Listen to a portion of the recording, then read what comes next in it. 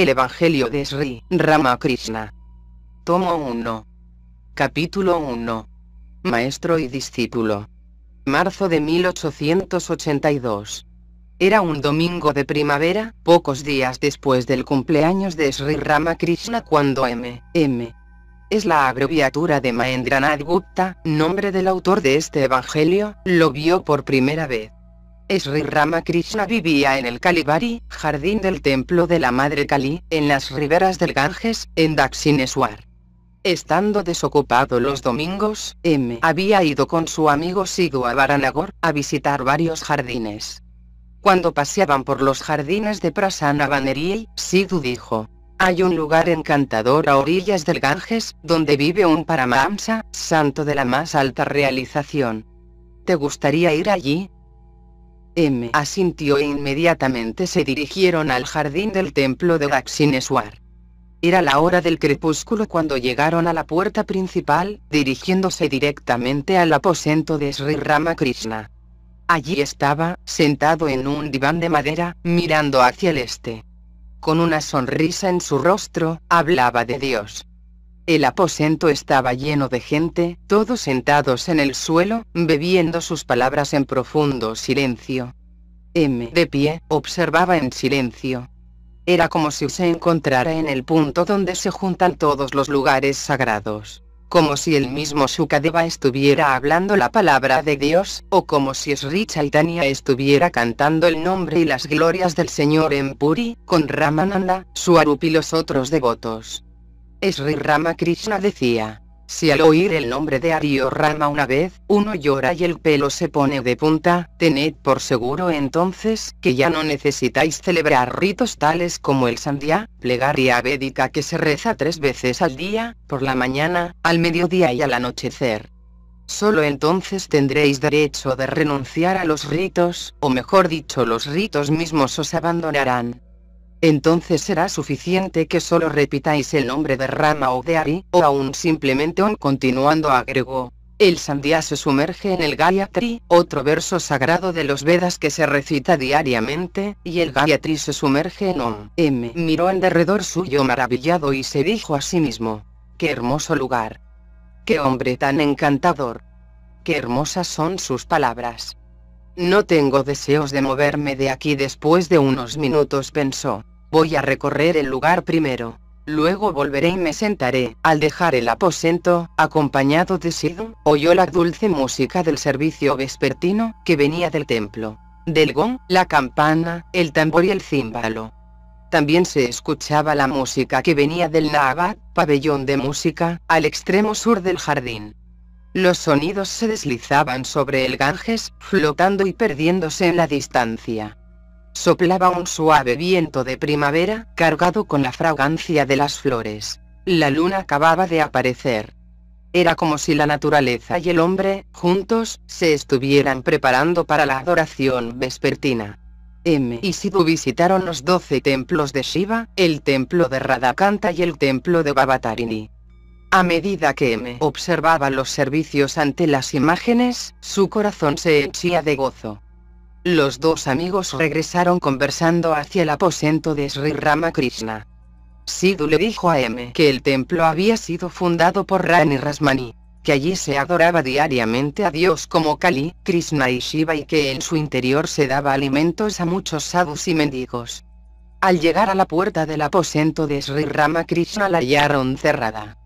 Brinde, la criada, se encontraba de pie ante la puerta. M, que había sido entrenado en las costumbres inglesas y no entraba a un aposento sin permiso, le preguntó. ¿El santo, está adentro?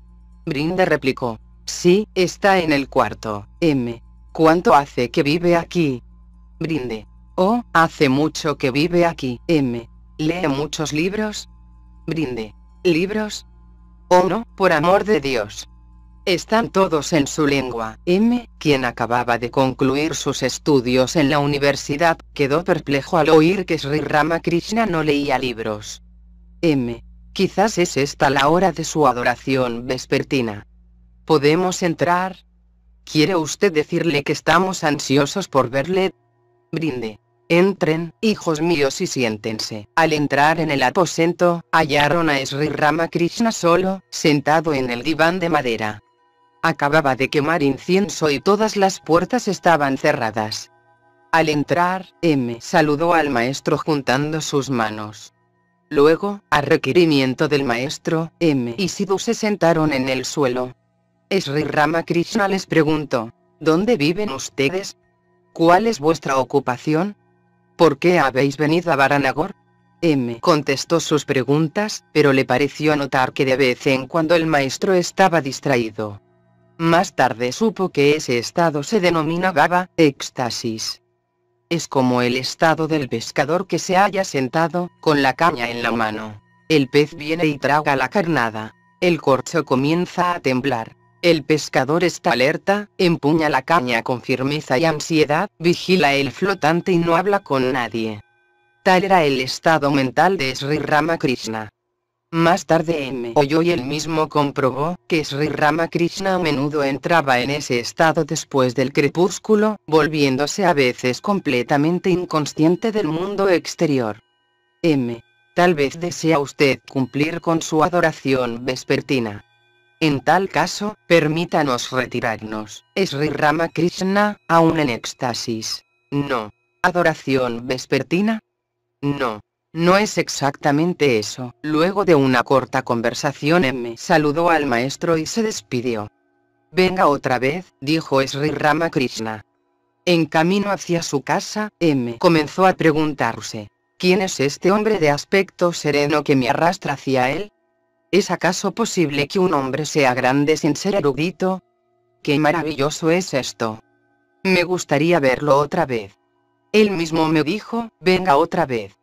Iré mañana o pasado. La segunda visita de M a Sri Ramakrishna tuvo lugar en el corredor sudeste, a las 8 de la mañana. El maestro estaba por ser afeitado, pues en ese momento había llegado el barbero. Como aún se prolongaban los fríos de la estación, se había cubierto con un chal de lana con borde rojo. Al ver a M, el maestro dijo, ¿Así es que has venido? Eso es bueno. Siéntate aquí sonreía. Al hablar, tartamudeaba un poco. Sri Ramakrishna, AM. ¿Dónde vives? M. En Calcuta, señor, Sri Ramakrishna. ¿Dónde te hospedas aquí? M. Estoy en Varanagor, en casa de mi hermana mayor, la casa de Isan Kaviraya, Sri Ramakrishna. Oh, en lo de Isan. ¿Cómo se encuentra que sabe? Estaba muy enfermo. M. Así he oído yo también, pero creo que ahora está bien. Sri Ramakrishna. Hice el voto de adorar a la madre con cocos verdes y azúcar cuando Kesab sanara. A veces hacia la madrugada me despertaba y lloraba ante ella. Madre, te lo ruego, haz que Kesab se ponga bien. Si Kesab muere, ¿con quién voy a hablar cuando vaya a Calcuta?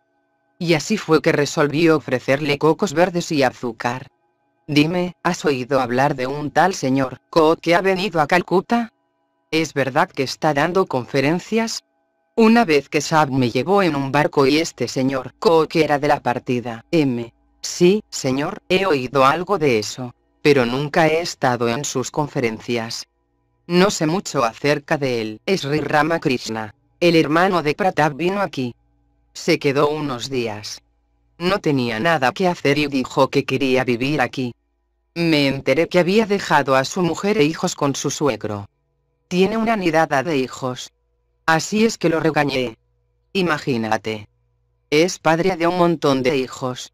¿Acaso los vecinos los van a alimentar y criar? Ni siquiera tiene vergüenza de que algún otro esté alimentando a su mujer e hijos, y que los haya dejado en casa de su suegro. Lo reprendí severamente y le dije que buscara un empleo. Entonces consintió en dejar este lugar. ¿Eres casado? M. Sí señor, Sri Ramakrishna, estremeciéndose. Oh, Ramlal. Un sobrino de Sri Ramakrishna y sacerdote del templo de Kali que lástima, es casado como culpable de una terrible falta, M quedó inmóvil, los ojos fijos en el suelo. Pensó, ¿acaso es algo tan malo ser casado? El maestro continuó, ¿tienes hijos? M podía oír esta vez los latidos de su corazón. Con voz temblorosa contestó en un susurro, Sí, señor, tengo hijos. Muy tristemente Sri Ramakrishna dijo. Ay de mí. Y hasta tiene hijos. M. permaneció mudo ante esta censura. Su vanidad había recibido una bofetada. Después de unos minutos Sri Ramakrishna mirándole afectuosamente, le dijo con todo cariño. Tienes algunos buenos signos. Lo sé con solo mirar a una persona a sus ojos, frente, etc. Dime, ahora, ¿qué clase de persona es tu esposa? ¿Tiene atributos espirituales o está bajo el poder de Avidiat? M. Es buena. Pero me temo que es ignorante. Maestro, con evidente disgusto. Y tú eres un hombre de conocimiento. M. Aún tenía que aprender la diferencia que existe entre conocimiento e ignorancia. Su concepto, hasta ese momento, era que uno obtiene conocimiento de los libros y escuelas. Más tarde, abandonó este falso concepto. Le enseñaron que conocer a Dios es conocimiento y no conocerlo, ignorancia.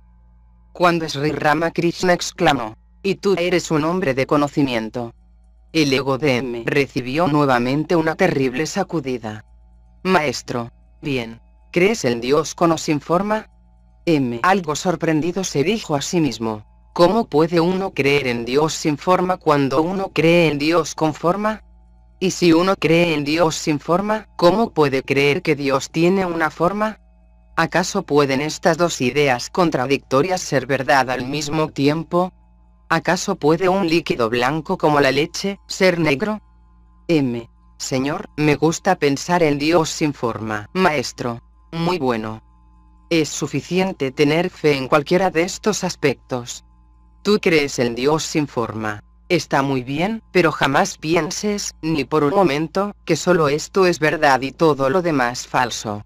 Recuerda que Dios con forma, es tan verdad como Dios sin forma, pero adhiérete fuertemente a tu propia convicción. La aseveración de que ambas cosas eran igualmente verdad, asombraron a M. Jamás había aprendido esto de sus libros. Así, su ego recibió un tercer golpe. Sin embargo, no sintiéndose completamente derrotado, se adelantó a arguir un poco más con el maestro. M. Señor, supongamos que uno cree en Dios con forma. Indudablemente él no es la imagen de arcilla. Maestro, interrumpiéndole. ¿Pero por qué de arcilla? Es una imagen de espíritu. M. No podía comprender bien el significado de esa imagen de espíritu y dijo al maestro. Pero Señor, habría que explicar a aquellos que adoran la imagen de arcilla, que no es Dios y que mientras la están adorando deberían tener en vista a Dios y no a la imagen de arcilla. Uno no debería adorar a la arcilla. Maestro, severamente. Esa es la manía de ustedes, la gente de Calcuta dando conferencias y guiando a otros hacia la luz. Jamás nadie se detiene a considerar cómo obtener la luz uno mismo. ¿Quiénes sois vosotros para enseñar a otros? Él, que es el Señor del universo, enseñará a todos. Solo Él nos enseña. Él, que ha creado este universo, que ha hecho el sol y la luna, los hombres y las bestias y todos los seres, que ha provisto los medios para su sustento, que ha dado padres a los niños y los ha dotado de amor para criarlos. El Señor ha hecho tantas cosas, ¿no va a enseñar a la gente el modo de adorarle? Si necesitan enseñanza, entonces Él será el maestro. Él es nuestro gurú interno. Supón que haya un error en adorar la imagen de arcilla. ¿No sabe acaso Dios que a través de la imagen, solo Él es invocado? Se sentirá complacido con esa sincera adoración. ¿Por qué habrías tú de tener un dolor de cabeza por ello? Mejor sería que tú mismo trataras de obtener conocimiento y devoción. Esta vez M sintió su ego triturado por completo. Ahora se dijo para sus adentros. Sí, él ha dicho la verdad. ¿Qué necesidad tengo de enseñar a otros? ¿Acaso he conocido a Dios? ¿Lo amo, acaso, realmente? No tengo suficiente lugar en mi cama para mí y estoy invitando a mi amigo a compartirla conmigo. Nada sé acerca de Dios y sin embargo estoy tratando de enseñar a otros. ¡Qué vergüenza! ¡Qué tonto soy! Esto no es matemáticas, historia o literatura, que uno puede enseñar a otros. No. Esto es el profundo misterio de Dios. Lo que él dice, me atrae. Este fue el primer arguir de M con el maestro y, afortunadamente, el último. Maestro. Estabas hablando de adorar la imagen de arcilla. Aun si la imagen está hecha de arcilla, hay necesidad de esa clase de adoración. Dios mismo ha provisto diferentes formas de adoración. Él, que es el Señor del universo, ha arreglado todas estas formas para satisfacer a diferentes personas, en diferentes estados de conocimiento. La madre cocina diferentes platos, de acuerdo con el estómago de sus diferentes hijos. Supón que tenga cinco hijos. Si hay pescado para cocinar, preparará varios platos con el pilau, picles, pescado frito y así sucesivamente para satisfacer sus distintos gustos y poder de digestión. ¿Me comprendes? M. Humildemente. Sí, señor. ¿Cómo, señor, podemos fijar nuestra mente en Dios? Maestro. Repite el nombre de Dios y canta sus glorias y busca compañía santa y de vez en cuando visita los devotos de Dios y a hombres santos. La mente no puede morar en Dios si día y noche está sumergida en la mundanalidad, en obligaciones y responsabilidades mundanas. Es sumamente necesario ir a la soledad de vez en cuando y pensar en Dios. Fijar la mente en Dios es muy difícil al principio, a menos que uno practique meditación en la soledad. Cuando un árbol es joven debe ser cercado, si no el ganado puede destruirlo. Para meditar debes recogerte dentro de ti mismo, o en un rincón recluido o en un bosque y debes discernir siempre entre lo real y lo irreal. Solo Dios es real, la eterna substancia. Todo lo demás es irreal, es decir, impermanente. Discerniendo así, uno debe arrojar de la mente las cosas impermanentes. M. Humildemente. ¿Cómo debemos vivir en el mundo? Maestro. Cumple con todos tus deberes, pero mantén tu mente fija en Dios. Vive con todos esposa, hijos, padre, madre y sírvelos. Trátalos como si ellos fueran tus bien amados, pero sabiendo en el fondo de tu corazón, que no te pertenecen. Una criada en la casa de un hombre pudiente realiza todos los quehaceres domésticos, pero sus pensamientos están fijados en su propio hogar en su aldea natal. Cría a los hijos de su amo como si fueran los suyos propios. Hasta habla de ellos diciendo mi rama o mi ari. Pero en su fuero íntimo sabe muy bien que no le pertenecen en absoluto. La tortuga se mueve por todos lados en el agua.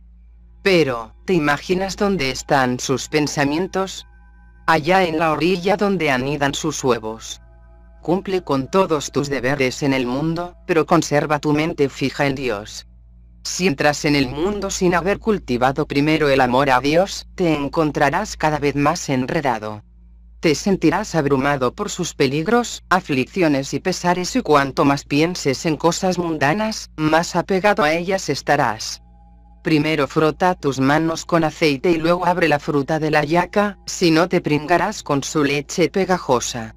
Primero consigue el aceite del divino amor y luego pon tus manos en los deberes del mundo. Pero hay que ir a la soledad para alcanzar este divino amor.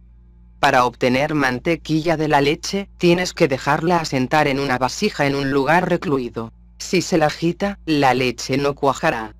Luego debes dejar de lado todos los otros deberes, sentarte tranquilo y batir la cuajada. Solo entonces obtienes la mantequilla. Más adelante, meditando en Dios en la soledad, la mente adquiere conocimiento, desapasionamiento y devoción. Pero esta misma mente va hacia abajo, si mora en el mundo. En el mundo hay un solo pensamiento, mujer y oro.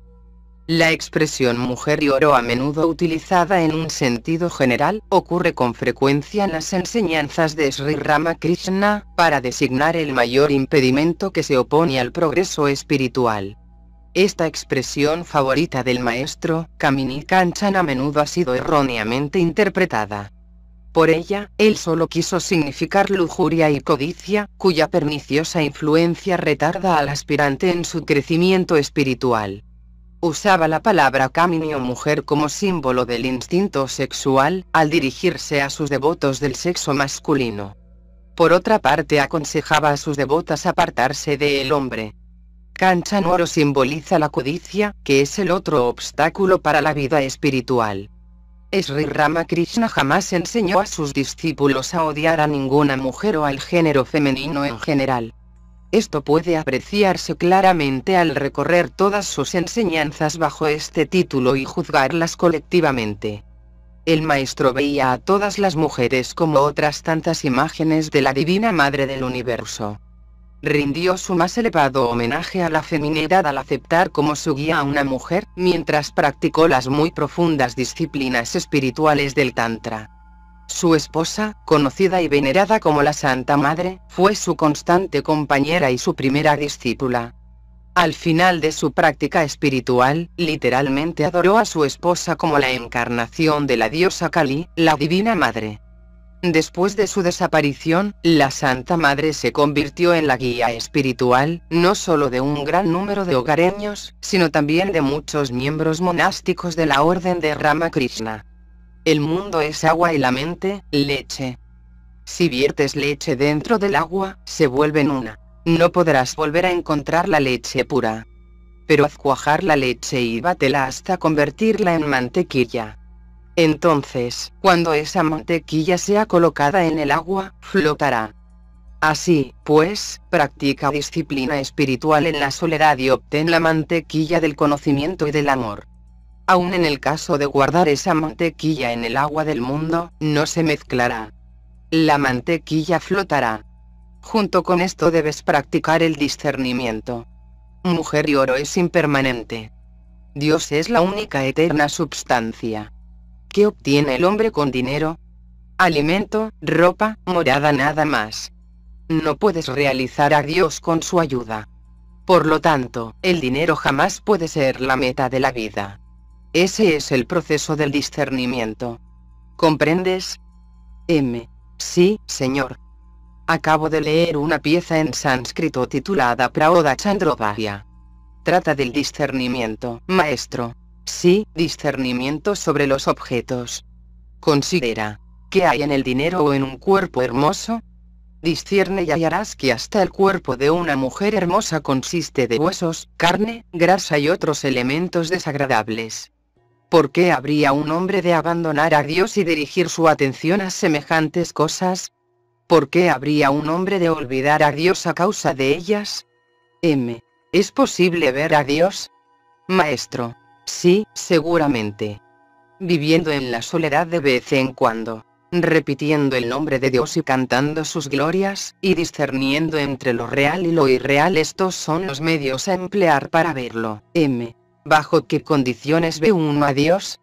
Maestro. Clama al Señor con un corazón intensamente anhelante y seguro que lo verás.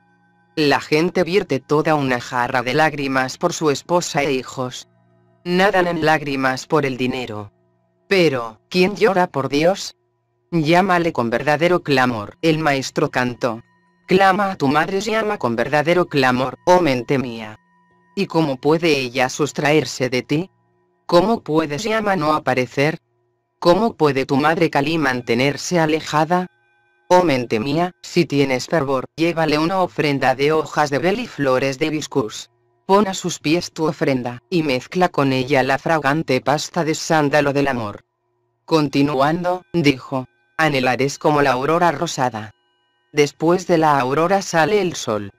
El anhelo es seguido por la visión de Dios. Dios se revela al devoto que se siente atraído hacia él por la fuerza combinada de estas tres atracciones. La atracción que un hombre mundano siente por las posesiones materiales la atracción de una madre por su hijo y la atracción de una casta esposa hacia su esposo. Si uno se siente atraído hacia él por la fuerza combinada de estas tres atracciones, entonces, por medio de ello uno puede alcanzarlo.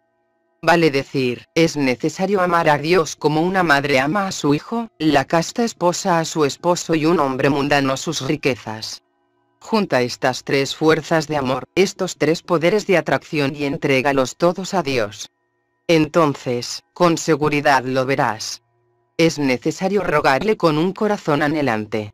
El gatito solo sabe llamar a su madre maullando miau, miau. Él queda satisfecho donde quiera que la madre lo ponga. La gata puede ponerlo a veces en la cocina, a veces en el suelo y otras veces sobre una cama. Cuando sufre solo grita miau, miau. Eso es todo lo que sabe. Pero en cuanto la madre oye este grito, donde sea que se halle, viene a su gatito. Era domingo por la tarde cuando M vino en su tercera visita al maestro.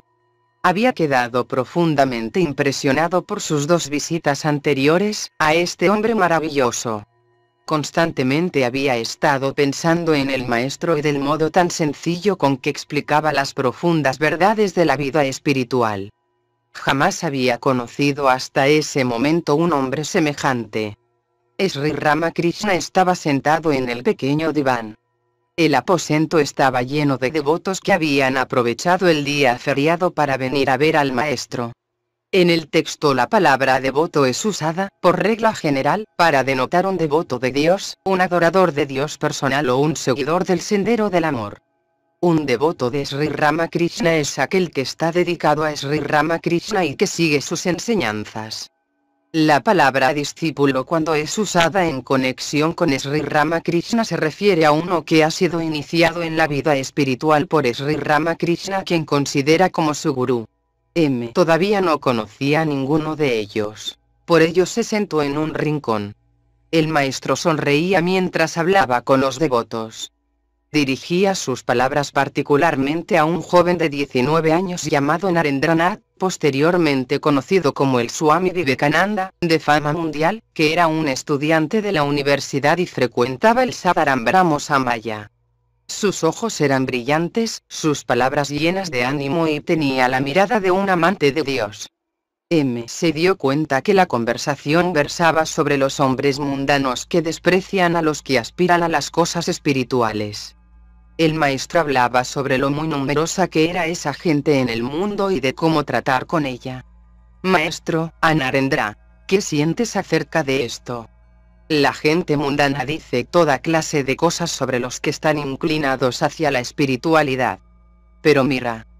Cuando un elefante anda por la calle cualquier número de perros de mala ralea y otros pequeños animales ladran y gritan tras él. Pero el elefante ni siquiera los mira. Si la gente habla mal de ti, ¿qué vas a pensar de ellos? Narendra. Voy a pensar que son perros que me están ladrando. Maestro, sonriendo. Oh no. No debes ir tan lejos, hijo mío. Risas. Dios mora en todos los seres pero solo has de intimar con gente buena. Debes mantenerte apartado de los de mente perversa. Dios está hasta en el tigre, pero no por ello debes abrazar al tigre.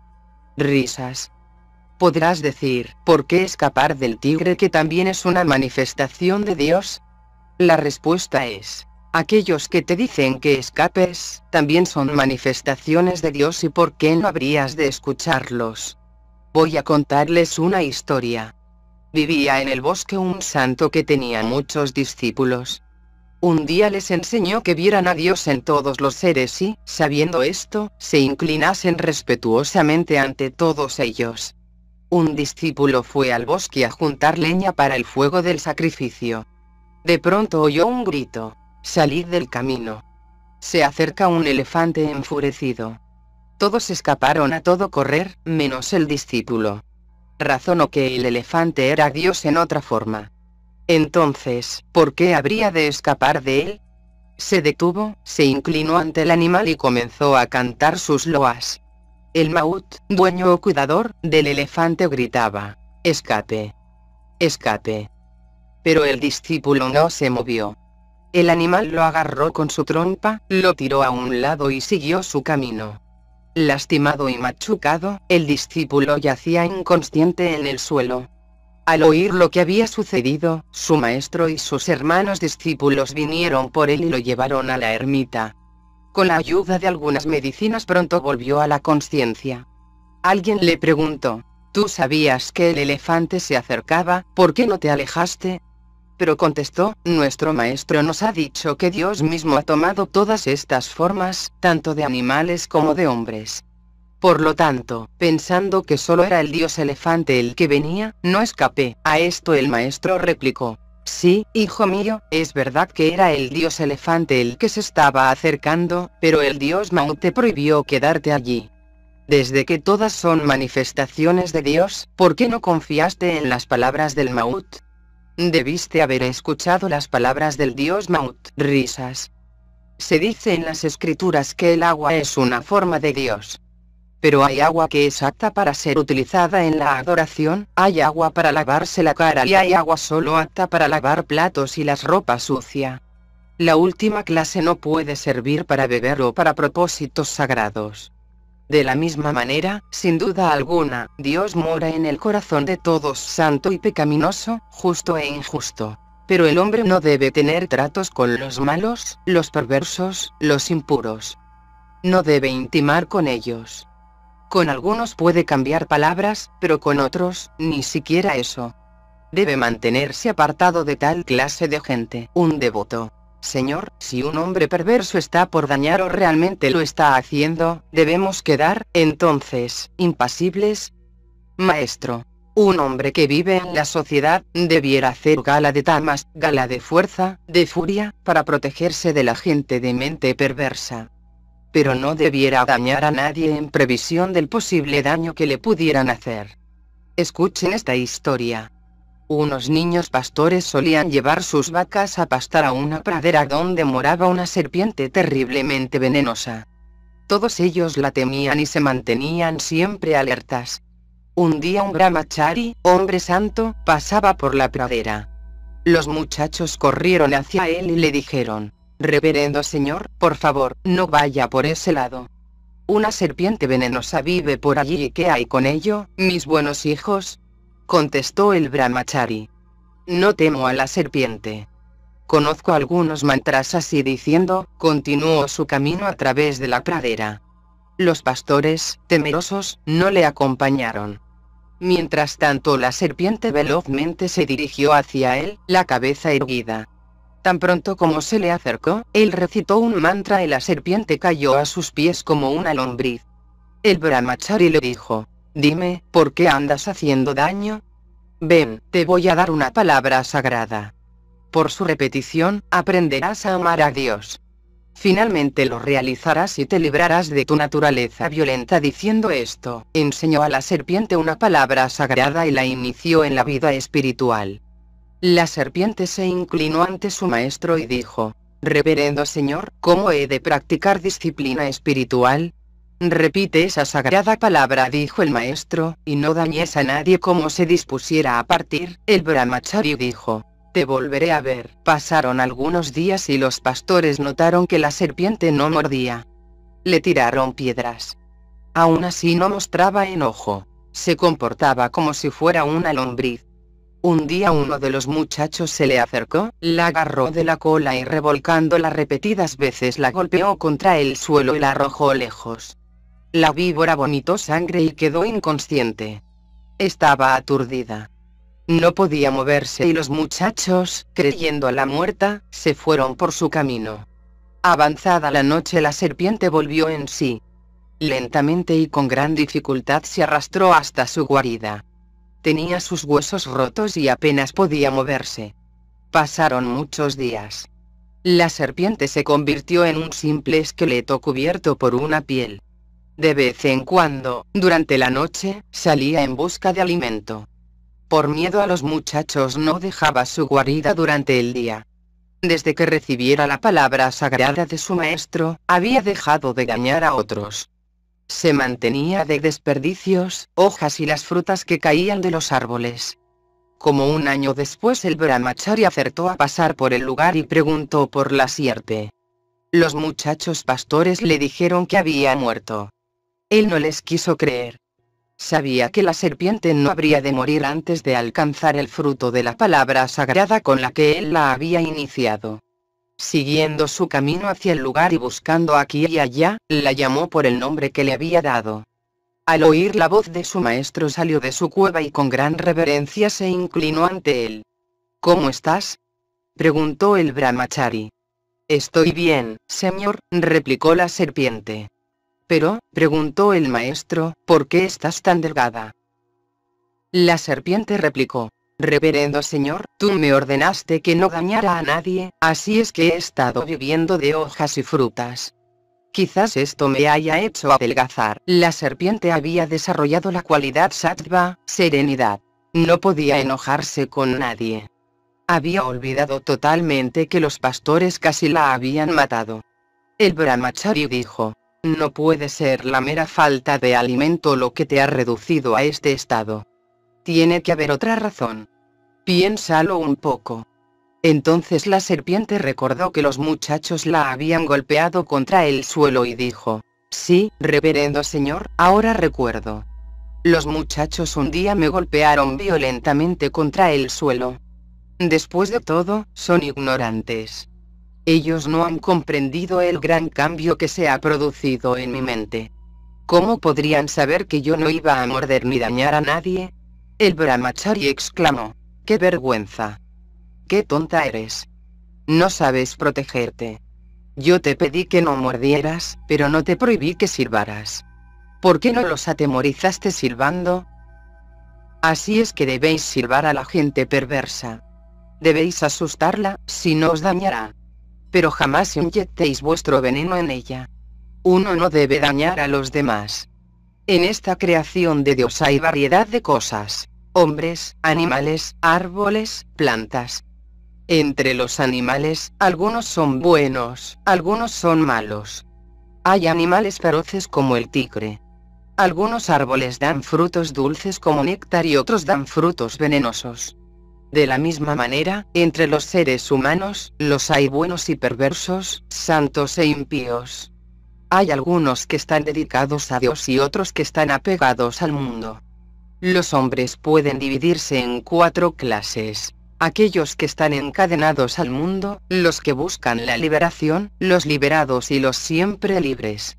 Entre los siempre libres podemos mencionar sabios como Narada, viven en el mundo para el bien de los otros, para enseñar a los hombres las verdades espirituales.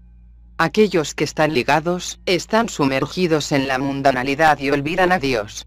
Ni siquiera por equivocación piensan en Dios. Los buscadores de la liberación quieren liberarse del apego al mundo. Algunos de ellos lo logran y otros no. Las almas liberadas tales como los sadhus y mahatmas no están enredados en el mundo, en mujer y oro. Sus mentes están libres de mundanalidad. Además, ellos siempre meditan sobre los pies del loto del Señor. Suponed que se ha echado una red dentro de un lago para conseguir peces. Algunos peces son tan listos que jamás se los pesca con la red. Son como los siempre libres. Pero la mayoría de los peces se enredan en la red. Algunos tratan de liberarse y son como los que buscan la liberación pero no todos los peces que luchan lo consiguen. Muy pocos saltan fuera de la red, chapoteando enérgicamente. Entonces el pescador grita, mira. Allá va uno grande. Pero la mayoría de los peces cogidos en la red no pueden escapar, ni hacen ningún esfuerzo por salir. Al contrario, se amadrigan en el barro con la red en la boca y yacen allí inmóviles, pensando, ya no tenemos nada que temer, aquí estamos bien salvos pero los pobres ignoran que el pescador los va a sacar de allí conjuntamente con la red. Estos son como los hombres ligados al mundo. Las almas ligadas están atadas al mundo con los grillos de mujer y oro. Están atados de pies y manos. Creyendo que mujer y oro les hará felices y les dará seguridad, no se dan cuenta que ello los empuja hacia el aniquilamiento. Cuando un hombre así ligado está por morir, su esposa le pregunta, Tú estás por irte, pero ¿qué has hecho por mí? Él, a su vez tal es su apego por las cosas del mundo, cuando ve la lámpara con luz alta, dice, baja la luz. Se está gastando mucho aceite y está en su lecho de muerte. Las almas ligadas jamás piensan en Dios. Cuando están sin nada que hacer, se entregan a una ociosa chismografía y a conversaciones fútiles o bien se ocupan en trabajos estériles. Si preguntáis a alguna de estas personas, ¿cuál es la razón? Os dirán, oh, no puedo quedarme quieto. Así que estoy plantando un cerco y cuando el trabajo les resulte pesado, quizás empiecen a jugar a las cartas. Reinaba un profundo silencio en el aposento. Un devoto. Señor, entonces, ¿no hay salvación para tal persona mundana? Maestro. Seguramente que hay. De vez en cuando debería vivir en compañía de santos y retirarse a la soledad de tiempo en tiempo, para meditar en Dios. Además, debería practicar discernimiento y rogar a Dios, dame fe y devoción una vez que una persona tiene fe lo ha alcanzado todo. No hay nada más grande que la fe. A quedar. Debes haber oído acerca del tremendo poder de la fe. Se dice en el Purana que Rama, que era Dios mismo la personificación del absoluto Brahman, tuvo que construir un puente para cruzar el mar a Ceilán. Pero Anuman, confiando en el nombre de Rama, de un salto cruzó el mar y alcanzó la otra orilla. Él no tuvo necesidad de un puente. Todos ríen. Una vez un hombre estaba por cruzar el mar. Vivisana escribió el nombre de Rama sobre una hoja, la ató en un extremo de las ropas de aquel y le dijo, no temas. Ten fe y camina sobre el agua. Pero, atiende, en el momento mismo que pierdas la fe, te ahogarás. El hombre caminó con toda facilidad sobre el agua. De pronto tuvo un intenso deseo de saber qué era lo que llevaba atado a sus ropas. Lo desató y solo halló una hoja con el nombre de Rama escrito en ella. ¿Qué es esto? pensó. Nada más que el nombre de Rama. Tan pronto como la duda penetró en su mente, se sumergió bajo las aguas.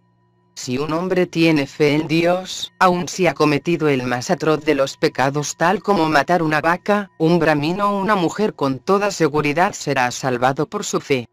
Que solo diga a Dios, oh Señor, no repetiré semejante acción, y nada tendrá que temer. Cuando hubo dicho esto, el maestro cantó. Si solo puedo morir repitiendo el nombre de Durga, ¿Cómo puedes tú entonces, oh bendita, retener mi liberación? Por miserable que sea yo, Puedo haber robado una copa de vino o matado un niño por nacer, haber matado una mujer o una vaca. O aún haber causado la muerte de un brahmin.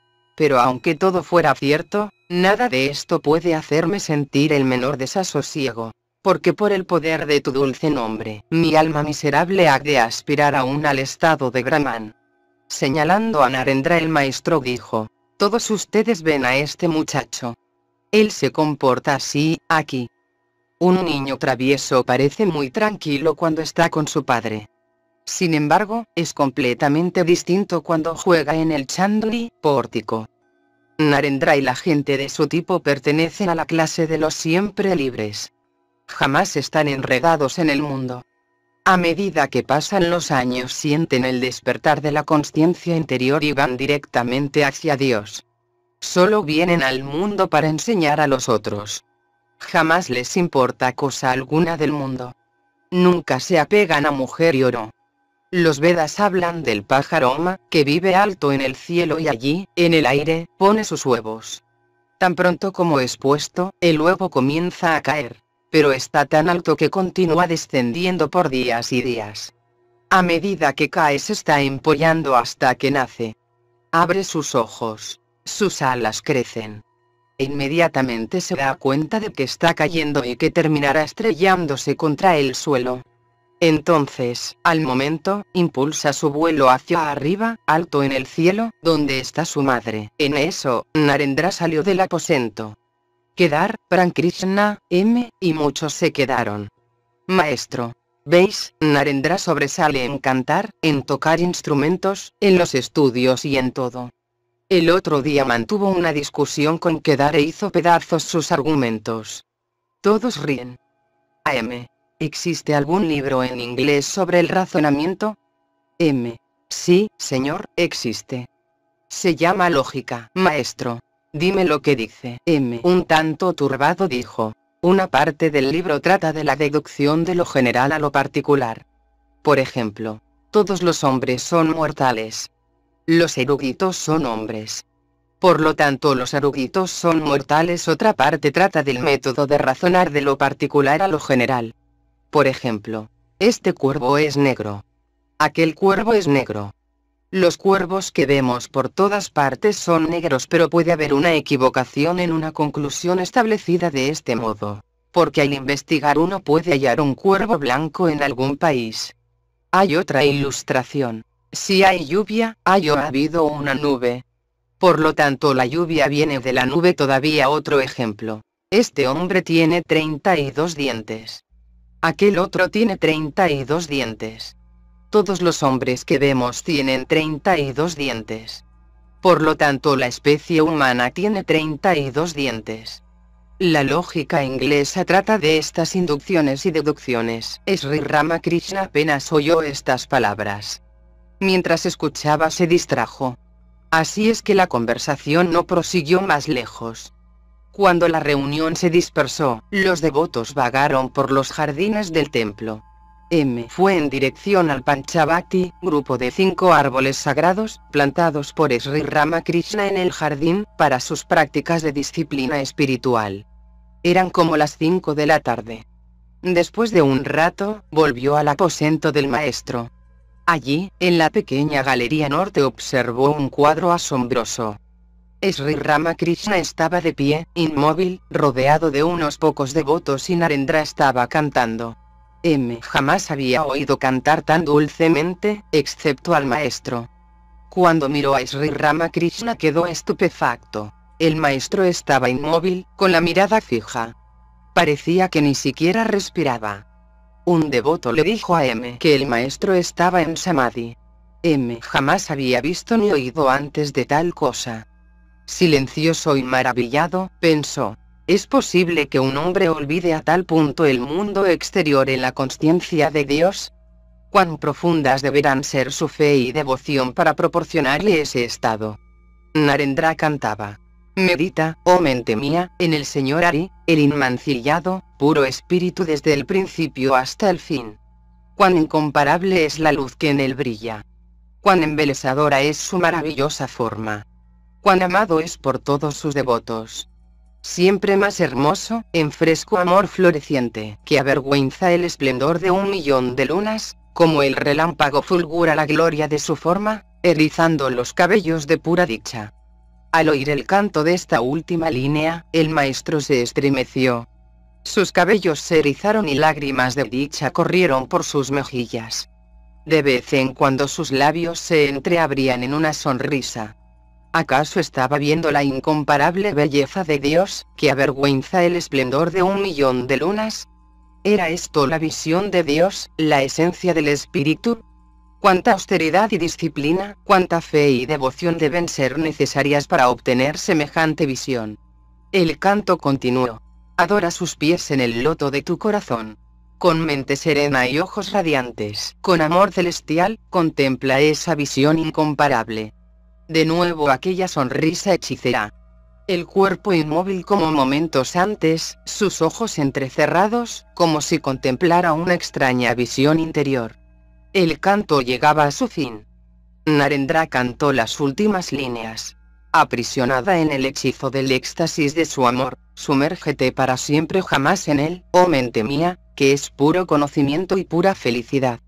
El samadhi que vio y la divina felicidad que había presenciado, dejaron en la mente de M una impresión indeleble. Volvió a su casa profundamente conmovido. De vez en cuando podía escuchar en lo íntimo de sí mismo, el eco de esas líneas embriagadoras. Sumérgete para siempre jamás en él, oh mente mía, que es puro conocimiento y pura felicidad. El día siguiente era también de fiesta para M. Llegó a Dapsineswar a las 3 de la tarde. Sri Ramakrishna estaba en su aposento. Narendra, Bhabanath y unos pocos devotos más estaban sentados en una estera tendida en el suelo. Eran todos muchachos de 19 a 20 años. Sentado en el pequeño diván Sri Ramakrishna les hablaba sonriendo. Al entrar en al aposento, el maestro rió fuerte y dijo a los muchachos, vean. Ha vuelto otra vez todos rieron. M se prosternó ante él y se sentó. Antes de esto había saludado al maestro juntando las manos, de acuerdo con la educación inglesa. Pero ese día aprendió a caer a sus pies, en el más ortodoxo estilo hindú. De inmediato el maestro explicó a los devotos el motivo de su risa, diciendo, una vez un hombre alimentó a un pavo real con una píldora de opio, a las 4 de la tarde. Al día siguiente, exactamente a la misma hora, el pavo real volvió. Había sentido la embriaguez de la droga y volvió a tiempo para obtener otra dosis, todos ríen. M pensó que esta había sido una ilustración muy acertada. Aún en su propia casa no había podido alejar ni por un momento, el pensamiento de Sri Ramakrishna. Su mente estaba constantemente en Lapsineswar y había contado los minutos hasta poder volver. Mientras tanto el maestro bromeaba con los muchachos, tratándolos como si fueran sus más íntimos amigos. Ruidosas carcajadas llenaban el aposento, como si fuera una feria de alegría. Todo era una revelación para M. Pensó. ¿Acaso no lo vi ayer mismo embriagado de Dios, nadando en el océano del divino amor, cuadro que jamás había contemplado? Y hoy, la misma persona, se está comportando como un hombre común. No fue él quien me reprendió el primer día que vine aquí.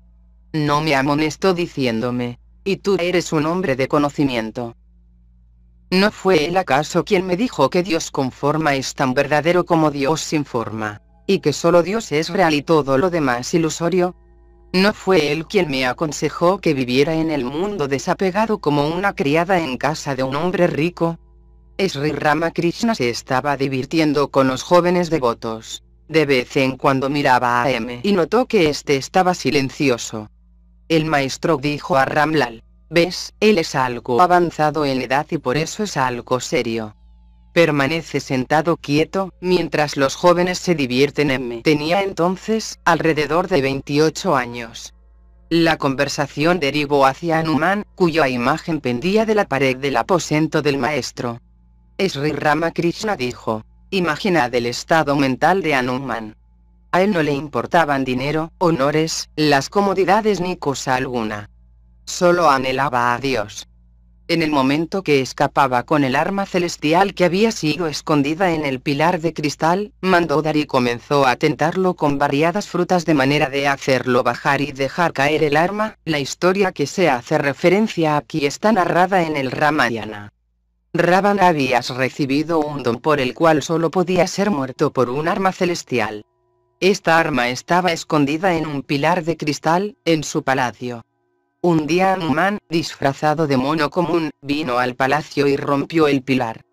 Al escapar con el arma, fue tentado con frutas por Mandodari, esposa de Ravana, con el propósito de que devolviera el arma.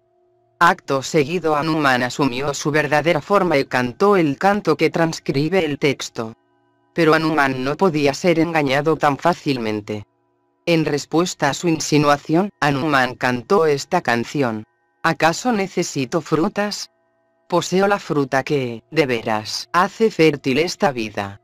Dentro de mi corazón, el árbol de rama crece, dando como fruto, la salvación. Bajo el árbol de rama, que colma los deseos, me siento cómodo, cortando cualquier fruta que quiero. Pero si hablas de fruta, mendigo no soy de frutas comunes. Mira, me voy, dejando para ti, una fruta amarga. Mientras Sri Ramakrishna cantaba, entró en Samadhi. Nuevamente sus ojos entrecerrados y su cuerpo inmóvil, tal como aparece en las fotografías. Un minuto antes sus devotos habían estado bromeando en su compañía. Ahora, todas las miradas estaban fijas en él. Así, por segunda vez, M vio al maestro en Samadhi. Después de largo rato, el maestro retornó a la conciencia ordinaria. Su rostro iluminado por una sonrisa y su cuerpo laxo, sus sentidos comenzaron a funcionar normalmente, mientras vertía lágrimas de dicha repitiendo el santo nombre de Rama. M se preguntaba si este verdadero santo era la misma persona que unos minutos antes había estado comportándose como un niño de 5 años. El maestro dijo a Narendra y a M, me gustaría oírles hablar y discutir en inglés. Ambos rieron, pero continuaron hablando en su lengua materna. Era imposible para M volver a arguir ante el maestro. Y aunque Sri Ramakrishna insistió, ellos no hablaron en inglés. A las 5 de la tarde todos los devotos, menos Narendra y M, se despidieron del maestro. Mientras M caminaba por los jardines del templo, sorpresivamente se encontró con el maestro que hablaba con Narendra al borde del estanque de Okas. Sri Ramakrishna decía a Narendra, mira, ven un poco más a menudo. Tú eres un recién llegado. Cuando la gente recién se conoce, se visita con frecuencia, como en el caso de un amante y su bien amada. Narendra y M ríen. Así es que ven. ¿Lo harás? Narendra, miembro del Brahmo Samaya, era muy escrupuloso en cuanto a sus promesas y dijo sonriendo, sí, señor, trataré. Mientras volvían al aposento del maestro, Sri Ramakrishna dijo a M. Cuando los campesinos van a la feria a comprar bueyes para sus arados, fácilmente pueden distinguir los buenos de los malos, tocándoles la cola. Al recibir este toque, algunos se echan mansamente en el suelo, los campesinos reconocen que estos no tienen brío, de manera que los rechazan. Solo eligen aquellos bueyes que brincan y demuestran fogosidad cuando se les toca la cola. Naren es como un buey de esta última clase. Está lleno de espíritu interno. Mientras decía esto el maestro sonrió y continuó. Hay algunas personas que no tienen ninguna clase de entereza. Son como arroz aplastado remojado en leche suave y blando sin fuerza interna. Era el atardecer. El maestro meditaba en Dios. Dijo a M. Ve y conversa con Narendra. Luego dime qué piensas de él. En los templos, el servicio vespertino había concluido. M. halló a Narendra a orillas del Ganges y empezaron a conversar. Narendra habló acerca de sus estudios en la Universidad del Brahmo Samaya del cual era miembro, y cosas similares. Era tarde ya y para M el momento de partir, pero no sintiendo ningún deseo de irse, fue en cambio en busca de Sri Ramakrishna. Estaba fascinado por los cantos del maestro y deseaba oír más. Finalmente encontró al maestro, quien se paseaba por el Nadmandir oratorio, frente al templo de Kali. En el templo, a cada lado de la imagen de la Divina Madre, ardía una lámpara. La única lámpara en el espacioso Nadmandir combinaba luz y sombras en una especie de mística media luz, en la que veladamente podía distinguirse la figura del maestro. M. había quedado encantado con la dulce música del maestro. Con cierta vacilación le preguntó si esa noche habría algún canto más. No, no esta noche le contestó el maestro luego de breve reflexión. Luego, como recordando algo, agregó, pero pronto iré a casa de Balaram Bosu, en Calcuta. Ve allá y me oirás cantar en me. Asintió. Maestro, ¿conoces a Balaram Bosu? M. No, señor. No lo conozco, maestro. Vive en para M. Bien, señor, le encontraré. Mientras Sri Ramakrishna se paseaba por el vestíbulo con M, le dijo, déjame preguntarte algo. ¿Qué piensas de mí? M permaneció en silencio. Nuevamente Sri Ramakrishna le preguntó, ¿qué piensas de mí? ¿Cuántas anas, 16 parte de una rupia, tengo de conocimiento de Dios? M. No comprendo qué quiere usted significar por anas. Pero de esto estoy seguro. Jamás he visto antes, en parte alguna, tanto conocimiento, amor extático, fe en Dios, renunciación y universalidad. El maestro río. M se inclinó profundamente ante él y se despidió. Había llegado hasta la puerta principal del jardín del templo cuando de pronto recordó algo y se volvió hacia Sri Ramakrishna que se encontraba aún en el Nadmandir. A la tenue luz reinante, el maestro, completamente solo, se paseaba por el vestíbulo, deleitándose en el ser como el león que vive solitario, vagando por la selva. En silencioso asombro M observó a esa gran alma. Maestro, AM. ¿Qué te hace volver? M. Quizás la casa que usted me ha pedido que vaya pertenece a un hombre rico y no me dejarán entrar. Creo que haría mejor el no ir. Más bien podría verlo a usted aquí, maestro. Oh, no. ¿Por qué piensas eso? Simplemente menciona mi nombre.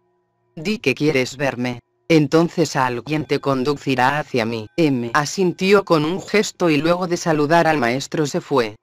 Fin del capítulo 1, titulado Maestro y Discípulo. Capítulo 2. En la compañía de devotos. 11 de marzo de 1882. A las 8 de la mañana aproximadamente, Sri Ramakrishna, tal como estaba planeado, fue a la casa de Balaram Bosu, en Calcuta. Era el día de Dolayatra, fiesta de Sri Krishna. Ram Monomohan Rakal, discípulo muy querido del maestro, más tarde conocido como Swami Brahmananda, Nityagopal y otros devotos estaban con él. M, que había sido invitado por el maestro, también fue con ellos. Los devotos y el maestro cantaron y bailaron en un estado de divino fervor. Varios de ellos estaban en éxtasis. El pecho de Nitya-Gopal ardía con el brote de la emoción y Rakal estaba tendido en éxtasis en el suelo, completamente inconsciente de este mundo. El maestro puso su mano sobre el pecho de Rakal y dijo, paz. Tranquilízate, esta fue para Rakal la primera experiencia de éxtasis. Vivía en Calcuta con su padre y de vez en cuando visitaba al maestro en Dakshineswar. En aquel entonces, había estudiado durante cierto tiempo en el colegio de Vidyasagar, Shampookur. Cuando finalizó la música, los devotos se sentaron para comer. Balaram, humildemente, como un sirviente, permanecía de pie. Nadie lo hubiera tomado por el dueño de casa. M era aún un desconocido para los devotos, habiendo conocido solamente a Narendra, en Dakshineswar. Pocos días después M visitó al maestro en Dakshineswar. Era entre las 4 y 5 de la tarde. El maestro y M se sentaron en los peldaños del templo de Shiva. Dirigiendo su mirada al templo de Radhakanta, del otro lado del patio, el maestro entró en éxtasis. Desde que su sobrino Hridaya había sido despedido del templo, Sri Ramakrishna había estado viviendo sin asistente. A causa de sus frecuentes estados espirituales, apenas si se cuidaba de sí mismo. La falta de un asistente era para él causa de grandes molestias. Sri Ramakrishna hablaba a Kali, la divina madre del universo. Decía, Madre, cada uno dice, solo mi reloj es exacto. Los cristianos, los brahmos, los hindúes, los musulmanes, todos dicen, solo mi religión es verdadera. Pero, madre, el hecho es que el reloj de ninguno es exacto. ¿Quién puede comprenderte verdaderamente? Pero si un hombre te reza con un corazón anhelante, puede alcanzarte por medio de tu gracia, por cualquier sendero. Madre, muéstrame alguna vez cómo te ruegan los cristianos en sus iglesias. Pero madre, ¿qué dirá la gente si entro? Supón que hagan un alboroto. Supón que luego no me permitan entrar más en el templo de Kali. Bueno, entonces, muéstrame la adoración cristiana desde la puerta de la iglesia. Otro día el maestro estaba sentado en el pequeño diván, en su aposento, con su habitual semblante radiante. M llegó con Kali Krishna, quien ignoraba en absoluto dónde lo llevaba su amigo. Solo se le había dicho, si quieres ver una taberna, entonces ven conmigo. Verás allí una enorme jarra de vino M. Relató esto a Sri Ramakrishna, quien rió de ello. El maestro dijo, la felicidad de la adoración y comunión con Dios, es el verdadero vino, el vino del amor extático. La meta de la vida humana es amar a Dios. Bhakti es lo único esencial. Conocer a Dios por medio de Jnana y el razonamiento es extremadamente difícil. Luego el maestro cantó. ¿Quién existe que pueda comprender lo que es la Madre Kali? Hasta los seis darsanas, sistemas filosóficos de la India, carecen del poder de revelarla y, el maestro repitió, la única meta de la vida es cultivar el amor a Dios, ese amor que las lecheras, los lecheros y los niños pastores de Brindavan sentían por Krishna. Cuando Krishna partió para Mathura, los pastores vagaban sin rumbo, llorando amargamente a causa de tal separación. Diciendo esto el maestro cantó, con su mirada hacia arriba. Acabo de ver a un joven pastor con un ternerito en sus brazos. Allí estaba, haciendo con una mano las ramas de un árbol joven. ¿Dónde estás, hermano Kanai? gritó. Pero apenas podía pronunciar Kanai. Ka fue todo cuanto pudo decir. ¿Dónde estás tú, hermano? gritó, y sus ojos se llenaron de lágrimas. Cuando M oyó este canto, cargado de amor, sus ojos se humedecieron de lágrimas. 2 de abril de 1882. Sri Ramakrishna estaba sentado en la sala, en casa de Kesab Chandra Sen, en Calcuta. Eran las 5 de la tarde. Cuando se le avisó a Kesab de su llegada, vino a la sala vestido como para salir, pues estaba por ir a visitar a un amigo enfermo. Ahora, cambió su plan. El maestro le dijo, tienes tantas cosas que atender. Además tienes que editar un diario. No tienes tiempo para ir a Daxinesuar, así es que he venido a verte. Cuando supe de tu enfermedad prometí hacer una ofrenda de azúcar y cocos verdes a la Divina Madre por tu restablecimiento. Le dije, Madre, si algo le sucede a Kesat, ¿con quién voy a hablar en Calcuta? Sri Ramakrishna habló a Pratap y a los otros devotos brahmos. M estaba sentado cerca. Señalándole a él, el maestro dijo a Kesap, te ruego que le preguntes por qué no viene más a Dakshineswar. A menudo me dice que no tiene apego a su mujer e hijos. M había estado visitando al maestro durante un mes aproximadamente. Su ausencia durante el último tiempo, de Dakshineswar, había merecido esta observación. Sri Ramakrishna había pedido a M que le escribiera en el caso que demorara en venir. El Pandit Samadhyayi estaba presente.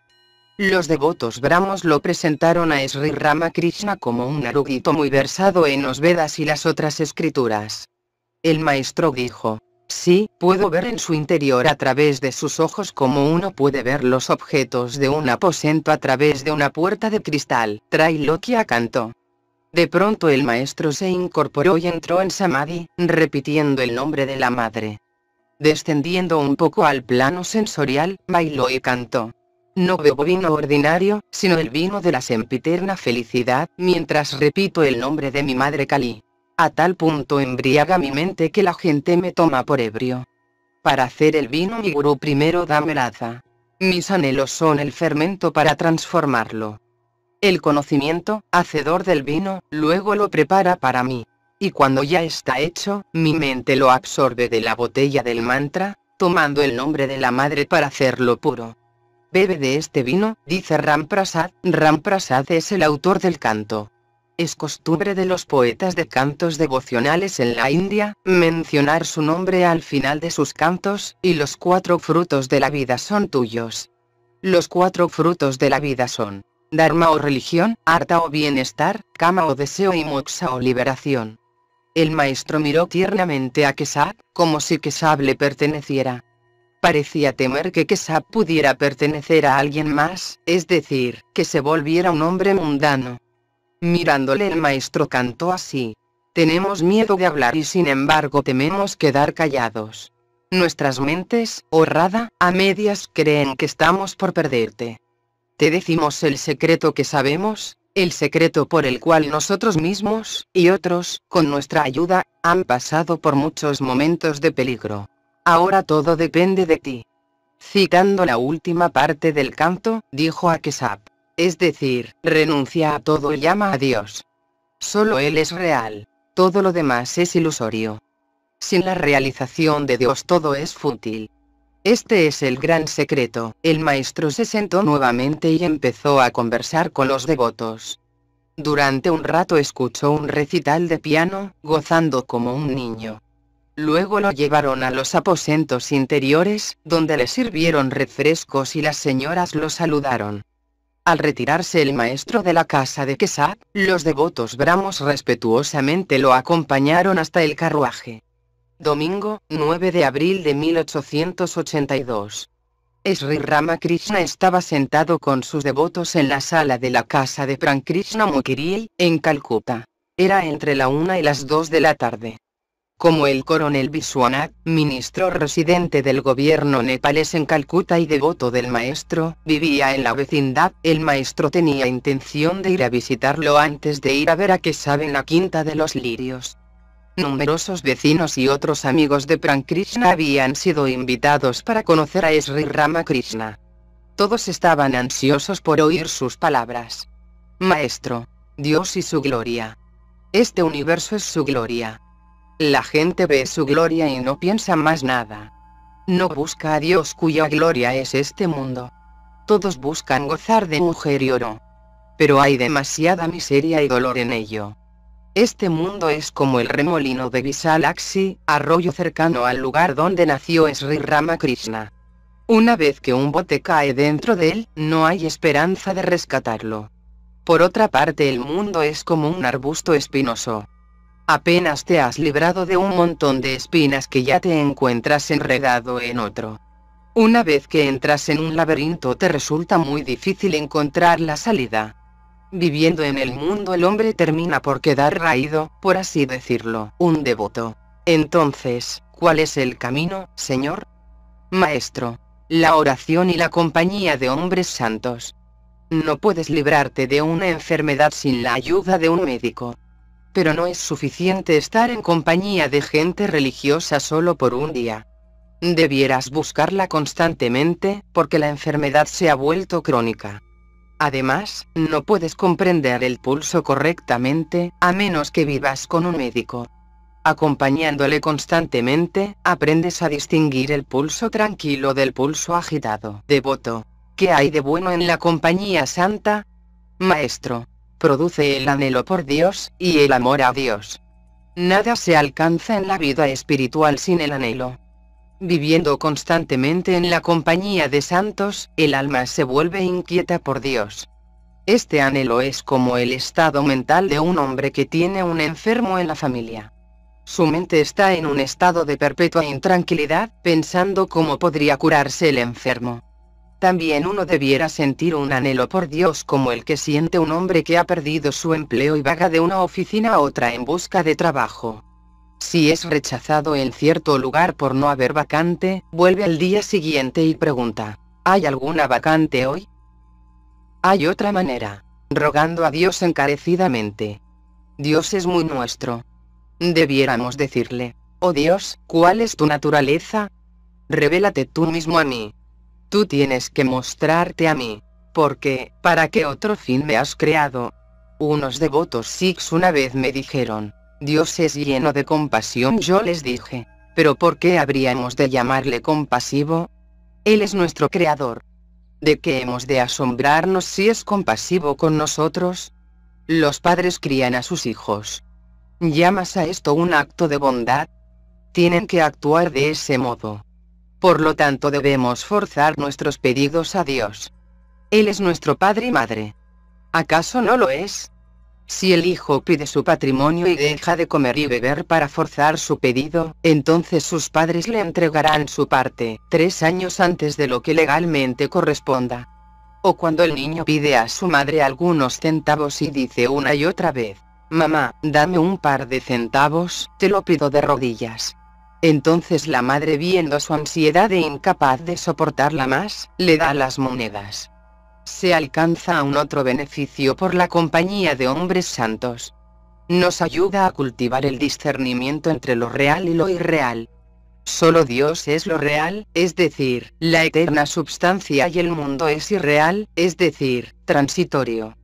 Tan pronto como el hombre encuentra su mente vagando en lo irreal, debería aplicar el discernimiento. En cuanto el elefante estira su trompa para comer un plátano del jardín vecino, recibe un golpe de focino del conductor, un vecino. ¿Por qué el hombre tiene tendencias pecaminosas? Maestro. En la creación de Dios hay toda clase de cosas. Él ha creado hombres malos como también hombres buenos. Es Él quien nos da buenas tendencias y es Él también quien nos da malas tendencias, vecino. En ese caso, no somos responsables por nuestras malas acciones, ¿no es así? Maestro, el pecado engendra su propio resultado. Esta es la ley de Dios. ¿Acaso no te quemarás la lengua si comes ají picante? En su juventud, Matur llevó una vida bastante liviana. Matur es el yerno de la Rani Rasmani, la fundadora del templo de Kali en Dakshineswar, gran devoto de Sri Ramakrishna, y a quien proveía de todo lo necesario para vivir en el templo jardín. En consecuencia antes de su muerte sufrió de varias enfermedades. Uno puede no darse cuenta de esto en la juventud. He visto en el fogón de la cocina del templo de Kali, cómo se queman los leños. Al principio la leña húmeda quema bastante bien. No parecería contener mucha humedad. Pero cuando la leña está suficientemente quemada, toda la humedad se junta en un extremo. Finalmente el agua chorrea del combustible y apaga el fuego. Por eso, uno debiera cuidarse de la ira, las pasiones y la codicia. Toma por ejemplo el caso de Anuman. En un rapto de ira quemó a Ceilán. Luego recordó que Sita estaba viviendo en el huerto de Asoka. Entonces empezó a temblar por miedo de que el fuego le hiciera daño. Vecino, ¿por qué Dios ha creado gente perversa? Maestro. Esa es su voluntad, su juego. En su maya existe tanto avidia como virilidad, ignorancia y saber. La oscuridad también es necesaria. Revela tanto más la gloria de la luz. No hay duda que la ira, la lujuria y la codicia son malas. ¿Por qué entonces las ha creado Dios? Para crear santos. Un hombre se vuelve santo conquistando los sentidos. ¿Acaso existe algo imposible para un hombre que ha dominado sus pasiones? Hasta puede realizar a Dios por medio de su gracia.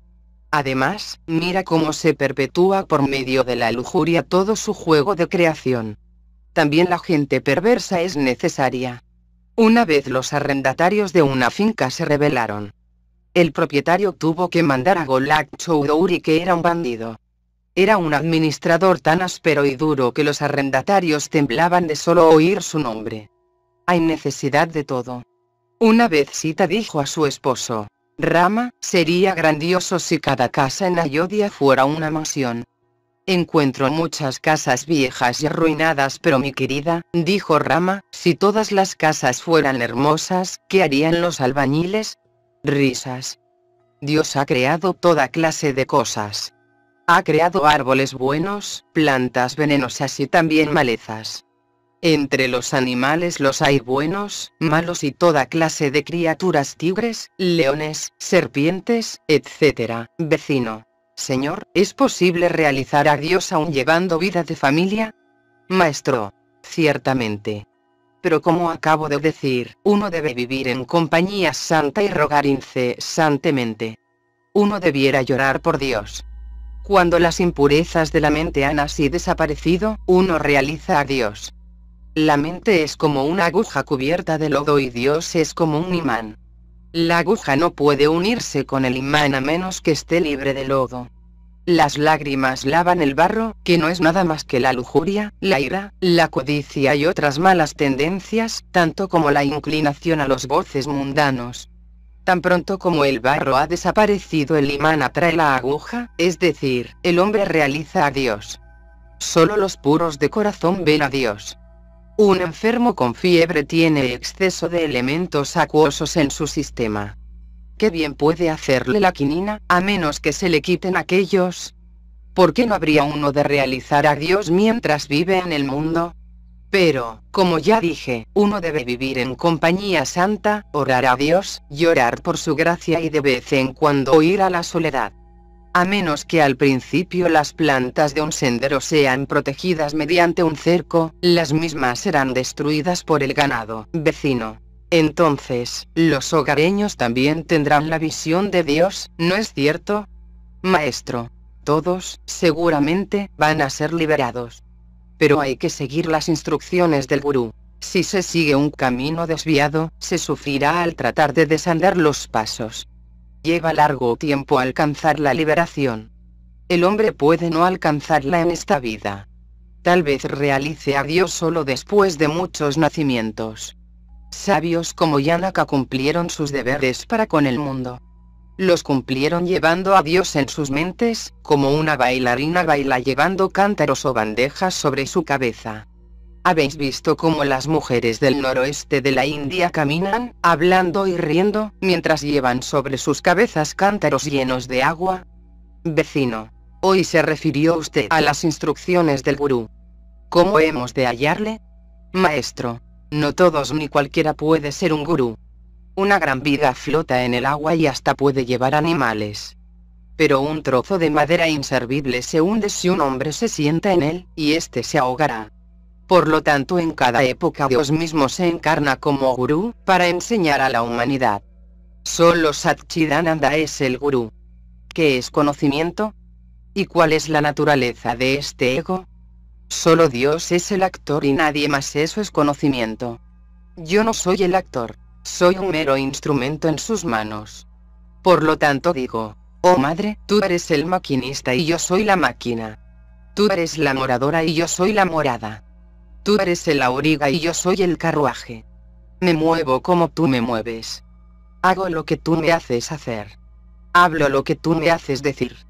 no yo, no yo, sino tú, sino tú. De la casa de Prankrishna el maestro se dirigió a la del coronel Viswanath y de allí a la quinta de los lirios. Fin del capítulo 2, titulado En la compañía de devotos. Capítulo 3. Visita a Vidyasagar. 5 de agosto de 1882. Pandit Ishwarchandra Vidyasagar nació en una aldea de Beersing, no lejos de Kamarpukur, lugar natal de Sri Ramakrishna. Era conocido como un gran erudito, educador, escritor y filántropo. Uno de los creadores del bengalí moderno, era además muy versado en gramática y poesías sánscritas. Su generosidad hizo que su nombre fuera familiar entre sus compatriotas. Repartía la mayor parte de sus ingresos entre las viudas, los huérfanos, estudiantes indigentes y otras gentes necesitadas. Su compasión no se limitaba a los seres humanos. Por muchos años dejó de beber leche para no privar de ella a los terneros y no subía a un carruaje por miedo de causar molestia a los caballos. Era hombre de espíritu indomable, condición que puso de relieve cuando, a raíz de un desacuerdo con sus autoridades, renunció a su lucrativa posición como director del Colegio Superior de Sánscrito en Calcuta. Su cariño por su madre era particularmente profundo. Un día, en ausencia de la balsa, cruzó a nado un río enfurecido, a riesgo de su vida, para cumplir con el deseo de su madre, de que estuviera presente en el casamiento de su hermano. Su vida entera fue de una absoluta simplicidad. El título de Vidyasagar que significa océano de sabiduría, le fue otorgado en reconocimiento de su vasta erudición. Hacía tiempo que Sri Ramakrishna quería visitar a Iswarchandra Vidyasagar. Cuando se enteró por M de que este era maestro en la escuela de Vidyasagar, el maestro le preguntó, ¿puedes llevarme a ver a Vidyasagar? Me gustaría muchísimo verle M. Comunicó a Iswarchandra el deseo de Sri Ramakrishna lo que el pandita accedió alegremente, sugiriéndole a M que trajera al maestro algún sábado por la tarde, después de las 4. Solamente preguntó a M qué clase de Paramahamsa era el maestro, diciendo, ¿usa hábito color ocre? M contestó, no, señor. Es una persona poco común. Usa ropas bordeadas de rojo y sandalias lustradas. Vive en un aposento en el jardín del templo de la Rani Rasmani. En su cuarto hay un diván con un colchón y mosquitero. No tiene signos exteriores de santidad. Pero no sabe de nada, sino de Dios. Día y noche, solo piensa en Dios. En la tarde del 5 de agosto, el maestro partió de Dakshineswar en coche, acompañado por Babanath, M. y Adra. Vidyasagar vivía en Badurbagan, en el centro de Calcuta, a unas 6 millas de Dakshineswar. Durante el trayecto Sri Ramakrishna conversó con sus acompañantes, pero al acercarse a la casa de Vidyasagar, su estado de ánimo cambió súbitamente. Quedó embriagado de divino éxtasis. No habiendo notado esto, M señaló la casa con jardín donde Raya Ramohan Roy había vivido. El maestro, molesto, dijo, no me importan esas cosas ahora estaba entrando en estado extático. El carruaje se detuvo frente a la casa de Vidyasagar. El maestro bajó asistido por M que lo guió por el camino a seguir. Muchas plantas en flor adornaban el patio. Mientras caminaba hacia la casa el maestro dijo a M, como un niño, señalando su camisa. Mi camisa está desprendida. ¿Ofenderá esto a Vidyasagar? Oh, no dijo M, no se inquiete usted por ello. Nada en usted puede ser ofensivo. No necesita abotonar su camisa. El maestro aceptó la aseveración simplemente, como un niño. Vidyasagar tenía unos 62 años, 16 o 17 años más que el maestro. Vivía en una casa de dos plantas, construida al estilo inglés, con césped alrededor y cercada por una alta pared. Luego de subir al piso superior, Sri Ramakrishna y sus devotos entraron en un aposento en el que se encontraba Vidyasagar sentado, frente a ellos, con una mesa delante suyo. A la derecha de la mesa había un banco. Y a los otros dos lados, algunos amigos del dueño de casa ocupaban sillas. Vidyasagar se incorporó para recibir al maestro. Sri Ramakrishna estaba de pie frente al banco, con una mano apoyada sobre la mesa. Miraba a Vidyasagar como si se hubieran conocido antes y sonrió como en éxtasis, permaneciendo en ese estado durante unos minutos. De tanto en tanto, con el fin de obligar a la mente a descender a la conciencia normal, decía, tomaré un poco de agua. Mientras tanto, los miembros jóvenes de la familia y unos pocos amigos de Vidyasagar se habían reunido a su alrededor. Sri Ramakrishna, todavía en éxtasis, se sentó en el banco. Entre los presentes se encontraba un joven de 16 a 18 años que había venido a visitar a Vidyasagar en busca de ayuda financiera para su educación. El maestro se sentó a corta distancia de él, diciendo ensimismado, Madre, este muchacho está muy apegado al mundo. Pertenece a tu reino de ignorancia. Vidyasagar pidió a uno de los presentes que trajera agua y preguntó a M si agradaría al maestro comer también algunos dulces. Como M no objetara, Vidyasagar mismo se dirigió solícito a los aposentos interiores y volvió con los dulces, los que fueron colocados ante el maestro. Babanat y Azra también se sirvieron. Cuando le ofrecieron a M, Vidyasagar dijo, oh, él es como de la familia. No tenemos que preocuparnos por él refiriéndose a un joven devoto el maestro dijo a Vidyasagar. Es un buen muchacho y sano hasta la médula. Es como el río Falgu. La superficie está cubierta con arena. Pero si caváis un poco encontraréis que el agua corre por debajo. Después de comer algunos dulces, el maestro, con una sonrisa, comenzó a hablar con Vidyasagar.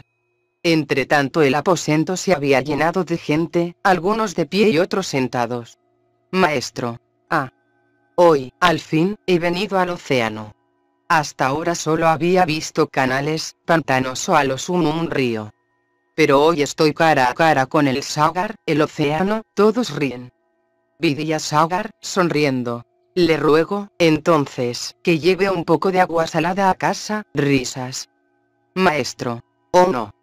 ¿Por qué agua salada? Usted no es el océano de la ignorancia. Usted es el océano de Vidya, conocimiento, usted es el océano de leche condensada, todos ríen. Vidya Sagar. Bueno, usted puede expresarse así. El pandit quedó en silencio. Sri Ramakrishna dijo. Sus ocupaciones son inspiradas por sattva, y si bien son rayásicas, originadas en rayas, actividad, están bajo la influencia de sattva. La compasión brota de sattva. A pesar de que el trabajo por el bien de los otros pertenece a rayas, este rayas tiene sattva por base y no es dañino. Shuka y otros sabios, abrigaban en sus mentes sentimientos de compasión para dar a la gente instrucción religiosa y hablarles de Dios. Usted está distribuyendo alimento y saber. Eso también es bueno. Estas actividades, cumplidas con espíritu inegoísta, conducen a Dios. Pero la mayoría de la gente trabaja para adquirir fama o méritos. Sus actividades no son inegoístas.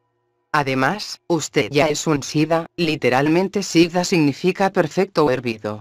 La palabra se aplica tanto al alma perfeccionada como a las cosas hervidas. Vidya Sagar. ¿Cómo es eso, señor? Maestro, riendo. Cuando las patatas u otras hortalizas están bien cocidas, se vuelven blandas y tiernas. ¿Y qué naturaleza tierna posee usted? ¡Qué compasivo es! Risas. Vidya Sagar, riendo. Pero al cocerse, la pasta de semillas del y se vuelve más dura. Maestro. Pero usted no pertenece a esa clase.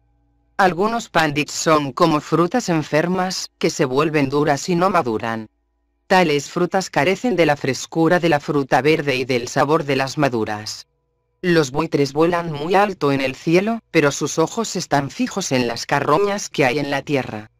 Los letrados tienen reputación de sabios, pero están atados a mujer y oro. Como los buitres, van en busca de carroña. Están apegados al mundo de ignorancia. Compasión, amor a Dios y renunciación son las glorias del verdadero conocimiento. Vidyasagar escuchó estas palabras en silencio. Los demás miraban al maestro atentos a cada palabra que decía. Vidyasagar era muy reticente en lo concerniente a dar instrucción religiosa a otros. Había estudiado filosofía hindú. Una vez M le preguntó su opinión al respecto y Vidyasagar le dijo, Creo que los filósofos no han acertado a explicar sus pensamientos no obstante, en su vida diaria, cumplía con todos los ritos de la religión hindú y usaba el cordón sagrado de un gramín. Acerca de Dios había declarado en una oportunidad, en verdad es imposible conocerlo. ¿Cuál debería ser entonces nuestro deber? Me parece que deberíamos vivir de tal manera que, si otros siguieran nuestro ejemplo, esta misma tierra sería el cielo. Cada uno debería tratar de hacer bien al mundo. La conversación de Sri Ramakrishna versó ahora acerca del conocimiento de Brahman. Maestro, Brahman está más allá de Vidya y Avidya conocimiento e ignorancia. Está más allá de Maya, la ilusión de la dualidad. El mundo consiste en la ilusoria dualidad de conocimiento e ignorancia. Contiene conocimiento y devoción y también apego a mujer y oro, justicia e injusticia, bien y mal. Pero Brahman está desapegado de todo esto. El bien y el mal se aplican al jiva, el alma individual, como también la justicia e injusticia. Pero Brahman no es afectado en absoluto por ellos. Un hombre puede leer el Bhagavata, una de las escrituras sagradas de los hindúes, a la luz de una lámpara y otro, con la misma luz puede cometer una falsificación, pero la lámpara no es afectada por ello. El sol esparce su luz indistintamente sobre el perverso y sobre el virtuoso. Podéis preguntar, ¿cómo explicar entonces la desgracia, el pecado y la desdicha? La respuesta es que esto es aplicable solo al jiva. Brahman no está afectado por ellos. Hay veneno en una serpiente. Pero aunque otros puedan morir a causa del mismo, la serpiente no está afectada por su propio veneno. Lo que Brahman es no puede ser descrito. Todas las cosas en el mundo, los Vedas, los Puranas, los Tantras, los seis sistemas de filosofía han sido profanadas, como alimento tocado por la lengua, porque han sido leídas o pronunciadas por la lengua. Solo una cosa no ha sido profanada de este modo y eso es Brahman. Jamás nadie ha podido decir lo que Brahman es, Vidyasagar, a sus amigos. Oh, lo que acabo de escuchar es extraordinario. Hoy he aprendido algo nuevo, maestro. Un hombre tenía dos hijos a quienes mandó a un preceptor para que aprendieran el conocimiento de Brahman. Después de unos años volvieron de casa del preceptor y se postraron ante su padre. Queriendo medir la profundidad de su conocimiento de Brahman, preguntó al mayor de los dos. Hijo mío dijo, has estudiado todas las escrituras. Ahora dime, ¿cuál es la naturaleza de Brahman? El muchacho comenzó a explicar a Brahman recitando varios textos de los Vedas. El padre no dijo nada. Luego hizo la misma pregunta al segundo de sus hijos. Pero el muchacho permaneció silencioso, los ojos bajos. Ninguna palabra pronunciaron sus labios. El padre, complacido, le dijo, Hijo mío, tú has comprendido un poquito de Brahman. Lo que ello es no puede ser expresado con palabras. Los hombres, a menudo, creen haber llegado a comprender completamente a Brahman. Una vez una hormiga fue a una colina de azúcar. Con un grano llenó su estómago. Llevando otro grano en la boca emprendió el regreso a casa. En el camino pensó, la próxima vez llevaré a casa la colina entera así piensan las mentes superficiales. No saben que Brahman está más allá de las palabras y el pensamiento. Por grande que sea un hombre, ¿cuánto puede saber acerca de Brahman? Shukadeva y otros sabios como él pueden haber sido grandes hormigas, pero aún ellos solo podían llevar, a lo sumo, 8 o 10 granos de azúcar. En cuanto a lo que se ha dicho en los Vedas y los Puranas, ¿sabéis a qué se parece? Suponed que un hombre ha visto el océano y alguien le pregunta, ¿tú que lo has visto, a qué se parece el océano? El hombre abriendo desmesuradamente su boca dice, ¡qué espectáculo! ¡Qué olas enormes y qué ruido ensordecedor! Similar a esto es la descripción de Brahman en los libros sagrados. Se dice en los Vedas que la naturaleza de Brahman es de felicidad, ello es Satchidananda. Shuka y otros sabios llegaron a la orilla de este océano de Brahman y vieron y tocaron sus aguas. Según una escuela de religión, jamás se sumergieron en él. Aquellos que lo hacen no pueden volver al mundo. En Samadhi uno alcanza el conocimiento de Brahman, uno realiza a Brahman. En ese estado todo razonamiento cesa y el hombre enmudece. No tiene poder para describir la naturaleza de Brahman. Una vez una muñeca de sal quiso medir la profundidad del océano, todos ríen. Quería contar a otros cuán profundas eran sus aguas. Pero no pudo hacerlo, pues tan pronto como penetró en el agua se diluyó en ella. Luego, ¿quién quedaba para informar acerca de la profundidad del océano? Un devoto. Supongamos que un hombre ha obtenido el conocimiento de Brahman en Samadhi. ¿No habla más? Maestro. Shankaracharya, uno de los más grandes filósofos de la India, retuvo el ego del conocimiento para enseñar a otros. Después de la visión de Brahman el hombre se vuelve silencioso. Razona sobre ello mientras no lo ha realizado. Si calientas mantequilla colocada en una cazuela sobre el fuego, hasta tanto el agua que contiene no se haya evaporado, producirá ruido. Pero una vez que el agua se ha evaporado por completo, la mantequilla clarificada no hará ruido. A su vez si pones un pastel sin cocinar en esta mantequilla, chirriará de nuevo, pero cocinado el pastel, el ruido cesará. De la misma manera, el hombre establecido en Samadhi, desciende al plano relativo de la conciencia, para enseñar a otros y entonces habla de Dios. La abeja zumba hasta tanto no se posa en una flor. Pero queda silenciosa cuando comienza a libar la miel. No obstante, algunas veces, embriagada de néctar, zumba nuevamente. Un cántaro vacío, si se le sumerge en el agua, gorgotea. Y cuando está lleno, se calla. Todos ríen. Ahora bien, si se vierte el agua del cántaro lleno en otro cántaro, entonces nuevamente oiremos el mismo sonido. Risas. Los antiguos risis alcanzaron el conocimiento de Brahman. Uno no puede obtenerlo mientras quede el menor rastro de mundanalidad. Cuán rigurosamente trabajaron los risis. Por la mañana temprano salían de su ermita y pasaban todo el día en la soledad, meditando sobre Brahman. Por la noche regresaban a la ermita y comían algo de fruta o raíces.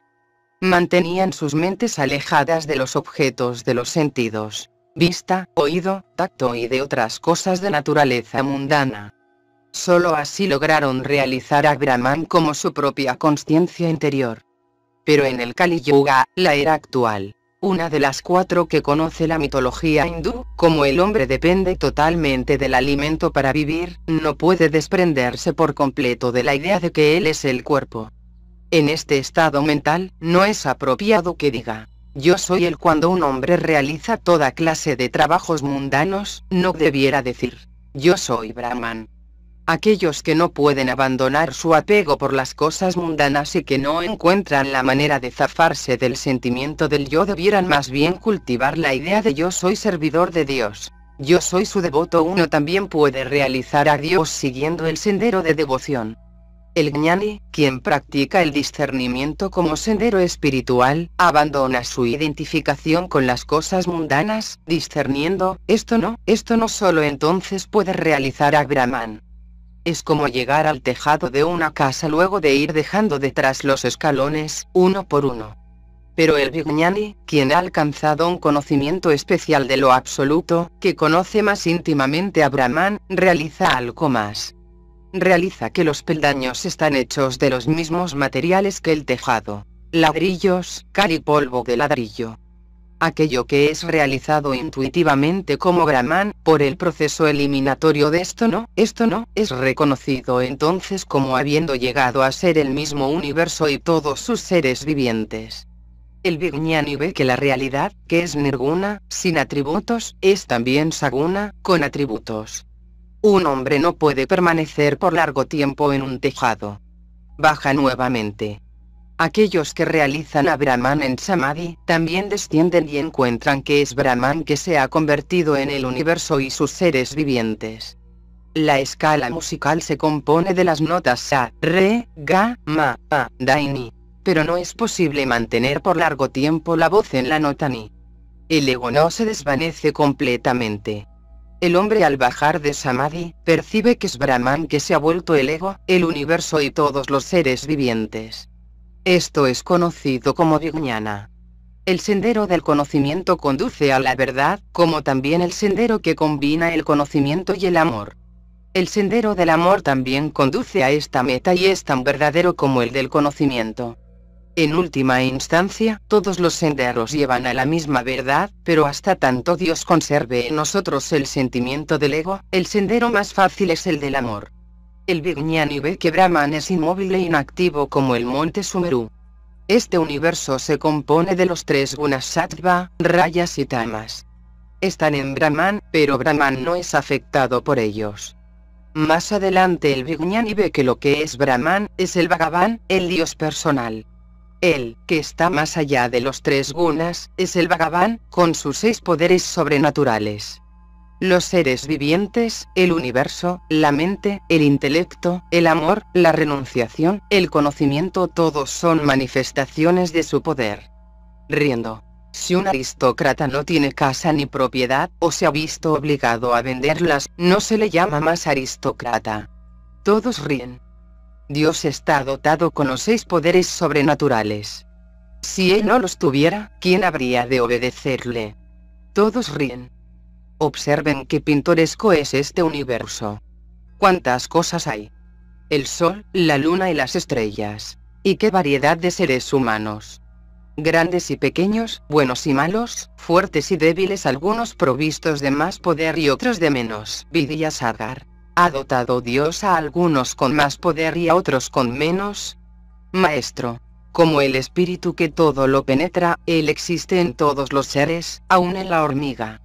Pero la manifestación de su poder difiere en los diferentes seres. De otra manera, ¿cómo puede una sola persona poner en fuga a diez, mientras otra no es capaz de enfrentar tan siquiera a una sola?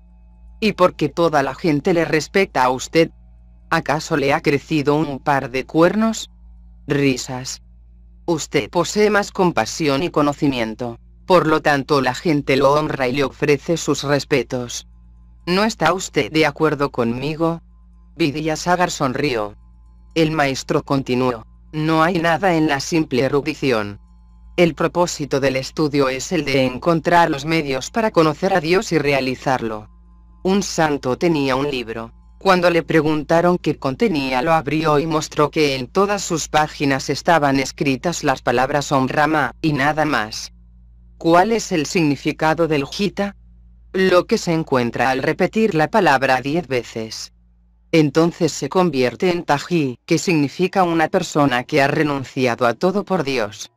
La enseñanza del Gita es, oh hombre, renuncia a todo y busca solo a Dios un hombre, sea monje o careño debe arrojar de su mente toda clase de apego. Chaitanya Deva emprendió una peregrinación al sur de la India. Un día encontró un hombre leyendo el Gita. Otro hombre, sentado a cierta distancia, escuchaba y lloraba. Sus ojos estaban anegados en lágrimas. Chaitanya Deva le preguntó, ¿comprendes todo esto? Y el hombre respondió, no, reverendo señor, no comprendo una sola palabra entonces, ¿por qué lloras? Preguntó Chaitanya. El devoto dijo, veo el carro de Arjuna frente a mí y al señor Krishna y Arjuna sentados, conversando. Veo esto y lloro, ¿por qué un Vijnani conserva una actitud de amor hacia Dios? La respuesta es que la conciencia del yo persiste. Desaparece en el estado de samadhi, sin duda alguna, pero vuelve. En el caso de personas comunes el yo jamás desaparece. Podéis talar el árbol asuata, pero al día siguiente tendrá nuevos brotes. Todos ríen. Aún después de alcanzar el conocimiento esta conciencia del yo surge, nadie sabe de dónde. Sueñas con un tigre. Luego despiertas, pero tu corazón sigue palpitante.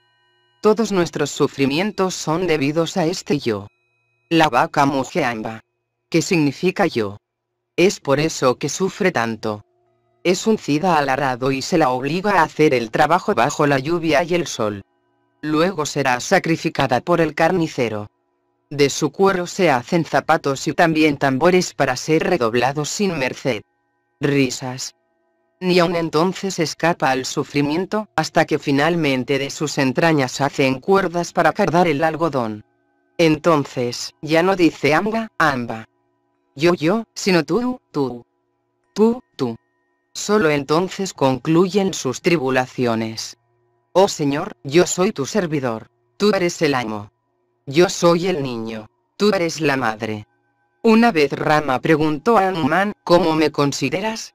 Y Anuman contestó, Oh Rama, mientras tengo la sensación del yo veo que tú eres el todo y yo soy una parte. Tú eres el amo y yo soy tu servidor.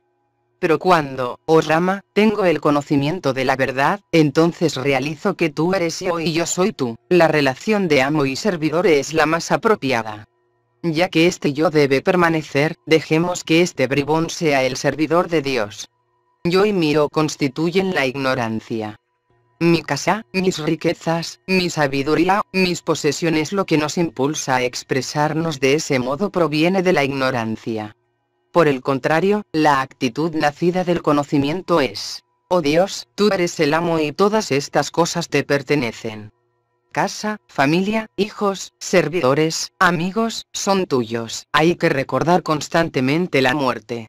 Nada sobrevivirá a la muerte. Nacemos en este mundo para cumplir ciertos deberes a semejanza de la gente del campo que viene a Calcuta por negocios. Si un visitante llega al jardín de un hombre rico el intendente le dice, este es nuestro jardín, este es nuestro lago, etc. Pero si es despedido por alguna mala acción, no se le permitirá llevar consigo ni siquiera su baúl de madera de mango. Lo hace retirar secretamente por el portero. Risas.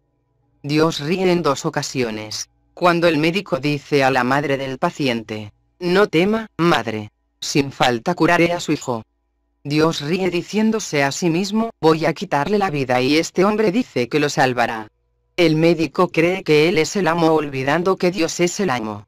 Dios ríe también cuando dos hermanos dividen sus tierras con una cuerda, diciendo, este lado es mío y ese lado es tuyo. El Señor ríe y se dice, el universo entero me pertenece pero ellos dicen que esta o aquella porción les pertenece. ¿Es posible conocer a Dios por medio del razonamiento? Sed su servidor, entregaos a él y luego rezadle. Sagar, sonriendo. ¿Y bien, cuál es su actitud? Sagar, con una sonrisa. Algún día se lo confiaré, todos ríen. Maestro, riendo. Dios no puede ser realizado por simple razonamiento. Embriagado con divino amor, el maestro cantó. ¿Quién es el que pueda comprender lo que la Madre Kali es? Para revelarla, hasta las seis darsanas son impotentes. Las escrituras dicen, es ella, que es el yo interno, del yogi, quien en el ser descubre toda su dicha. Ella, que por su propia y dulce voluntad, habita en todo cuanto vive. El macrocosmo y el microcosmo descansan en la matriz de la madre. ¿Veis ahora, cuán vasta es?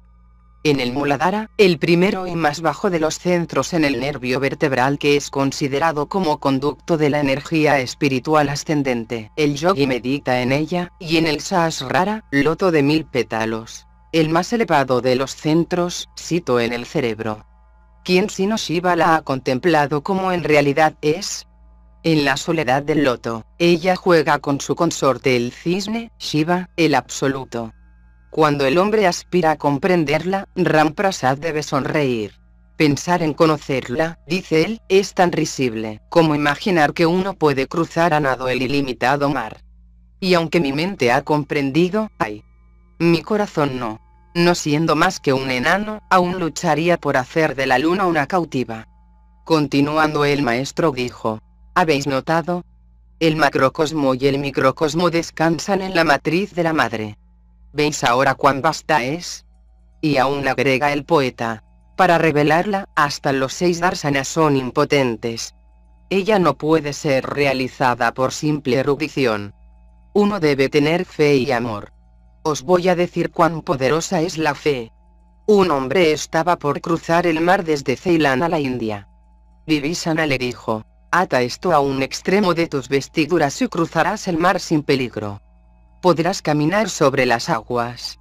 Pero no debes examinarlo bajo ningún concepto, pues de hacerlo te hundirás. El hombre cruzaba sin dificultad las aguas del mar, tal es la fuerza de la fe cuando encontrándose a mitad de camino, pensó, ¿qué será esta cosa maravillosa que Vivisana me ha dado, que hasta puedo caminar sobre las aguas? y desatando el nudo solo encontró una hoja con el nombre de Rama escrito en ella. Oh, solo esto. Pensó e instantáneamente se hundió. Según un dicho popular Anuman de un salto cruzó el mar por su fe en el nombre de Rama, pero Rama mismo tuvo que construir un puente. Si un hombre tiene fe en Dios no tiene por qué temer, aunque haya cometido pecado más aún, el más vil de los pecados. Entonces Sri Ramakrishna cantó un canto glorificando el poder de la fe. Si solo puedo morir repitiendo el nombre de Durga, ¿cómo puedes tú entonces, oh bendita, retener mi liberación, por miserable que sea yo? El maestro continuó. Fe y devoción. Uno realiza a Dios fácilmente por medio de la devoción. A él se le atrapa con el éxtasis de amor. Con estas palabras el maestro cantó una vez más. ¿Cómo tratas, oh mente mía, de conocer la naturaleza de Dios? Andas a tientas como loco encerrado en cuarto oscuro. A él se le atrapa con el amor extático. ¿Cómo pretender desentrañarlo sin él? Solo por la afirmación, nunca negando, podrás conocerle. Ni por los Vedas, ni por los Tantras, ni los seis Darsanas. Él se deleita solamente con el elixir de amor, oh mente mía. Mora en la más recóndita profundidad del cuerpo, en eterna dicha. Y, por ese amor, los poderosos yogis meditan durante siglos. Cuando el amor despierta, el Señor, como un imán, atrae al alma. Es a él, dice Ram Prasad, a quien trato como madre. Pero, ¿divulgaré el secreto en la plaza pública? Lo que ese ser es o mente mía, trata de adivinarlo por mis insinuaciones.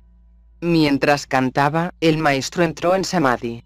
Estaba sentado en el banco, mirando hacia el oeste, las palmas de las manos juntas, el cuerpo erecto e inmóvil. Todos lo observaban ansiosos. Vidyasagar también, en silencio, no podía apartar sus ojos del maestro. Después de cierto tiempo, Sri Ramakrishna dio signos de volver a la conciencia normal y suspirando hondamente, con una sonrisa dijo, los medios para realizar a Dios son el éxtasis de amor y devoción, es decir, uno debe amar a Dios. Aquel que es Brahman es invocado como la madre. Es a él a quien yo trato como madre, dice Ram Prasad, pero, ¿divulgaré el secreto en la plaza pública? Lo que ese ser es, oh mente mía, trata de adivinarlo por mis insinuaciones. Ramprasad pide a la mente que solo adivine la naturaleza de Dios. Desea que ella comprenda que lo que es llamado Brahman en los Vedas, él lo llama madre. Aquel que es sin atributos, es también con atributos. Aquel que es Brahman es también Shakti. Cuando lo concebimos como inactivo, es llamado Brahman, y cuando pensamos en él como creador, preservador y destructor, es llamado la energía primordial, Kali. Brahman y Shakti son idénticos, como el fuego y su poder de quemar. Cuando hablamos del fuego, automáticamente nos estamos refiriendo a su poder de quemar. A su vez, el poder de quemar implica el concepto del fuego. Si aceptas a uno debes aceptar al otro. No es sino Brahman quien es invocado como madre, porque una madre es siempre objeto de gran amor. Uno puede realizar a Dios a través del mero amor. Fervor, devoción, amor y fe estos son los medios. Escuchad esta canción. Como sea la meditación de un hombre, así será su intensidad de amor. Según sea su intensidad de amor, así será su ganancia. Y la fe es la raíz de todo. Si en el lago de néctar de los pies de la Madre Kali mi mente permanece inmersa, de poca necesidad serán el culto, las oblaciones o el sacrificio. Lo que se necesita es absorción en Dios amándole intensamente. El lago de néctar es el lago de la inmortalidad. Quien se sumerge en él, no muere. Se vuelve inmortal. Algunos creen que el mucho pensar en Dios trastorna la mente. Pero eso no es verdad. Dios es el lago de néctar, el océano de inmortalidad. En los Vedas él es llamado el inmortal. Sumergiéndose en ello uno no muere, sino que verdaderamente trasciende la muerte. De poca necesidad serán el culto, las oblaciones o el sacrificio. Si un hombre llega a amar a Dios, no necesita preocuparse por la adoración ritual. Necesitamos un abanico solo mientras no hay brisa, pero tan pronto como comienza a soplar la brisa del sur, lo dejamos a un lado. Abhidyasagar, las actividades en las que usted está ocupado, son buenas. Será realmente bueno si puede usted realizarlas con espíritu abnegado, renunciando al egotismo y abandonando la idea de que usted es el actor. Por medio de esta actitud uno desarrolla el amor y devoción a Dios y finalmente lo realiza. Cuanto más llegue usted a amar a Dios, menos inclinado se sentirá a realizar obras. Cuando la nuera está esperando un niño, la suegra alivia sus tareas y a medida que avanza el tiempo le da menos trabajo que hacer, hasta que al aproximarse el momento del alumbramiento no le permite hacer ningún trabajo, por temor que pueda dañar al niño o causar dificultades en el momento del parto. Por sus actividades filantrópicas usted se está haciendo bien a usted mismo. Si puede efectuarlas desinteresadamente, su mente se volverá pura y desarrollará amor a Dios. Tan pronto como obtenga ese amor, usted lo realizará. El hombre no puede ayudar al mundo realmente. Solo Dios lo hace, aquel que ha creado el sol y la luna, que ha colmado de amor el corazón de los padres, de compasión a las almas nobles y de divino amor a los santos y devotos. El hombre que trabaja para otros, sin ningún motivo egoísta, en verdad se hace bien a sí mismo. Hay oro enterrado en su corazón, pero usted aún no lo ha advertido. Está cubierto con una delgada capa de arcilla. Tan pronto como usted lo descubra, todas estas actividades suyas disminuirán. Ocurrido el alumbramiento, la nuera solo se ocupa de su pequeño. Todo lo que hace es solamente para él. Su suegra no le permite hacer ningún trabajo casero. Adelante. Una vez un leñador se internó en la selva para cortar leña. Un brahmachari le dijo, adelante. El hombre obedeció el mandato y descubrió árboles de sándalo. Después de unos días, reflexionó. El santo me dijo, adelante. No me ordenó que me detuviera aquí de manera que siguió adelante y encontró una mina de plata. Después de unos días llegó todavía más lejos y descubrió una mina de oro y luego minas de diamantes y piedras preciosas. Así, llegó a ser tremendamente rico. Por medio del trabajo abnegado, crece el amor a Dios en el corazón. Luego, por su gracia, uno lo realiza en el transcurso del tiempo. Dios puede ser visto, uno puede hablar con él, como yo os estoy hablando. En silenciosa admiración escuchaban todos las palabras del maestro. Sentían como si la misma diosa de la sabiduría, sentada en la lengua de Sri Ramakrishna, dirigiera estas palabras, no solo a Sagar, sino a la humanidad entera, para su propio bien. Eran cerca de las nueve de la noche cuando el maestro se dispuso a partir. Maestro, Sagar, con una sonrisa, las palabras que he pronunciado, en realidad, son superfluas. Usted sabe todo esto. Simplemente no es consciente de ello. Incontables son las joyas en los cofres de Varuna, pero ni él mismo lo sabe. Sagar, con una sonrisa. Usted puede decir como quiera, maestro, sonriendo. Oh, sí, hay mucha gente rica que ignora los nombres de todos sus sirvientes y hasta desconoce muchas de las cosas preciosas que hay en su propia casa, todos ríen. Todos se mostraban encantados con la conversación del maestro. Dirigiéndose a Vidyasagar le dijo sonriendo, le ruego que visite alguna vez el jardín del templo. Me refiero al jardín de Rasmani. Es un lugar encantador, Vidyasagar. Oh, sí que iré. Usted ha sido tan bondadoso de venir a verme y no he de devolverle su visita. Maestro, ¿visitarme a mí?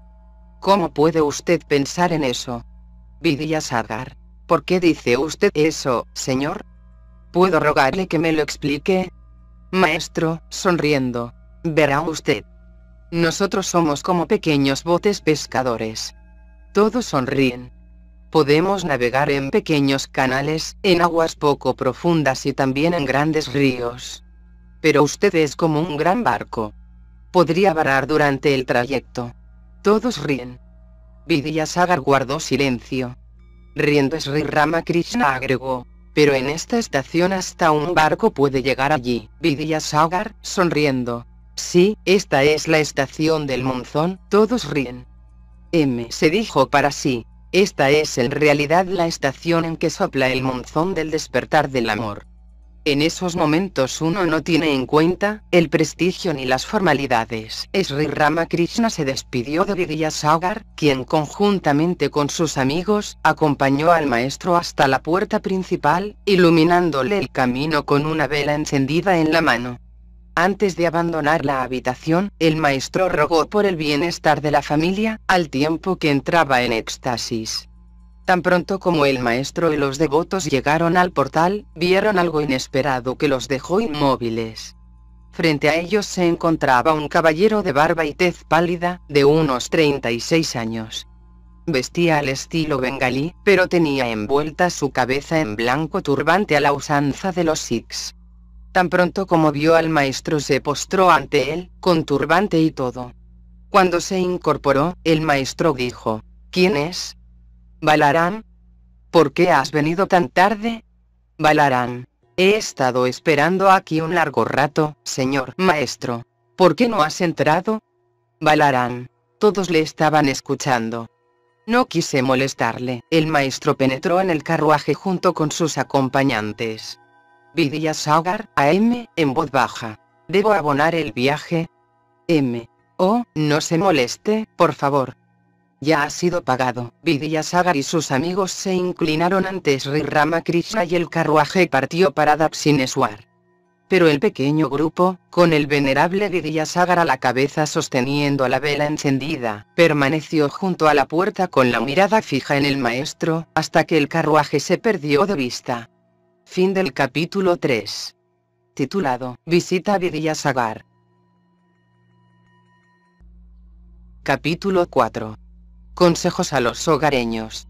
13 de agosto de 1882.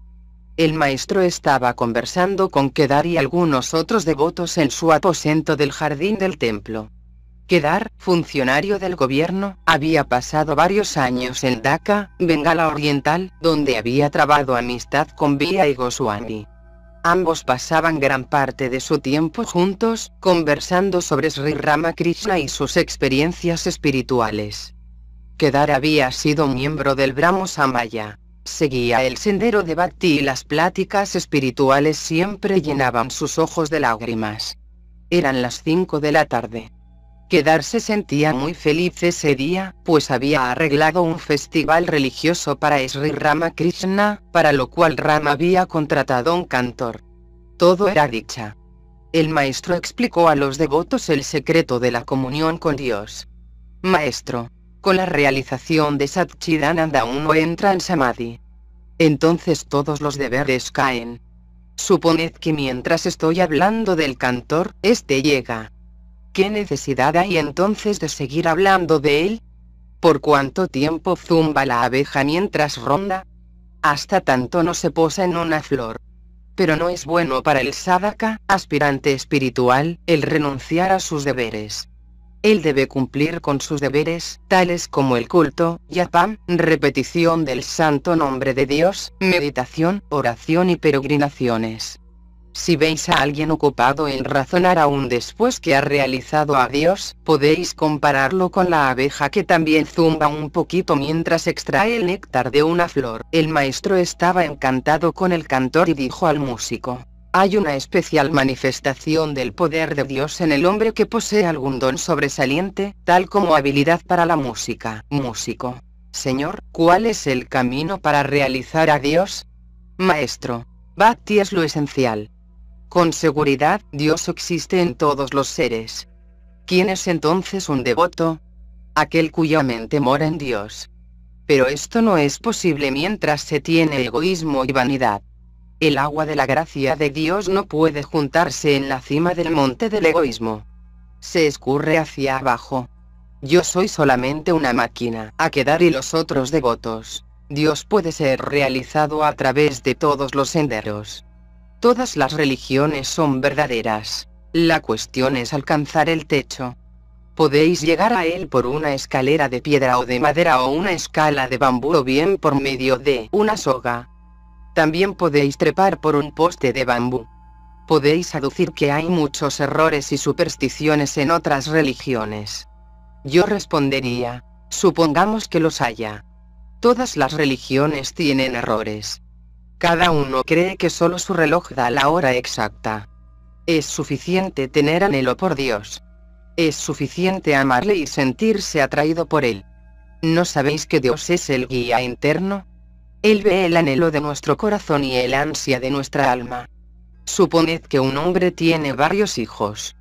El mayor se dirige a él llamándole claramente baba o papá, pero los más pequeños apenas pueden llamarlo baota. ¿Se enojará acaso el padre por ello? Él sabe que los más chiquitos también lo están llamando a él, solo que no pueden pronunciar su nombre correctamente y todos los hijos son iguales para el Padre. De la misma manera, los devotos llaman a Dios y nada más que a Dios, aunque con distintos nombres. Se dirigen únicamente a una persona. Dios es uno, pero sus nombres son muchos. Jueves, 24 de agosto de 1882.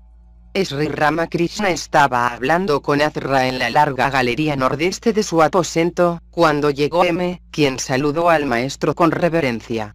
Maestro, me gustaría visitar a Iswar Chandra Vidyasagar unas cuantas veces más. El pintor primero traza los contornos a grandes rasgos y luego serenamente va completando el cuadro en sus detalles y colores. El modelador primero hace la imagen en arcilla luego le coloca el yeso, le da una mano de cal y en último término la pinta. Todos estos pasos deben ser realizados en forma sucesiva. Vidyasagar está completamente preparado, pero su sustancia interna está cubierta con una fina capa. Ahora está ocupado en hacer grandes obras, pero ignora lo que hay dentro de sí mismo. Hay oro escondido dentro de él. Dios mora dentro de nosotros. Si uno llega a saber esto, nace el deseo de abandonar toda actividad y solo queda el anhelo de orar a Dios con toda el alma. De esta manera hablaba el maestro M, ora parado, ora caminando a lo largo de la galería. Maestro, un poco de disciplina espiritual es necesario para saber qué hay dentro nuestro. M. Es necesario practicar disciplinas durante toda la vida. Maestro. No. Pero al principio uno debe estar alerta y ocuparse. Después de esto no es preciso trabajar fuerte. El timonel, de pie, empuña firmemente el timón, mientras su barca navega sobre olas, tormentas, fuertes vientos o el recodo de los ríos, pero tan pronto como estos han quedado atrás, descansa serenamente. Tan pronto como su barca ha pasado la curva del río y siente soplar un viento favorable, el timonel se sienta cómodamente y apenas si toca el timón. Luego se prepara para desplegar la vela y fumar su narguilé.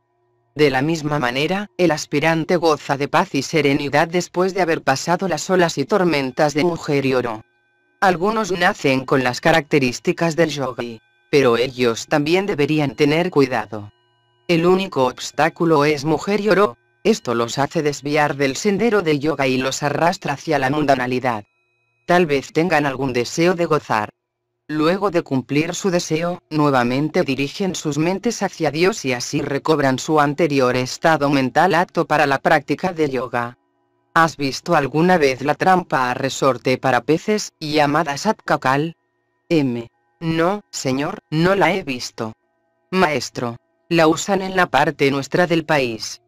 Se sujeta fuertemente al suelo uno de los extremos de una vara larga de bambú y en el otro, curvando la vara, se coloca un gancho. De esta punta pende una línea con un anzuelo, tocando el agua. Cuando el pez traga la carnada el bambú salta hacia arriba y retorna su posición vertical. Otro ejemplo. Toma los platillos de una balanza. Si se coloca un peso en uno de ellos, la aguja inferior se separa de la superior. La aguja inferior es la mente y la superior Dios. La unión de ambas es yoga. A menos que la mente se vuelva firme no puede haber yoga. Es el viento de la mundanalidad lo que siempre perturba la mente, similar a la llama de una vela. Si la llama no se mueve en absoluto, entonces se dice que uno ha alcanzado el yoga. Mujer y oro únicamente es el obstáculo para el yoga. Analizad siempre lo que veis. ¿Qué hay en el cuerpo de una mujer? Solo sangre, carne, grasa, entrañas, etc. ¿Por qué habría uno de amar ese cuerpo? A veces yo solía asumir una actitud rayásica para practicar renunciación. Tuve una vez el deseo de ponerme un traje bordado en oro, llevar un anillo y fumar en un gran narguilé. Matur Babu me procuró todas estas cosas. Me puse las ropas bordadas en oro y al rato me dije a mí mismo, mente. Esto es lo que llaman ropajes bordados en oro luego me lo quité y lo tiré. No podía soportar ese traje ni un segundo más. Luego me dije a mí mismo, mente.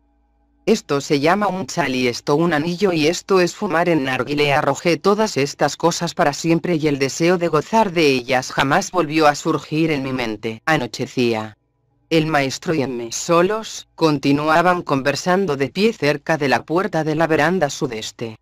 Maestro, AM. La mente del yogi está siempre fija en Dios, siempre absorta en el ser. Se puede reconocer a un hombre tal, con solo mirarle sus ojos bien abiertos, su mirada sin destino, como los ojos del pájaro empollando sus huevos. Su mente está fija en los huevos y en sus ojos se advierte una mirada vacía. ¿Puedes mostrarme un cuadro como el que te he descrito? M. Trataré de obtenerlo. A medida que se acercaban las primeras horas de la noche, los templos se iban iluminando. Sri Ramakrishna, sentado en su pequeño diván meditaba sobre la Divina Madre. Luego cantó los nombres de Dios. Entre tanto en el aposento se quemaba incienso y se encendía una lámpara de aceite. El viento transportaba el sonido de los gongs y las caracolas proveniente de la adoración vespertina que comenzaba en el templo de Kali. La luz de la luna inundaba todo. Nuevamente el maestro habló a M. Maestro, cumple tus deberes con espíritu inegoísta. El trabajo que realiza Vigillasagar es muy bueno. Trata siempre de cumplir tus deberes sin desear ninguna clase de resultados. M. Sí, señor. Pero me permite preguntarle si uno puede realizar a Dios al mismo tiempo que cumple con sus deberes. ¿Pueden coexistir rama y deseo? El otro día leí un dístico en el idioma hindi que decía, donde está rama, no puede haber deseo. Donde hay deseo, no puede estar rama. Maestro, todos, sin excepción, realizan algún trabajo. Aún el cantar el nombre y las glorias de Dios, es acción, como lo es la meditación del no dualista sobre yo soy él. Respirar es también una actividad. No hay manera de renunciar totalmente a la acción, de manera que haz tu trabajo, pero entrega el resultado a Dios. M. Señor, ¿puedo esforzarme para ganar más dinero?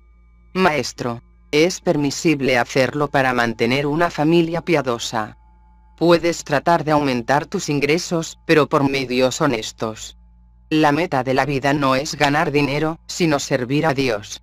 El dinero no es nocivo si lo dedicamos al servicio de Dios. M. ¿Hasta cuándo debería un hombre sentirse obligado a cumplir con su deber hacia su esposa e hijos? Maestro. Mientras tengan necesidad de alimento y vestido pero la responsabilidad con respecto al hijo cesa cuando éste puede bastarse a sí mismo. Cuando los pichones han aprendido a picotear su propio alimento, la madre los pica si vienen a ella para que les dé de comer. M. ¿Hasta cuando uno tiene que cumplir con su deber? Maestro. Cuando aparece el fruto, las flores caen. Uno no tiene que cumplir con su deber después de alcanzar a Dios y tampoco se siente inclinado a hacerlo. Si un bebedor ingiere mucho alcohol no puede retener la conciencia. Si toma solo dos o tres vasos, puede continuar con su trabajo. A medida que avances más y más hacia Dios, Él reducirá tus actividades poco a poco. No temas. Concluye los pocos deberes que tienes entre manos y luego tendrás paz.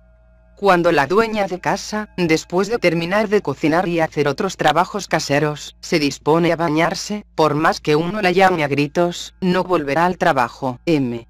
Señor, ¿qué significa la realización de Dios? ¿Qué quiere usted decir con visión de Dios? ¿Cómo se alcanza? Maestro. Según los Vaishnavas los aspirantes y los videntes de Dios pueden dividirse en diferentes grupos, a saber, los pravartakas, los sadakas, los siddhas y los siddhas de los siddhas. Aquel que acaba de poner su pie en el sendero puede ser considerado un pravartaka. El que ha practicado por algún tiempo disciplinas espirituales, tales como adoración, yapam, meditación y cantar el nombre de Dios y sus glorias puede ser llamado un sadaka. puede considerarse como un Siddha aquel que por su más íntima experiencia llega a saber que Dios existe. El Vedanta explica esto mediante una analogía. El dueño de casa se halla durmiendo en un cuarto oscuro. Alguien tantea en la oscuridad tratando de encontrarle. Toca la cama y dice, no, esto no es él toca la ventana y dice, no, esto no es él toca la puerta y dice, no, esto no es él esto es conocido en Vedanta como el proceso de Neti, Neti, esto no, esto no. Finalmente sus manos tocan el cuerpo del amo y exclama, aquí está. En otras palabras él ahora es consciente de la existencia del patrón. Lo ha encontrado, pero aún no le conoce íntimamente. Hay otra clase conocida como el SIDA de los SIDAs, el de suprema perfección. Es algo muy distinto cuando uno habla al dueño de casa íntimamente, cuando uno conoce a Dios muy íntimamente por medio del amor y la devoción. Sin duda el SIDA ha alcanzado a Dios, pero el de suprema perfección conoce a Dios muy íntimamente. Pero para realizar a Dios hay que asumir una de estas actitudes. Shanta, Dasya, Sakya, Vatsalya o Madur, paz serena. Servir con lealtad. Afecto amistoso. Actitud materna. Amor conyugal. Shanta, la actitud serena. Los rishis de la antigüedad tenían esta actitud hacia Dios. No deseaban ningún goce mundano. Es como la sencilla devoción de una esposa por su esposo. Ella sabe que su esposo es la personificación de la belleza y el amor, un verdadero Madame, dios del amor, en la mitología hindú. Dasya, la actitud de un servidor hacia su amo. Anuman mantenía esta actitud hacia Rama. Él sentía dentro de sí la fuerza del león cuando actuaba para Rama. Una esposa también siente de esta manera. Ella sirve a su esposo con todo el corazón y el alma. También una madre observa esta actitud como Yasoda hacia Krishna. Sakya, la actitud de amistad. Un amigo le dice a otro, ven y siéntate a mi lado. Esvridama y otros amigos solían alimentar a Krishna con frutas que ellos ya habían probado y algunas veces se le subían a sus hombros. Vatsalya, la actitud de una madre hacia su pequeño. Tal era la actitud de Yasoda hacia Krishna. La esposa, también, suele sentir un poco así. Ella nutre a su esposo como si fuera con su propia vida. La madre se siente satisfecha solo cuando su pequeño ha comido hasta hartarse. Yasoda iba de un lado a otro con la mantequilla en su mano para alimentar a Krishna. Madur, la actitud de una mujer hacia su amante. Radha mantenía esta actitud hacia Krishna. También la esposa suele sentir así por su esposo. Esta actitud incluye las otras cuatro. M. Cuando uno ve a Dios, ¿lo ve con estos ojos? Maestro. Dios no puede ser visto con estos ojos físicos. En el transcurso de las disciplinas espirituales uno adquiere un cuerpo de amor, dotado de ojos de amor, oídos de amor, etc. Uno ve a Dios con estos ojos de amor. Uno escucha la voz de Dios con estos oídos de amor. Aún más, uno obtiene un órgano sexual hecho de amor. Al oír estas palabras M estalló en risas. El maestro, sin molestarse, continuó, con este cuerpo de amor el alma comulga con Dios. M volvió a quedarse serio. Maestro. Pero esto no es posible sin un intenso amor por Dios. Uno no ve más que a Dios en todas partes cuando uno le ama intensamente. Es como una persona enferma de ictericia, que todo lo ve amarillo. Entonces uno siente verdaderamente yo soy él, un bebedor, embriagado por completo, dice, realmente yo soy Kali. Las gopis, embriagadas de amor, exclamaban, verdaderamente, yo soy Krishna. Uno que piensa en Dios, día y noche, lo ve en todas partes. Es como el hombre que después de haber mirado fijamente una llama, por algún tiempo, ve llamas por todas partes donde mire. Pero eso no es la llama verdadera cruzó como un relámpago por la mente de M. Sri Ramakrishna, que podía leer los pensamientos más íntimos de una persona, dijo. Nadie pierde la conciencia por pensar en él, que es todo espíritu, todo conciencia. Shivanath observó una vez que, el mucho pensar en Dios confundía el cerebro. Al punto le dije, ¿cómo puede uno volverse inconsciente por pensar en la conciencia? M. Sí, señor, me doy cuenta. No es como pensar en un objeto irreal. ¿Cómo puede una persona perder su inteligencia si siempre fija su mente en él cuya naturaleza es eterna inteligencia? Maestro, complacido. Es por la gracia de Dios que lo comprendes. Las dudas de la mente no desaparecen sin su gracia. Las dudas no desaparecen sin la realización del ser. Pero uno no tiene nada que temer si ha recibido la gracia de Dios. Es posible que un niño tropiece si se toma de la mano de su padre, pero tal peligro no existirá si el padre toma la mano del niño. Un hombre no tendrá más sufrimientos si Dios, por su gracia, quita sus dudas y se revela a él. Pero esta gracia solo descenderá sobre él después de haber rezado a Dios con intenso anhelo de corazón y practicado disciplinas espirituales. La madre se apiada de su pequeño cuando lo ve corriendo casi sin aliento. Ella se había escondido, pero ahora aparece ante el niño. ¿Pero por qué Dios nos hace correr de aquí para allá? Pensó M. De inmediato Sri Ramakrishna dijo, es su voluntad el hacernos correr un poco. Es un juego divertido. Dios ha creado el mundo como en broma. Esto es, lo que se llama Mamaya, la gran ilusión. Por lo tanto uno debe tomar refugio en la Divina Madre, el poder cósmico mismo. Es ella quien nos ha atado con los grillos de la ilusión. La realización de Dios es solo posible cuando esos grillos se han roto. El maestro continuó. Uno debe propiciar a la Divina Madre, la energía primordial, para obtener la gracia de Dios. Dios mismo es Mahamaya, que alucina al mundo con su ilusión y suscita la magia de la creación, preservación y destrucción. Ella ha extendido este velo de ignorancia ante nuestros ojos. Podemos penetrar en la cámara interior solo cuando ella nos deja atravesar la puerta. Mientras vivimos del lado exterior, solo vemos objetos exteriores, pero no aquel eterno ser, existencia conocimiento dicha absoluta. Es por ello que se dice en los Puranas que deidades como Brahma propiciaron a Mamaya para la destrucción de los demonios Madhumika y Tava. Shakti, únicamente, es la raíz del universo. Esa energía primaria tiene dos aspectos, Vidya y Avidya. Avidya alucina. Avidya suscita mujer y oro y proyecta su hechizo. Vidya engendra devoción, bondad, sabiduría y amor, y nos conduce hacia Dios. Esta vidya debe ser propiciada, y ese es el propósito de los ritos de adoración a Shakti, para este culto, se toma a una mujer como la representación de la Divina Madre. El devoto asume varias actitudes hacia Shakti para propiciarla. La actitud de una doncella, de un héroe o de un niño. La actitud de un héroe es para complacerla de la misma manera que un hombre complace a una mujer en la unión sexual. La adoración a Shakti es sumamente difícil. No es broma. Yo pasé dos años como doncella y compañera de la Divina Madre. Pero mi inclinación natural ha sido siempre la de un niño hacia su madre. Considero los pechos de toda mujer como los de mi propia madre. Todas las mujeres son la verdadera imagen de Shakti.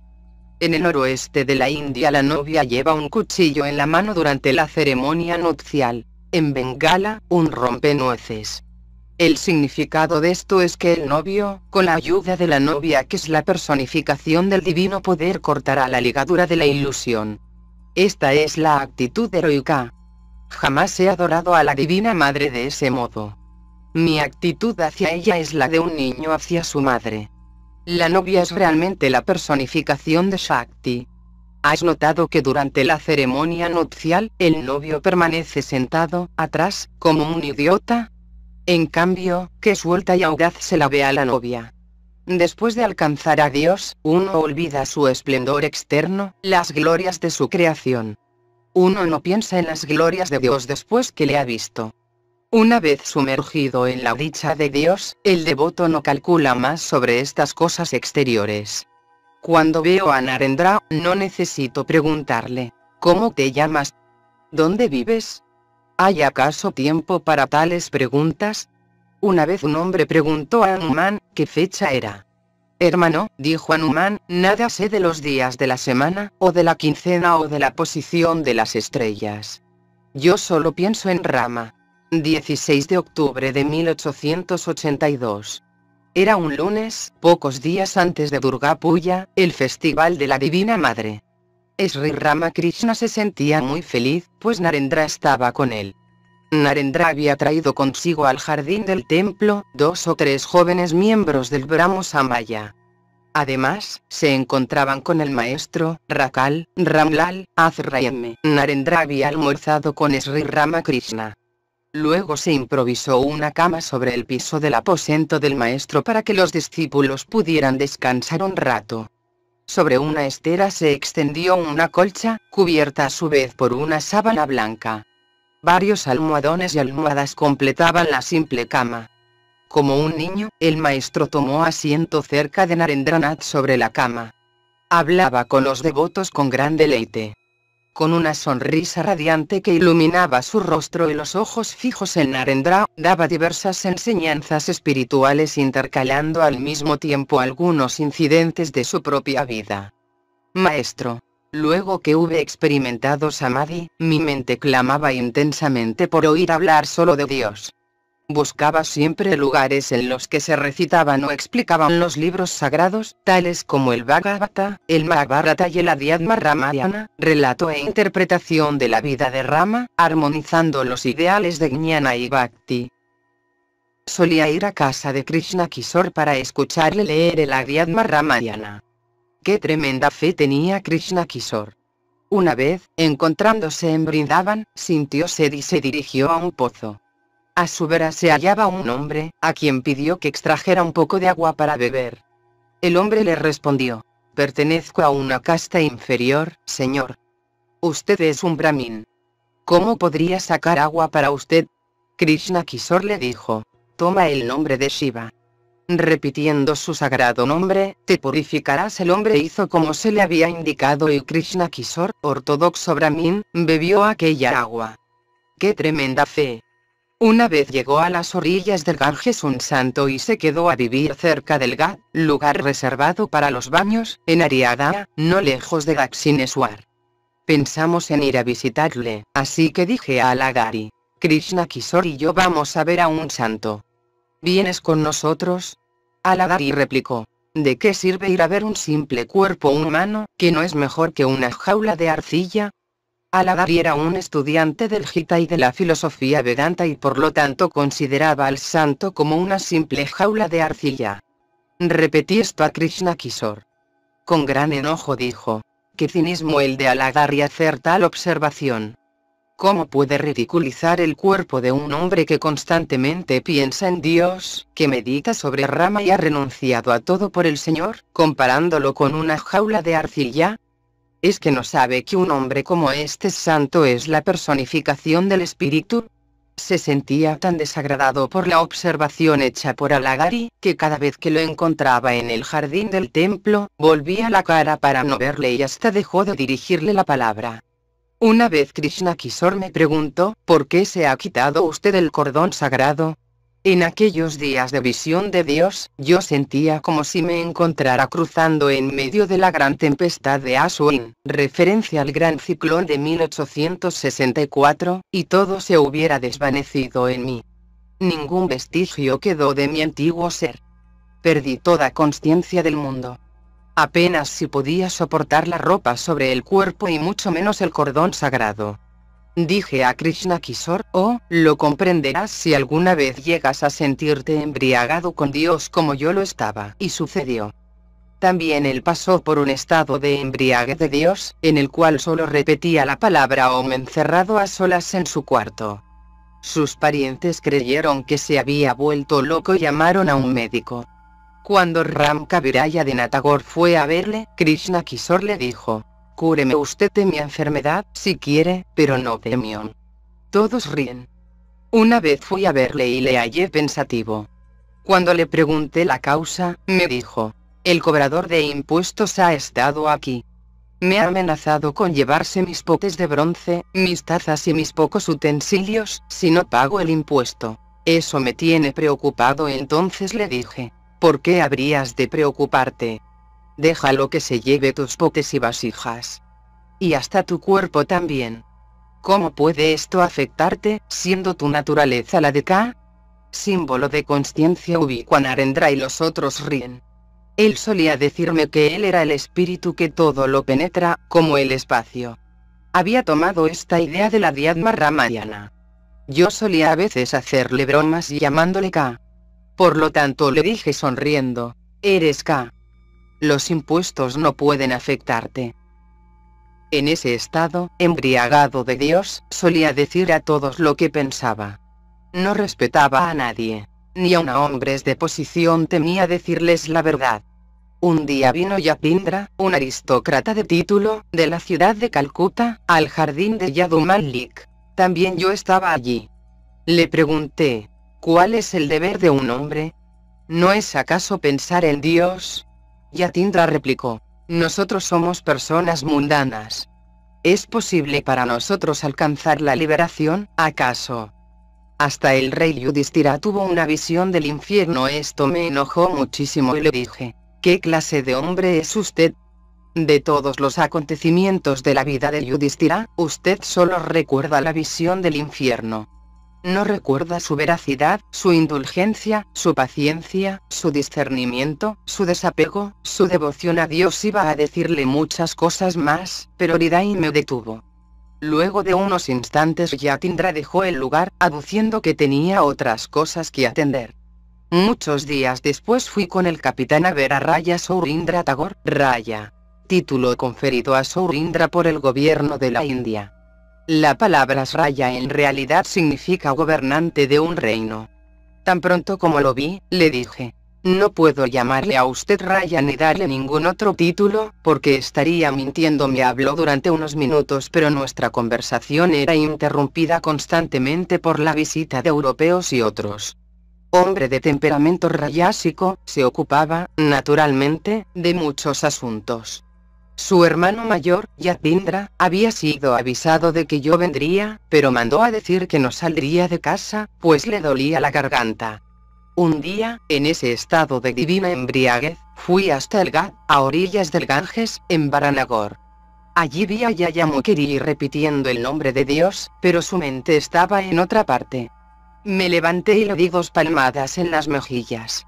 Una vez, las Rani Rasmani que vivía entonces en el jardín del templo, entró en el recinto del altar de la Divina Madre, como lo hacía a menudo cuando yo celebraba el culto a Kali y me pidió que entonara uno o dos cantos. Mientras yo cantaba, observé que arreglando las flores para el culto, estaba distraída. De inmediato le apliqué dos palmadas en las mejillas. Profundamente desconcertada, se sentó juntando las manos. Alarmado yo mismo por este estado de mi mente, dije a mi primo Alagari, fíjate en mi naturaleza. ¿Cómo puedo librarme de ella? Después de rogar a la Divina Madre durante un tiempo, con intenso fervor, logré deshacerme de este hábito. En ese estado mental, no se goza de ninguna conversación que no sea sobre Dios. Yo solía estallar en sollozos cuando oía hablar a la gente de cosas mundanas. Cuando acompañé a Matur Babu en una peregrinación, pasamos unos días en Benares en casa de Raya Babu. Un día me encontraba sentado en el salón con Matur Raya Babu y otros. Oyéndole hablar de cosas mundanas, tales como negocios, pérdidas y otras por el estilo lloré amargamente y dije a la Divina Madre, Madre, ¿dónde me has traído? Estaba mucho mejor en el jardín del templo en Dakshineswar. Aquí, donde estoy, tengo que oír hablar de mujer y oro, pero en Dakshineswar, podría evitarlo. El maestro pidió a los devotos, especialmente a Narendra, que descansaran un rato y él mismo se recostó en su pequeño diván. Hacia el atardecer, Narendra cantó. Estaban presentes Rakal, Latu, joven discípulo del maestro, que luego se hizo monje bajo el nombre de Swami Advutananda. M. Azra y el amigo Brahmo de Narendra. El canto, acompañado por el tambor, decía. Medita, oh mente mía, en el Señor Ari, el Inmaculado, puro espíritu, desde el principio hasta el fin. Cuán sin par es la luz que en él brilla. Cómo cautiva el alma su maravillosa forma. Cuán amado es él por todos sus devotos. Y luego, Narendra cantó. Oh, cuando amanecerá para mí, el día de felicidad, día en que aquel que es todo bondad, todo belleza y todo verdad ilumina el más recóndito altar de mi corazón. cuando me hundiré, al fin, siempre contemplándole, en el océano del deleite. Señor, como infinita sabiduría, tú entrarás en mi alma, y mi inquieta mente, enmudecida por tu visión, hallará refugio a tus pies. En el firmamento de mi corazón, oh Señor, tú surgirás, como la bienaventurada inmortalidad. Y como, cuando el ruiseñor mira la luna ascendente, de pura alegría vuela de aquí para allá, así, también, me sentiré pleno de celestial felicidad cuando tú aparezcas ante mí. Oh tú, uno sin segundo, todo paz, Rey de Reyes.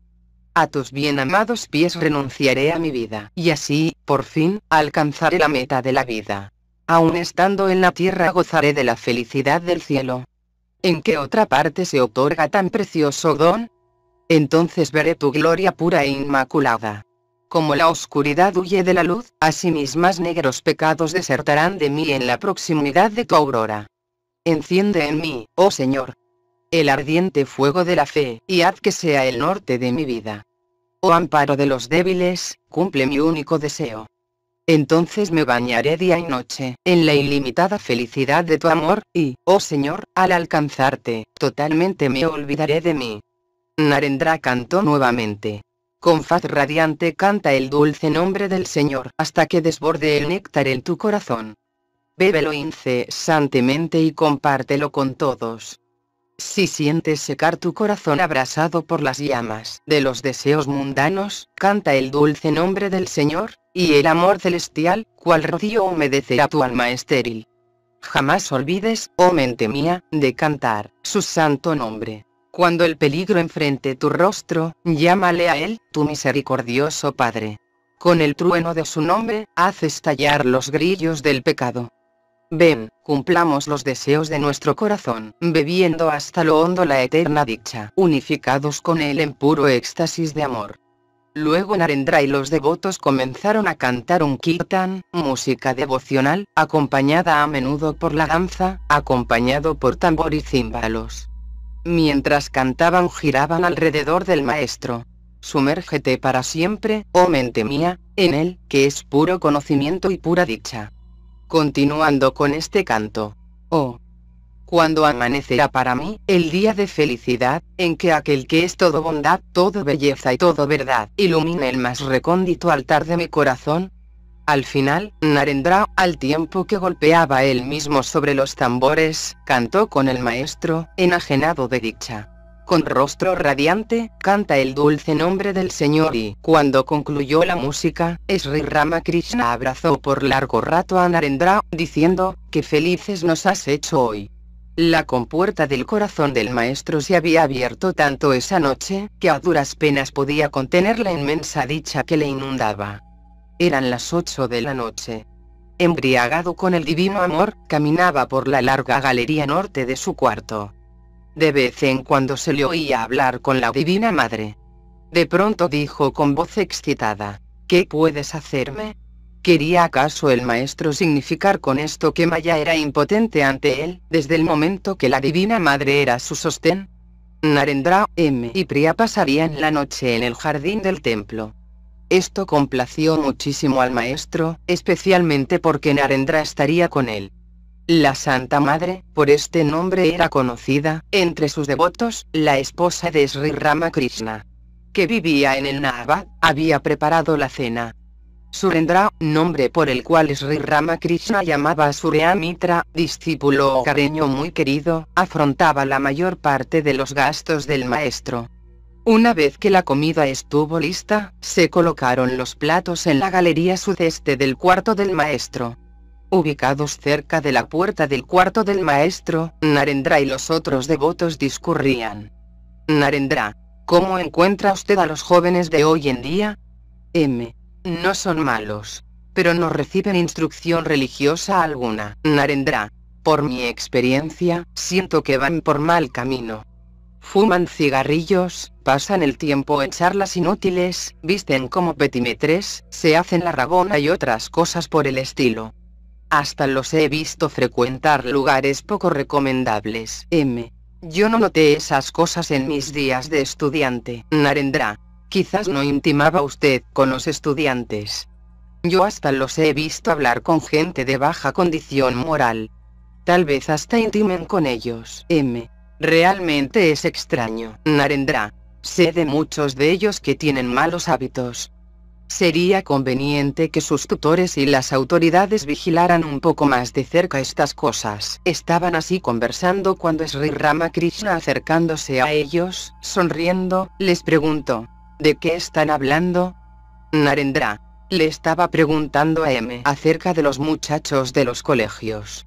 La conducta de los estudiantes de hoy día no es lo que debiera ser. El maestro se puso grave y dijo seriamente a M. Esta clase de conversación no es buena. No es deseable entretenerse en ninguna otra conversación que no sea de Dios. Tú eres el mayor de ellos y eres inteligente. No deberías haberlos animado a hablar de tales temas. Narendra tenía entonces 19 años y M 28. Ante esta reconvención, M se sintió turbado. Los demás guardaron silencio.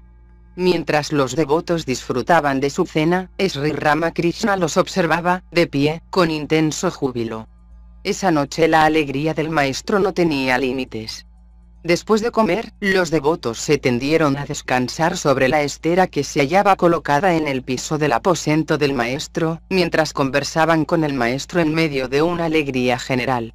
El maestro pidió a Narendra que cantara el canto que comienza así. En el firmamento de la sabiduría surge, llena, la luna del amor Narendra cantó, mientras los otros devotos tocaban los tambores y címbalos. En el firmamento de la sabiduría surge, llena, la luna del amor. Y la marea del amor, en agitadas olas, fluye por doquier. Oh Señor, cuán pleno de felicidad tú eres. Victoria para ti. Por todos lados brillan devotos, como estrellas en derredor de la luna. Su amigo, el Señor Todo Misericordioso, jubilosamente juega con ellos. Contemplad. Hoy las puertas del paraíso están de par en par abiertas. El dulce viento primaveral del nuevo día, levanta refrescantes olas de dicha. Suavemente lleva a la tierra la fragancia del amor de Dios, hasta que todos los yogis, ebrios de dicha se sumergen en éxtasis. Sobre el mar del mundo se abre el loto del nuevo día, y en él se sienta la madre, envuelta en majestuosa felicidad. Ved cómo las abejas enloquecen de alegría, al libar allí el néctar. Mirad la faz radiante de la madre, que así encanta el corazón y cautiva el universo. A sus pies de loto, danzan en éxtasis, miríadas de santos plenos de gozo. Cuán sin par es su belleza. Qué infinito contentamiento invade el corazón cuando ella aparece. Oh hermanos, dice Prendas, humildemente os pido, a todos y a cada uno, que cantéis loas a la madre. Sri Ramakrishna cantó y bailó y los devotos bailaron en derredor suyo. Cuando acabó el canto, el maestro se paseó por la galería noreste, donde Azra y M estaban sentados. El maestro se sentó con ellos y preguntó a un devoto, ¿sueña alguna vez? Devoto. Sí, señor. El otro día tuve un sueño extraño. Vi todo el mundo envuelto en agua. Por todas partes había agua. Se veían unos pocos botes pero de pronto enormes olas aparecieron hundiéndolos. Yo estaba por subir a un barco con otros más, cuando vi un brahmin caminando sobre la extensión de las aguas. Le pregunté, ¿cómo puede usted caminar sobre la profundidad de las aguas? El brahmin sonriendo dijo, Oh, no hay dificultad alguna. Hay un puente bajo el agua, le pregunté, ¿dónde va usted? A Bhawanipur. La ciudad de la Divina Madre, replicó. Espere un poco, grité, le acompañaré. Maestro. Oh, esta historia me hace estremecer. Devoto. El brahmin dijo. Estoy apurado. Le llevará a usted cierto tiempo salir del bote. Adiós. Recuerde este camino y sígame, maestro. Oh, se me pone el pelo de punta. Por favor, hágase usted iniciar por un gurú lo antes posible. Hacia la medianoche Narendra y los otros devotos se acostaron en una cama tendida sobre el piso del cuarto del maestro. Al alba algunos de los devotos se levantaron, y vieron al maestro, desnudo como un niño, paseándose por el cuarto repitiendo los nombres de los diversos dioses y diosas. Su voz era dulcísima. Ora miraba al Ganges, ora se detenía frente a las imágenes que pendían de la pared, inclinándose ante ellas, cantando todo el tiempo los sagrados nombres con su suave voz. Cantaba. Veda, Purana, Tantra, Gita, Gayatri, Bhagavata, Bhakta, Bhagavan al mencionar el Gita, repetía muchas veces. Taji, Taji, Taji, esta palabra se forma invirtiendo las sílabas de Gita. Taji significa, en bengalí, uno que ha renunciado. Renunciación es el significado de este libro sagrado. De vez en cuando decía, oh madre, tú eres realmente Brahman y tú eres realmente Shakti. Tú eres Purusa y tú eres Prakriti. Tú eres Virat. Tú eres el absoluto y te manifiestas como lo relativo.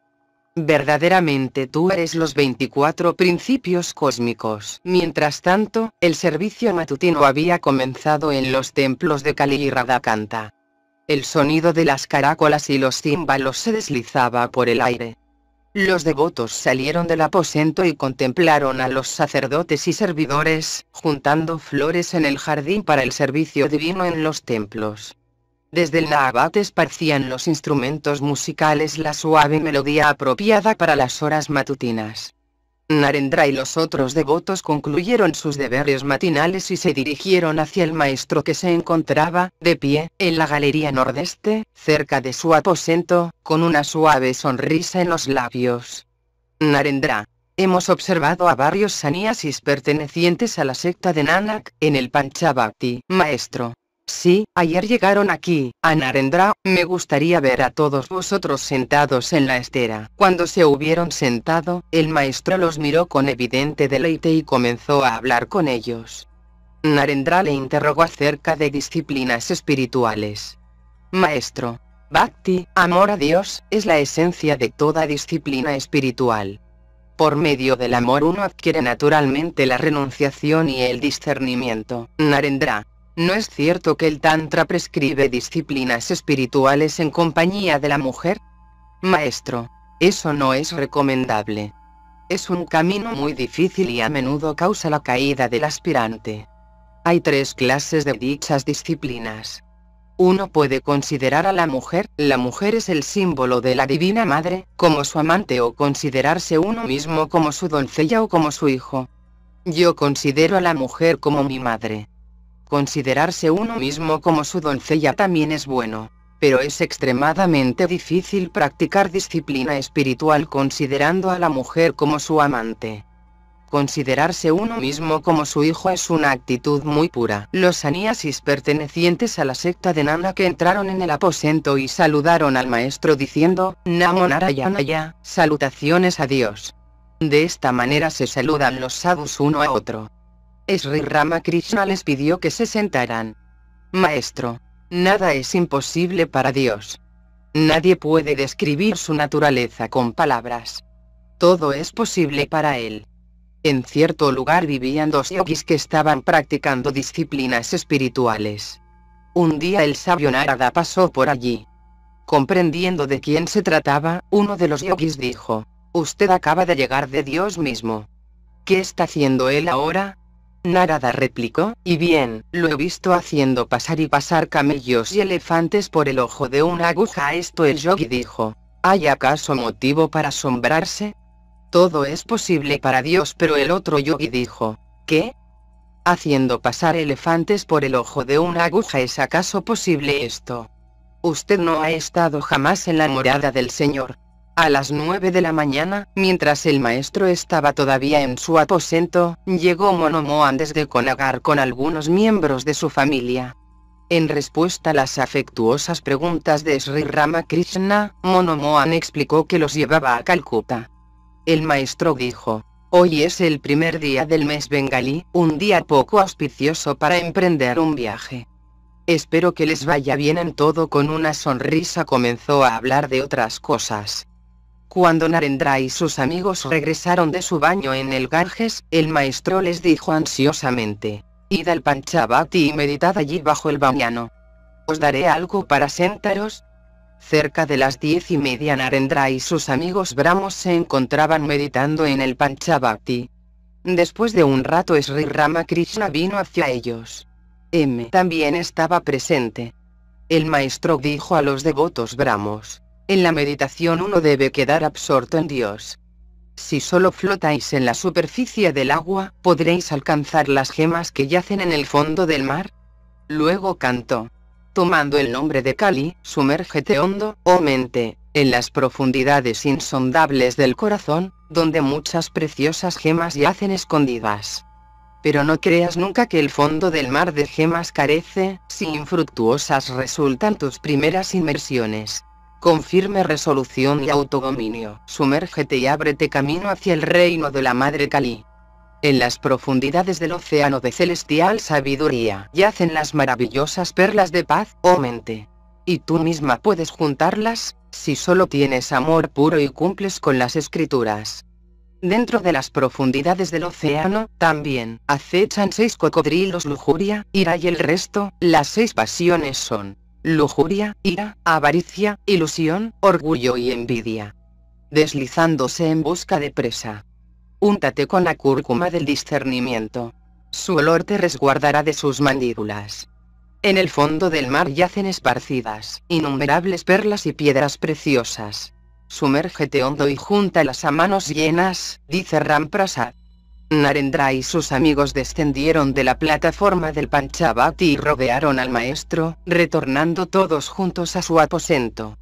El maestro continuó. Cuando os sumergís en el océano, podéis ser atacados por cocodrilos, pero no os han de tocar si vuestro cuerpo está untado con cúrcuma.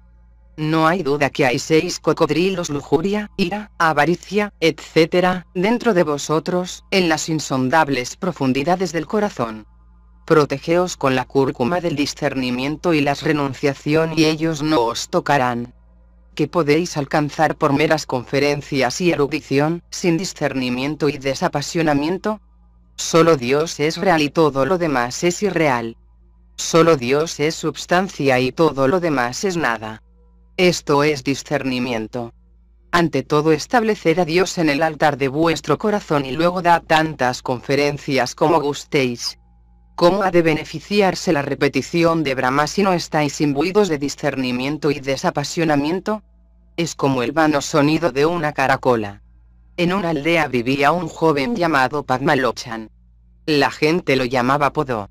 En esta aldea había un templo que se encontraba en muy malas condiciones. No había en su interior imagen alguna de Dios. De sus paredes ruinosas brotaban a su ata y otras plantas. Los murciélagos hacían sus nidos en el interior del templo y su suelo estaba cubierto de polvo y excremento de los murciélagos. La gente de la aldea había dejado de visitar el templo. Un día, a la hora del crepúsculo, los aldeanos fueron sorprendidos por el sonido de la caracola que venía del templo. Pensaron que quizás alguien había colocado una imagen en el altar y estaba haciendo el culto vespertino. Uno de ellos entreabrió suavemente la puerta y vio a Pagmalochan parado en un rincón, soplando la caracola. No había imagen alguna en el altar. El templo no había sido barrido o lavado y la suciedad yacía por doquier. Entonces, le dijo a Podo. ¿Y no has colocado imagen alguna aquí, en el altar, oh insensato?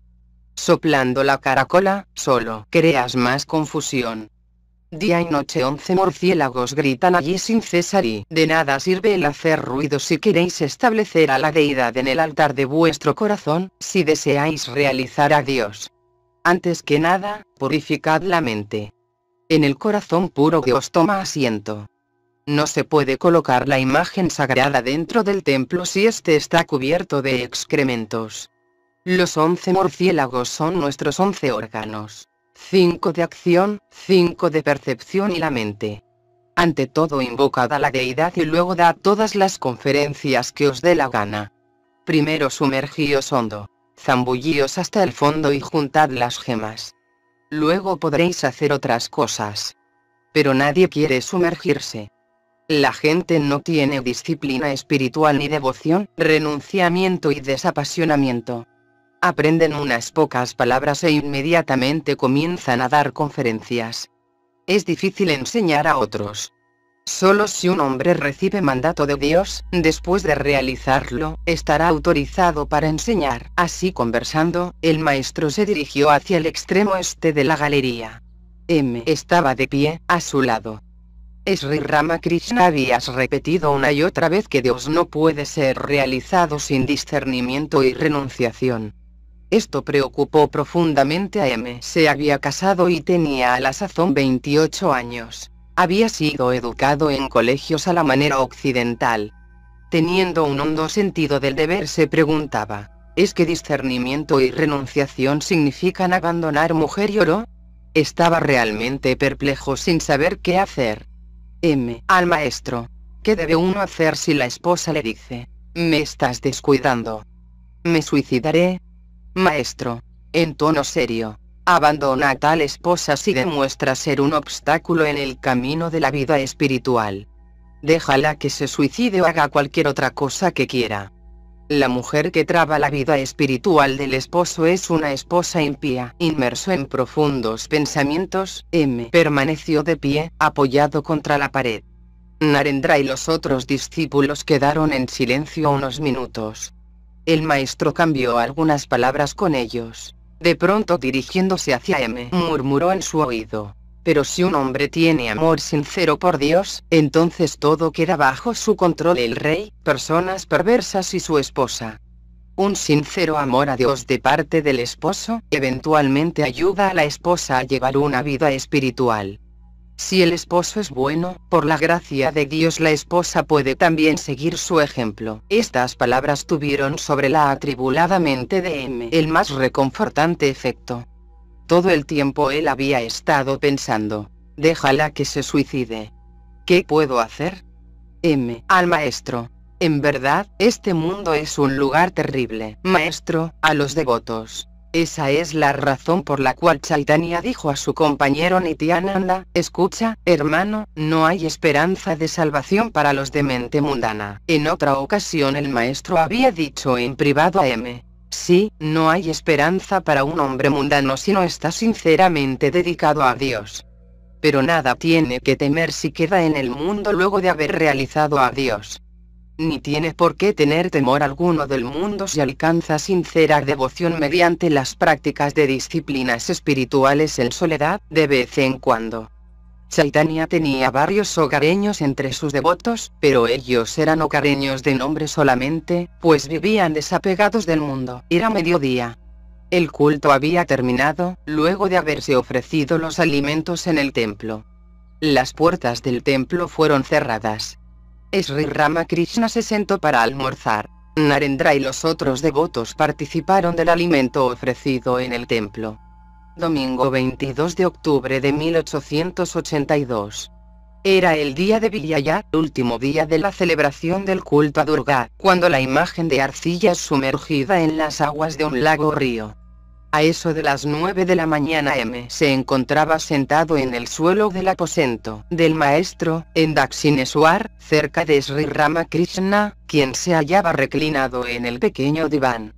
Rakal vivía entonces con el maestro y Narendra y Babanad lo visitaban con frecuencia. Baburam le había visto solamente una o dos veces. Maestro, ¿tuviste algún día de fiesta durante Durga Puya? M. Sí, señor. Fui a casa de Kesab cada uno de los tres primeros días de culto. Maestro, ¿de veras? M. Escuché allí una interpretación muy interesante de Durga Puya. Maestro, Cuéntame, por favor, M. Todas las mañanas, en su casa, que se oraba hasta las 10 u 11. Durante estas oraciones explicaba el significado profundo de Durga Puya. Dijo que si alguien podía llegar a realizar a la Divina Madre, es decir, si podía establecer a la Madre Durga en el altar de su corazón, entonces Lakshmi, Sarasvati, Kartika y Ganesha vendrían de por sí. De acuerdo con la mitología hindú, Lakshmi y Sarasvati son las hijas y Kartika y Ganesha los hijos de Durga. Asociados con la imagen de Durga, ocupan posiciones a ambos lados de la Divina Madre. Lakshmi significa la riqueza, Sarasvati el conocimiento, Kartika la fuerza y Ganesha el éxito. Al realizar a la Divina Madre en nuestro propio corazón, uno obtiene todo esto sin esfuerzo alguno. Sri Ramakrishna escuchó la descripción, inquiriendo de tanto en tanto sobre las plegarias dirigidas por Kesap. Al final dijo a M. No vayas de aquí para allá. Ven aquí solamente. Aquellos que pertenecen al círculo muy íntimo de mis devotos, vienen solo aquí. Muchachos como Narendra, Bhabanath y Rakal son mis muy íntimos discípulos. No hay que conceptuarlos con ligereza. Invítales a comer un día, dar de comer a un santo es considerado como un acto meritorio. ¿Qué piensas de Narendra? M. Tengo un elevado concepto de él, señor maestro. ¿Has observado cuántas virtudes tiene? No solo es bien versado en música vocal e instrumental, sino también muy instruido. Además, ha controlado sus pasiones y declara que permanecerá célibe toda su vida. Ha sido un devoto de Dios desde su más tierna infancia. ¿Progresas ahora en tus meditaciones? ¿Qué aspecto de Dios es el que atrae a tu mente con forma o sin forma? M. Señor, ahora no puedo fijar mi mente en Dios con forma. Por otra parte, no puedo concentrarme firmemente en Dios sin forma. Maestro, tú ves ahora que la mente no puede quedar fija, así de pronto, en Dios sin forma. Durante las primeras etapas, es conveniente pensar en Dios con forma. M. ¿Quiere usted sugerir que uno debería meditar sobre las imágenes de arcilla? Maestro, ¿por qué arcilla? Esas imágenes son la personificación de la conciencia. M. Aún así, uno tiene que pensar en manos, pies y otras partes del cuerpo. Sin embargo, yo me doy cuenta que al comienzo la mente no puede quedar concentrada a menos que uno medite en Dios con forma. Usted me lo ha dicho. Bueno, Dios puede fácilmente asumir distintas formas. ¿Puede uno meditar en la forma de su propia madre? Maestro, Sí, la madre debería ser adorada. En realidad ella es una personificación de Brahman. M. Permaneció en silencio. Luego de algunos minutos, preguntó al maestro, ¿qué siente uno cuando piensa en Dios sin forma? ¿Es posible describirla? Después de reflexionar un rato el maestro dijo, ¿sabes a qué se parece? Permaneció en silencio un momento y luego en pocas palabras narró a M algunas de las experiencias que uno tiene durante la visión de Dios con y sin forma. Maestro, ¿ves? Hay que practicar disciplinas espirituales para comprender esto debidamente. Supón que hay tesoros en un cuarto. Si quieres verlos y apoderarte de ellos, debes tomarte la molestia de conseguir la llave y abrir la puerta. Luego debes extraer las joyas, pero supón que el cuarto está cerrado con llave y de pie ante la puerta te dices, ya he abierto la puerta, ahora he roto la cerradura del cofre. Y ahora me he apoderado del tesoro tales cavilaciones ante la puerta del tesoro, no te ayudarán a lograr éxito alguno. Debes practicar disciplina. Los ñamis piensan en Dios sin forma. Ellos no aceptan la encarnación divina. Loando a Sri Krishna, Arjuna dijo, tú eres el absoluto Brahman. Sri Krishna replicó, sígueme y sabrás si soy o no el absoluto Brahman. Así diciendo Sri Krishna condujo a Arjuna hasta cierto lugar y le preguntó qué veía. Veo un gran árbol, dijo Arjuna, y pendiendo de sus ramas veo frutas que semejan racimos de zarzamora. Entonces Krishna dijo a Arjuna, acércate y verás que no son racimos de zarzamora, sino racimos de innumerables Krishnas como yo, colgando del árbol. En otras palabras, innumerables encarnaciones divinas aparecen y desaparecen en el árbol del absoluto Brahman. Kabirdas tenía una fuerte inclinación a Dios sin forma. Al oír mencionar el nombre de Krishna, decía, ¿Por qué he de adorarlo? Las gopis aplaudían mientras él bailaba como un mono, sonriendo. Pero yo acepto a Dios con forma cuando estoy en compañía de personas que creen en ese ideal, y también estoy de acuerdo con aquellas que creen en Dios sin forma. M. Sonriendo. Usted es tan infinito como aquel de quien hemos estado hablando. En realidad, nadie puede sondear su profundidad. Maestro, sonriendo. Veo que lo has descubierto. Te diré una cosa. Uno debería seguir varios senderos. Uno debería practicar cada credo durante un tiempo. En el juego de Satrancha la pieza no puede alcanzar el centro del cuadrado hasta tanto no haya completado el círculo. Pero una vez en el centro no puede ser desplazada por ninguna otra pieza. M. Es verdad, señor maestro. Hay dos clases de yogis. Los baudakas y los kutichakas. Los baudakas peregrinan visitando lugares sagrados y no han alcanzado aún la paz mental. Pero los kutichakas, habiendo visitado todos los lugares sagrados, han aquietado sus mentes. Sintiéndose serenos y en paz se establecen en cualquier lugar y no se mueven de allí. En ese mismo lugar ellos son felices. No sienten la necesidad de ir a ningún lugar sagrado. Si alguna vez alguno de ellos visita un lugar de peregrinación, es solo con el propósito de nueva inspiración. Yo tuve que practicar cada religión durante un tiempo hinduismo, islamismo, cristianismo. Además seguí el sendero de los Shaktas, Vaishnavas y Vedantistas. Realicé que hay un solo Dios hacia quien todos están viajando. Pero los senderos son diferentes.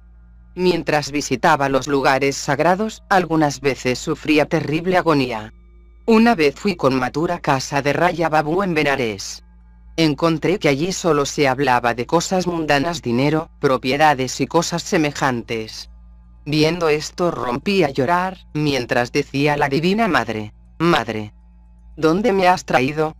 Estaba mucho mejor en Daxinesuar estando en Allahabad observé las mismas cosas que había visto en otras partes los mismos estanques, el mismo pasto, los mismos árboles, las mismas hojas de tamarindo. Pero indudablemente uno haya inspiración en un lugar sagrado. Yo acompañé a Matur Babu a Brindaban. Bridai y las señoras de la familia de Matur eran de nuestra partida.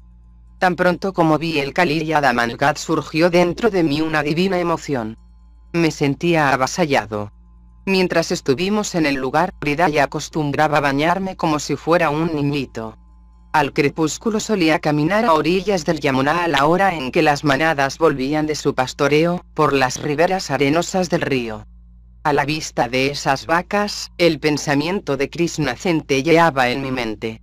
Y corría como un loco, gritando. Oh, ¿dónde está Krishna? ¿Dónde está mi Krishna? Fui a Shamakunda y Radakunda, lugares próximos a Mathura asociados con episodios de Krishna y Radha, en un palanquín y bajé a visitar el sagrado monte Govardhan. A la vista del monte me sentí embargado de divina emoción y corrí a la cima. Perdí la conciencia de todo lo que me rodeaba. Los habitantes del lugar me ayudaron a bajar. En mi camino hacia los sagrados estanques de Yamakunda y Radakunda, cuando vi las praderas, los árboles, pájaros y ciervos, quedé subyugado por el éxtasis, y mis ropas, mojadas por las lágrimas. Dije, oh Krishna. Todo está aquí como antaño. Solo tú no estás sentado en el palanquín, perdí todo poder de hablar. y seguía al palanquín, advirtiendo a los portadores que cuidaran de mí. Gangamai se encariñó mucho conmigo en Brindaban. Era una viejecita que vivía completamente sola en una choza cerca de Niduban. Refiriéndose a mi condición espiritual y éxtasis, dijo, es la verdadera personificación de Radha me llamaba Dulali. Cuando estaba con ella, solía olvidarme de la comida, la bebida, del baño y hasta de volver a casa. Algunos días Ridai me traía alimento de casa y me alimentaba. Gangamai también me servía comida preparada por sus propias manos. Gangamai solía experimentar éxtasis. En tales ocasiones mucha gente se congregaba a su alrededor. Un día, encontrándose en ese estado, se trepó a los hombros de Ridai. Yo no quería dejarla y volver a Calcuta. Todo se había arreglado para que me quedara con ella. Comería arroz, cocido dos veces, y tenderíamos nuestras camas a cada lado de la choza. Cuando ya todo había sido convenido, Ridai dijo, su estómago es muy delicado. ¿Quién le va a cuidar? Pues dijo Gangamai yo lo cuidaré. Yo lo alimentaré mientras Ridai tiraba de una mano y ella de la otra, recordé a mi madre, que en ese entonces vivía sola aquí, en el abad del jardín del templo. Sentí que me era imposible quedar lejos de ella y dije a Gangamai, no, debo irme me gustaba mucho la atmósfera de Brindaban. Hacia las 11 el maestro se sirvió de las ofrendas del templo de Kali.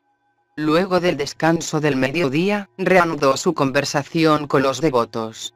De vez en cuando pronunciaba la sagrada palabra Om o repetía los sagrados nombres de las deidades. Al atardecer tuvo lugar en los templos el culto vespertino. Como era el día de Villaya, los devotos primero saludaron a la Divina Madre y luego tomaron el polvo de los pies del Maestro. Forma de salutación reverente, en la que uno toca los pies de un superior con su propia frente. Martes, 24 de octubre de 1882. Eran las 3 o 4 de la tarde. El maestro estaba parado cerca de la alacena donde se guardaba el alimento, cuando Balaram y me llegaron de Calcuta y lo saludaron. Sri Ramakrishna les dijo con una sonrisa. Iba a tomar unos dulces de la alacena, pero no bien puse la mano sobre ellos, una lagartija cayó sobre mí, la caída de una lagartija sobre el cuerpo es considerado signo de mal agüero. Al momento retiré mi mano. Todos ríen. Oh, sí, hay que observar todas estas cosas. ¿Veis? Rakal está enfermo y a mí también me duelen todos los miembros. ¿Sabéis cuál es la causa? Esta mañana al levantarme vi a cierta persona a quien tomé por Rakal. En Bengala los hindúes ortodoxos tienen la creencia de que el primer rostro que se ve a la mañana indica si el día será bueno o malo. Todos ríen. Oh, sí, hay que examinar los rasgos físicos. El otro día Narendra trajo a uno de sus amigos, un hombre con un solo ojo bueno, si bien del otro no era completamente ciego. Yo me dije, ¿qué es este estorbo que Narendra ha traído consigo? Aquí viene cierta persona, pero yo no puedo comer nada de lo que trae. Trabaja en una oficina con un salario de 20 rupias y gana otras 20 falsificando facturas. No puedo decir una palabra en su presencia, porque él miente. A veces permanece aquí durante dos o tres días, sin ir a su oficina. ¿Podéis adivinar con qué intención? Para que le recomiende a alguien que le consiga otro empleo. Balaram proviene de una familia de devotos Vaishnavas. Su padre, ahora anciano, es un piadoso devoto. Usa un mechón de cabello sobre su coronilla, un rosario de semillas de tulsi, planta consagrada a Vishnu, alrededor de su cuello y un rosario de cuentas en la mano. Consagra su tiempo a la repetición del nombre de Dios. Tiene muchas propiedades en Orissa y ha hecho construir templos a Radha Krishna en Kotar, Brindavan y otros lugares. También ha levantado casas gratuitas para huéspedes. A Balaram, el otro día vino aquí cierta persona. Tengo entendido que es esclavo de esa bruja negra de esposa que tiene. ¿Por qué la gente no ve a Dios? Es debido a la barrera de mujer y oro. Qué desvergonzado fue el otro día al decirte. Un Paramahamsa vino a ver a mi padre y él lo convidó con curry de pollo, a los hindúes ortodoxos les está prohibido comer pollo. En mi actual estado mental puedo comer un poco de sopa de pescado siempre que de antemano haya sido ofrecida a la Divina Madre. No puedo comer carne alguna, aunque haya sido ofrecida a la Divina Madre. Pero la pruebo con la punta del dedo, por temor de que ella se enoje. Risas. ¿Pueden ustedes explicar este estado de mi mente? Una vez yendo de Burdwan a Kamarpukur en carreta de bueyes, se levantó una gran tormenta. Se juntaron algunas personas cerca de la carreta. Mis compañeros dijeron que eran ladrones. Entonces comencé a repetir los nombres de Dios, llamando unas veces a Kali, otras a Rama, otras a Numan. ¿Qué pensáis de esto? Estaba el maestro insinuando que Dios es uno pero es llamado de distinta manera por diferentes sectas. Maestro, avalarán. Maya no es más que mujer y oro. El hombre que vive en medio de ellos pierde gradualmente su vigilancia espiritual. Piensa que todo está bien en él. El barrendero lleva un tacho de basura sobre su cabeza y luego de un tiempo pierde su repulsión. Gradualmente se adquiere amor a Dios por medio de las prácticas de cantar el nombre de Dios y sus glorias. AM, uno no debe avergonzarse de cantar el santo nombre de Dios. Como reza el dicho, uno no progresa mientras tiene estas tres cosas. Vergüenza, odio y temor. En Kamarpukur cantan muy bien el kirtan. La música sagrada se canta acompañada por los tambores. ¿A Balaram habéis instalado alguna imagen en Brindavan? Balaram.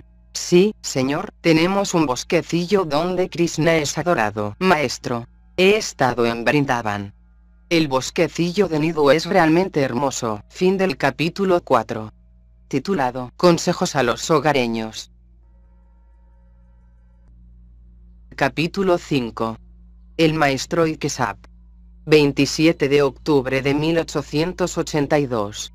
Era viernes, el día de Lakshmi Puya. Kesab Chandra Sen había arreglado un paseo en barco por el Ganges para Sri Ramakrishna. Hacia las 4 de la tarde el vapor, con Kesab y sus seguidores bramos, ancló en el Ganges a la orilla del templo de Kali, en Dakshineswar. Al frente, los pasajeros podían ver el Gat y el Chandni. En el distrito de los templos, a su izquierda se levantaban seis templos de Shiva y a su derecha otro grupo de seis también de Shiva. La blanca cúpula del templo de Kali, la copa de los árboles del Panchavati y la silueta de los pinos se elevaban majestuosas contra el cielo azul de otoño. Los jardines entre los dos Nabats estaban cubiertos de fragantes flores y a todo lo largo de la ribera del Ganges se veían hileras de plantas en flor. El cielo azul se reflejaba en las aguas oscuras del río, el sagrado Ganges, asociado con las más antiguas tradiciones de la civilización aria. El mundo exterior aparecía suave y sereno y el corazón de los devotos brahmos estaba henchido de paz. Sri Ramakrishna estaba en su cuarto conversando con Via y Yaralal. Algunos de los discípulos de Kesab entraron e inclinándose ante el maestro le dijeron, Señor, ha llegado el barco. Kesab Babu nos ha pedido que le llevemos a usted allí. El maestro debía trasladarse al barco en un pequeño bote. No bien se hubo embarcado, perdió su conciencia exterior entrando en Samadhi. Vía y estaba con él. Entre los pasajeros se encontraba M. Tan pronto como el bote se acercó al barco, todos se precipitaron a la borda para ver a Sri Ramakrishna. Que sabe estaba ansioso por tener al maestro seguro, a bordo. Con gran dificultad el maestro volvió a la conciencia del mundo y luego fue llevado hasta una cabina. Hallándose aún en estado absorto, caminaba como mecánicamente, apoyado en uno de los devotos. Kesab y los otros se inclinaron ante él, pero él no advertía su presencia. En el interior de la cabina había varias sillas y una mesa. Se le hizo sentar en una de las sillas, mientras que vivía y ocupaban otras dos. Algunos devotos también se sentaron, la mayoría sobre el piso, mientras que muchos otros debieron permanecer de pie afuera, atisbando con ansiedad por la puerta y las ventanas. Nuevamente Sri Ramakrishna entró en profundo samadhi permaneciendo totalmente inconsciente del mundo exterior.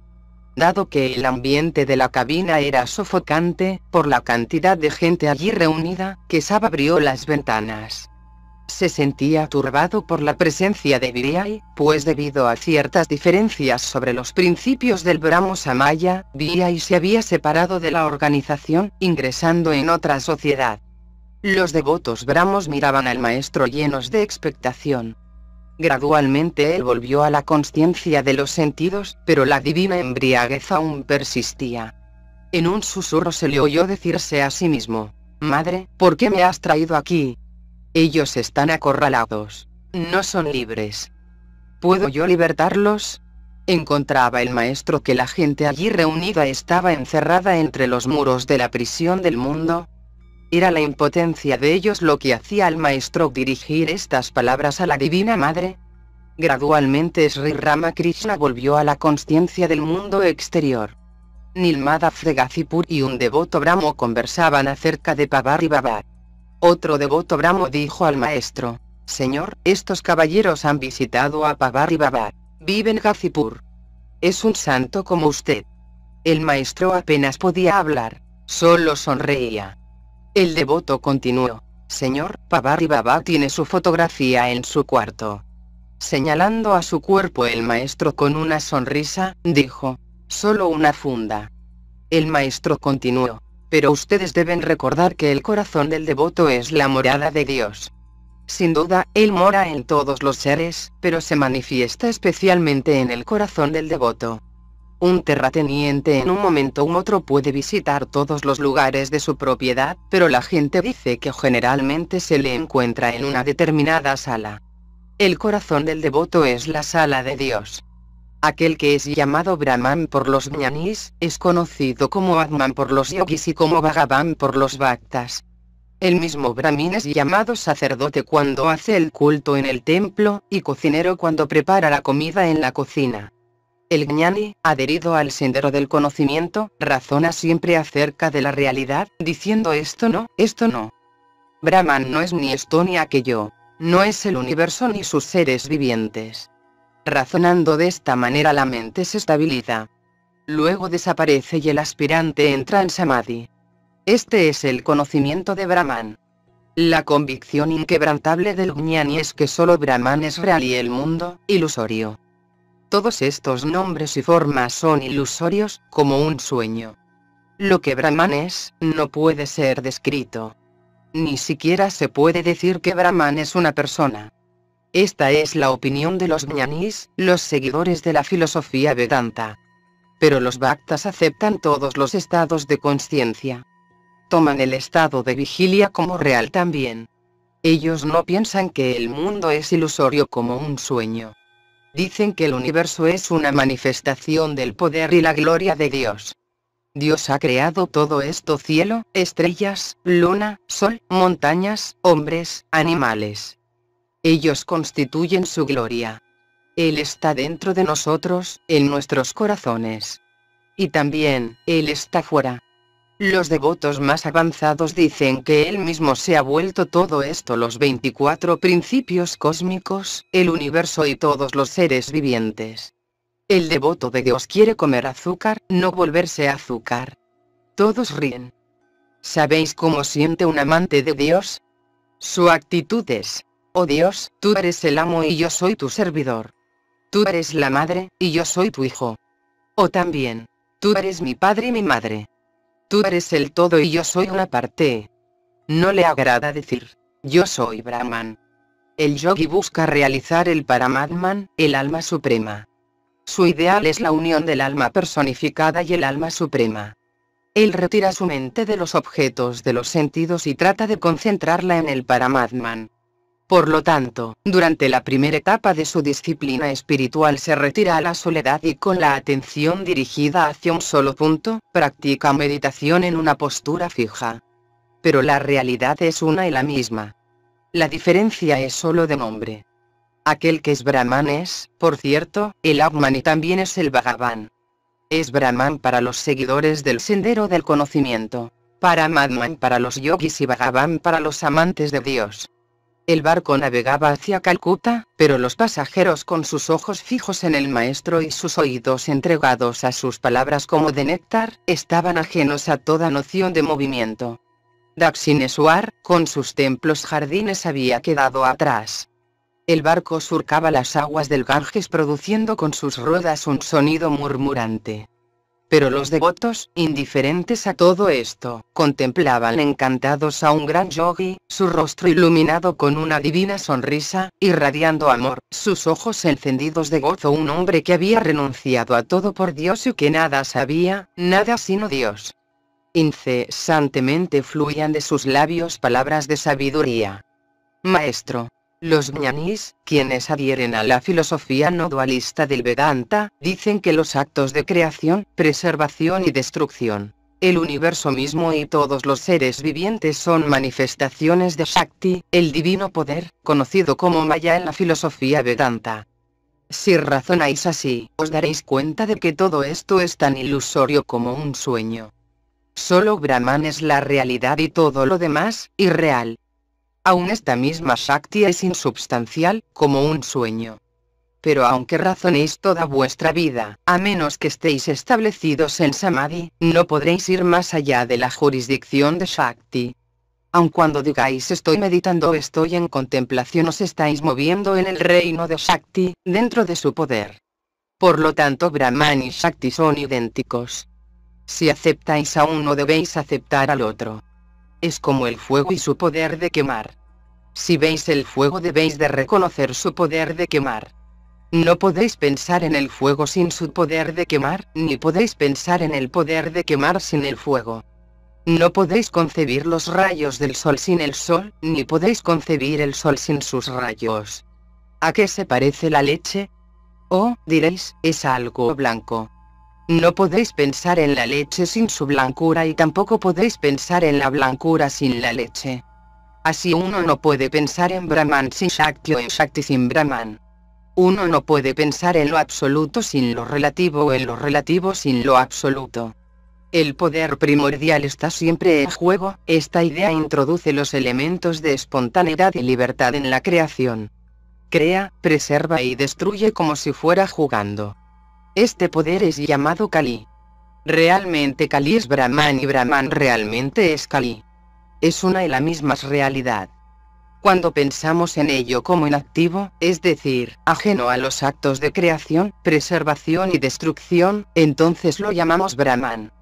Pero cuando está ocupado en estas actividades, entonces lo llamamos Kali o Shakti. La realidad es una y la misma. La diferencia está en el nombre y la forma es como el agua, llamada en diferentes idiomas por diferentes nombres, tales como yal, pani, etc. En un lago hay tres o cuatro gats, escalinatas. Los hindúes beben agua en un lugar y la llaman yal. Los musulmanes en otro lugar y la llaman pani, y los ingleses en un tercer lugar, la llaman water. Las tres denotan la misma cosa. La diferencia solo estriba en el nombre. Del mismo modo algunos llaman a las realidad Ala, algunos Dios, otros Brahman, algunos Kali y otros le dan nombres tales como Rama, Jesús, Durga, Ari. Kesat, sonriendo. Describidnos Señor, en cuántas maneras juega la Divina Madre en el mundo. Maestro, sonriente. Oh, ella juega de diferentes maneras. Es solo ella la que es conocida como Mahakali, Nitya Kali, es Masana Kali, Raksa Kali y Yamakali. Mahakali y Nitya Kali son mencionadas en la filosofía Tantra. Cuando no existía la creación, ni el sol, la luna, los planetas y la tierra. Cuando las tinieblas estaban envueltas en tinieblas, entonces la madre, las informa, Mahakali, el gran poder, era una con Mahakala, lo absoluto. Yamakali, es de aspecto más bien benigno y es adorada en los hogares hindúes. Ella es la dispensadora de gracias y la disipadora del miedo. La gente venera a Raksakali, la protectora, en tiempos de epidemia, hambre, terremotos, sequías e inundaciones. Esmasana Kali es la personificación del poder de destrucción.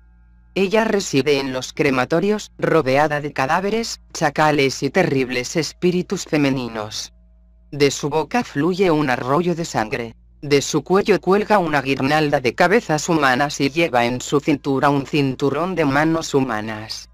Después de la destrucción del universo, al final de un gran ciclo, la Divina Madre acopia las semillas para la próxima creación. Es como la señora de la casa, que tiene una olla en donde guarda diferentes artículos para uso casero. Todos ríen. Oh sí, las dueñas de casa tienen vasijas así en donde guardan espuma de mar, píldoras azules, pequeños paquetes de semillas de pepinos, zapallos, calabazas, etc. Con espuma de mar el maestro quizás se refería al hueso de sepia que se encuentra a la orilla del mar. Es creencia popular que se trata de espuma de mar solidificada. Cuando la necesitan recurren a ellas. Del mismo modo, después de la destrucción del universo mi divina madre, la personificación de Brahman, junta las semillas para la próxima creación. Después de la creación el poder primordial mora en el universo mismo. Ella da a luz este mundo fenomenal y luego lo penetra. En los Vedas se compara la creación con la araña y su tela. La araña produce la tela de sí misma y luego permanece en ella. Dios es el que contiene el universo y también lo que el universo contiene. Es Kali, mi divina madre, de color negro. Ella parece negra porque es vista a distancia, pero cuando se la conoce íntimamente ya no es más negra. El cielo parece azul a la distancia, pero miradle de cerca y veréis que no tiene color. El agua del océano parece azul a distancia, pero si nos acercamos y tomamos un poco en la mano, encontramos que carece de color. El maestro embriagado de divino amor cantó. ¿Es realmente negra, mi madre Kali? La desnuda, del más negro matiz, ilumina el loto del corazón. El maestro continuó. Esclavitud y liberación ambas son producto de ella. Por su maya la gente mundana se enreda en mujer y oro y también, por su gracia, alcanza la liberación. Se la llama la salvadora y la que extirpa la esclavitud que nos ata al mundo. Luego el maestro, con su melodiosa voz, entonó este canto. Este canto hace alusión al bien conocido juego de competencia, que consiste en hacer volar cometas, practicado en la India. Los jugadores remontan sus cometas al mismo tiempo y tratan de cortar los hilos a sus competidores. A cualquiera que le corten el hilo pierde su cometa y tiene que salir del juego. En el bullicioso mercado del mundo, os llama, tú haces volar cometas alto se remontan con el viento de la esperanza, firmemente sostenidas por las cuerdas de Maya. Su armazón hecho de esqueletos humanos, sus velas de los tres gunas. Pero toda su curiosa estructura es solamente para adorno. Tú has frotado la cuerda con la pasta manja, pasta hecha de cebada cocida y vidrio pulverizado, de la mundanalidad, para que cada hilo tenso se vuelva más fuerte y cortante. Entre miles de cometas, a lo sumo una o dos se liberan de la cuerda, y tú ríes y aplaudes, oh madre, observándolas. Y favorecida por los vientos, dice Ramprasad, la cometa desprendida volará veloz hacia el infinito, cruzando el mar del mundo. El maestro dijo, la divina madre es siempre jovial y juguetona. Este universo es su juego. Es voluntariosa y siempre se sale con la suya está plena de dicha y da la liberación a uno entre cien mil, un devoto bramo. Pero, Señor, si ella quiere, puede dar liberación a todos. ¿Por qué entonces nos mantiene atados al mundo? Maestro, esa es su voluntad. Ella quiere seguir jugando con los seres de su creación. En el juego de las escondidas la diversión termina pronto y al comienzo todos los jugadores tocan a la dama alusión hecha al juego hindú del escondite, en el cual el que dirige, llamado Gran Dama, venda los ojos de los otros participantes y luego se esconde.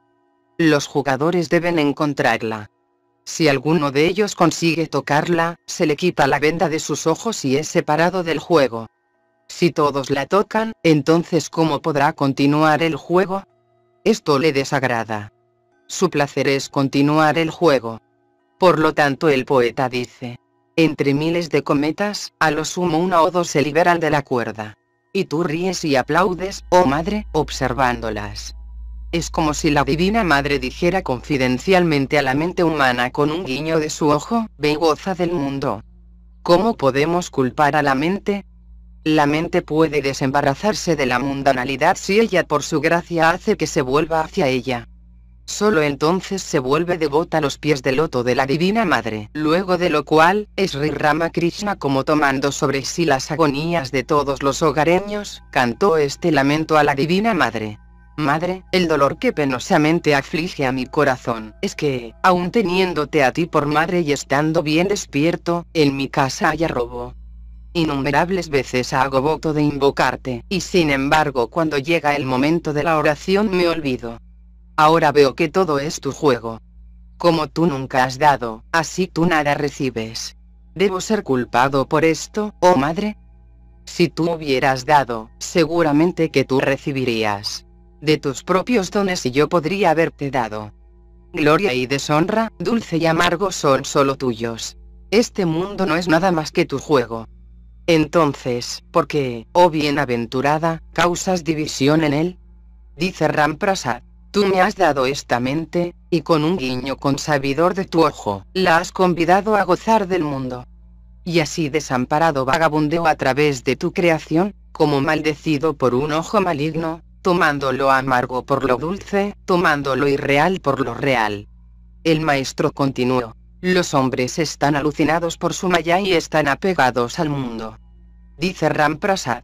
Tú me has dado esta mente, y con un guiño consabidor de tu ojo, la has convidado a gozar del mundo. Devoto Bramo. Señor, ¿no podemos realizar a Dios sin una renunciación completa? Maestro, riendo. Claro que puedes. ¿Por qué habrías de renunciar a todas las cosas? Tú estás muy bien así como estás, siguiendo el sendero medio, como melaza parcialmente sólida y parcialmente líquida. ¿Conoces el juego del Nax? Juego de cartas hindú cuyo objeto es permanecer en el juego, haciendo para ello menos de 17 puntos. El que alcance esta puntuación o más, debe retirarse. Habiendo alcanzado el número máximo de puntos, yo quedo fuera del juego. No puedo continuar gozándolo. Pero ustedes son muy listos. Algunos de ustedes han alcanzado 10 puntos, algunos 6 y otros 5. Tú has alcanzado el número justo de puntos, por lo tanto no estás fuera del juego como yo. El juego puede continuar. ¡Qué admirable! Todos ríen. Te diré la verdad, no hay nada malo en que estés en el mundo. Pero debes dirigir la mente hacia Dios. De otra manera no triunfarás. Cumple tus deberes con una mano y con la otra sostente de Dios. Una vez que hayas cumplido con tu deber, tienes que asirte a Dios con ambas manos. Todo es cuestión de la mente. Esclavitud y liberación solo pertenecen al campo de la mente. La mente tomará el color con el cual la tiñas. Es como ropa blanca recién venida del lavadero. Si la sumerges en colorante rojo, será roja. Si la sumerges en azul o verde, será azul o verde. Tomará solo el color en el cual la sumerjas, cualquiera que éste sea. ¿No has notado que si lees un poco inglés enseguida comienzas a pronunciar palabras en inglés? Foot foot me. El maestro estaba simplemente imitando el sonido del inglés. Luego te pones botas y silbas una tonada, etc. Todo acontece en forma sucesiva. O si un erudito estudia sánscrito, enseguida comenzará a parlotear versos en sánscrito. Si andas en mala compañía hablarás y pensarás como tus compañeros. Por otra parte, cuando estás en compañía de devotos, pensarás y hablarás solo de Dios. La mente es todo. Un hombre tiene a su esposa a un lado y a su hija del otro lado. Demuestra su cariño hacia ellas de diferente manera, pero su mente es una y la misma. La esclavitud está en la mente y la libertad también. Un hombre es libre si constantemente piensa, soy un alma libre. ¿Cómo puedo estar ligado, así viva en el mundo o en el bosque? Soy un hijo de Dios, el Rey de Reyes. ¿Quién puede atarme? Si una víbora llega a picarle, un hombre puede librarse de su veneno repitiendo con firmeza y determinación, no hay veneno en mí. De la misma manera repitiendo con gran firmeza y determinación, no estoy atado, soy libre, uno realmente llega a serlo, uno realmente llega a ser libre. Una vez alguien me dio un libro de los cristianos. Le pedí que me lo leyera. No hablaba sino del pecado. ¿A sad? También en vuestro Bramos Amaya no se oye hablar de otra cosa que de pecado. El infeliz que repite constantemente, estoy atado, estoy atado lo único que consigue es estar esclavizado. Aquel que dice día y noche, soy un pecador, soy un pecador realmente llega a ser un pecador. Uno debe tener tal ardiente fe en Dios de manera que pueda decir, ¿y qué? He repetido el nombre de Dios, ¿puede aún el pecado adherirse a mí? ¿Cómo puedo seguir siendo un pecador? ¿Cómo puedo ser esclavo aún? Si un hombre repite el nombre de Dios, su cuerpo, mente, todo él, se vuelve puro. ¿Por qué debe hablarse solamente de pecado e infierno y cosas por el estilo? Decida aunque sea una sola vez, oh Señor, sin duda he cometido graves errores, pero no los repetiré. Y tened fe en su nombre. Sri Ramakrishna sintiéndose embriagado con divino amor cantó. Si solo puedo morir repitiendo el nombre de Durga, ¿cómo puedes tú entonces, oh bendita, retener mi liberación, por miserable que yo sea? Luego dijo, a mi divina madre solo le rogaba por puro amor. Ofrecía flores a sus pies de loto y le rogaba, Madre, aquí está tu virtud, aquí tu vicio. Tómalos a ambos y concédeme solamente amor puro por ti. Aquí está tu conocimiento, aquí tu ignorancia. Tómalos a ambos y concédeme solamente puro amor por ti. Aquí está tu pureza, aquí tu impureza. Tómalas a ambas, madre, y concédeme solamente puro amor por ti. Aquí está tu Dharma, rectitud, probidad, cumplimiento de los deberes religiosos, aquí tu Dharma. Tómalos a ambos, madre, y concédeme solamente puro amor por ti. A los devotos bramos. Ahora he escuchado un canto de Ramprasad.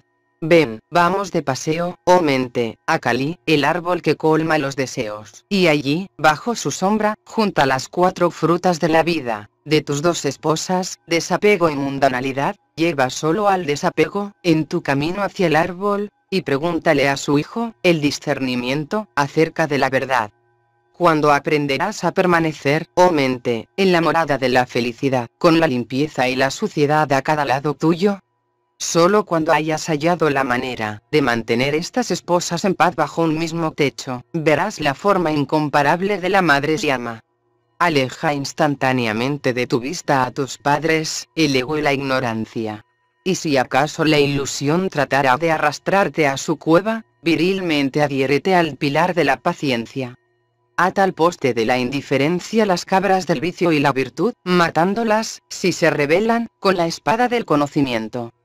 Trata solo a buena distancia, a los hijos de la mundanalidad, tu primera esposa, y si no quieren escuchar, ahógalos en el mar de la sabiduría.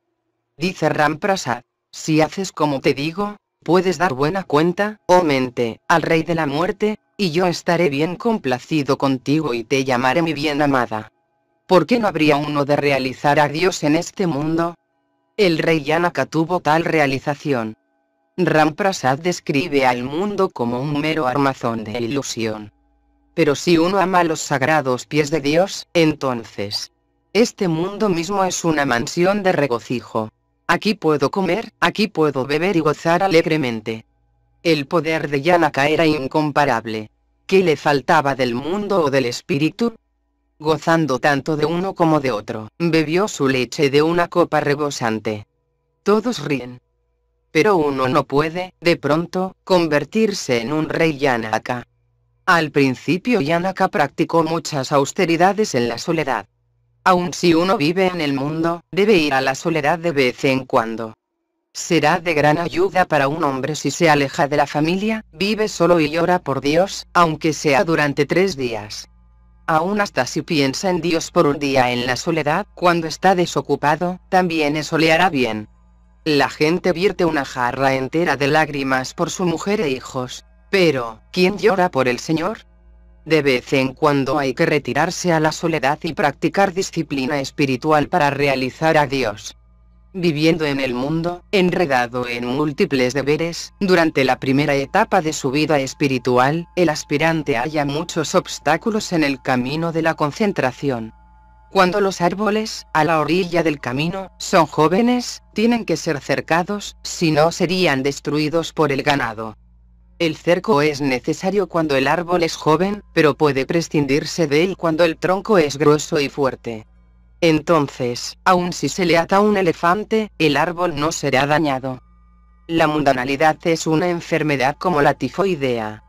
Hay una gran jarra de agua y otra de sabrosos pepinillos en el aposento del enfermo. Si quieres curar al enfermo tienes que cambiarlo de aposento. El hombre mundano es como el paciente de tifoidea. Los varios objetos de goce son la gran jarra de agua y el anhelo por su goce es su sed. Solo pensar en los pepinillos se le hace agua a la boca. No necesitas traérselos cerca. Y él está rodeado por ellos. La compañía de la mujer son los pepinillos. Por lo tanto el tratamiento en la soledad es necesario. Uno puede entrar en el mundo luego de haber alcanzado el discernimiento y el desapego. En el océano del mundo hay seis cocodrilos, lujuria, ira, etc. Pero no tienes que temer los cocodrilos si aplicas cúrcuma a tu cuerpo antes de entrar en el agua. El discernimiento y desapasionamiento son la cúrcuma. El discernimiento es el conocimiento de lo que es real y eterna substancia y que todo lo demás es irreal, transitorio, impermanente. Y debes cultivar intenso celo por Dios. Tienes que sentir amor por Él y ser atraído por Él. Las gopis de Brindavan sintieron esta atracción por Krishna. Dejad que os cante una canción. Escucha. Ha sonado la flauta allá en el bosque. Allá debo volar, porque Krishna espera en el sendero. Decidme amigas, ¿queréis venir o no? Para vosotras mi Krishna es un nombre vacío. Para mí, él es el ansia de mi corazón. Vosotras oís las notas de su flauta solo con vuestros oídos, pero yo las oigo en lo más hondo de mi alma. Oigo el llamado de su flauta. Sal, Rada. Sin ti el huerto está privado de su encanto.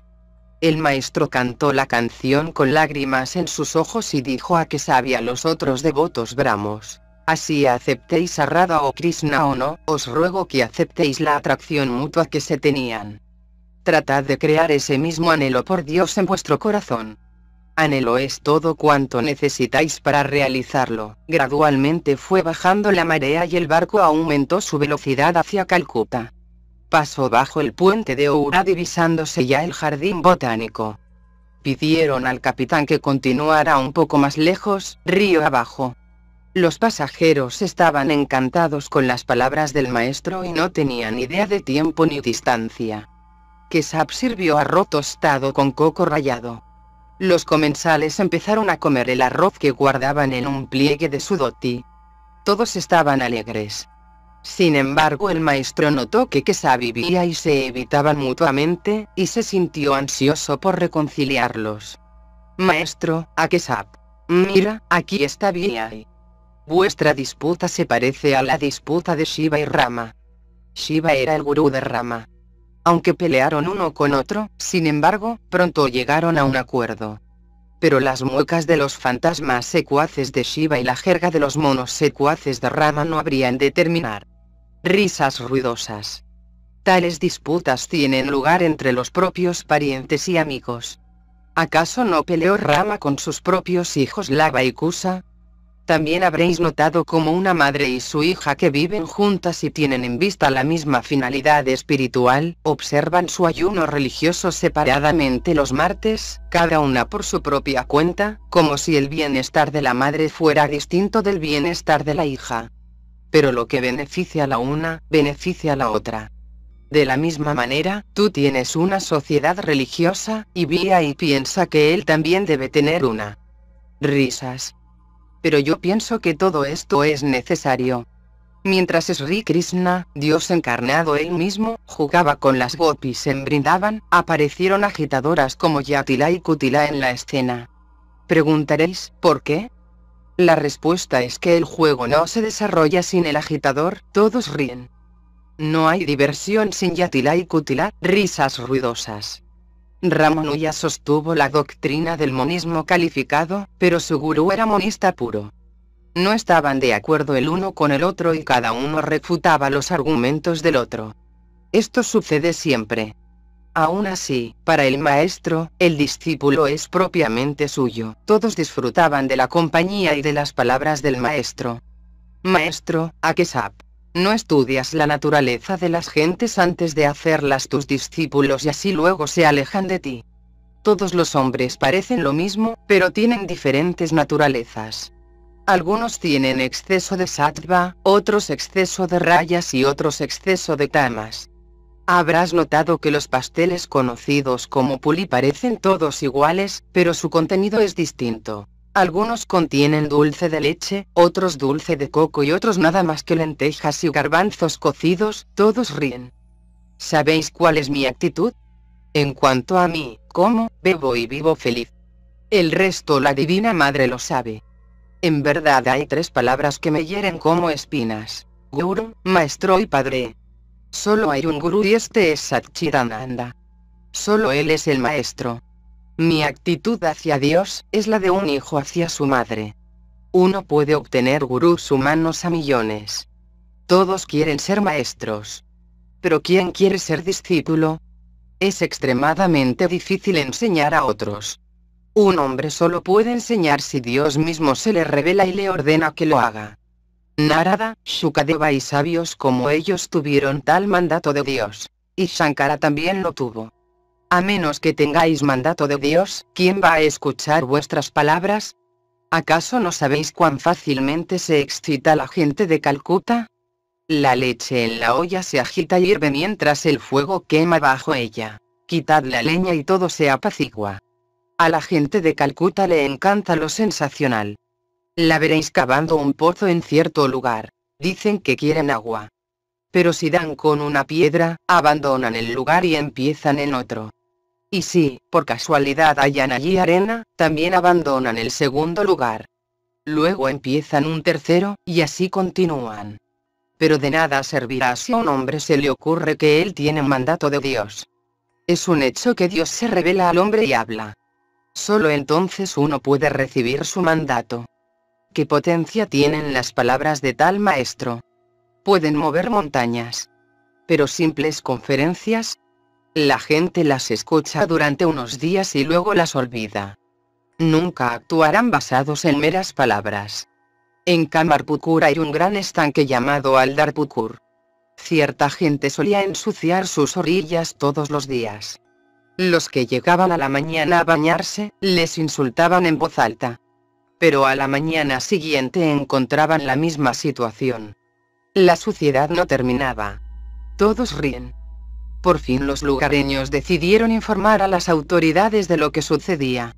Enviaron un representante del orden, quien puso un cartel que decía, prohibido causar molestias. Esto terminó con los malandrines, al momento. Todos ríen. Para enseñar a otros hay que tener una insignia de autoridad. Si no el enseñar se convierte en una burla. Un hombre, él mismo un ignorante, comienza a enseñar a otros como un ciego guiando a otro ciego. Tal enseñanza, en vez de hacer bien, daña. Después de realizar a Dios uno obtiene una visión interna. Solo entonces puede uno diagnosticar la enfermedad espiritual de una persona y darle instrucción. Sin un mandato de Dios, el hombre se vuelve vano. Se dice a sí mismo, estoy enseñando a la gente, esta vanidad proviene de la ignorancia, porque solo una persona ignorante piensa que es él quien actúa. Verdaderamente el hombre se libera en la vida, si siente. Dios es el hacedor. Solo Él lo está haciendo todo. Yo no estoy haciendo nada. Los sufrimientos y preocupaciones del hombre surgen únicamente de su persistente pensamiento de que Él es el hacedor. Vosotros habláis de hacer bien al mundo. ¿Es acaso tan pequeña cosa el mundo? Y, decidme, ¿quiénes sois vosotros para hacer bien al mundo? Primero realizad a Dios, vedlo por medio de disciplinas espirituales. Si Él os imparte poder, entonces podréis hacer bien a los otros. De lo contrario no. Un devoto bramo. Entonces Señor, ¿debemos abandonar nuestras actividades hasta que realicemos a Dios? Maestro. No. ¿Por qué habrías de hacerlo? Debéis ocuparos en actividades tales como la contemplación, cantar sus loas y otras prácticas diariamente. Bramo. Pero, con respecto a nuestros deberes mundanos, deberes relacionados con ganar nuestro sustento, etc. Maestro. Sí, podéis cumplirlos también, pero solo en la medida que sea necesario para el sostén de la vida. Al mismo tiempo debéis rogar a Dios en la soledad, con lágrimas en los ojos, para que podáis cumplir esos deberes de manera inegoísta. Debieras decirle, oh Dios, haz que mis deberes mundanos sean menos y menos. De otro modo, oh Señor, siento que te olvido cuando estoy envuelto en tantas actividades. Puedo pensar que estoy haciendo un trabajo en egoísta pero resulta que es egoísta.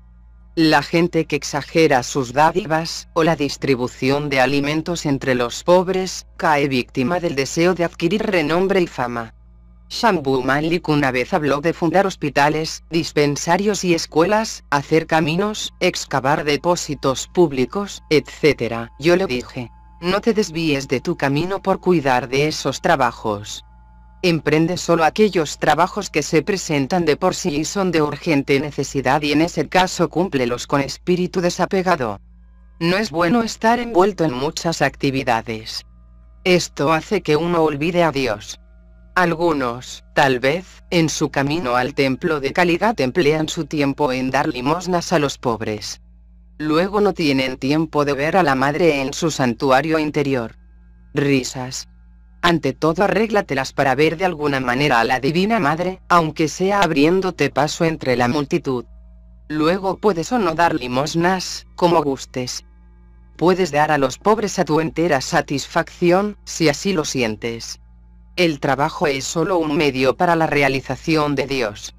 Por lo tanto dije a Shambhu, supón que Dios aparezca ante ti. ¿Le pedirás entonces que construya hospitales y dispensarios para ti? Risas. Un amante de Dios jamás dice esto. Más bien dirá, oh Señor, concédeme un lugar a tus pies de loto, consérvame siempre en tu compañía. Dame sincero y puro amor por ti. El karma yoga es en verdad muy duro. En el Kali Yuga, el actual de los cuatro ciclos universales, es sumamente difícil cumplir los ritos prescritos en las escrituras. Hoy en día, la vida del hombre está limitada al alimento. No puede cumplir muchos ritos según las escrituras. Supón que un hombre está en cama con fiebre. Si tratas una cura lenta con remedios primitivos y anticuados, antes de poco su vida estará en peligro. No puede soportar mucha demora. Hoy en día, la drástica mixtura del Dr. Gupta, medicina patentada, contra la fiebre, que contiene una fuerte dosis de quinina, es lo más apropiado. En el Kali Yoga, el mejor camino es el de Bhakti Yoga, el sendero de la devoción, cantar las loas de Dios y la oración. El sendero de la devoción únicamente es la religión de esta época. A los devotos bramos, el vuestro, también es sendero de devoción. En verdad, benditos sois que cantáis el nombre de Ari y cantáis las glorias de la Divina Madre. Me agrada vuestra actitud. No llamáis al mundo un sueño, como los no dualistas. Vosotros no sois brahmagnanis como ellos. Vosotros sois bhaktas, amantes de Dios. Que habléis de él como de una persona también es bueno. Vosotros sois devotos. Con seguridad lo vais a realizar si clamáis por él con sinceridad y anhelo. El barco ancló en Coyalagat y los pasajeros se prepararon para desembarcar. Al salir observaron que la luna llena ya había salido. Los árboles, las casas y los botes en el Ganges estaban bañados por su suave luz. Llamaron un coche para el maestro y y algunos otros devotos fueron con él. El maestro llamó a Kesap. De inmediato se acercó e inquirió acerca de los arreglos hechos para el regreso del maestro a Dapsineswar. Luego inclinándose profundamente se despidió de Sri Ramakrishna. El coche enfiló hacia los barrios europeos de la ciudad. El maestro disfrutó de la vista de las hermosas mansiones a la vera de las calles iluminadas. De pronto dijo, tengo sed. ¿Qué podemos hacer? Nandalal, sobrino de Kesab, detuvo el coche ante el Club India y subió las escaleras para pedir agua. El maestro preguntó si el vaso había sido bien lavado y como se le asegurara que sí, bebió el agua. Cuando el coche continuó su marcha, el maestro sacó la cabeza por la ventanilla, visiblemente encantado. Como un niño disfrutaba de las gentes, los vehículos, los caballos y las calles, todo inundado de luz lunar. De vez en cuando oía cantar a señoras europeas con acompañamiento de piano. El maestro se encontraba en un estado de gran felicidad. El coche llegó a casa de Suresh Mitra, gran devoto del maestro y a quien afectuosamente él llamaba Surendra. No se encontraba en casa. Los miembros de la familia dispusieron de un cuarto en la planta baja para el maestro y sus acompañantes. Había que pagar el coche. Surendra se hubiera ocupado de ellos si hubiera estado allí. El maestro dijo a un devoto, ¿por qué no pides a las señoras que paguen el coche? Seguramente ellas saben que su amo nos visita en Dapsineswar. No soy un extraño para ellas, todos ríen. Alguien fue a buscar a Narendra, que vivía en ese barrio de la ciudad.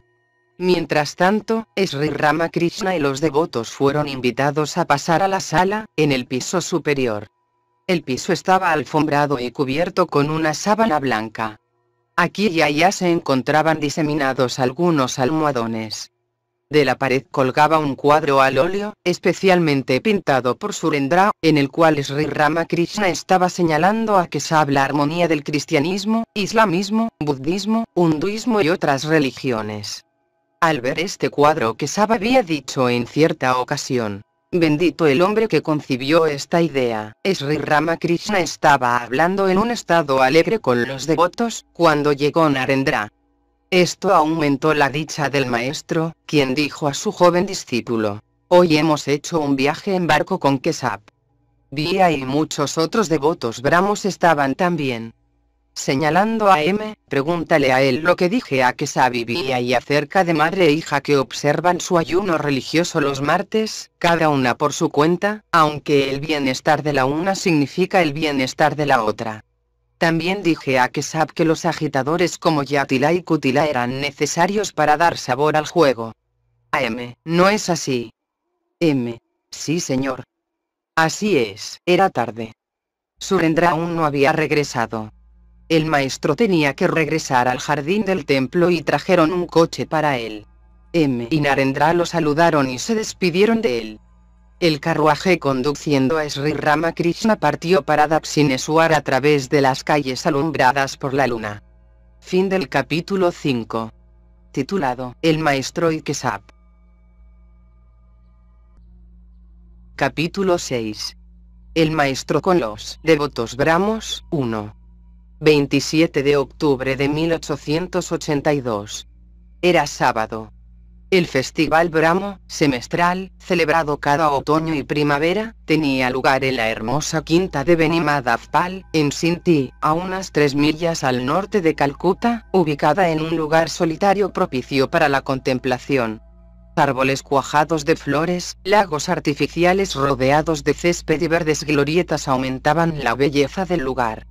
En el momento en que las nubes aborregadas tomaban una tonalidad dorada alumbradas por los rayos del sol poniente, llegaba el maestro. Muchos devotos se habían congregado para el culto de la mañana y durante la tarde se agregaron gente de Calcuta y sus alrededores. Shivanath, el gran devoto Brahmo a quien el maestro quería tiernamente, se encontraba entre los numerosos miembros del Brahmo Samaya que habían estado esperando ansiosamente la llegada de Sri Ramakrishna. Cuando el coche que traía al maestro y a unos pocos devotos llegó a la quinta, todos los presentes se pusieron respetuosamente de pie para recibirlo. Se produjo un profundo y súbito silencio, como acontece en un teatro en el momento de levantarse el telón.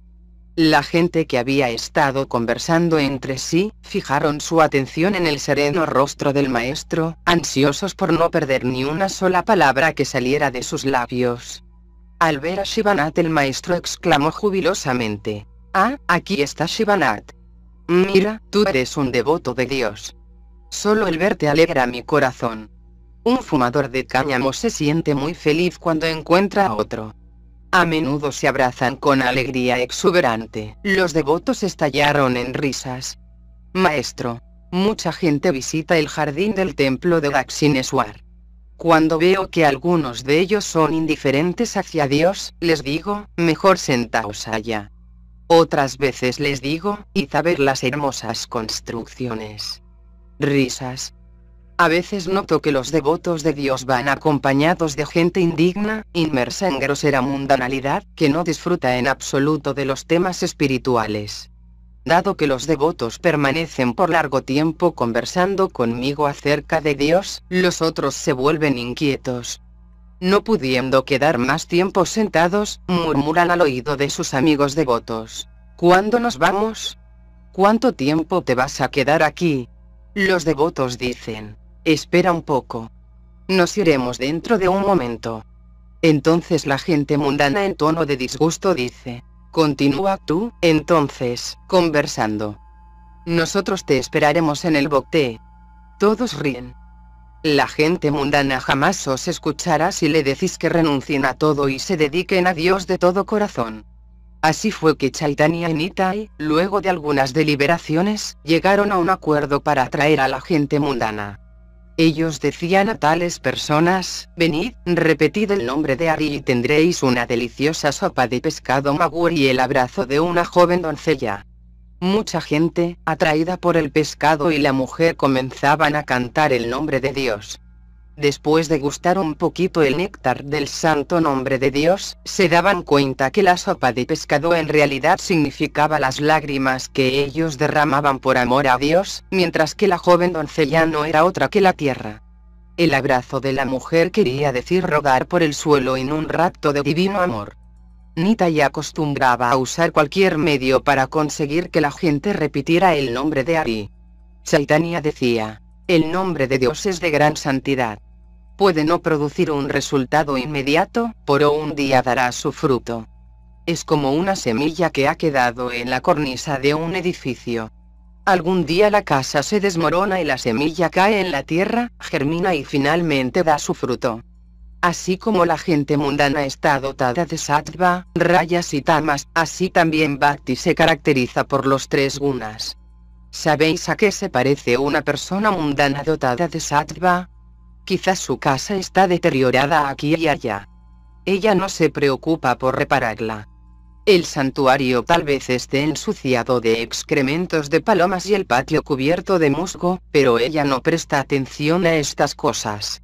Los muebles pueden ser viejos. Ella no piensa en lustrarlos ni hacerlos aparecer limpios.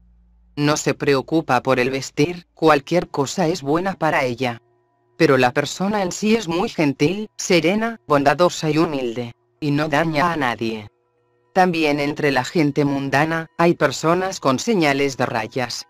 Hombres así usan reloj y cadena y dos o tres anillos en sus dedos. El moblaje de su casa es flamante. De las paredes cuelgan retratos de la reina, el príncipe de Gales y de otras personalidades. La casa luce como un espejo. Su guardarropa está lleno de diversas ropas y hasta los sirvientes usan librea y cosas por el estilo. Los signos de un hombre de mundo dotado de tamas son el sueño, la lujuria, la ira, el egoísmo y otros aspectos similares. De la misma manera, Bhakti, la devoción, tiene su sattva. El devoto que la posee medita en Dios en absoluto secreto, tal vez dentro de su mosquitero. Otros creen que está dormido. Dado que se levanta tarde, quizás piensen que no ha dormido bien durante la noche. Su amor por el cuerpo solo llega hasta apaciguar su hambre y esto solo por medio de arroz y simples verduras. No hay arreglos elaborados acerca de las comidas, ni lujo en sus ropas y no hay despliegue de mobiliario. Además, tal devoto jamás adula a nadie por dinero. El aspirante poseído de devoción rayásica se pone un tilak, marca de pasta de sándalo u otro material que denota la afiliación religiosa, en la frente y un rosario de sagradas cuentas de rudraxa, carozo de cierto fruto, alternadas con cuentas de oro alrededor del cuello. Todos ríen. Para el culto usa ropa de seda. El hombre dotado de bhakti tamásico tiene fe ardiente. Tal devoto literalmente extorsiona a Dios para obtener dones, así como un ladrón cae sobre un hombre y le quita su dinero. Ata. Golpea. Mata. Este es su modo, el modo de los asaltantes. Diciendo esto el maestro comenzó a cantar con una voz dulce de amor arrobador, dirigiendo su mirada hacia lo alto.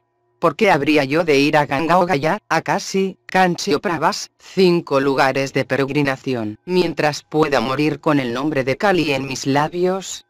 ¿Qué necesidad de rituales tiene el hombre, qué más necesidad de devociones, si repite el nombre de la madre durante las tres horas sagradas?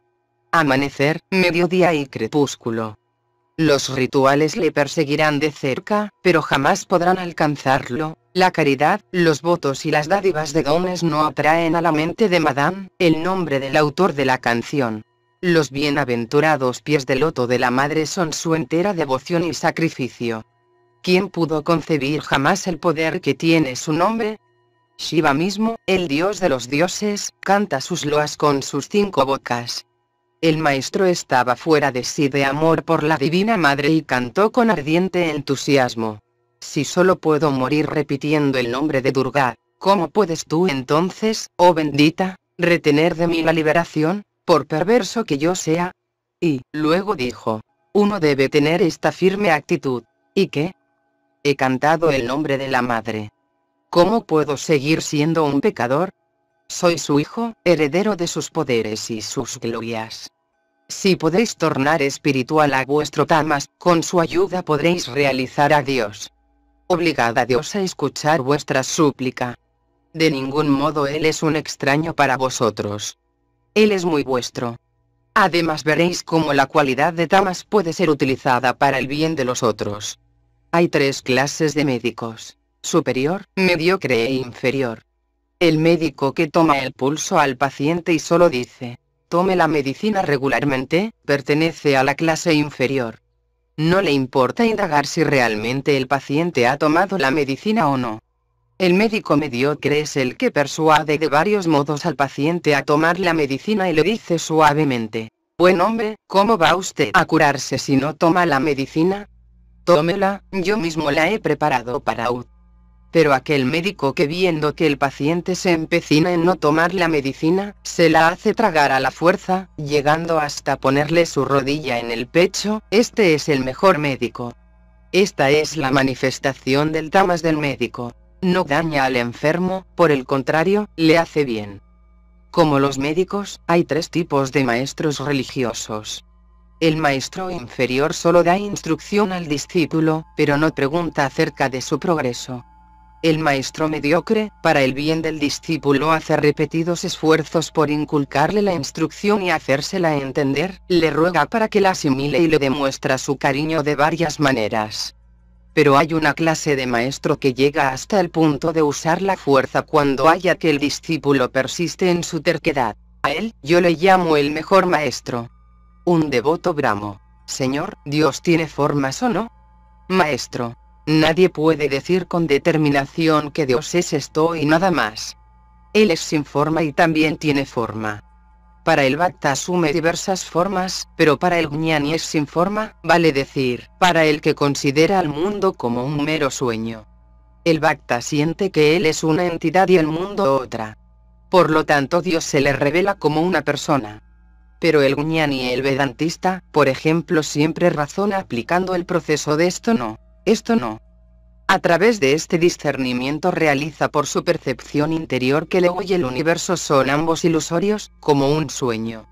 Entonces el Jnani realiza a Brahman en su propia conciencia. No puede describir lo que Brahman es. ¿Sabéis lo que quiero decir? Pensad en Brahman, existencia, conciencia, felicidad absoluta, como un mar sin orillas como si fuera por la refrigerante influencia del amor del Bacta, en algunos lugares el agua se ha solidificado en bloques de hielo. En otras palabras, de vez en cuando, Dios asume varias formas para sus amantes y se revela a ellos como una persona. Pero cuando asoma el sol del conocimiento, los trozos de hielo se derriten. Entonces uno no siente más que Dios es una persona, ni ve las formas de Dios. Lo que Él es, no puede describirse. ¿Quién lo describirá? Aquel que podría hacerlo desaparece. No puede hallar más su yo. Si uno se analiza a sí mismo no haya tal cosa como el yo. Por ejemplo, tomad una cebolla. Antes que todo, peláis la cáscara roja exterior, luego halláis gruesas cáscaras blancas. Pelad estas una después de otra y no hallaréis nada adentro. En este estado el hombre no halla más la existencia de su ego. ¿Y quién queda para buscarla? ¿Quién puede describir cómo uno siente en este estado de pura conciencia, acerca de la naturaleza real de Brahman? Una vez una muñeca de sal fue a medir la profundidad del océano. Tan pronto como se sumergió dentro del agua, se derritió. Ahora, ¿quién quedó para contar acerca de la profundidad? Hay un signo de conocimiento perfecto. Cuando el hombre lo alcanza, se vuelve silencioso. Entonces el yo que puede ser equiparado a la muñeca de sal, se derrite en el océano de existencia, conciencia, felicidad absoluta y se vuelve uno con ello. No queda ni la menor traza de diferencia. Mientras que el propio análisis no sea completo, el hombre arguye con mucha dificultad. Pero se vuelve silencioso cuando lo completa. Cuando el cántaro vacío se llena de agua y el agua dentro del cántaro se hace una cola del lago, no se oye más ruido. El sonido viene del cántaro mientras el cántaro no esté lleno. La gente solía decir en tiempo antiguo que ningún barco volvía luego de haber entrado en las aguas negras del océano. Todas las perturbaciones y molestias terminan cuando el yo muere. Podéis dar rienda suelta a miles de razonamientos, pero todavía el yo no desaparece. Para gente como vosotros y yo, es bueno tener el sentimiento soy el amante de Dios. El Saguna Brahman, Brahman dotado de atributos, es para los Bhaktas. En otras palabras, un Bhakta cree que Dios tiene atributos y se revela a los hombres como una persona que asume formas. Es Él quien oye nuestras oraciones. Las oraciones que decís son dirigidas solamente a Él. Sois Bhaktas y no vedantistas. No importa que aceptéis o no a Dios con forma. Es suficiente con sentir que Dios es una persona que escucha nuestras oraciones, que crea, preserva y destruye el universo y que posee poder infinito. Es más fácil alcanzar a Dios siguiendo el sendero de la devoción. Devoto Brahmo. Señor, ¿es posible ver a Dios? Si es así, ¿por qué no podemos verlo? Maestro. Sí, ciertamente puede verse. Uno puede ver su forma y su aspecto sin forma también. ¿Cómo puedo explicártelo? Devoto Brahmo. ¿Cuáles son los medios por los cuales uno puede ver a Dios? Maestro. ¿Puedes llorar por él con intenso anhelo del corazón? Los hombres vierten toda una jarra de lágrimas a causa de sus hijos, esposas o por dinero. Pero ¿quién llora por Dios? Mientras que el niño está abstraído con sus juguetes, la madre cocina y cumple otros deberes caseros. Pero cuando el niño ya no se entretiene más con los juguetes, los deja de lado y grita por su madre.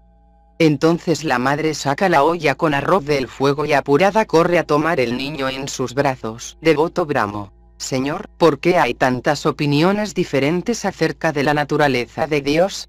Algunos dicen que Dios tiene forma, mientras otros dicen que es sin forma.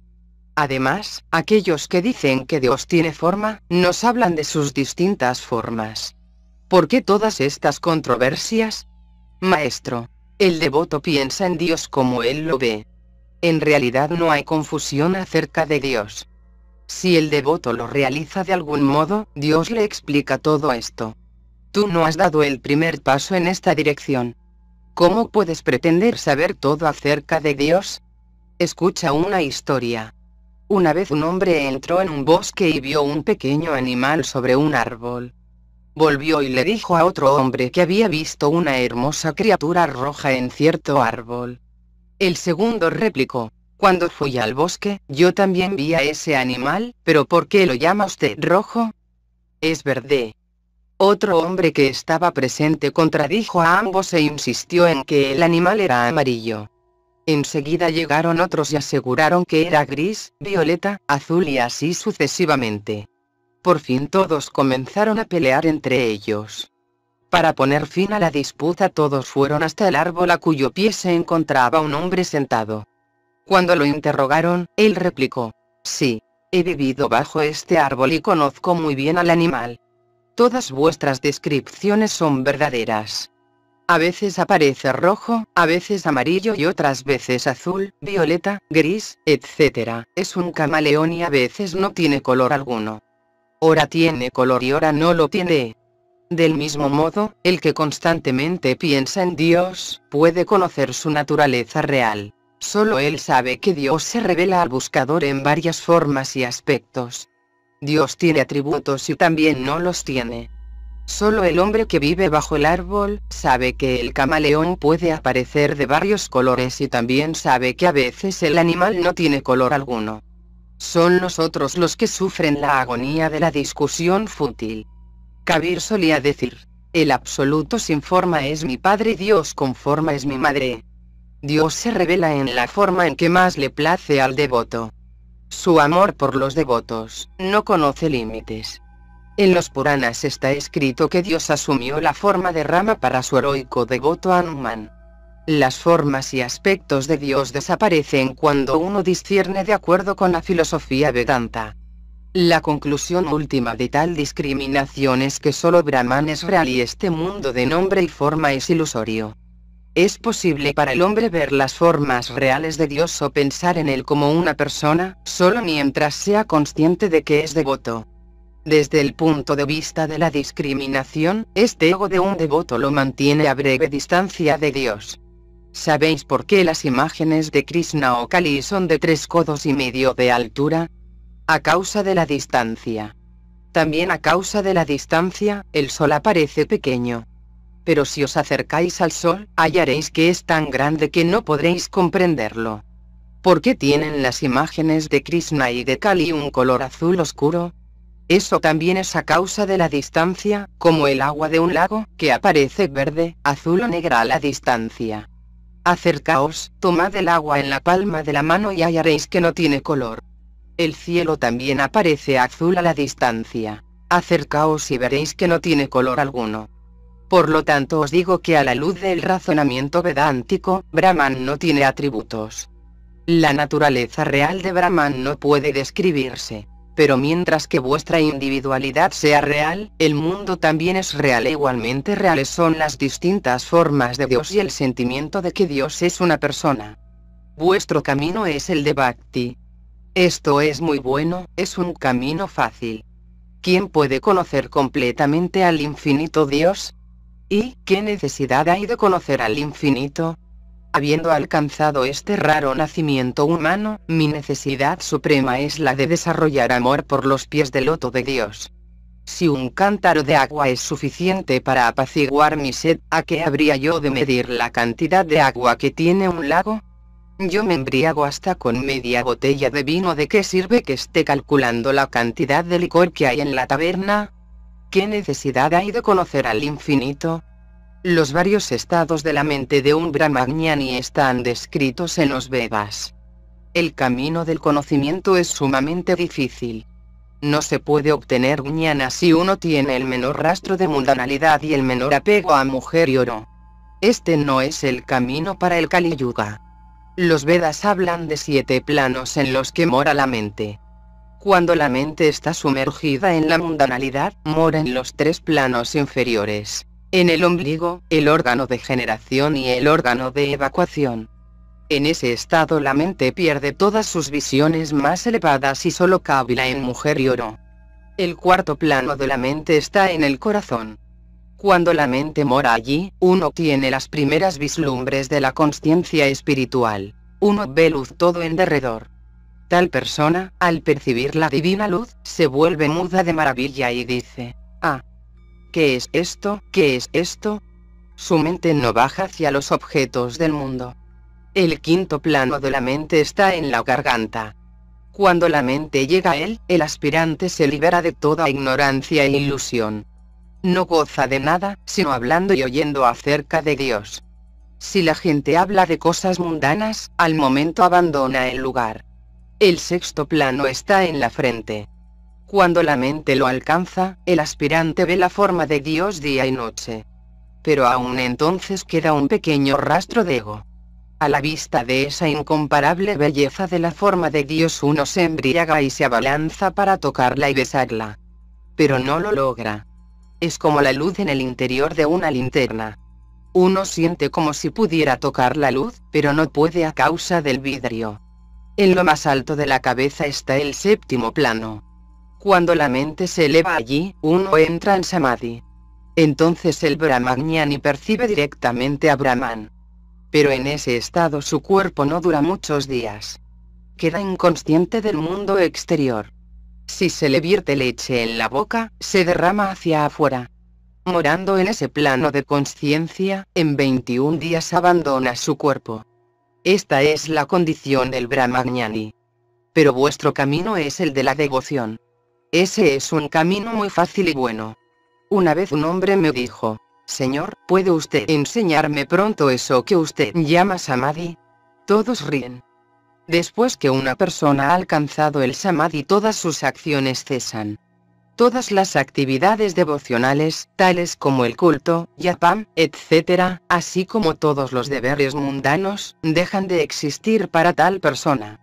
Al principio hay mucha preocupación por el trabajo, a medida que la persona progresa hacia Dios, el despliegue exterior de su trabajo se torna menor y menor hasta el punto que ni siquiera puede cantar el nombre y las glorias de Dios. Ashivanath. Mientras que tú no estabas en esta reunión, la gente hablaba la mar de ti y discutía tus virtudes. Pero tan pronto como llegaste todo se acabó. Ahora, solo el verte vuelve felices a todos. Ahora la gente simplemente dice, ah, Aquí está Shivanath Babu. Toda otra charla sobre ti ha concluido. Después de haber alcanzado Samadhi, una vez fui al Ganges a hacer tarpan, ceremonia de libación en homenaje a los difuntos. Pero cuando tomé agua en la palma de mi mano, se derramó a través de mis dedos. Llorando dije a Alagari, primo, ¿qué es esto? Alagari replicó, esto se llama Galitasta, literalmente, mano inerte y aturdida, en los libros sagrados. Después de la visión de Dios, tales deberes como el hacer tarpan se abandonan. En el kirtan el devoto primero canta, Nitai, amar mata a ti, mi Nitai baila como un elefante enloquecido. A medida que la devoción se ahonda, simplemente canta a ti. A ti, Luego todo lo que puede cantar es a ti y al final de todo simplemente a. Y entra en samadhi. El hombre que ha estado cantando todo el tiempo entonces enmudece. También, en una comida dada a los brahmines, uno primero oye mucho ruido de charla. Cuando los invitados se sientan en el suelo, con los platos de hojas frente a ellos, mucho del ruido cesa. Luego solo se oye el clamor. Traigan luchi. Luchi es una especie de pan delgado hecho de harina frita en manteca. Cuando comparten los luchis y otros platos, las tres cuartas partes del ruido amaina. Cuando aparece la cuajada, último plato, se oye un solo sonido sub, sub, al comer los invitados la cuajada con los dedos. Luego prácticamente no hay ruido. Después todos se retiran a dormir y reina un silencio absoluto. Por lo tanto digo, al principio de la vida religiosa el hombre hace mucha laraca acerca del trabajo, pero a medida que su mente se sumerge más hondo en Dios, se vuelve menos activo. Finalmente viene la renunciación al trabajo, seguida de samadhi. Por lo general, el cuerpo no queda con vida después de alcanzar el samadhi. Las únicas excepciones son sabios tales como Narada, que conservaron sus cuerpos para dar luz espiritual a otros. También esto se aplica a las encarnaciones divinas, como Chaitanya. Después que se cava el pozo, generalmente uno tira la pala y la canasta.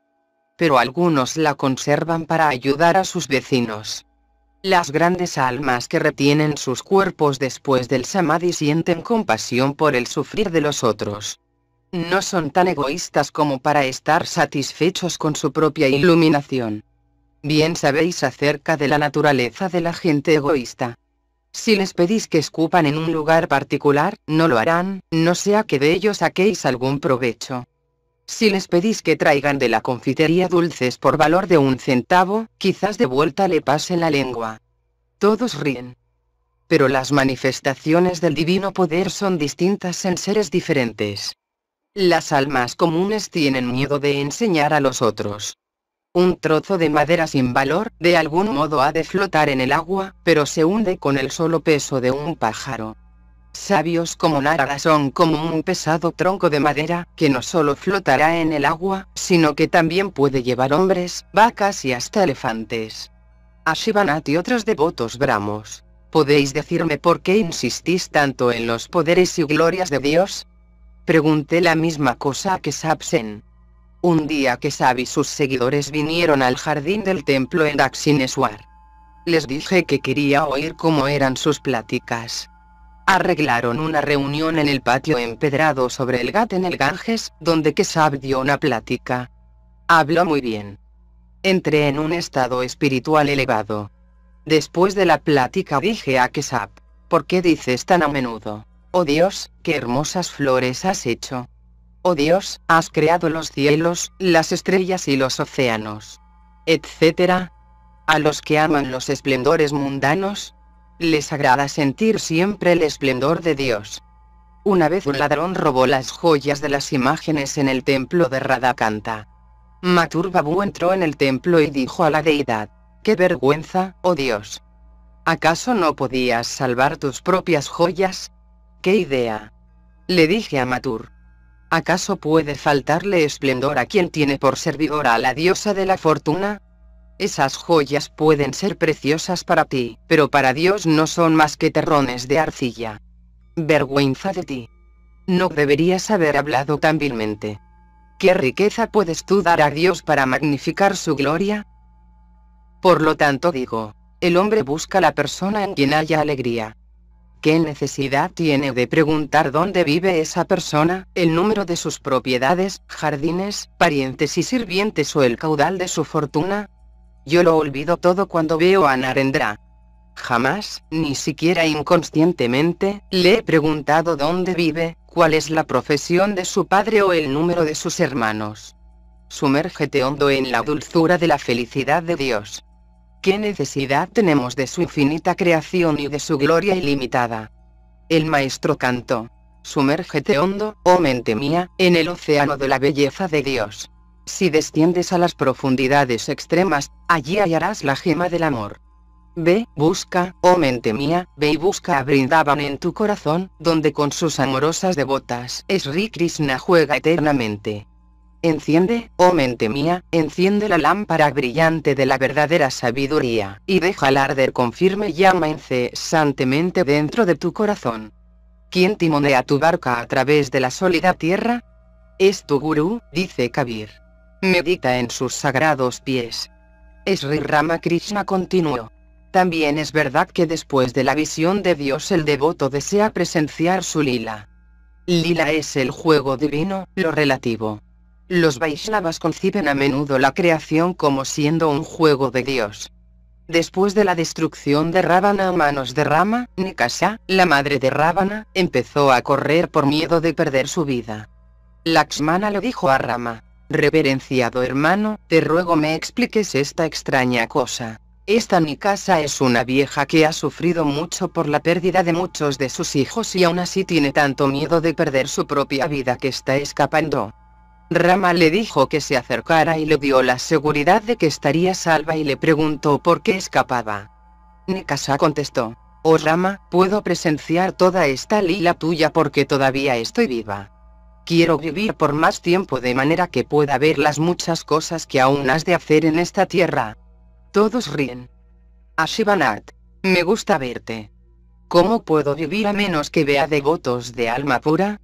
Siento como si hubieran sido mis amigos en una encarnación previa. Un devoto Brahmo. Señor, ¿cree usted en la reencarnación del alma? Maestro. Sí, dicen que hay algo así. ¿Cómo podemos comprender los modos de Dios por medio de nuestros pequeños intelectos? Mucha gente ha hablado acerca de la reencarnación. Por lo tanto no puedo dejar de creer en ella.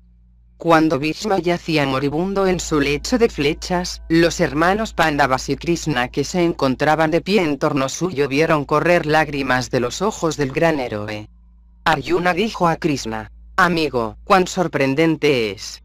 Hasta semejante hombre como nuestro tío abuelo Bhishma Veraz, de absoluto autodominio, supremamente sabio y uno de los ocho vasos y ahora causa de Maya en la hora de la muerte. Sri Krishna preguntó a Bhishma acerca de ello. Bhishma replicó, Oh Krishna, tú lo sabes muy bien, que no es esta la causa de mi pesar. Estoy pensando que no hay fin al sufrimiento de los Pandavas, aunque Dios mismo es su auriga. Krishna, una encarnación de Dios, era el auriga de Arjuna. Un pensamiento como este, me hace sentir que no he comprendido nada de los modos de Dios y por lo tanto lloro. Eran como las ocho y media cuando empezó el culto de la tarde en el oratorio. Pronto salió la luna en el cielo de otoño e inundó los árboles y enredaderas del jardín con su luz. Después de las oraciones, los devotos comenzaron a cantar. Sri Ramakrishna estaba bailando embriagado de amor por Dios. Los devotos bramos bailaban en su derredor acompañados de tambores y címbalos. Todos parecían hallarse en un ánimo muy jubiloso. El lugar resonaba con los ecos del santo nombre de Dios. Cuando paró la música, Sri Ramakrishna se postró en el suelo haciendo salutaciones a la Divina Madre una y otra vez y dijo, Bhagavata Bhakta Bhagavan. Mi salutación a los pies de los ñanis. Mi salutación a los pies de los bhaktas. Saludo a los bhaktas que creen en Dios con forma. Saludo a los bhaktas que creen en Dios sin forma. Saludo a los conocedores de Brahman de antaño. Y mis salutaciones a los pies de los modernos conocedores de Brahman del Brahmo Samaya. Luego el maestro y los devotos gozaron de una comida compuesta de deliciosos platos con que su anfitrión Benimada Flos había provisto. Miércoles, 15 de noviembre de 1882. Sri Ramakrishna, acompañado de Rakal y de varios devotos vinieron a Calcuta en un coche y visitaron a M en la escuela donde estaba enseñando. Luego todos fueron al Maidan. Gran lugar abierto en Calcuta. Sri Ramakrishna quería ver el circo Wilson. Mientras el coche iba por la atestada avenida de Chikpor, grande era su alegría como un niño se asomaba fuera del coche, de un lado y luego del otro hablándose a sí mismo como si estuviera hablando a los transeúntes. AM le dijo. Hallo que la atención de la gente, está fijada en cosas mundanas. Todos embisten por todos lados a causa de sus estómagos. Ninguno piensa en Dios. Llegaron al circo. Tomaron los boletos más baratos. Los devotos llevaron al maestro a una galería alta y todos se sentaron en un banco. Dijo alegremente, ah, este es un buen lugar. De aquí puedo ver la representación. Había exhibición de varias proezas. Un caballo corría en derredor de la pista, sobre la cual colgaban amplios anillos de hierro, colocados a intervalos. Una inglesa, la amazona del circo, estaba parada en un pie sobre el lomo del caballo y cuando éste pasaba bajo los anillos, saltaba a través de ellos, cayendo siempre en un pie sobre el lomo del caballo. El caballo corría alrededor del círculo entero y la mujer jamás cerraba el caballo ni perdía su equilibrio. Cuando concluyó la función el maestro y los devotos estaban parados en el campo cerca del coche. Como era una noche fría, cubrió su cuerpo con su chal verde. Sri Ramakrishna le dijo a M. Viste cómo la mujer inglesa estaba parada en un pie sobre su caballo, mientras este corría como relámpago. Qué proeza difícil ha de ser. Debe haber practicado por mucho tiempo. El menor descuido y se rompería los brazos o las piernas. Hasta se podría matar. Llevando la vida de hogareño, uno se enfrenta con las mismas dificultades. Algunos pocos tienen éxito en ella, por medio de la gracia de Dios y como resultado de su práctica espiritual. Pero la mayoría de la gente falla. Entrando en el mundo se ven más y más envueltos en él. Se ahogan en mundanalidad y sufren las agonías de la muerte. Solo unos pocos como Yanaka han tenido éxito por medio del poder de su austeridad, llevando la vida espiritual siendo hogareños. Por lo tanto la práctica espiritual es sumamente necesaria, de otro modo, uno no puede vivir rectamente en el mundo. El maestro subió al coche con los devotos y fue a casa de Balaram Bosu. Lo llevaron con sus acompañantes al piso alto. Era de noche y se encendieron las lámparas. El maestro describió las proezas que había visto en el circo. Gradualmente se juntaron otros devotos y pronto estuvo entretenido en conversación espiritual con ellos. La conversación giró sobre el sistema de casta. Sri Ramakrishna dijo, solo por un medio puede eliminarse el sistema de casta y este es el amor a Dios. Los amantes de Dios no pertenecen a ninguna casta. La mente, el cuerpo y el alma de un hombre se purifican por medio del divino amor. Chaitanya y Nityananda derramaron el nombre de Ari por todas partes, incluyendo al paria y los abrazaban a todos ellos. Un brahmin sin este amor deja de ser brahmin y un paria con el amor de Dios, no es más paria. Por medio de Bhakti, un intocable se vuelve puro y elevado. Hablando de los hogareños enredados en la mundanalidad, el maestro dijo, son como el gusano de seda. Pueden salir del capullo de su vida mundana si quieren, pero no pueden soportarlo, porque ellos mismos han construido el capullo con gran amor y cuidado. Así es que mueren allí. O son como los peces en una trampa. Pueden salir de ella por donde entraron, pero juegan dentro de la trampa con otros peces, escuchando el suave sonido de las aguas murmurantes y se olvidan de todo lo demás. Ni siquiera hacen un esfuerzo para libertarse de la trampa. El balbuceo de los hijos es el murmullo del agua y los otros peces son los parientes y amigos. Solo uno o dos se libran de una vez por todas, escapando. Son las almas liberadas, el maestro cantó entonces. Tal es el envaimiento que vela al mundo por el hechizo de Mahamaya, que Brahma y Vishnu pierden el sentido. ¿Qué esperanza queda al ser humano? Primero se construye el angosto canal y allí se coloca la trampa. Pero, aunque abierto y hace el pasaje, una vez salvada la compuerta, el pez no sale más afuera. El gusano de seda pacientemente y la su capullo ceñido. Pero aun cuando hay un camino que lo llevaría afuera, encajonado dentro de su propio capullo, el gusano queda para morir. El maestro continuó. El hombre puede ser comparado a los granos, ha caído entre las ruedas de moler y está por ser triturado. Solo los pocos granos que quedan cerca de la clavija escapan. Por lo tanto los hombres debieran tomar refugio en la clavija, es decir en Dios. Y amadlo. Cantad su nombre, entonces seréis libres. Si no, seréis triturados por el rey de la muerte. El maestro cantó de nuevo. Madre, madre. Mi bote se está hundiendo aquí en el océano de este mundo. Fieramente el huracán del engaño ruge por todas partes. Zafio es mi timonel, la mente. Empecinados mis seis remeros, las pasiones. Con un viento despiadado, hice zarpar mi bote, y ahora se está hundiendo. Partido está el timón de la devoción, andrajosa la vela de la fe, al bote entran las aguas a borbotones. Dime, ¿qué he de hacer? Porque con mis ojos que fallan, ay. Solo veo oscuridad. Aquí en las olas voy a nadar, oh madre, y me colgaré de la balsa de tu nombre. El señor Visuas había estado en el aposento por largo rato y se fue. En un tiempo había sido rico, pero había derrochado todo en una vida inmoral.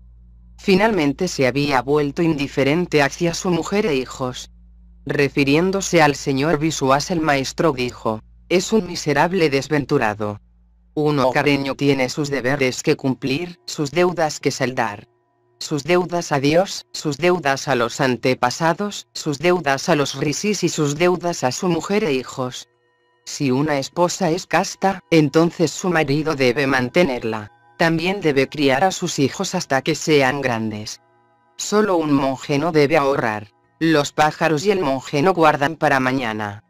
Pero aún hasta los pájaros proveen cuando tienen pichones. Les traen la comida en su pico.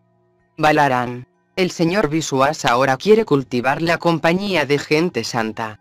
Maestro, con una sonrisa. El camandal, pote de agua, de un monje va con él a los cuatro principales lugares santos ocho de peregrinación, pero aún tiene gusto amargo. Los cuatro puntos cardinales de la India a saber, Kadarnath en los Himalayas, Dwaraka en el oeste, Rameswar en el sur y Puri en el este.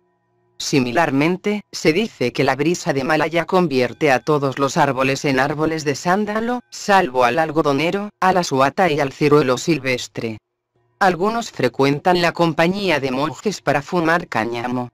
Muchos monjes lo fuman y estos hogareños se quedan con ellos, preparan el cáñamo y luego comparten el prasad, comida o cualquier cosa ofrecida a Dios, a un santo. Jueves, 16 de noviembre de 1882. El maestro había venido a Calcuta. Por la tarde fue a casa de Raimoan, un miembro del Brahmo Samaya, donde Narendra y uno de sus jóvenes amigos solían juntarse y adorar de acuerdo con las ceremonias de los Brahmos. Sri Ramakrishna quería ver el culto. Fue acompañado por M y algunos otros devotos. El maestro estaba muy contento de ver a Narendra y expresó el deseo de observar a los jóvenes en su culto. Narendra cantó y luego comenzó el culto. Uno de los jóvenes lo conducía. Y oró. Oh Señor. Ojalá que abandonemos todo y seamos absorbidos en ti. Quizás el joven estuviera inspirado por la presencia del maestro y así hablaba de renunciamiento total. Sri. Ramakrishna en un murmullo dijo. Hay mucha probabilidad de eso. Raimoan sirvió refrescos al maestro. Domingo, 19 de noviembre de 1882. Era la ocasión propicia del Yagadatri Puya, el festival de la Divina Madre. Sri Ramakrishna fue invitado a la casa de Surendra en Calcuta, pero primero fue a casa de Monomohan en la vecindad. El maestro estaba sentado en la sala de Monomohan y dijo, a Dios le es muy grata la bhakti del pobre y del humilde, así como la vaca saborea el pasto mezclado con torta de granos de mostaza. El rey Duryodhana enseñó a Krishna el esplendor de su opulencia y riquezas, pero Krishna aceptó la hospitalidad del pobre Vidura. Dios es aficionado a sus devotos. Corre tras sus devotos como la vaca tras el ternero. El maestro cantó. Y, por ese amor, los poderosos yogis practican yoga, de edad en edad. Cuando el amor despierta, el Señor, como un imán atrae el alma hacia él. Luego dijo, Chaitanya solía verter lágrimas de dicha a la sola mención del nombre de Krishna. Solo Dios es la substancia real, todo lo demás es ilusorio. El hombre puede realizar a Dios si lo quiere, pero ansía locamente el goce de mujer y oro. La serpiente tiene una piedra preciosa en su cabeza, creencia popular en Bengala, pero está perfectamente satisfecha en comer una simple rana. Bhakti es la única cosa esencial. ¿Quién puede jamás conocer a Dios por el razonamiento? Yo quiero el amor a Dios. ¿Qué me importa conocer sus glorias infinitas? Una botella de vino me embriaga. ¿Qué me importa saber cuántos galones hay en las bodegas? Una jarra de agua es suficiente para apagar mi sed. No necesito saber la cantidad de agua que hay en la tierra. Sri Ramakrishna llegó a la casa de Surendra. Muchos devotos se habían reunido allí, inclusive el hermano mayor de Surendra que era juez. Maestro, al hermano de Surendra, usted es un juez. Esto es muy bueno. Pero recuerde, todo sucede a través del poder de Dios. Es Él quien le ha dado a usted su alta posición. Así es como usted llegó a ser juez. La gente cree que ellos son grandes. El agua corre del techo a través de una gárgola que tiene la forma de una cabeza de león. Pareciera como si el león estuviera arrojando el agua de su boca. Pero mire a la fuente del agua. Unas nubes se juntan en el cielo y la lluvia cae en el techo. Luego el agua fluye a través de los caños y por fin cae por la gárgola. Hermano de Surendra, el Brahmo Samaya predica la libertad de las mujeres y la abolición del sistema de castas. ¿Qué piensa usted de estos temas? Maestro, los hombres piensan así cuando comienzan a desarrollar anhelo espiritual. Una tormenta levanta nubes de polvo y uno no puede distinguir entre los diferentes árboles el mango, el ciruelo y el tamarindo pero luego que la tormenta pasa, uno ve claro. Después que la primera tormenta de divina pasión se calma, uno comprende gradualmente que solo Dios es el más excelso bien, la eterna substancia y que todo lo demás es transitorio. Uno no puede entender esto sin tapasia, o austeridad religiosa, y la compañía de santos. ¿De qué sirve meramente solfear las partes escritas para el tambor? Es muy difícil ponerlas en práctica en el instrumento. ¿Qué puede lograrse por una mera conferencia? Es austeridad y renunciación lo que se necesita. Solo por esto uno puede comprender. Usted pregunta acerca de las distinciones de casta. Hay un solo medio para quitarlas y es el amor de Dios. Los amantes de Dios no tienen casta. Por medio de este divino amor el intocable se vuelve puro, el paria no queda más paria. Chaitanya abrazaba a todos, inclusive a los parias. Los miembros de Brahmo Samaya cantan el nombre de Ari. Esto es muy bueno. Por medio de la oración fervorosa uno recibe la gracia de Dios y lo realiza. Dios puede realizarse por medio de todos los senderos. El mismo Dios es invocado por diferentes nombres. Hermano de Surendra. Señor, ¿qué piensa usted de la teosofía? Maestro, He oído que el hombre puede adquirir poderes sobrehumanos por ella y hacer milagros. He visto un hombre que había traído bajo su férula a un fantasma.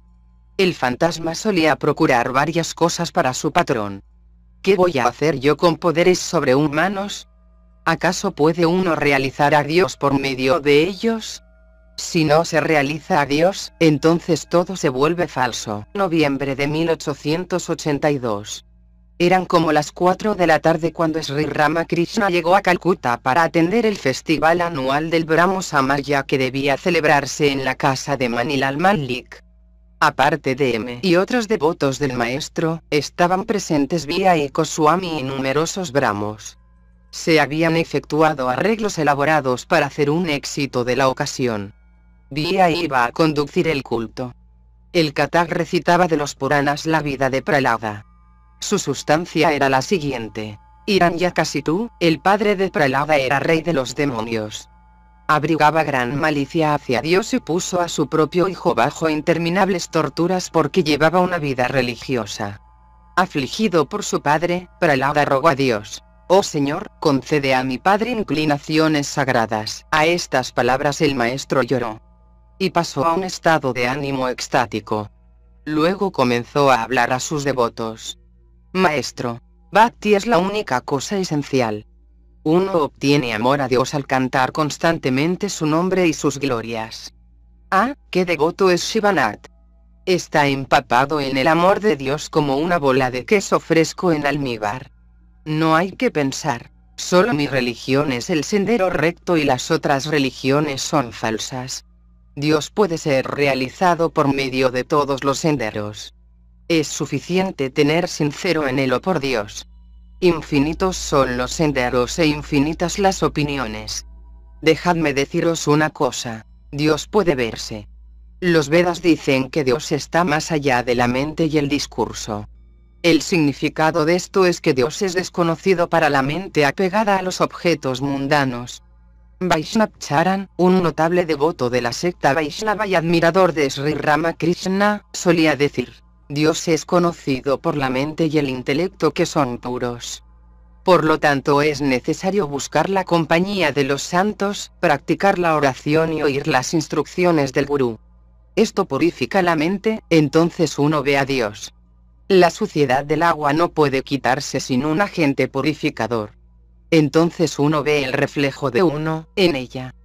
Uno no puede ver el propio rostro en un espejo cubierto de polvo. Después de la purificación del corazón se obtiene el divino amor. Luego uno ve a Dios por medio de su gracia. Uno puede enseñar a otros si recibe el mandato de Dios después de haberlo visto. Antes, no se debiera dar conferencias. Hay una canción que dice, no has erigido ninguna imagen aquí, dentro del altar, oh mentecato. Soplando la caracola, simplemente haces la confusión más confundida. Primero debieras limpiar el templo de tu corazón. Después debieras instalar la deidad y arreglar el culto. Todavía no has hecho nada.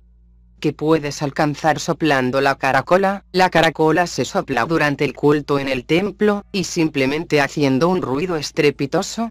Vía y se sentó en una tarima puesta en alto y condujo el culto de acuerdo con las reglas del Brahmo Samaya. Luego se sentó junto al maestro.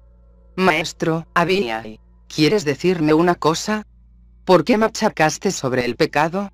Repitiendo cien veces, soy pecador, verdaderamente uno se vuelve un pecador. Se debería tener tal fe como para poder decir, ¿qué? He tomado el nombre de Dios, ¿cómo puedo ser un pecador? Dios es nuestro Padre y Madre. Dile, oh Señor, he cometido pecados, pero no los voy a repetir. Canta su nombre y purifica tu cuerpo y tu mente. Purifica tu lengua cantando los nombres sagrados. Diciembre de 1882. Por la tarde Sri Ramakrishna estaba sentado en el pórtico occidental de su aposento, en el jardín del templo de Dakshineswar. Entre otros, estaban presentes Baburan, Ramdayal y M. Estos tres iban a pasar la noche con el maestro. M tenía intención de quedarse también el siguiente día, porque estaba gozando de sus vacaciones de Navidad. Baburam había comenzado recientemente a visitar al maestro. Maestro, a los devotos. El hombre se libera aún en esta vida, cuando sabe que Dios es el hacedor de todas las cosas. Una vez que Sab vino aquí con Shambhu Malik, le dije, ni siquiera una sola hoja se mueve, sino por la voluntad de Dios. ¿Dónde está el libre albedrío del hombre? Todos están bajo la voluntad de Dios. Nangta, Nangta significa el desnudo, como Sri Ramakrishna solía llamar a Totapuri, el sannyasin que lo inició en la vida monástica, y quien andaba desnudo, era un hombre de un gran conocimiento. Aún así estuvo por ahogarse él mismo en el Ganges. Se quedó aquí 11 meses. En un tiempo sufría del estómago. Los dolores agudísimos le hicieron perder el dominio sobre sí mismo y quiso ahogarse en el río. Cerca del bañadero había un largo bajío y por más lejos que se internara en el río no podía hallar un lugar en que el agua le llegara arriba de sus rodillas. Entonces lo comprendió todo, realizó que el hombre no es libre siquiera de quitarse la vida, que todo depende de la voluntad de la Divina Madre, y volvió. En un tiempo yo estaba muy enfermo y estuve por cortarme la garganta con un cuchillo. Por eso digo, oh madre, yo soy la máquina. Tú eres el maquinista. Yo soy el carro, tú eres el auriga. Me muevo como tú me haces mover. Hago lo que tú me hagas hacer. Los devotos cantaron kirtan en el aposento del maestro. Mora, oh Señor, oh amante de Bhakti, en el brindaban de mi corazón, y mi devoción por ti será tu tiernamente amada Radha. Mi cuerpo será el hogar de Nanda, mi ternura será Yasoda. Mis ansias por la liberación serán tus gentiles doncellas gopis. Levanta el Govardhan, colina en las cercanías de Brindavan, que Sri Krishna levantó con su dedo para proteger a los aldeanos de un torrente de lluvia, de mi pecado, y mata mis seis reacias pasiones, fieras como los demonios mandados por Kamsa. Dulcemente toca la flauta de tu gracia, una referencia a la vida pastoril de Krishna, encantando la vaca lechera de mi mente. Mora en los pastizales de mi alma. Mora junto al Yamuna de mis anhelos, bajo el baniano, higuera de Bengala cuyas ramas, bajando al suelo, vuelven a echar raíces, de mi esperanza, para siempre benigno con tu servidor. Y si nada más que el amor de tus pastores puede retenerte en la pradera de Brindaban, entonces, Señor, deja que Dasarati también se vuelva tu pastor y tu esclavo. Luego cantaron. Canta, oh pájaro que anidas hondo dentro de mi corazón. Canta, oh pájaro que estás posado en el árbol Kalpa, el árbol del cumplimiento de los deseos, de Brahman. Canta las eternas loas de Dios. Prueba, oh pájaro, las cuatro frutas del árbol Kalpa, Dharma, Arta, Kama, Moksha. Canta, oh pájaro, solo Él es el consuelo de mi alma. Canta, oh pájaro, solo Él es la constante dicha de mi vida. Oh tú, maravilloso pájaro de mi vida, Canta en voz alta en mi corazón. Canta sin cesar, oh pájaro. Canta eternamente, como el sediento chatak, especie de pájaro. Canta por la gota de lluvia de la nube. Un devoto de Nandambagan entró al aposento con sus amigos. El maestro lo miró y dijo, todo dentro de él puede verse a través de sus ojos, como uno ve los objetos en un aposento a través de la puerta de vidrio. Este devoto y sus hermanos siempre celebraban el aniversario del Brahmo Samaya en su casa en Nandambagan. Sri Ramakrishna había tomado parte en estos festivales. El culto de la tarde comenzó en los templos. El maestro estaba sentado en su pequeño diván, en su aposento, absorto en meditación. Pasó a un estado de ánimo extático y un poco más tarde dijo, Madre, te ruego lo atraigas hacia ti. Es tan modesto y humilde. Te ha estado visitando, estaba el maestro refiriéndose a Baburán, quien más tarde fue uno de sus principales discípulos. El maestro explicó a sus devotos las diferentes clases de Samadhi. Luego la conversación giró hacia la alegría y el sufrimiento de la vida. ¿Por qué creó Dios semejantes sufrimientos? M. Una vez Vidyasagar dijo con ánimo de pique, ¿de qué sirve llamar a Dios? Justamente, pensad en este incidente. En un tiempo Chengiz Khan saqueó un país y encarceló a mucha gente. El número de prisioneros creció a unos 100.000. El comandante del ejército le dijo, Vuestra Majestad, ¿quién ha de alimentarlos? Es peligroso guardarlos con nosotros. Será igualmente peligroso soltarlos. ¿Qué he de hacer? Chengiz Khan dijo, es verdad. ¿Qué puede hacerse? Bueno, matémoslos por consiguiente se dio la orden de cortarlos en pedazos. Ahora, Dios vio esta matanza, ¿no? Pero de ningún modo la detuvo. Por lo tanto, yo no necesito de Dios, exista o no. Yo no saco ningún bien de él. Maestro, ¿acaso es posible comprender las acciones de Dios y su motivo? Él crea, Él preserva y Él destruye. ¿Acaso podemos comprender jamás por qué destruye? Yo digo a la Divina Madre, oh Madre, yo no necesito comprender. Te ruego, dame amor por tus pies de loto. La meta de la vida humana es alcanzar Bhakti. En cuanto a otras cosas, la madre sabe mejor. He venido al huerto a comer mangos. ¿De qué me sirve estar calculando el número de árboles, ramas y hojas? Yo solo como los mangos. No necesito saber el número de árboles y de hojas. Baburam, M. y Ramdayal durmieron esa noche en el piso del aposento del maestro. Era muy de madrugada, como las dos o las tres. El aposento estaba oscuro. Sri Ramakrishna estaba sentado en la cama y de vez en cuando conversaba con los devotos. Maestro, recordad que Daya, compasión y Maya, apego, son dos cosas diferentes. Apego significa el sentimiento de mío hacia los parientes de uno, el amor hacia los padres, los hermanos, hermanas, la propia mujer e hijos.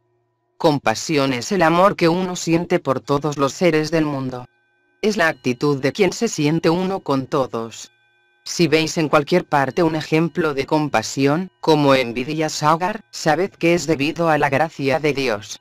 Por medio de la compasión uno sirve a todos los seres. Maya también viene de Dios. Por medio de Maya, Dios le hace a uno servir a sus parientes. Pero hay que recordar una cosa. Maya nos mantiene en la ignorancia y nos enreda en el mundo, mientras que Daya vuelve puros nuestros corazones y gradualmente desata nuestras ligaduras.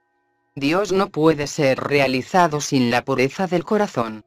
Uno recibe la gracia de Dios subyugando las pasiones de lujuria, ira y codicia. Entonces uno ve a Dios.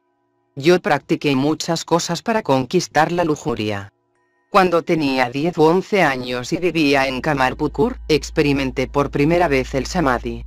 Pasando por un arrozal vi algo y quedé anonadado. Hay ciertas características de la visión de Dios. Uno ve luces, siente júbilo y experimenta el surgir del oleaje de una gran corriente en el pecho, como el reventar de un cohete. Al día siguiente, Baburami Ramdayal volvieron a Calcuta. M. Pasó el día y la noche con el maestro. Diciembre de 1882. Era la tarde. El maestro estaba sentado en su aposento en Daxinesuar con M y uno o dos devotos. Varios devotos maruaris, habitantes de Maruar, Raiputana, India Central, llegaron y saludaron al maestro. Rogaron a Sri Ramakrishna que les diera instrucción espiritual. Él sonrió. Maestro, a los devotos maruaris, Miren, el sentimiento de yo y mío es el resultado de la ignorancia. Pero decir, oh Dios, tú eres el hacedor, todo esto te pertenece a ti, es el signo del conocimiento. ¿Cómo podéis tener un concepto tal como el de esa cosa es mía? El superintendente del jardín dice, este es mi jardín. Pero si lo despiden por mala conducta, entonces no tiene el coraje de llevarse ni siquiera una cosa tan sin valor como un cajón de madera de mango. La ira y la lujuria no pueden destruirse. Volvedlas hacia Dios. Si debéis de sentir deseo y tentación, entonces desead realizar a Dios, dejaos tentar por Él. Discernid y desviad las pasiones de los objetos mundanos. Cuando un elefante está por devorar un banano de un jardín ajeno, el maud le pega con su focino. Vosotros sois comerciantes, sabéis cómo mejorar gradualmente vuestro negocio. Algunos de vosotros comenzáis con una fábrica de aceite de castor. Luego ganáis algún dinero en ello. Abrís una tienda de género. Del mismo modo uno progresa hacia Dios. Puede ser que vayáis a la soledad de vez en cuando y dediquéis más tiempo a la oración. Pero debéis recordar que nada puede lograrse sin su debido tiempo. Algunas personas deben pasar por muchas experiencias y cumplir muchos deberes mundanos antes de que puedan volver su atención hacia Dios. Así es que tienen que esperar mucho tiempo. Si se corta un absceso antes de estar blando, el resultado no es bueno. El cirujano lo abre cuando está blando y le ha salido la punta. Un niño dice a la madre, Madre, ahora voy a dormir, te ruego me despiertes cuando yo sienta ganas de orinar. Mi hijito dice la madre cuando sea tiempo para ello, tú mismo te despertarás. Yo no tengo por qué despertarte. Los devotos maruaris generalmente traían ofrendas de frutas, caramelos y otros dulces para el maestro. Pero Sri Ramakrishna apenas podía tragarlos. Solía decir, ganan su dinero por medio de falsedades. No puedo comer sus ofrendas. Y dijo a los maruaris, Miren, uno no puede atenerse estrictamente a la verdad, en los negocios. En ellos hay altos y bajos. Una vez Nanak dijo, casi iba a comer alimentos de gente no santa cuando me di cuenta de que estaban manchados con sangre. El hombre debiera ofrecer solo cosas puras a los santos. No debiera ofrecérseles comida ganada por medios deshonestos. Se realiza a Dios siguiendo el sendero de la verdad uno debería siempre cantar su nombre. Aun mientras uno está cumpliendo sus propios deberes, la mente debería dejarse con Dios. Suponed que tengo un carbunclo en la espalda. Yo cumplo con mis deberes, pero la mente es arrastrada hacia el carbunclo. Es bueno repetir el nombre de Rama. El mismo Rama que era hijo del rey Dasarata, ha creado este mundo. A su vez, como espíritu, penetra a todos los seres. Está muy cerca de nosotros. Está en ambas partes, adentro y afuera. Fin del capítulo 6. Titulado El Maestro con los Devotos Bramos 1.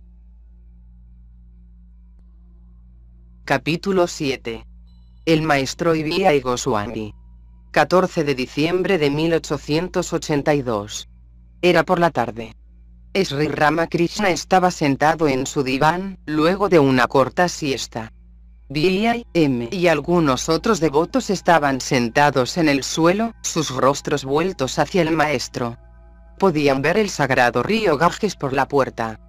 Como era invierno, todos estaban cubiertos con ropas de abrigo.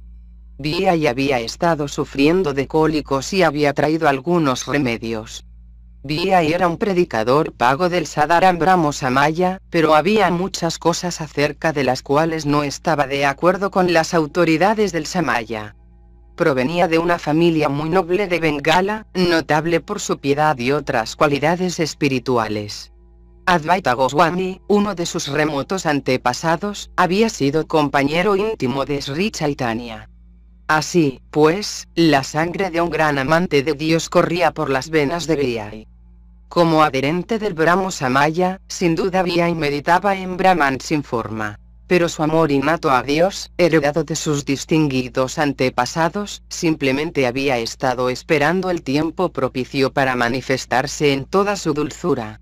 Así, y se sentía irresistiblemente atraído por el estado de embriaguez divina de Sri Ramakrishna y a menudo buscaba su compañía. Escuchaba las palabras del maestro con gran respeto y bailaban juntos en éxtasis de divino amor. Era un día de semana. Generalmente los devotos venían en gran número a visitar al maestro los domingos. Por esto, aquellos que querían conversar íntimamente con él, lo visitaban los días de semana. Un muchacho llamado Vishnu, que vivía en Ariada, recientemente se había suicidado cortándose la garganta con una navaja. La conversación giró sobre él. Maestro. Sentí mucho cuando oí de la muerte de ese muchacho. Era estudiante en un colegio y solía venir aquí. A menudo me decía que no podía gozar de la vida mundana. Había vivido con unos parientes en las provincias occidentales y al mismo tiempo solía meditar en la soledad, en las praderas, montañas y bosques. Me contó que había tenido visiones de varias formas divinas.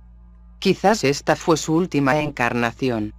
Debe de haber concluido la mayoría de sus deberes en su encarnación pasada. Lo poco que le quedaba por hacer, quizás lo haya concluido en esta. Hay que admitir la existencia de tendencias heredadas de previos nacimientos. Hay una historia acerca de un hombre que practicaba el Shavasana práctica religiosa prescrita por el Tantra, en la cual el aspirante usa un shava o cadáver, como asiento para meditar. Adoraba a la Divina Madre en lo más denso de la selva. Primero tuvo muchas visiones terribles. Finalmente un tigre lo atacó y lo mató. Sucedió que otro hombre que por allí pasaba, viendo la proximidad del tigre, trepó a un árbol. Luego bajó y halló todos los menesteres para el culto, a mano. Hizo unas ceremonias de purificación y se sentó sobre el cadáver. Tan pronto como hizo un poco de yapam, se apareció ante él la Divina Madre y dijo, Hijo mío, estoy muy complacida contigo. Acepta un don de mí. Él se inclinó muy bajo a los pies del loto de la diosa y dijo, Madre, ¿puedo hacerte una pregunta? Estoy sin habla de Azoro por tu acción. El otro hombre trabajó tan duramente para obtener los ingredientes para tu culto y trató de propiciarte por tanto tiempo, pero tú no condescendiste en mostrarle tu favor. Y yo, que nada sé de culto, que no he hecho nada, que no tengo ni devoción, ni conocimiento, ni amor, y que no he practicado ninguna austeridad, estoy recibiendo tanto de tu gracia. Con una carcajada la madre dijo, Hijo mío, tú no recuerdas tus previas encarnaciones. Durante muchos nacimientos trataste de propiciarme por medio de austeridades. Como resultado de aquellas austeridades, todas estas cosas han venido a tu mano y tú has sido bendecido con mi visión. Ahora pídeme un don. Un devoto. Me horroriza oír hablar de ese suicidio. Maestro. Indudablemente, el suicidio es un pecado odioso. El hombre que se quita la vida, debe volver una y otra vez a este mundo y sufrir su agonía. Pero yo no lo llamo suicidio si una persona deja su cuerpo después de haber tenido la visión de Dios. No hay daño en abandonar el cuerpo de este modo. Después de alcanzar el conocimiento, alguna gente abandona su cuerpo. Después que la imagen de oro ha sido fundida en el molde de arcilla, podéis preservar o romper el molde. Hace muchos años, un joven de unos 20 años solía venir al jardín del templo desde Varanagor. Su nombre era Gopal Sen. En mi presencia solía experimentar un éxtasis tan intenso, que y tenía que sostenerlo por temor a que cayera y se rompiera algún hueso. Un día, ese joven tocó mis pies y me dijo, Señor, no voy a poder verlo más a usted, quiero despedirme de usted. Pocos días después supe que había abandonado su cuerpo. Se dice que hay cuatro clases de seres humanos. Los ligados, los que aspiran a la liberación, los liberados y los siempre perfectos. Este mundo es como una red de pescar. Los hombres son los peces y Dios, cuya malla ha creado este mundo, es el pescador. Cuando los peces están atrapados en la red, algunos de ellos tratan de zafarse a través de las mallas para obtener la liberación. Son como los seres humanos que se esfuerzan por liberarse. Pero de ningún modo, todos ellos escapan. Solo unos pocos saltan fuera de la red con un ruidoso chapoteo y la gente dice, ah, allí va uno grande. Del mismo modo, tres o cuatro hombres alcanzan la liberación. Además, algunos peces son tan cuidadosos por naturaleza, que jamás son atrapados en la red. Algunos seres, siendo de la clase de los siempre perfectos, como Narada, jamás están enredados en las mallas de la mundanalidad. La mayoría de los peces están atrapados, pero no son conscientes de la red y de su muerte inminente. Tan pronto como se enredan, se precipitan con red y todo tratando de esconderse en el barro. No hacen el menor esfuerzo por zafarse. Por el contrario, van más y más hondo dentro del barro. Estos peces son como los hombres ligados. Todavía están dentro de la red, pero piensan que allí están muy seguros. Una criatura ligada está sumergida en la mundanalidad, en mujer oro, habiendo ido hondo dentro del lodo de la degradación. Pero aún cree que está muy feliz y segura. Los liberados y los buscadores de liberación, miran al mundo como un pozo profundo. No lo gozan. Así, después de alcanzar el conocimiento, la realización de Dios, algunos abandonan su cuerpo. Pero semejante cosa es realmente rara. Las criaturas ligadas, enredadas en la mundanalidad, por nada volverán a sus sentidos. Sufren tanta miseria y agonía, se enfrentan con tantos peligros y aún así todavía no despiertan. Al camello le encanta comer arbustos espinosos. Cuanto más espinas come, más sangre chorrea de su boca. Sin embargo, está condenado a comer plantas espinosas y jamás las dejará. El hombre de naturaleza mundana sufre tanto dolor y aflicción, pero lo olvida todo en pocos días y empieza de nuevo su vida anterior. Supón que un hombre ha perdido a su esposa o ella se ha vuelto infiel y aquí que se casa de nuevo. O toma por ejemplo una madre. Su hijo muere y ella sufre amargo dolor pero después de poco tiempo lo olvida todo. La madre tan abrumada de dolor un tiempo atrás, ahora atiende a su toilette y se pone sus joyas. Un padre quiebra por el casamiento de sus hijas, pero todavía sigue teniendo hijos año tras año. La gente se arruina por pleitear, y sin embargo lo mismo sigue yendo a la corte de justicia. Hay hombres que no pueden alimentar los hijos que tienen. No pueden vestirlos ni proveerlos de un albergue decente, sin embargo cada año tienen más hijos. Además, el hombre mundano es como una víbora que trata de tragar un topo. La víbora no puede ni tragarlo ni soltarlo. El alma ligada puede haberse dado cuenta de que el mundo no tiene substancia, que el mundo es como una ciruela silvestre, solo caroto y pellejo. Sin embargo, no puede abandonarlo y dirigir su mente hacia Dios. Una vez me encontré con un pariente de Kesapsen, de unos 50 años. Estaba jugando a las cartas. Como si no le hubiera llegado el tiempo de pensar en Dios. Hay otra característica del alma ligada. Si la sacas de su ambiente mundano y la llevas a una atmósfera espiritual, languidecerá. El gusano que crece en el cieno, se siente muy feliz allí. Prospera en la inmundicia y morirá si lo pones en una vasija de arroz. Todos quedaron silenciosos. B.I. ¿Cuál debe ser la condición mental de las almas ligadas para alcanzar la liberación? Maestro. Pueden liberarse ellas mismas del apego de mujer y oro si, por la gracia de Dios, cultivan un espíritu de fuerte renunciación. ¿Qué es esta fuerte renunciación? Aquel que solo tiene un débil espíritu de renunciamiento dice, bueno, todo sucederá en el transcurso del tiempo. Ahora repetiré simplemente el nombre de Dios. Pero el hombre que posee un fuerte espíritu de renunciación, se siente inquieto por Dios como la madre siente por su propio hijo. El hombre de fuerte renunciación no busca a nadie más que a Dios. Mira al mundo como un pozo hondo y como si fuera a ahogarse en él. Considera a sus parientes como serpientes venenosas y quiere escapar de ellos. Y se va. Y jamás piensa, Primero dejadme hacer algunos arreglos para mi familia y luego pensaré en Dios. Tiene gran resolución interna. Os contaré un cuento sobre fuerte renunciación.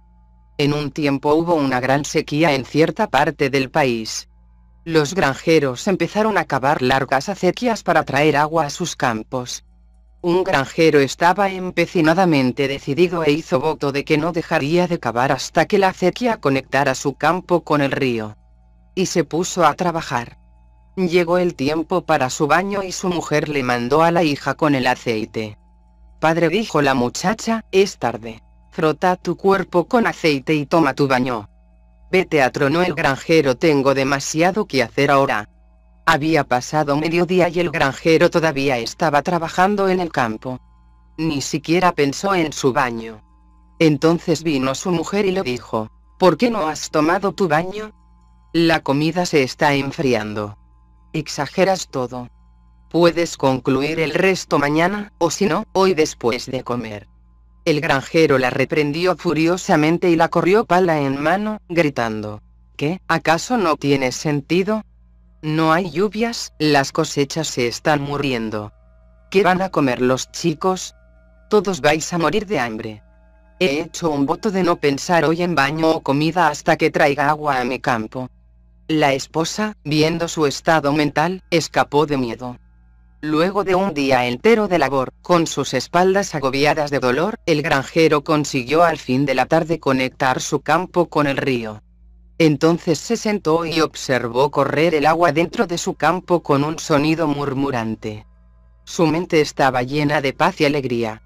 Fue a casa, llamó a su esposa y le dijo, ahora dame un poco de aceite y prepárame un narvile. Con mente serena concluyó su baño y comida y se retiró a la cama, donde roncó a su entera satisfacción. La determinación que mostró, es un ejemplo de fuerte renunciación. Ahora, había otro granjero que también estaba cavando un canal para traer agua a su campo. También vino su mujer al campo y le dijo, es muy tarde, ven a casa. No hay necesidad de exagerar las cosas. El granjero no protestó mucho, sino que puso de lado su pala y dijo a su esposa, bueno, ya que me lo pides iré a casa. Todos ríen.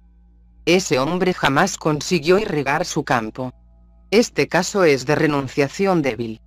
Así como sin intenso anhelo el granjero no puede traer agua a su campo, también sin intenso anhelo un hombre no puede realizar a Dios.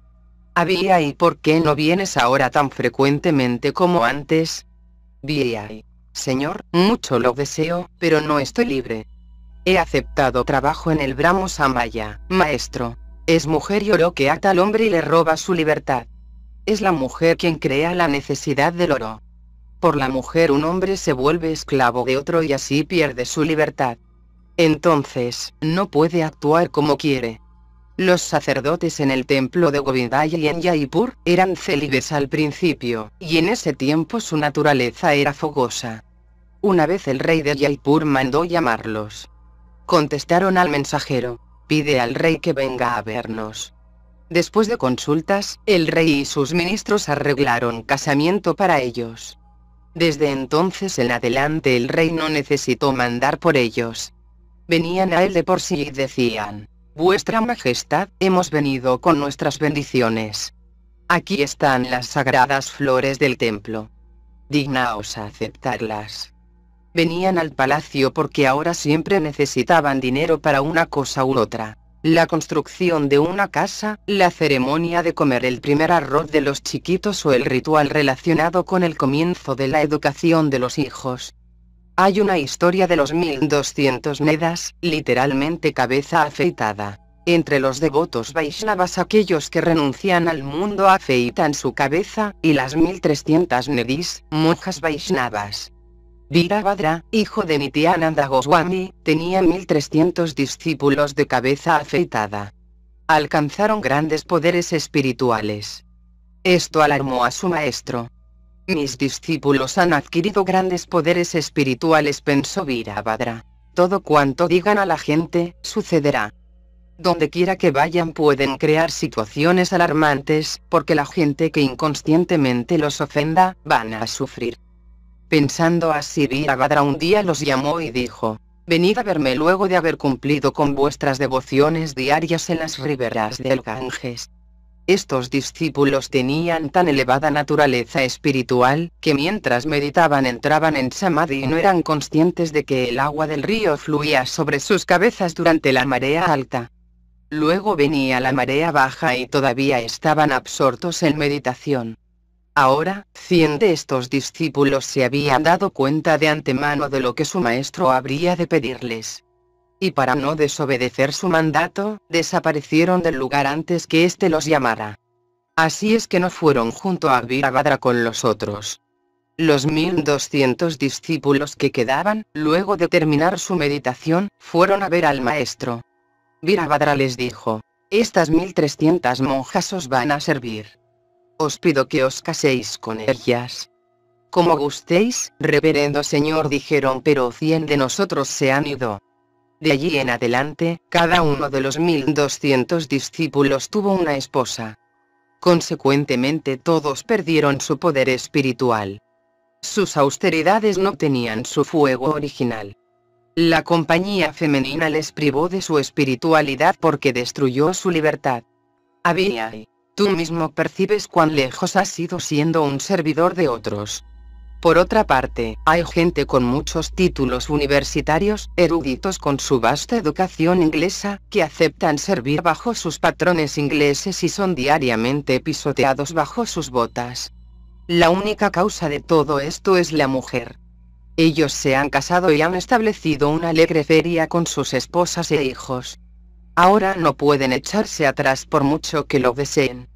De allí todos estos insultos y humillaciones, todo este sufrimiento de esclavitud.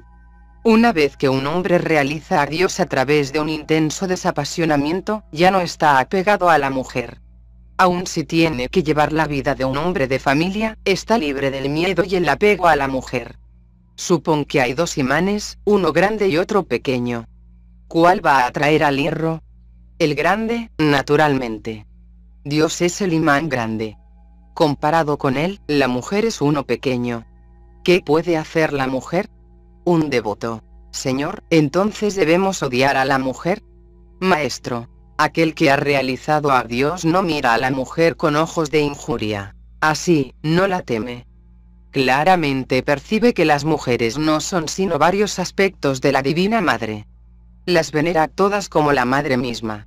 Abiyai, ven aquí de vez en cuando. Me agrada mucho verte, B.I. Debo cumplir con diversos deberes en el Brahmo Samaya. Por eso es que no puedo venir siempre aquí. Pero lo visitaré a usted siempre que me sea posible. Maestro, Abiyai. La tarea de un maestro religioso es en verdad difícil. Uno no puede enseñar a los hombres sin el mandato directo de Dios. La gente no te escuchará si enseñas sin su autoridad. Tal enseñanza no tiene fuerza detrás de ella. Ante todo, uno tiene que alcanzar a Dios por medio de la disciplina espiritual o por algún otro medio. Así, armado con la autoridad de Dios, uno puede dar conferencias. Después de recibir el mandato de Dios, uno puede ser un maestro y dar conferencias en cualquier parte.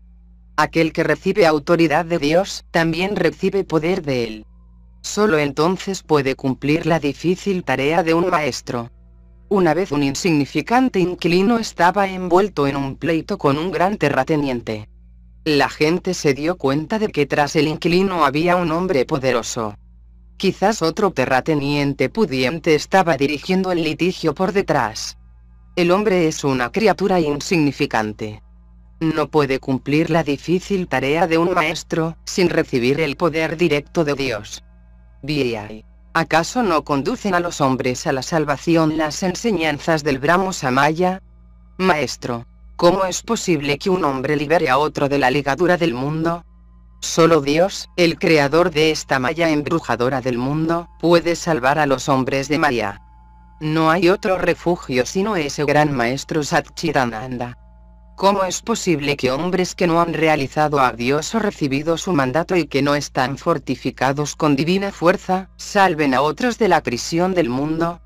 Un día estaba pasando por el Panchavati en mi camino al Pinar. Oí croar una rana. Pensé que habría sido atrapada por una víbora. Después de un tiempo, cuando volvía, aún podía oír su croar aterrorizado.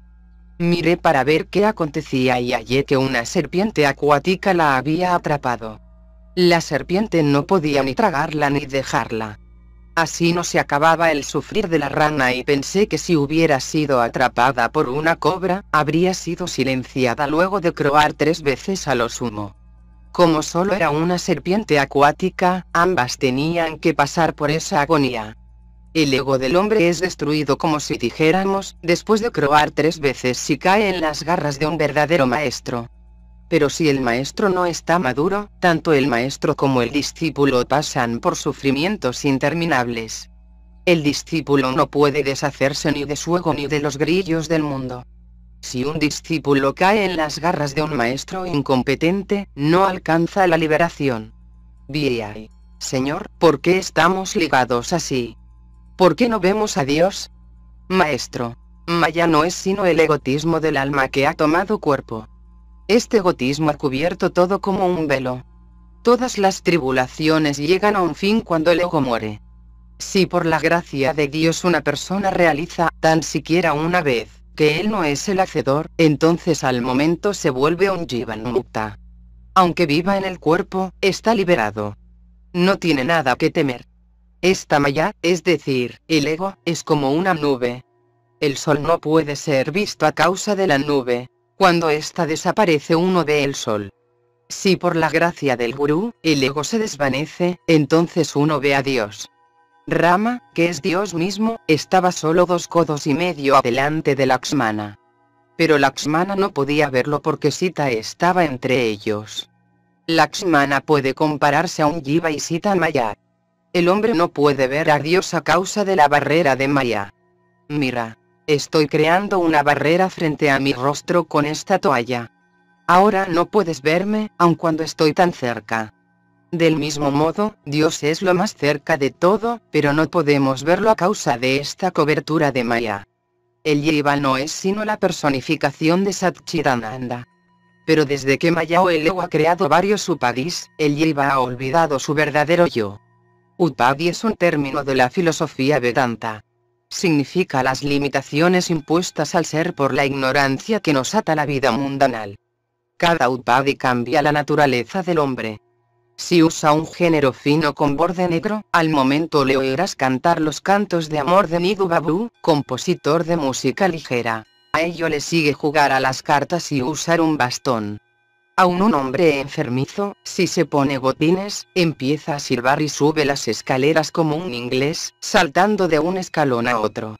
Si un hombre esgrime una pluma en la mano, garabatea cuanto papel encuentra a mano.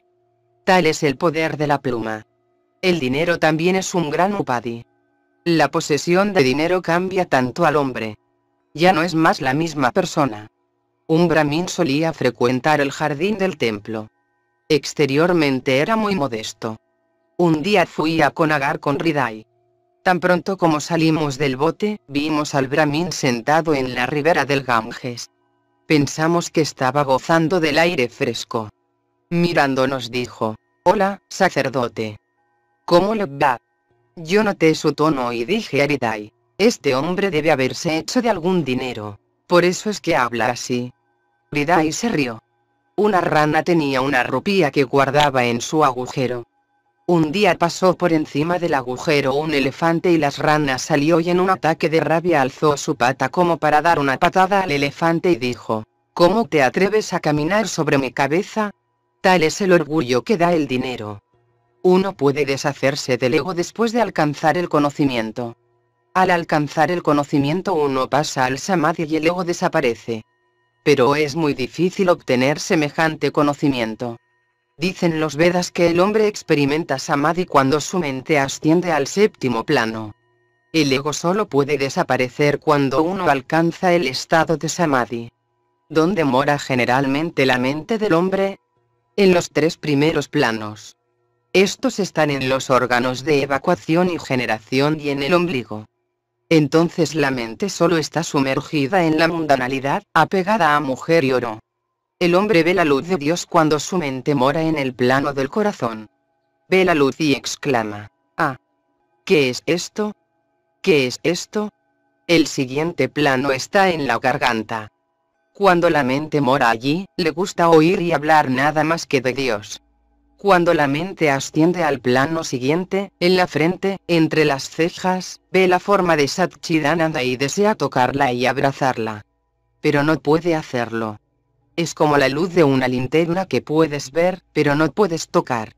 Sientes como si estuvieras tocando la luz, pero en realidad no lo estás. Cuando la mente alcanza el séptimo plano, entonces el ego se desvanece completamente y el hombre entra en samadhi, VI. ¿Qué ve el hombre cuando alcanza el conocimiento de Brahman luego de alcanzar el séptimo plano? Maestro, lo que sucede cuando la mente alcanza el séptimo plano, no puede describirse.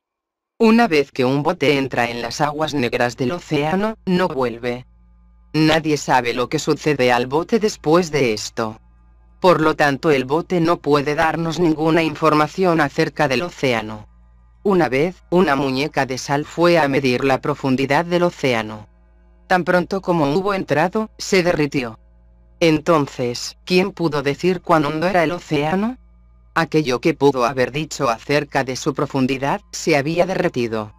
Al alcanzar el séptimo plano, la mente es aniquilada, el hombre entra en samadhi. Lo que siente entonces, no puede describirse con palabras. El yo que hace que uno sea persona mundana y lo anega a mujer y oro es el yo perverso. La intervención del ego crea la diferencia entre Yiva y Atman. El agua aparece como dividida en dos partes si uno pone un palo a través de ella. Pero en realidad hay una sola agua. Aparece como dos a causa del palo. Ese yo es el palo. Quitad el palo y no queda nada más que una sola extensión de agua como antes. Ahora, ¿qué es ese yo perverso? Es el ego que dice, ¿qué? ¿Acaso no me conocen? Tengo tanto dinero. ¿Quién es más rico que yo? Si un ladrón roba a semejante hombre solo 10 rupias, este ante todo le quita el dinero al ladrón y luego le da una buena paliza. Pero la cosa no termina allí. Entrega el ladrón a la policía y en definitiva lo manda preso. El yo perverso dice, ¿qué? ¿No sabe acaso el ladrón a quien ha robado? Robarme 10 rupias. ¿Cómo se atreve? Bien. Si un hombre no puede deshacerse del apego al mundo sin destruir al yo y consecuentemente no puede experimentar samadhi, entonces sería acertado que siguiera el sendero de Brahmajnana para alcanzar samadhi. Si el yo persiste en el camino de la devoción, entonces uno más bien debería elegir el sendero del conocimiento. Maestro, es verdad que unos pocos pueden deshacerse del yo por medio del samadhi, pero estos casos son muy raros. Puedes entregarte a miles de razonamientos, pero el yo todavía vuelve. Puedes cortar el asuata hasta la misma raíz hoy, pero mañana notarás que de la raíz está saliendo un brote. Por lo tanto, si el yo tiene que quedar, deja que el canalla quede como el yo servidor. Mientras vivas deberías decir, Oh Dios, tú eres el patrón y yo soy tu servidor. El yo que siente yo soy el servidor de Dios, soy su devoto no lastima a nadie.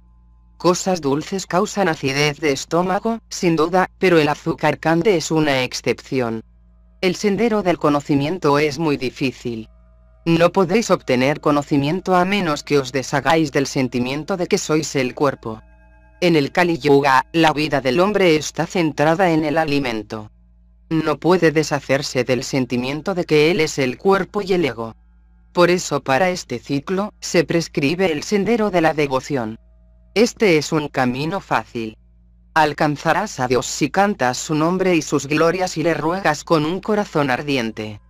No hay la menor duda acerca de ello. Supón que tiras una línea en la superficie del agua con un bambú. El agua aparece como dividida en dos partes, pero la línea no queda por mucho tiempo. El yo servidor, el yo devoto o el yo hijo, es solo una línea tirada por el ego y no es real. Vi al maestro. Señor, usted nos pide que renunciemos al yo perverso. ¿Hay algún mal en el yo servidor? Maestro. El yo servidor, esto es, el sentimiento del yo soy el servidor de Dios. Soy el devoto de Dios no lo daña a uno. Por el contrario lo ayuda a realizar a Dios. B.I. Bueno Señor, ¿qué sucede a la lujuria, la ira y otras pasiones de uno que mantiene el yo servidor? Maestro, si verdaderamente un hombre siente así, entonces solo tiene la apariencia de la lujuria, ira o lo semejante. Si después de alcanzar a Dios se considera a sí mismo como el servidor o el devoto de Dios, entonces no puede dañar a nadie. Al tocar la piedra filosofal una espada se vuelve de oro. Conserva la apariencia de una espada, pero no puede dañar. Cuando la rama seca de un cocotero cae, solo deja una marca en el tronco, indicando que una vez hubo una rama en ese lugar. De la misma manera, aquel que ha alcanzado a Dios solo conserva una apariencia del ego. Solo queda en él una apariencia de ira y lujuria. Se vuelve como un niño. Un niño no tiene apego a los tres gunas sattva, rayas y tamas. Se desapega tan pronto de una cosa como se apega a ella. Puedes quitarle un fino género que cuesta 5 rupias, halagándolo con una muñeca de unos centavos. Aunque al principio diga con gran determinación, no te lo voy a dar, mi papá me lo compró. Por otra parte, para un niño todas las personas son iguales. No tiene sentido de alto o bajo respecto a las personas. Por ello no hace distinción de casta. Si su madre le dice que un hombre particular debe ser considerado como un hermano mayor, el niño comerá del mismo plato con él, aunque el hombre pertenezca a la baja casta de los herreros. El niño no conoce el odio ni lo que es santo o no santo. Aún después de alcanzar el samadhi, algunos retienen el ego servidor o el ego devoto. El bhakta conserva esta conciencia del yo y dice, Oh Dios, tú eres el patrón y yo soy tu servidor. Tú eres el Señor y yo soy tu devoto. Siente así aún después de realizar a Dios. Su yo no está borrado por completo. Además, practicando constantemente esa especie de conciencia del yo, uno puede al final alcanzar a Dios. Esto se llama Bhakti Yoga. Uno puede también alcanzar el conocimiento de Brahman siguiendo el sendero de Bhakti. Dios es todopoderoso, Él ha de dar a sus devotos Brahmagnana también, si tal es su voluntad. Pero generalmente el devoto no busca el conocimiento de lo absoluto. Más bien prefiere tener la conciencia que Dios es el patrón y Él el servidor o que Dios es la divina madre y Él su hijo. B.I. Pero aquellos que disciernen de acuerdo con la filosofía Vedanta, también lo realizan al fin, ¿no? Maestro. Sí, uno puede alcanzarlo también siguiendo el discernimiento. Eso se llama Jnana Yoga. Pero es un camino sumamente difícil. Ya te he dicho de los siete planos de conciencia. Alcanzando el séptimo plano la mente entra en Samadhi. Si una persona adquiere el firme conocimiento de que solo Brahman es real y el mundo ilusorio, entonces su mente se sumerge en Samadhi. Pero en el Kali Yuga la vida del hombre depende por completo de la alimentación. ¿Cómo puede el hombre estar consciente de que solo Brahman es real y el mundo es ilusorio? En el Kali Yuga es difícil tener ese sentimiento. No soy el cuerpo. No soy la mente, no soy los 24 principios cósmicos. Estoy más allá del placer y el dolor. Estoy por encima del dolor, la vejez y la muerte. Por más que razones y argullas, el sentimiento de que el cuerpo es idéntico con el alma, de una u otra manera va a surgir de un rincón inesperado. Puedes cortar una suata hasta el suelo y creer que está muerto hasta la raíz, pero a la mañana siguiente hallarás que ha salido un brote del mismo tocón. Uno no puede deshacerse de esta identificación con el cuerpo. Por eso el sendero de la devoción es mejor para la gente del Kali Yuga. Es un sendero fácil. Y, yo no quiero volverme azúcar. Quiero comerlo. Jamás siento inclinación a decir, yo soy Brahman. Yo digo, Tú eres mi Señor y yo soy tu servidor. Es mejor hacer que la mente suba y baje entre el quinto y el sexto plano, como un bote que corre una regata entre dos puntos. No quiero ir más allá del sexto plano y mantener mi mente por mucho tiempo en el séptimo. Mi deseo es cantar el nombre y las glorias de Dios. Es muy bueno considerar a Dios como el patrón y a sí mismo como su servidor. Además, ves que la gente dice que las olas son del Ganges, pero nadie dice que el Ganges es de las olas. El sentimiento, yo soy él no es sano. El hombre que abriga tal idea mientras considere a su cuerpo como el ser, se causa gran daño. No puede avanzar en la vida espiritual. Se arrastra hacia abajo. Se engaña a sí mismo como también a los otros. No puede comprender su propio estado mental pero no es cualquier clase de bhakti la que lo habilita a uno a realizar a Dios. Uno no puede realizar a Dios sin prema bhakti. Otro nombre para prema bhakti es raga bhakti, supremo amor que solo nos ata a Dios. No puede realizarse a Dios sin amor y vehemente anhelo. A menos que uno haya aprendido a amar a Dios, no puede realizarlo. Hay otra clase de bhakti conocida como Vaiti Bhakti, según el cual uno debe repetir el nombre de Dios un número fijo de veces, ayunar, hacer peregrinaciones, adorar a Dios con ofrendas prescritas, hacer tantos sacrificios y así sucesivamente. Continuando tales prácticas por mucho tiempo, gradualmente uno adquiere Raga Bhakti. Dios no puede realizarse hasta que uno haya obtenido Raga Bhakti. Hay que amar a Dios. Para realizar a Dios uno tiene que estar completamente libre de la mundanalidad y dirigir toda su mente a Él. Pero algunos adquieren Ragabhakti enseguida. Es innato en ellos. Lo tienen desde su misma niñez. Aún en una edad temprana, lloran por Dios. Ejemplo de ese Bhakti se halla en Pralada, gran devoto de Vishnu. Su vida se narra en el Purana. Bhakti es como mover un abanico para provocar la brisa. El abanico hace falta para hacer correr el aire. Similarmente, uno practica yapam, austeridad y ayuno para adquirir amor a Dios. Pero cuando la brisa del sur sopla de por sí, el abanico se deja de lado.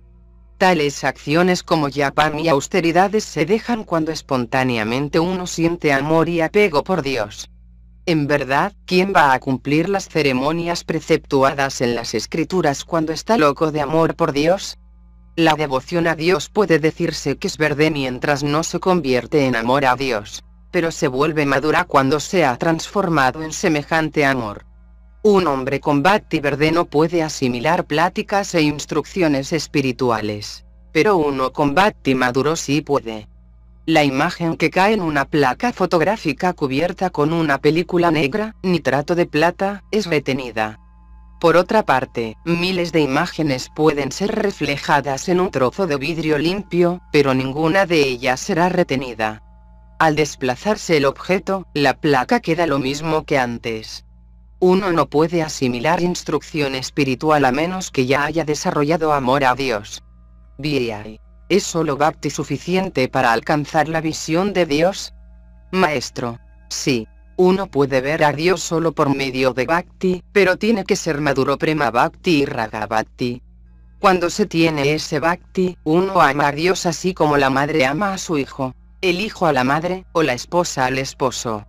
Cuando se tiene semejante amor y apego a Dios, uno no siente la atracción de Maya a la esposa, hijos, parientes y amigos. Solo conserva compasión por ellos.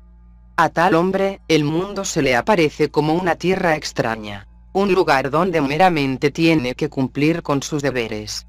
Es como un hombre que tiene su verdadero hogar en el campo, pero viene a Calcuta para trabajar. Tiene que alquilar una casa en Calcuta, a causa de sus obligaciones.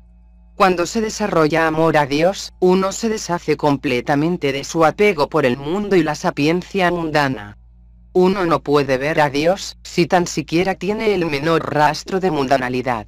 Si los fósforos están húmedos, no darán fuego aunque frotes mil de ellos en la caja. Solo malgastarás un montón de fósforos. La mente empapada en mundanalidad es como esos fósforos húmedos. Una vez Sri dijo a sus amigas que ella veía a Krishna en todas partes, por dentro y por fuera. Las amigas contestaron, ¿Cómo? Nosotras no lo vemos en absoluto. ¿Estás delirando? Rada dijo. Amigas, pintad vuestros ojos con el colirio del divino amor y luego lo veréis. Había una canción de vuestro Brahmo Samaya dice. ¿Es acaso posible, oh Señor, conocerte sin amor, por más que uno ejerza la adoración y el sacrificio? Si el devoto, aunque sea una sola vez, siente este apego y amor extático por Dios, esta devoción y anhelo maduros, entonces ve a Dios en sus dos aspectos, con y sin forma. B.I. ¿Cómo puede uno ver a Dios? Maestro, uno no puede ver a Dios sin pureza de corazón. Por medio del apego a mujer y oro la mente se ha mancillado como si se hubiera cubierto de suciedad. Un imán no puede atraer una aguja si ésta está cubierta de barro lava el barro y el imán la atraerá. Lo mismo, la suciedad de la mente puede lavarse con las lágrimas de nuestros ojos.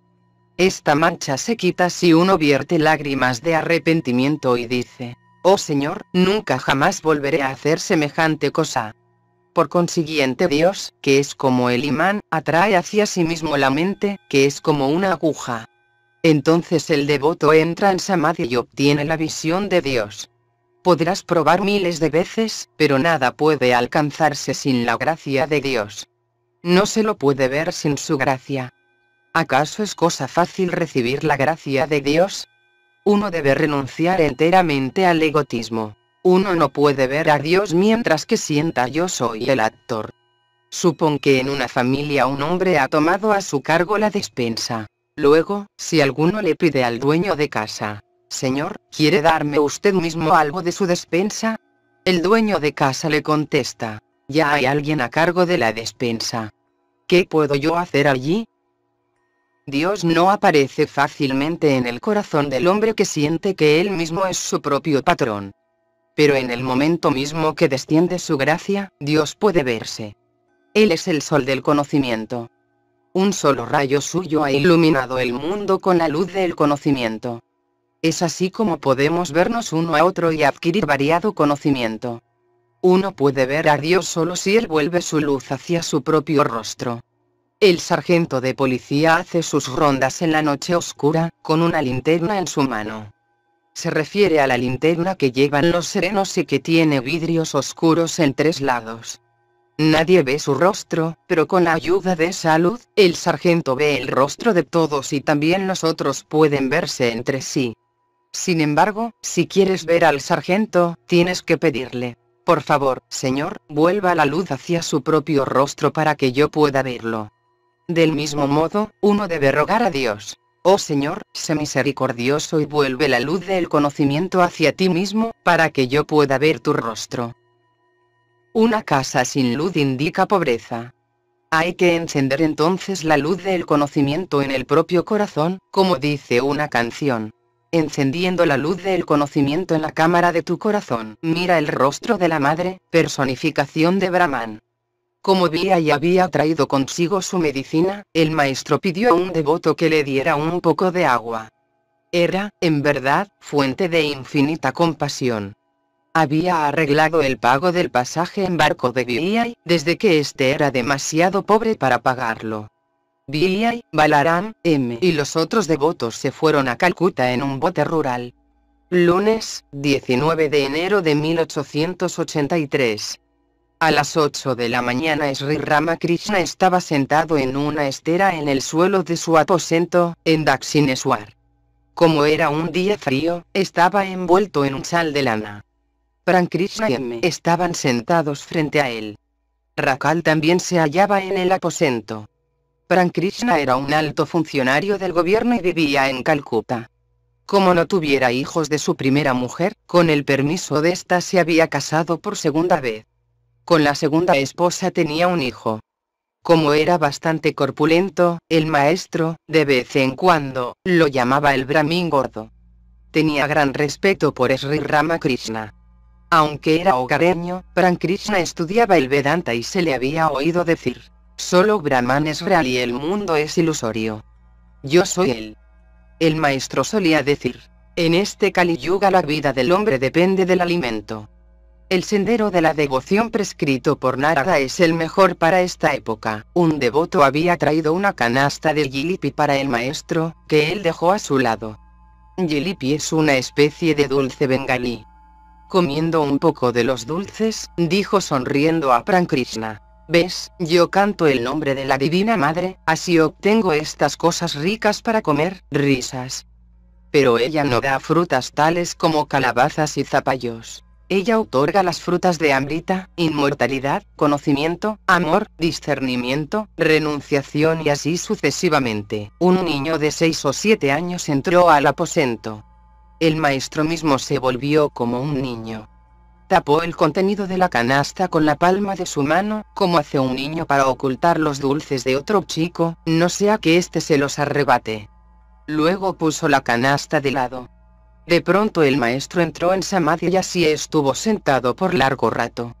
Su cuerpo estaba inmóvil, sus ojos muy abiertos sin pestañear, su respiración apenas perceptible.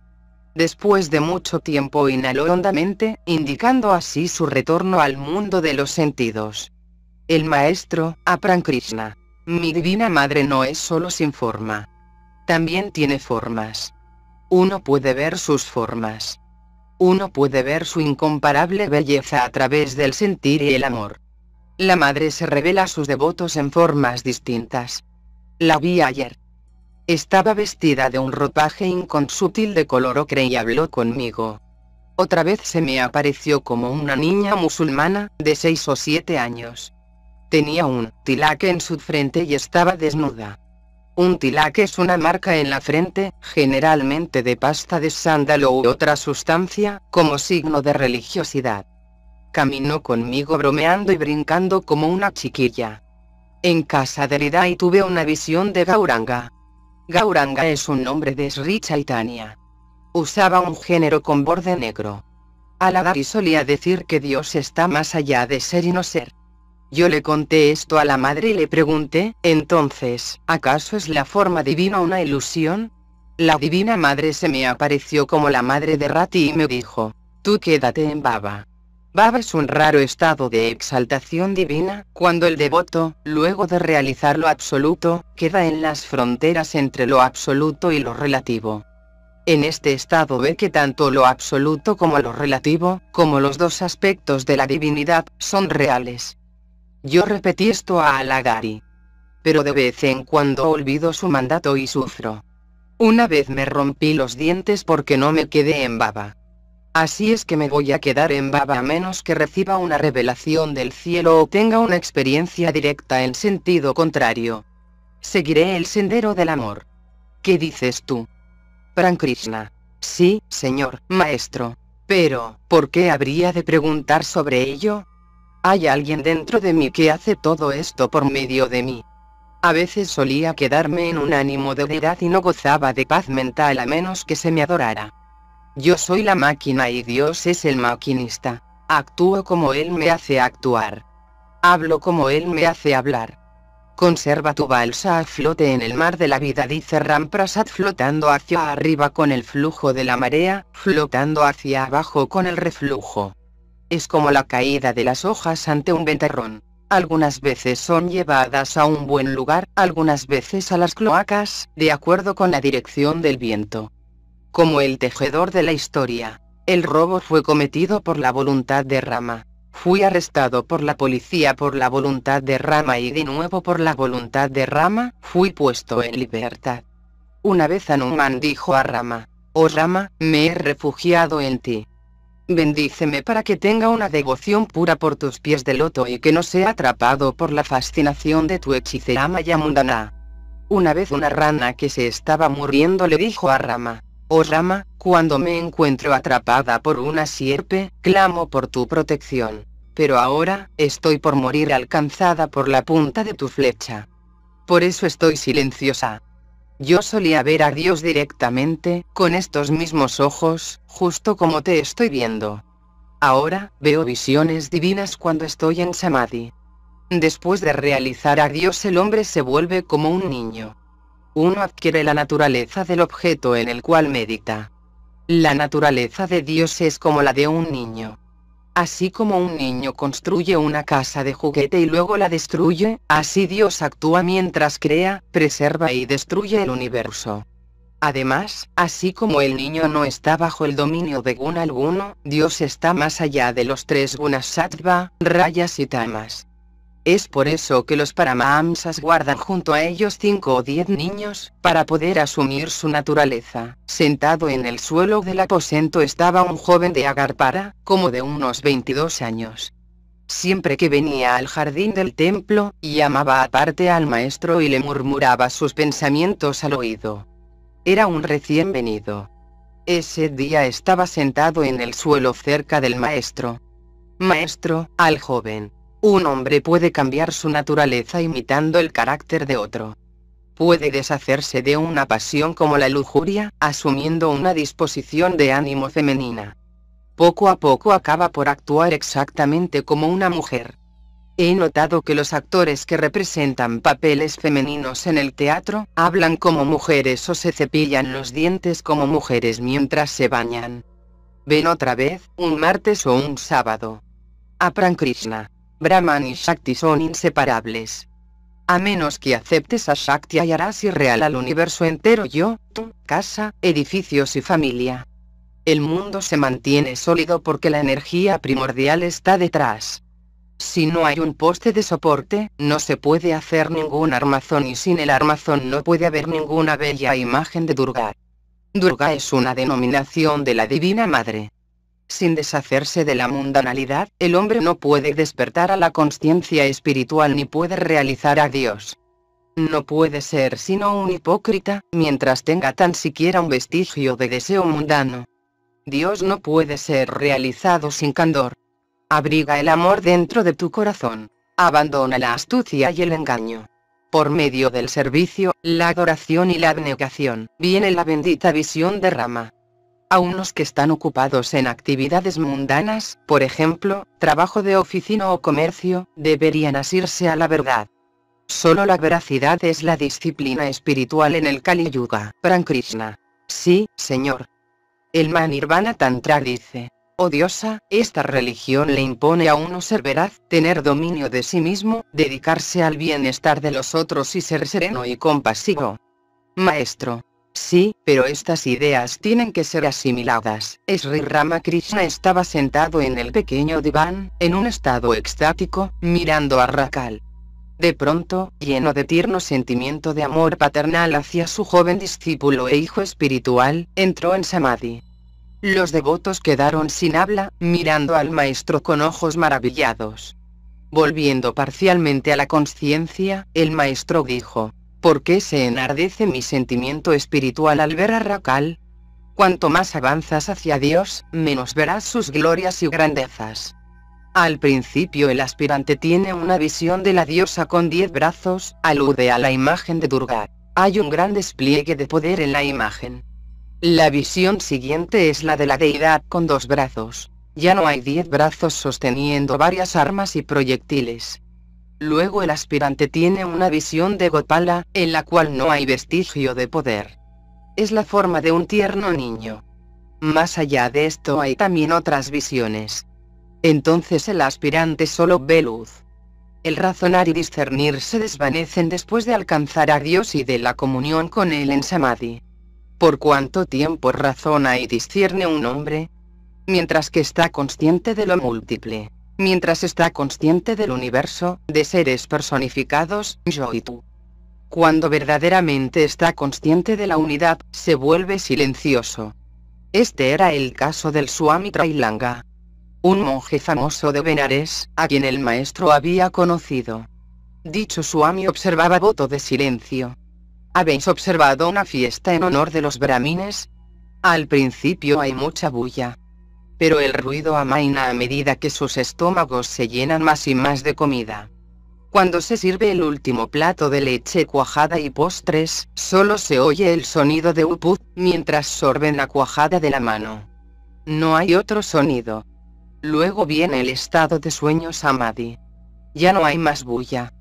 AM y Prankrishna. Mucha gente habla de Brahmajnana, pero sus mentes están siempre preocupadas con cosas inferiores. Casas, construcciones, dinero, fama y placeres de los sentidos. Mientras que os paréis al pie del monumento, se refiere al monumento Osterloney de Calcuta, veis caballos, carruajes, ingleses e inglesas. Pero cuando subís al tope, veis el cielo y el océano que se extiende en el infinito. Entonces no gozáis de los edificios, coches, caballos o personas. Parecen hormigas. Cosas semejantes como apego al mundo y entusiasmo por mujer y oro desaparecen todos después de alcanzar el conocimiento de Brahman. Luego viene la cesación de todas las pasiones. Cuando el leño se quema, hace un ruido de chisporroteo y uno ve la llama. Pero cuando ha pasado la quemazón y solo quedan cenizas, entonces ya no se oye ningún ruido. La sed desaparece con la destrucción del apego. Finalmente viene la paz más nos acercamos a Dios, más paz sentimos. Paz, paz, paz, suprema paz. Cuanto más nos acercamos al Ganges, más sentimos su frescura. Cuando nos zambullimos en el río, nos sentimos completamente refrescados. Pero el universo y sus seres creados y los 24 principios cósmicos, todos existen porque Dios existe. Si se elimina a Dios, nada queda. El número aumenta si agregamos muchos ceros después del número 1, pero los ceros carecen de valor alguno, si el 1 no está allí. El maestro continuó. Hay algunos que bajan, por así decir, después de haber alcanzado el conocimiento de Brahman después del Samadhi y conservan su ego de conocimiento o ego de devoción justo así como hay gente que de su propia voluntad queda en la plaza del mercado, después que el mercado cierra. Este era el caso de sabios como Narada, que conservaron el ego de devoción con el propósito de enseñar a los hombres. Shankaracharya conservó el ego de conocimiento con el mismo propósito. Si hay el más leve apego por las cosas del mundo, no se puede realizar a Dios. Un hilo no puede pasar por el ojo de una aguja, si la menor fibra se despega. La ira y la injuria del hombre que ha realizado a Dios, son solo apariencias. Son como un cordel quemado. Aparece como un cordel, pero el menor soplo lo aventa. Tan pronto como la mente está libre del apego, se realiza a Dios. Cualquier cosa que aparece en la mente pura es la voz de Dios. Aquello que es mente pura, también es Buddhi puro. Eso también es Atman puro, porque no hay nada puro sino Dios. Buddhi es inteligencia o facultad de discernir. Pero para realizar a Dios, uno debe ir más allá de Dharma y de Adharma. El maestro cantó con su voz melodiosa. Ven, vamos a pasear, oh mente, a Kali, el árbol que colma los deseos, y allí bajo él, recoge las cuatro frutas de la vida. Sri Ramakrishna salió a la galería sudeste de su aposento y se sentó. Krishna y los otros devotos lo acompañaron. Azra también estaba sentado allí. El maestro le dijo sonriendo a Prankrishna. Azra no es hombre para bromear con él. Si uno encuentra aquí, refiriéndose a sí mismo, un gran dargah, lugar de sepultura de un santo musulmán, sitio considerado como sagrado, entonces Azra es el dargah más pequeño. Todos rieron de las palabras del maestro. Cierto caballero llamado Navakumar, vino a la puerta y se paró allí. Al ver a los devotos, inmediatamente se fue. Oh. Egotismo encarnado. Observó Sri Ramakrishna.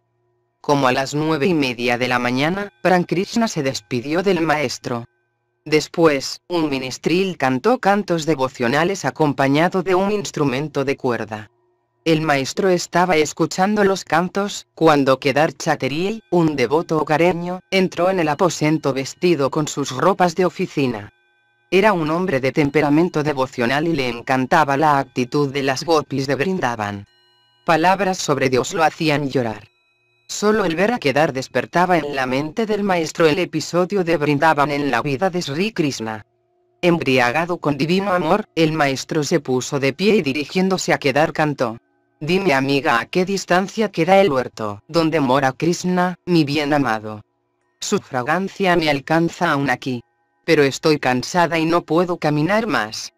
Sri Ramakrishna asumió la actitud de Sri hacia Krishna y entró en profundo samadhi mientras cantaba la canción. Estaba parado, inmóvil como una imagen en un cuadro, con lágrimas de divina alegría que corrían por sus mejillas. Quedarse arrodilló ante el maestro. Tocando sus pies cantó un himno.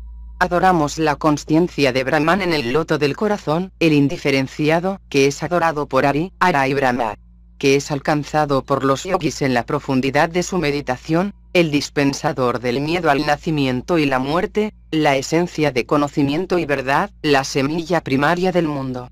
Después de un tiempo el maestro volvió a recobrar la conciencia del mundo relativo. Al momento que Dar se despidió y volvió a su oficina Calcuta. A mediodías Ramial trajo al maestro un plato de comida que había sido ofrecido en el templo de Kali. Como un niño, comió un poquito de cada cosa. Al promediar la tarde, varios devotos maruaris entraron en el aposento del maestro donde Rakal y estaban sentados también. Un devoto maruari. Señor, ¿cuál es el camino? Maestro, hay dos caminos. Uno es el sendero del discernimiento y el otro es el del amor. Discernimiento significa distinguir entre lo real y lo irreal. Solo Dios es la substancia real y permanente. Todo lo demás es ilusorio e impermanente. Solo el mago es real, su magia es ilusoria. Esto es discernimiento. Discernimiento y renunciación. Discernimiento significa distinguir entre lo real y lo irreal. Renunciación significa tener desapasionamiento por las cosas del mundo. Uno no puede adquirirlos de repente tienen que practicarse todos los días. Uno debiera renunciar a mujer y oro al principio mentalmente. Luego, por la voluntad de Dios uno puede renunciar de ambas maneras, mental y exteriormente. Es imposible pedir a la gente de Calcuta que renuncien a todo por Dios. Hay que decirles que renuncien mentalmente. Por medio de la disciplina de la práctica constante, uno es capaz de deshacerse del apego a mujer y oro. Esto es lo que dice el Gita. Por la práctica uno adquiere poderes de la mente, poco comunes. Entonces, uno no haya difícil subyugar los órganos de los sentidos y dominar la ira, la lujuria y lo semejante. Tal persona se porta como la tortuga, que una vez que ha recogido sus patas, no las vuelve a sacar afuera. Aunque la cortes en pedazos con un hacha. No puedes hacer que la tortuga vuelva a sacar sus patas. Devoto Maruari. Reverendo señor, usted acaba de mencionar dos senderos. ¿Cuál es el otro? Maestro. El sendero de Bhaktio de fervoroso amor a Dios. Llora por Dios en la soledad, con el alma inquieta y pídele que se te revele. Clama a tu madre llama, con un clamor real. ¿Y cómo puede ella quedar lejos de ti? Oh mente mía. Devoto Maruari. Señor, ¿cuál es el significado de la adoración del Dios personal? ¿Y cuál es el significado de Dios sin forma o atributos? Maestro. Así como recuerdas a tu padre por su fotografía, del mismo modo, el culto a la imagen revela en un destello la naturaleza de la realidad. ¿Sabes a qué se parece Dios con forma? Como burbujas que surgen en una extensión de agua, se ven surgir varias formas en el gran acasa de la conciencia. Acasa es el heteroespacio el primero de los cinco elementos desplegados por Brahman. La encarnación de Dios es una de estas formas. Es como si la energía primaria jugara a través de las actividades de una encarnación divina. ¿Qué hay en la mera erudición? Dios puede alcanzarse clamando a Él con un corazón anhelante. No es necesario saber muchas cosas. Aquel que es un acharía, preceptor religioso, tiene que saber cosas diferentes. Uno necesita una espada y un escudo para matar a otros. Pero para matarse uno mismo, una aguja o un cortaplumas basta. Terminamos por descubrir a Dios tratando de saber quién es este yo. ¿Es este yo la carne, los huesos, la sangre o la médula? ¿Es la mente o el buddhi? Analizando así, por fin realizas que no eres nada de esto. Es este el procedimiento del neti neti, esto no y no aquello. Uno no puede comprender ni tocar el Atman. Es sin cualidades ni atributos. Pero de acuerdo con el sendero de la devoción, Dios tiene atributos. Para un devoto Krishna es espíritu. Su morada es espíritu y todo acerca de él es espíritu. Los devotos Marwari saludaron al maestro y se despidieron. Al caer la tarde Sri Ramakrishna salió a mirar el río sagrado. En su aposento se había encendido la luz. El maestro cantó el santo nombre de la Divina Madre y meditó en ella. Luego comenzó el culto de la tarde en los varios templos. El sonido de los gongs flotaba en el aire mezclado con la voz murmurante del río. Paz y felicidad reinaba por todas partes. Fin del capítulo 7. Titulado El Maestro Ibia y Goswami. Capítulo 8. La celebración del cumpleaños del maestro en Dakshineswar. Domingo 18 de febrero de 1883. Sri Ramakrishna llegó a casa de Govinda Mukherjee en Belgaria, cerca de Calcuta. Aparte de Narendra, Ram y otros devotos, se encontraban presentes algunos de los vecinos de Govinda. Primero el maestro cantó y bailó con los devotos. Después del kirtan se sentaron. Muchos saludaron al maestro. De vez en cuando él decía, inclinaos ante Dios. Es solo Dios que se ha vuelto todo esto dijo. Pero en ciertos lugares, por ejemplo en un santo, hay una manifestación más grande que en otros. Diréis que también hay hombres perversos. Eso es verdad, lo mismo que hay tigres y leones. Pero uno no necesita abrazar al dios tigre.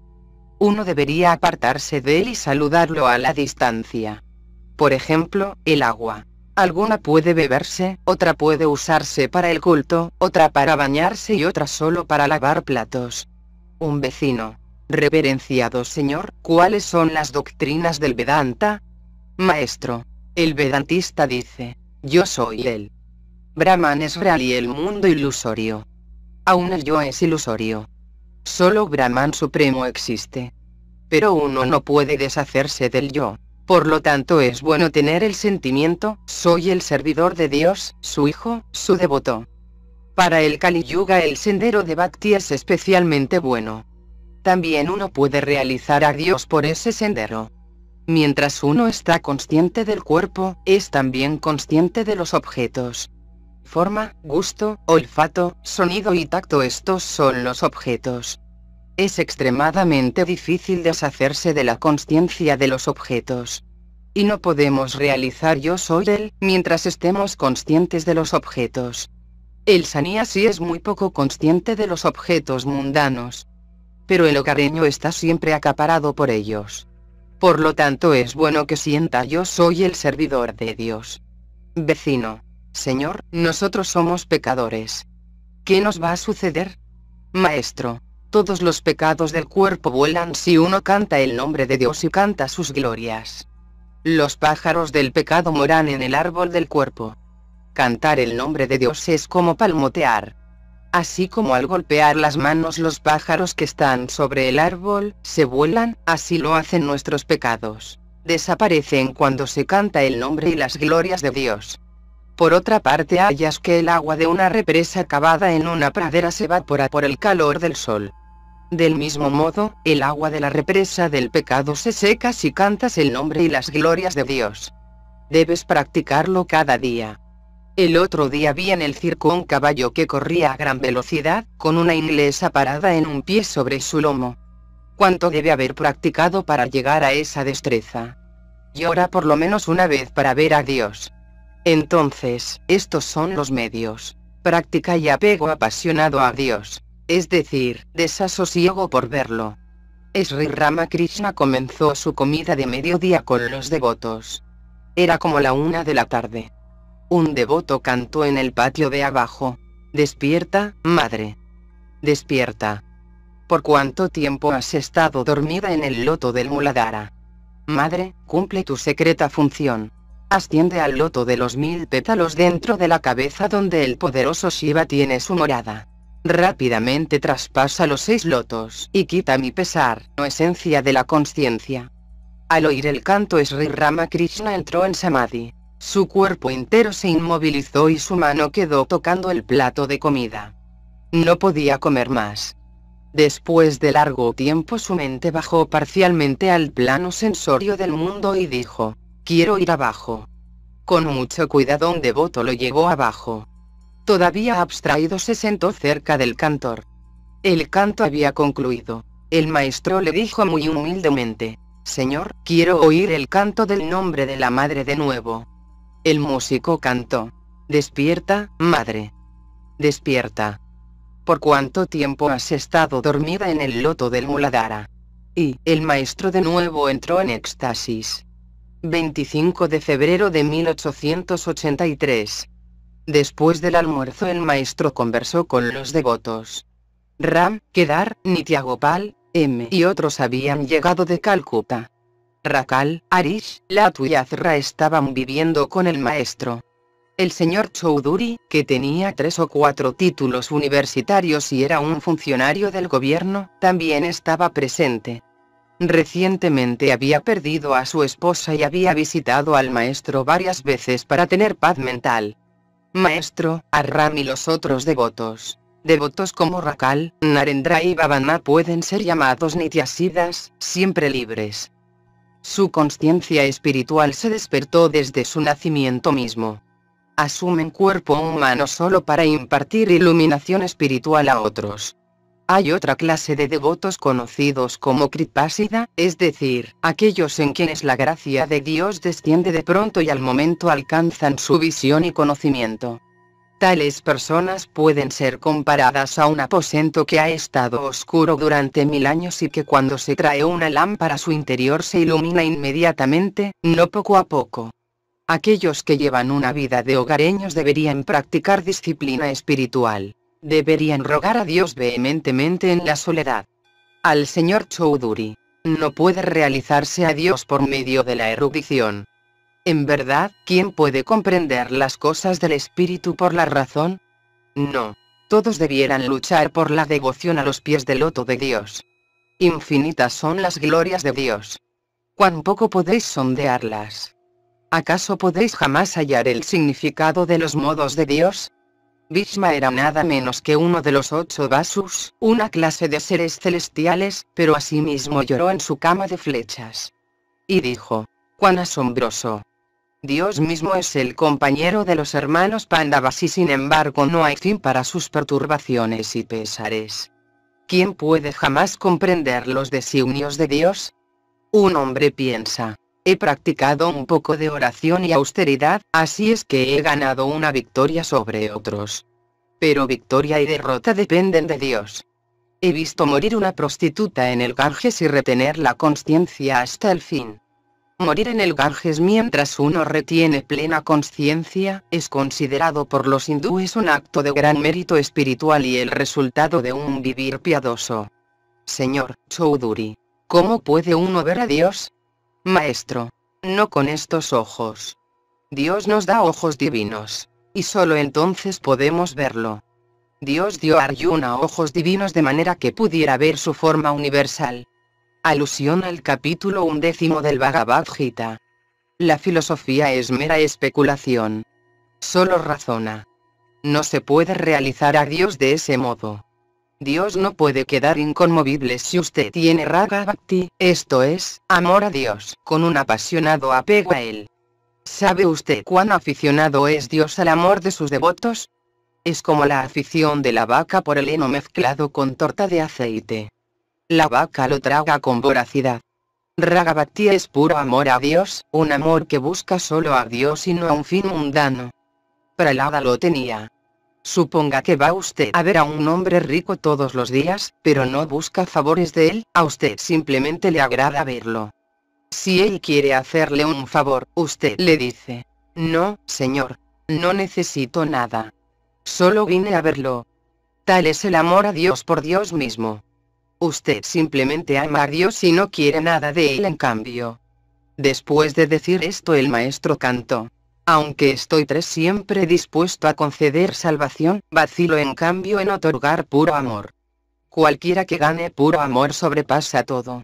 Es adorado por los hombres, y triunfa sobre los tres mundos. El canto representa las palabras de Sri Krishna. Y continuó. En substancia todo esto significa que hay que desarrollar apasionado anhelo por Dios y practicar discernimiento y renunciación. Señor Choudhury. Señor, ¿no es posible tener la visión de Dios sin la ayuda de un gurú? Maestro. Sakchidananda mismo es el gurú. Al fin del Shabbasadama, justo cuando la visión del Ishta, o sea, el ideal elegido por el devoto, está por tener lugar, el gurú aparece ante el aspirante y le dice, mira, Aquí está tu Ishta. Diciendo esto el gurú se confunde con el Ishta.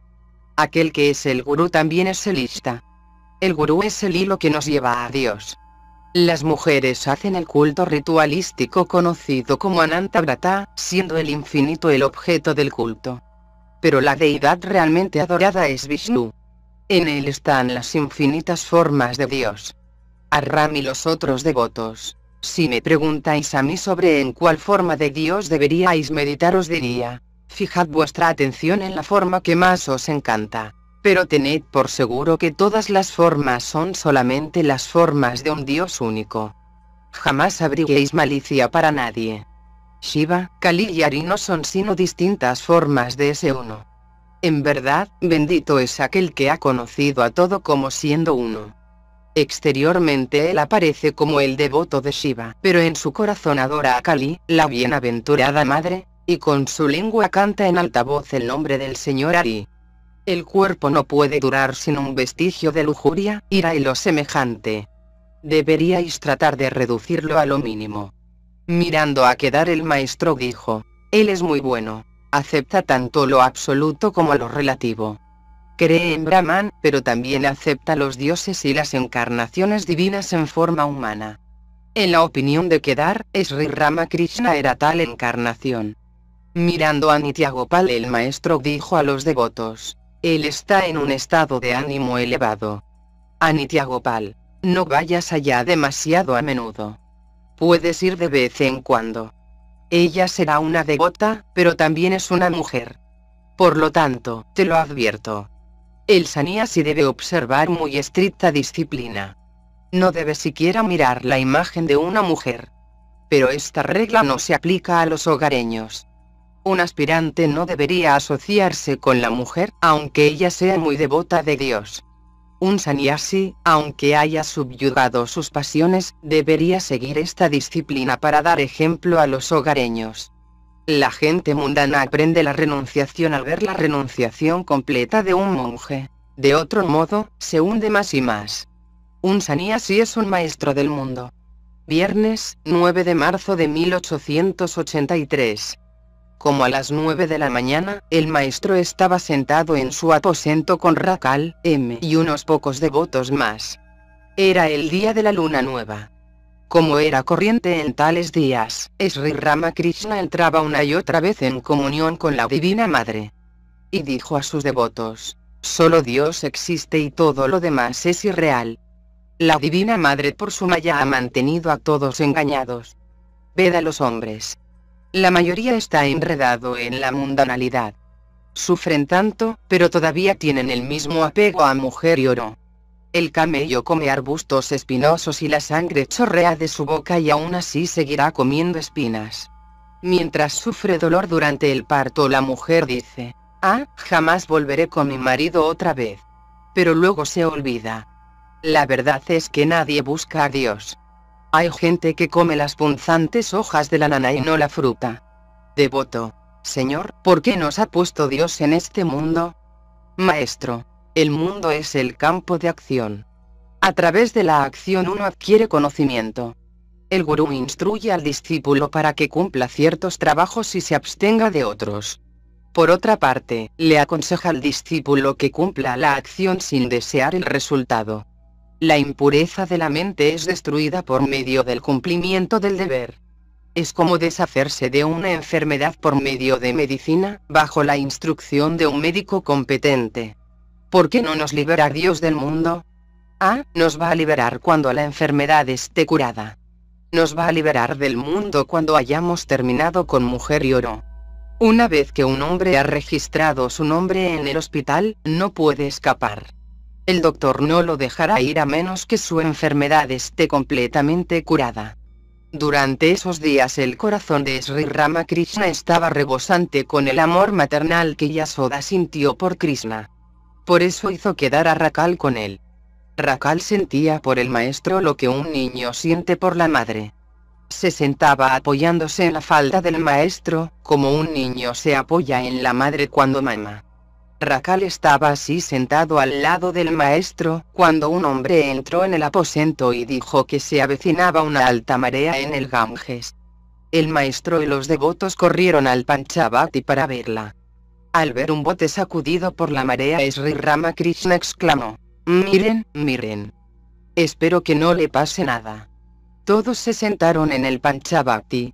El maestro pidió a M que explicara la causa de la marea. M dibujó en el suelo las figuras del Sol, la Luna y la Tierra y trató de explicar la gravitación, la pleamar, la bajamar, la Luna nueva, la Luna llena, el eclipse, etc. Maestro, AM. Basta. No puedo seguirte. Me marea. Me duele la cabeza. Bueno, ¿cómo pueden saber de cosas tan lejanas? ¿Veis? Durante mi niñez yo podía pintar bien pero la aritmética me hacía dar vueltas la cabeza. No podía aprender la más simple aritmética. Sri Ramakrishna volvió a su aposento con los devotos. Mirando a una imagen de Yasoda en la pared, dijo, no está bien hecha. Parece una vendedora de guirnaldas. El maestro gozó de una siesta después de su almuerzo de mediodía. Gradualmente Adar y otros devotos se juntaron. Era la primera visita de Adar. Era un magistrado suplente de unos 30 años. Adar, al maestro. Tengo una pregunta que hacerle. ¿Es bueno sacrificar animales ante la deidad? Esto ciertamente implica matar. Maestro. El Shastra prescribe sacrificio en ocasiones especiales. Tal sacrificio no es dañino. Toma por ejemplo el sacrificio de una cabra en el octavo día de la luna llena o la luna nueva. Ahora estoy en tal estado mental que no puedo ver un sacrificio. Tampoco puedo comer carne ofrecida a la Divina Madre. Por lo tanto, primero la toco con mi dedo y luego toco mi cabeza, no sea que ella se enoje conmigo. Por otra parte, en cierto estado mental, veo a Dios en todos los seres, aun en una hormiga. Entonces, si veo morir a un ser viviente, encuentro consuelo en el pensamiento que es la muerte del cuerpo, estando el alma más allá de la vida y de la muerte. No hay que razonar demasiado. Es suficiente si uno ama los pies del loto de la madre. Demasiado razonamiento confunde la mente. Si bebes de la superficie de un charco, tienes agua pura. Si pones la mano más hondo y revuelves el agua, se vuelve barrosa. Por lo tanto pídele a Dios devoción. Detrás de la devoción de Dhruva había deseo. Dhruva es un santo de la mitología hindú. Él practicó austeridades para ganar el reino de su padre. Pero el amor de Pralada por Dios era sin motivo un amor que no buscaba retribución. Un devoto. ¿Cómo puede uno realizar a Dios? Maestro. Por medio de esa clase de amor. Pero uno tiene que forzar el propio pedido a Dios tendría que ser capaz de decir, oh Dios, si no te revelas a mí, me cortaré la garganta con un cuchillo. Este es el aspecto tamásico de Bhakti. Devoto. ¿Puede uno ver a Dios? Maestro. Sí, seguramente. Uno puede ver ambos aspectos de Dios, Dios con forma y Dios sin forma. Uno puede ver a Dios con forma, la personificación del espíritu. Asimismo Dios puede ser percibido directamente en un hombre con una forma tangible. Ver una encarnación de Dios es lo mismo que ver a Dios. Dios nace en la tierra como hombre en cada época. 11 de marzo de 1883. Era el cumpleaños de Sri Ramakrishna. Muchos de sus discípulos y devotos querían celebrar la feliz ocasión en el jardín del templo de Dakshineswar. Desde la mañana temprano, los devotos afluían solos o en grupos. Luego del culto de la mañana en los templos, tocaron música suave en el Nabat. Era la primavera. Los árboles, las enredaderas y plantas estaban en flor y cubiertas con hojas nuevas. El aire mismo parecía cargado de alegría y los corazones de los devotos estaban contentos en ese día propicio. M. Llegó por la mañana temprano y halló al maestro hablando sonriente con Bebanat, Rakal y. M. Se postró ante él. Maestro, AM. Estoy contento que hayas venido. A los devotos. Uno no puede ser espiritual mientras tenga vergüenza, odio o miedo. Grande será hoy la alegría. Pero esos tontos que no van a cantar o bailar enloquecidos con el nombre de Dios, jamás alcanzarán a Dios. ¿Cómo puede uno sentir vergüenza alguna o miedo cuando se canta el nombre de Dios? Ahora, canten todos ustedes. Tres veces bendito es este día de regocijo.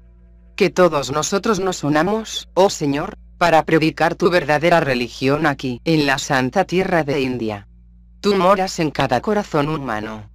Tu nombre resuena por todas partes y llena los cuatro rincones del cielo. Hoy los devotos proclaman, tu majestad sin límites. No buscamos ni riqueza ni amigos o fama, oh Señor. Ninguna otra esperanza es nuestra.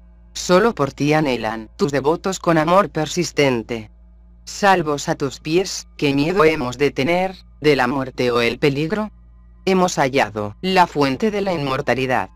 Victoria a ti, oh Señor. Victoria a ti. Mientras Sri Ramakrishna escuchaba la canción con las manos juntas, su mente se remontó a un reino lejano, y quedó absorto en meditación por largo tiempo. Después de un rato Kali Krishna murmuró algo a Bhavanath. Luego se inclinó ante el maestro y se levantó. Sri Ramakrishna, sorprendido, preguntó, ¿Dónde vas? Bhavanath. Se va por un pequeño quehacer. Maestro. ¿De qué se trata? Bhavanath. Va al Instituto de Trabajadores de Varanagor. Maestro. Es su mala suerte. Hoy va a fluir aquí una corriente de felicidad. Él podía haberla gozado. Qué desafortunado. Sri Ramakrishna no se sentía bien. Por eso decidió no bañarse en el Ganges. Como a las nueve trajeron unos cuantos cántaros de agua del río y con la ayuda de los devotos acabó su baño en la galería este de su aposento. Después de bañarse el maestro se puso ropas nuevas, cantando durante todo el tiempo el nombre de Dios. Acompañado por uno o dos discípulos caminó a través del patio del templo de Kali, todavía cantando su reverenciado nombre. Sus ojos tenían la mirada vuelta hacia el interior, como la del pájaro que está empollando sus huevos. Al entrar al templo se prosternó ante la imagen y adoró a la Divina Madre. Pero no observó ningún ritual del culto. Ora ofrecía flores y pasta de sándalo a los pies de la imagen, ora las colocaba sobre su propia cabeza. Luego de concluir el culto en su modo especial, pidió a Babanath que llevara el coco verde que había sido ofrecido a la madre.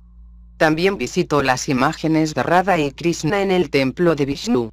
Cuando el maestro volvió a su aposento, encontró que habían llegado otros devotos, entre ellos Ram, Nityagopal y Kedar. Todos saludaron al maestro, quien los recibió cordialmente. Le preguntó a Nityagopal, ¿quieres comer algo ahora? Sí respondió el devoto. Nityagopal, que tenía 23 o 24 años y era soltero, era como un niño. Su mente se remontaba siempre al reino espiritual. A veces visitaba al maestro solo y otras en compañía de Ram.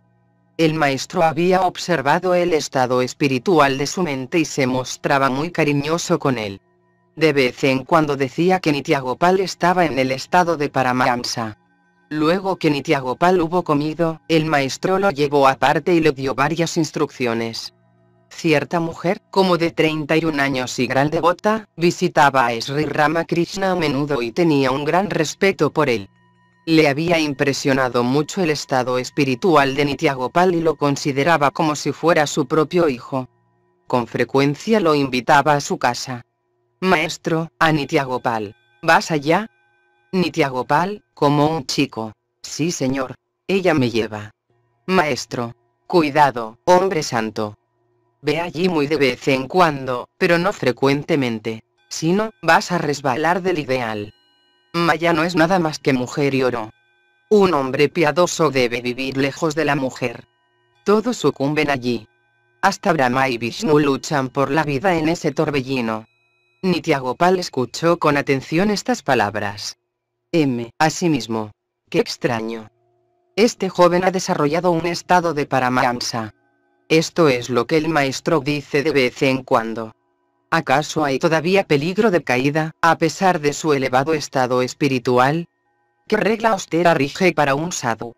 Puede resbalar de su ideal por íntima asociación con la mujer. ¿Cómo puede un hombre común alcanzar liberación a menos que tan alto ideal sea establecido por hombres píos? La mujer en cuestión es muy devota, pero aún así hay peligro. Ahora comprendo por qué Chaitanya castigó a su discípulo, el joven Aridas, tan severamente. A pesar de la prohibición de su maestro, Aridas conversó con una viuda devota. Pero él era sannyasi, por lo tanto Chaitanya lo desterró. ¡Qué severo castigo! Cuán dura es la regla para uno que ha aceptado la severa vida de renunciación. Además, qué amor abriga el maestro por su devoto lo está previniendo ahora, para que no caiga en peligro en el futuro. Cuidado, hombre santo.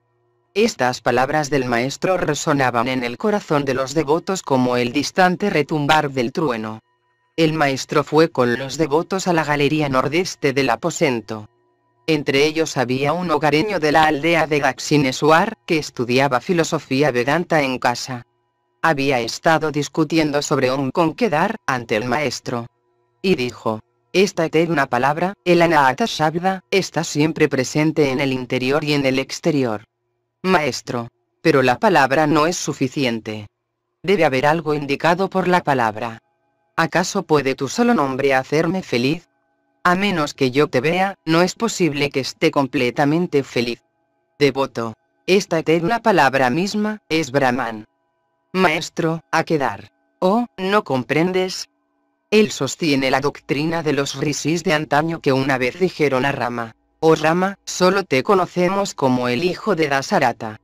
Deja que sabios como Bharavaya te adoren como a Dios encarnado. Nosotros queremos realizar a Brahman, el indivisible existencia consciencia felicidad absoluto. A estas palabras Rama sonrió y se fue.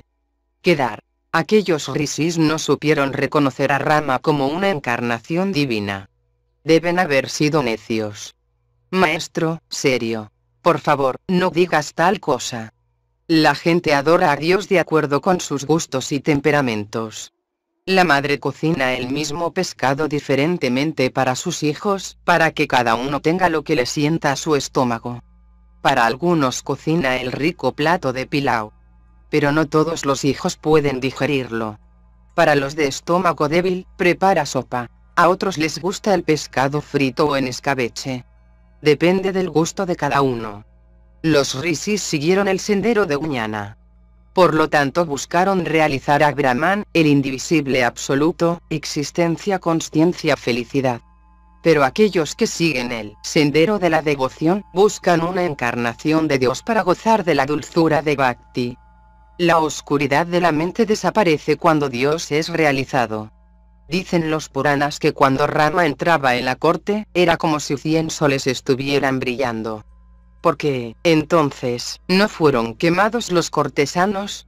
Porque el brillo de Rama no era como el de un objeto material. Así como florece el loto cuando sale el sol, así florecían los lotos del corazón de la gente reunida en la corte.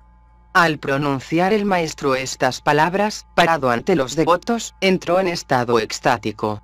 Su mente se había retirado de los objetos exteriores. Apenas hubo dicho florecían los lotos del corazón cuando entró en Samadhi. Se quedó inmóvil, su semblante radiante y sus labios entreabiertos en una sonrisa. Después de largo tiempo volvió a la conciencia normal del mundo. Suspiró hondamente y continuó repitiendo el nombre de Rama. Cada palabra era como una lluvia de néctar en el corazón de los devotos. El maestro se sentó, haciéndolo los otros en derredor suyo. Maestro, a los devotos. La gente común no reconoce el advenimiento de una encarnación de Dios. Él viene en secreto. Solo unos pocos de sus discípulos íntimos pueden reconocerlo. Solo doce rishis supieron que Rama era Brahman absoluto y al mismo tiempo una perfecta encarnación de Dios en forma humana.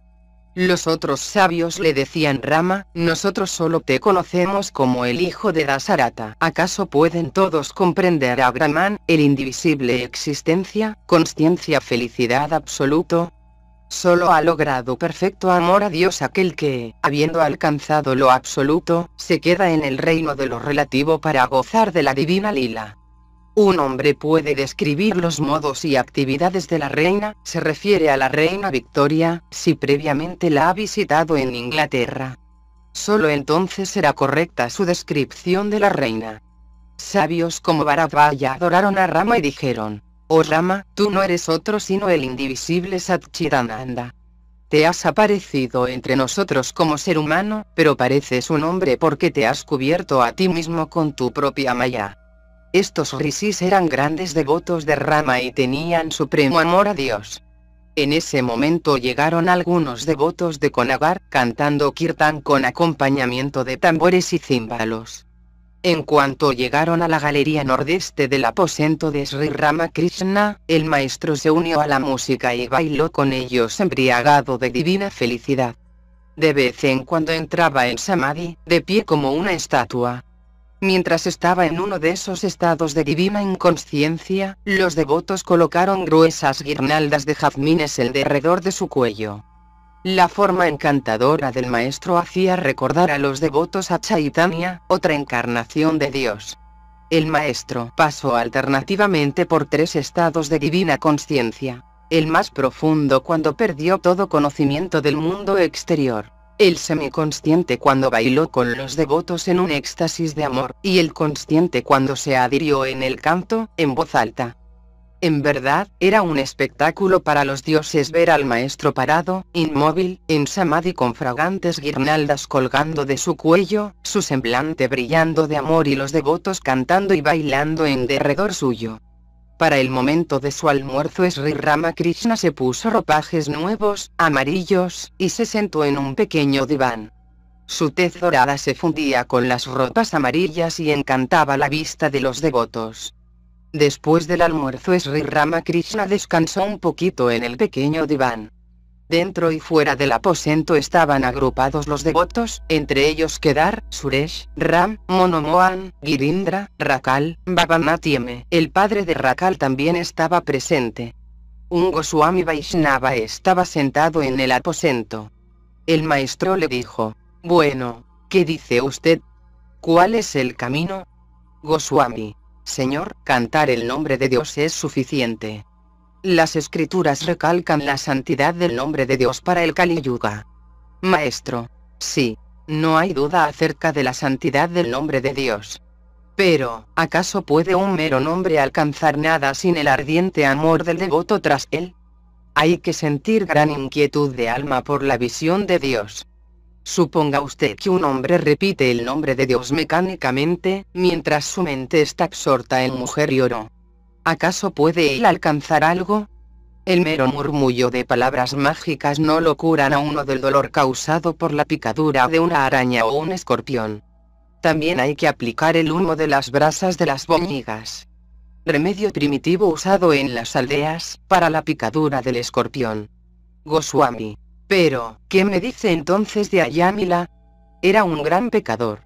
No hubo pecado al cual no se hubiera entregado, pero en la hora de su muerte pronunció el nombre de Narayana llamando a su hijo, que también tenía ese nombre, y así fue liberado. Maestro. Quizás Ayamila había hecho muchas cosas espirituales en sus encarnaciones pasadas. También se cuenta que una vez practicó austeridades. Por otra parte, aquellos eran los últimos momentos de su vida. ¿De qué sirve dar un baño al elefante? Se cubrirá él mismo de suciedad y de tierra y quedará tan sucio como antes. Pero si alguien quita la tierra de su cuerpo y le da un baño, justo antes de entrarlo al establo, entonces el elefante quedará limpio. Suponga usted que un hombre se purifique cantando el santo nombre de Dios, pero inmediatamente después cometa muchos pecados. No tiene entereza. No hace voto de no repetir sus pecados. Indudablemente que un baño en el Ganges lo absuelve a uno de todos los pecados, pero ¿de qué le sirve? Se dice que los pecados se encaraman a los árboles a lo largo del Ganges. Tan pronto como el hombre vuelve de las aguas sagradas, los viejos pecados le saltan sobre los hombros, desde los árboles. Todos ríen.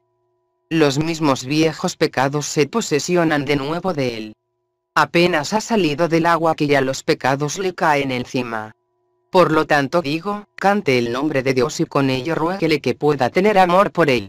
Ruegue a Dios que su apego a cosas transitorias, tales como riqueza, fama y comodidades, disminuya día a día. Algo suave. Con sinceridad y anhelo uno puede realizar a Dios a través de todas las religiones. Los Vaishnavas realizarán a Dios y así lo harán los Shaktas, los Vedantistas y los Brahmos. Los musulmanes y cristianos también lo realizarán. Ciertamente, todos realizarán a Dios si son fervorosos y sinceros. Algunas personas se entregan a discusiones diciendo, uno no puede alcanzar nada a menos que adore a nuestro Krishna o nada puede ganarse sin adorar a Kali, nuestra divina madre o uno no puede salvarse sin adoptar la religión cristiana.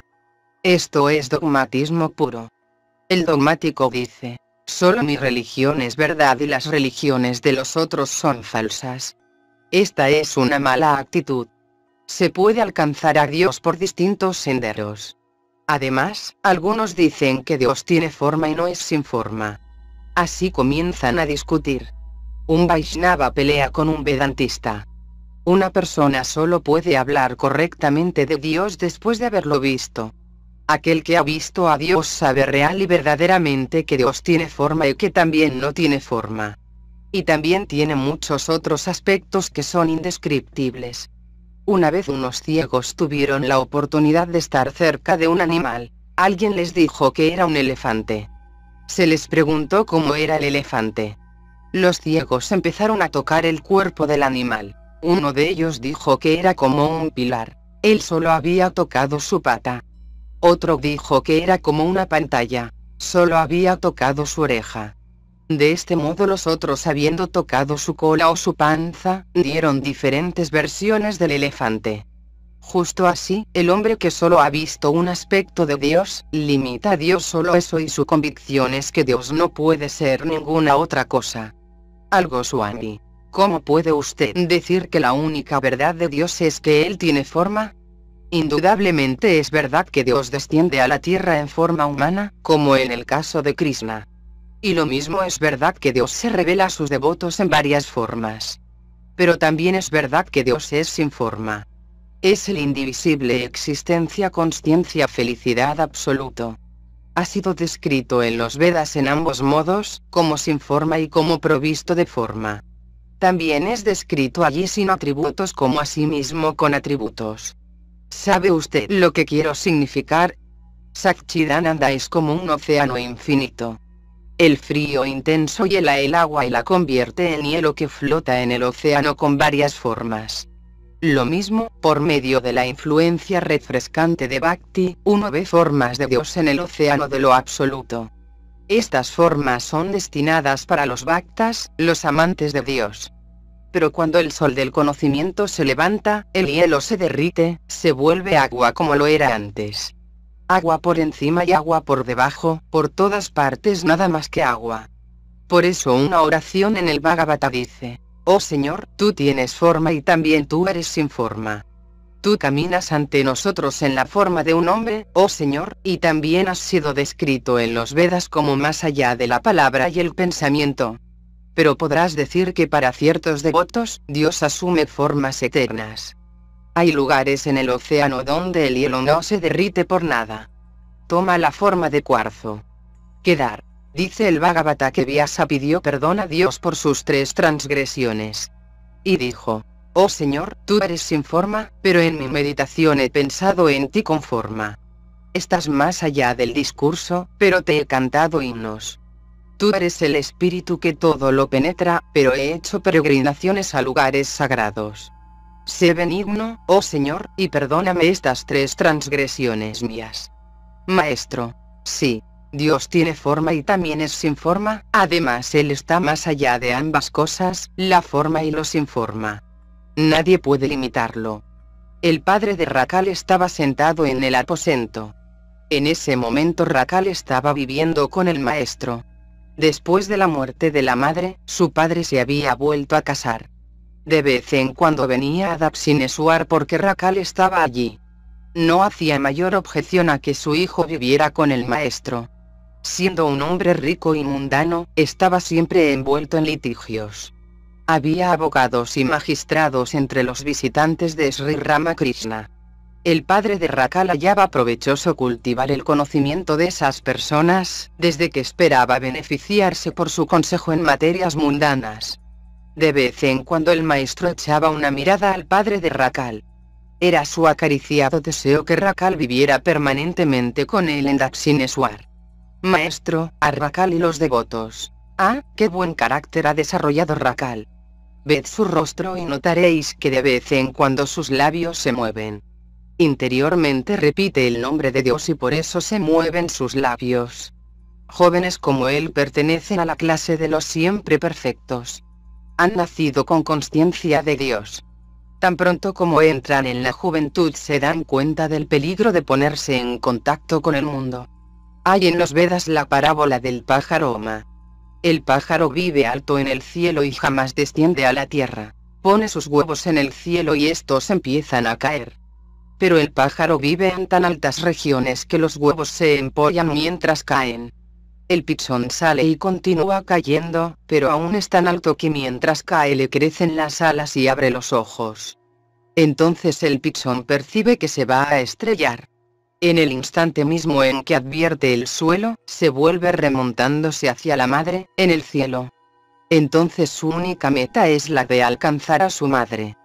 Jóvenes como Rakal son como ese pájaro. Desde su temprana niñez tienen miedo del mundo y su único pensamiento es, ¿cómo alcanzar a la madre, cómo realizar a Dios? Preguntaréis, ¿Cómo es posible que estos muchachos, nacidos de padres mundanos y viviendo entre gente de mentalidad mundana, desarrollen semejante conocimiento y devoción? Puede explicarse. Si un garbanzo cae en un montón de bosta germina y se hace una planta de garbanzos. Los garbanzos que crecen en esa planta cumplen muchos propósitos provechosos. ¿Acaso porque estaba sembrada en bosta va a producir otra planta? Ah, qué naturaleza suave tiene Racal hoy en día. ¿Y por qué no habría de ser así? Si el yame es bueno, sus brotes también son buenos. El yame es una especie de mandioca. Todos ríen. Tal padre, tal hijo. M. Aparte a Girindra. Qué bien ha explicado a Dios con y sin forma. ¿Creen los Vaishnavas solo en Dios con forma? Girindra. Quizás sea así. Son unilaterales. M. ¿Comprendió usted lo que quiso decir por la eterna forma de Dios? No pude entender bien lo del cuarzo. Maestro, AM. Bueno, ¿de qué están hablando? M y Grindra sonrieron y no contestaron.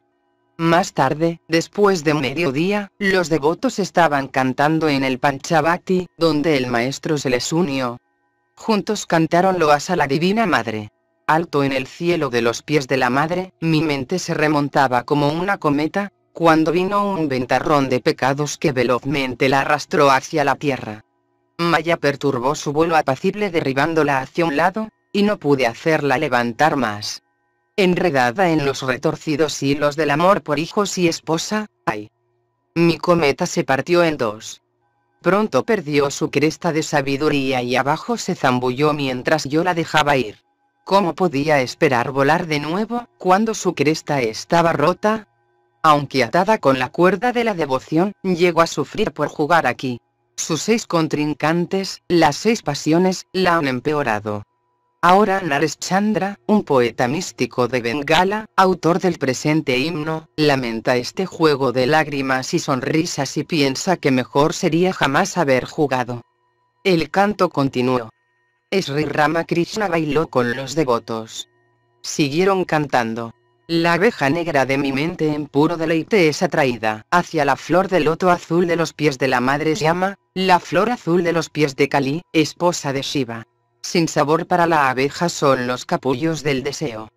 Los pies de mi madre son negros y también negra es la abeja.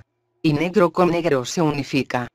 Y algo de este misterio, mis ojos mortales ven, y apresuradamente luego se apartan.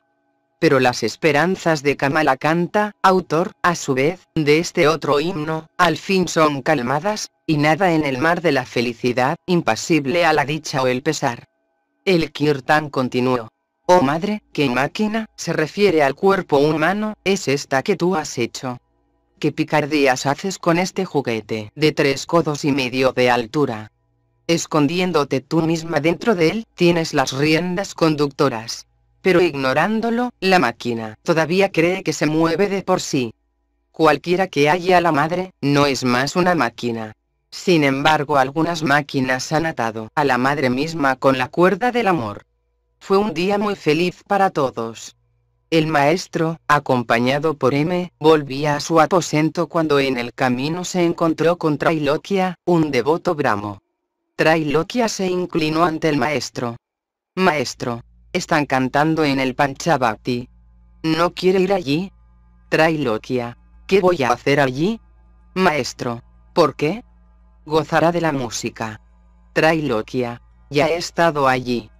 Maestro, bien, bien. Esto es bueno. Eran como las seis de la tarde. El maestro estaba sentado con los devotos en la galería sudeste de su aposento. Maestro, el hombre piadoso que ha renunciado al mundo, seguramente cantará el nombre de Dios. Eso es natural. No tiene otros deberes que cumplir. Si medita en Dios, esto no debiera sorprender a nadie. Por otra parte, si deja de pensar en Dios o de cantar su santo nombre, entonces la gente pensará mal de él. Pero si un hogareño dice el nombre del Señor es muy loable. Pensad en el rey Yanaka. En verdad, qué coraje tenía. Tiraba la esgrima con dos espadas, una del conocimiento y la otra del trabajo. Poseía el perfecto conocimiento de Brahman y también estaba dedicado a los deberes del mundo. Una mujer no casta tiende hasta a los menores deberes del mundo, pero su mente mora siempre en su amante. La compañía constante de hombres píos es necesaria. Los santos nos conducen a Dios. Quedar. Sí, Señor. La gran alma nace en el mundo para la redención de la humanidad. Conduce a otros a Dios, justo como una locomotora arrastra consigo un largo tren de coches. O también, es como un río o lago que apaga la sed de mucha gente. Los devotos estaban prontos para volver a casa. Uno por uno saludaron al maestro. A la vista de Babajnath, Sri Ramakrishna dijo, no te vayas hoy. El solo verte me inspira. Babanath todavía no había entrado en la vida mundana. Joven de 20 años, tenía tez clara y era buen mozo. Al oír el nombre de Dios vertía lágrimas de alegría. El maestro lo consideraba como la personificación de Narayana. Jueves, 29 de marzo de 1883. El maestro había descansado después de su almuerzo, cuando algunos devotos llegaron de Calcuta, entre ellos Amrita y Trailoquia, famoso cantor del Brahmo Samaya. Rakal no se sentía bien.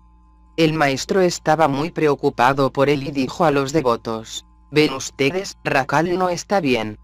¿Lo aliviaría la soda? ¿Qué voy a hacer ahora? Por favor, Rakal, toma el prasad del templo de Yaganat. Mientras decía estas palabras el maestro pasó por una extraña transformación. Miraba a Rakal con la infinita ternura de una madre y cariñosamente pronunciaba el nombre de Govinda. Govinda es uno de los nombres de Krishna. Según el maestro, Rakal en una de sus previas encarnaciones, había sido un pastor de Brindavan y compañero íntimo de Sri Krishna. ¿Veía acaso en Rakal, la manifestación de Dios mismo?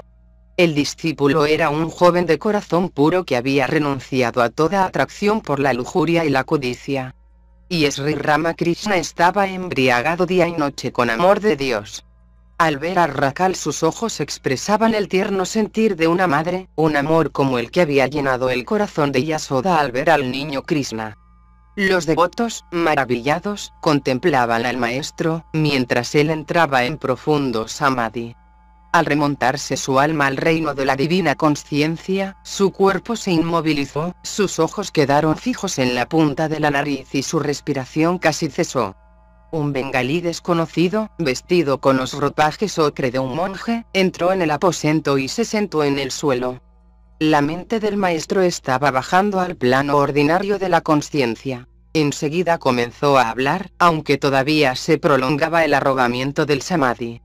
Maestro, al ver las ropas ocre, ¿por qué este guerrúa? Guerrúa es el hábito ocre de los monjes. ¿Acaso habría de ponerse uno semejante cosa por mera fantasía? Una vez un hombre dijo, he cambiado el chandi por un tambor. El chandi es un libro sagrado de los hindúes en el cual se describe a la Divina Madre como la última realidad. Al principio cantaba las sagradas canciones del Chandi. Ahora toca el tambor. Todos ríen. Hay tres o cuatro variedades de renunciación. Afligido por miserias en el hogar, uno puede ponerse las ropas ocre de un monje, pero esta renunciación no dura mucho. También un hombre sin trabajo se pone ropajes ocre y va a Benares. Después de tres meses escribe al hogar. He hallado trabajo aquí. Volveré a casa dentro de unos días. No se aflijan por mí. O también un hombre puede tener cuanto quiere y no le falta nada. Sin embargo no goza de sus posesiones. Solo llora por Dios. Esta es la renunciación real. Ninguna falsedad de ninguna especie es buena. Una falsa vestidura, aunque sea la de un monje, no es buena. Si la vestidura exterior no corresponde con el pensamiento interno, gradualmente trae ruina. Por decir palabras falsas o cometer falsas acciones, uno pierde gradualmente todo temor de hacerlas. Mucho mejor son las ropas blancas de los hogareños. Estar lleno de apegos mundanos, apartarse a veces del ideal y vestirse de monje, qué horror. No es propio que una persona recta diga una mentira o haga algo falso, aun en una representación dramática. Una vez fui a casa de Quesada a ver la representación de una pieza llamada Nava Brindaban. Trajeron algo al escenario que ellos llamaban la cruz. Otro actor salpicó agua que decían era agua de paz. Vi un tercer actor tambaleándose y haciendo eses en el papel de borracho. Un devoto bramo. Era acá. Maestro, no es bueno que un devoto represente semejantes papeles. Es malo para la mente que more en tales temas por largo tiempo. La mente es como la ropa blanca recién traída del lavadero. Toma el color en el cual la mojas. Si está asociada con falsedades por mucho tiempo, se teñirá de falsedad. Otro día fui a casa de Quesada a ver la pieza llamada Nimai Sanyas, una pieza de teatro que describe a Sri Chaitanya abrazando la vida monástica. Algunos discípulos aduladores de Kesab echaron a perder toda la representación. Uno de ellos dijo a Kesab, usted es el Chaitanya del Kali Yuga. Kesab señalándome a mí preguntó sonriendo. Entonces, ¿quién es él? Yo repliqué, y bueno, soy el sirviente de tu sirviente. Soy una pizca del polvo de tus pies. Kesab tenía deseo de renombre y fama. Amrita y Trailokia, jóvenes como Narendra y Rakal son siempre perfectos. Cada vez que nacen están dedicados a Dios. Un hombre común adquiere un poquito de devoción después de dura lucha y austeridades. Pero estos tienen amor a Dios desde el momento mismo en que nacen. Son como la imagen natural de Shiva que surge de la tierra y no es erigida por manos humanas. Los siempre perfectos forman una clase de por sí. No todos los pájaros tienen pico corvo. Los siempre perfectos jamás están apegados al mundo. Hay el caso de Pralada. La gente común practica disciplina espiritual y cultiva devoción a Dios, pero también se ata al mundo y está agarrada al embeleso de mujer y oro. Son como moscas que se posan en una flor un dulce, lo mismo que sobre la inmundicia. Pero los siempre perfectos son como las abejas, que solo se posan en las flores y sorben la miel. Los siempre perfectos solo beben el néctar de la divina felicidad. Jamás están inclinados hacia los placeres mundanos. La devoción de los siempre perfectos no es como la devoción común que uno adquiere como resultado de agotadoras disciplinas espirituales. La devoción ritualista consiste en repetir el nombre de Dios y desempeñar el culto en un modo prescrito. Es como cruzar un arrozal en un rodeo siguiendo las amelgas. También es como llegar a la aldea vecina en bote, dando un rodeo por un río sinuoso. Uno no observa las prescripciones del culto ceremonioso cuando desarrolla Raga Bhakti, cuando ama a Dios como siendo de uno mismo. Entonces es como cruzar el arrozal después de la cosecha. No hay necesidad de seguir las amelgas. Podéis atravesar el campo derecho en cualquier sentido. Cuando el terreno está inundado, no hay necesidad de seguir el río sinuoso. Entonces los campos están bajo el agua honda podéis remar vuestro bote directamente a la aldea. Sin este intenso apego, este amor apasionado, uno no puede realizar a Dios. Amrita. Señor, ¿cómo se siente usted en Samadhi? Maestro. Quizás habrás oído que la cucaracha meditando asiduamente en la Brahmara, una especie de abeja negra, se transforma en una Brahmara. ¿Sabes qué siento entonces? Me siento como un pez que sueltan de una pecera a las aguas del Ganges. Amrita. ¿No siente usted ni por un instante siquiera un vestigio del ego? Maestro. Sí, generalmente queda un poquito. Por más vigorosamente que uno frote un grano de oro contra una piedra de moler, siempre un poquito de oro queda. O también, toma el caso de una gran fogata. El ego es como una de sus chispas. En Samadhi pierdo completamente la conciencia exterior, pero por lo general Dios guarda un pequeño vestigio de ego en mí, para el goce de la comunión divina. El goce solo es posible cuando el yo y tú quedan. Pero algunas veces Dios borra hasta el menor rastro del yo. Entonces uno experimenta Yada Samadhi o Nirvikalpa Samadhi. Esa experiencia no puede describirse. Una muñeca de sal fue a medir la profundidad del océano, pero antes de llegar al fondo, se había derretido. Se volvió una con el agua del océano. Entonces, ¿quién quedaba para volver y contar la profundidad del océano? Fin del capítulo 8. Titulado La celebración del cumpleaños del maestro en Dakshineswar. Capítulo 9. Consejos a los Brahmos. Sábado, 7 de abril de 1883. Sri Ramakrishna estaba de visita en casa de Balaram, en Calcuta, con Narendra, Babanath, Rakal, M y otros. Balaram, a requerimiento del maestro, había invitado a algunos jóvenes devotos para almorzar. A menudo Sri Ramakrishna le decía, invítalos a comer de vez en cuando. Esto te conferirá el mérito de alimentar a hombres píos. El maestro consideraba a sus jóvenes discípulos, todavía no tocados por mujer y oro, como verdaderas personificaciones de Dios. Unos días antes, Sri Ramakrishna había estado en casa de Kesab con Narendra y Rakal para ver una representación de la pieza Nava Brindavan. Narendra había tomado parte en la representación, en la que Kesab representó el papel de Pavar. Maestro, Kesab vino al escenario representando a un santo y roció el agua de paz. Pero no me gustó. ¿Qué ocurrencia la de rociar esa clase de agua desde el escenario de una representación teatral? Otro caballero tomó la parte del pecado. Eso tampoco es bueno. No hay que cometer pecados, ni siquiera simularlo. El maestro quería oír cantar a Narendra. El joven discípulo no se sentía bien, pero ante el formal requerimiento del maestro, cantó acompañado del tampura, un instrumento de cuerdas.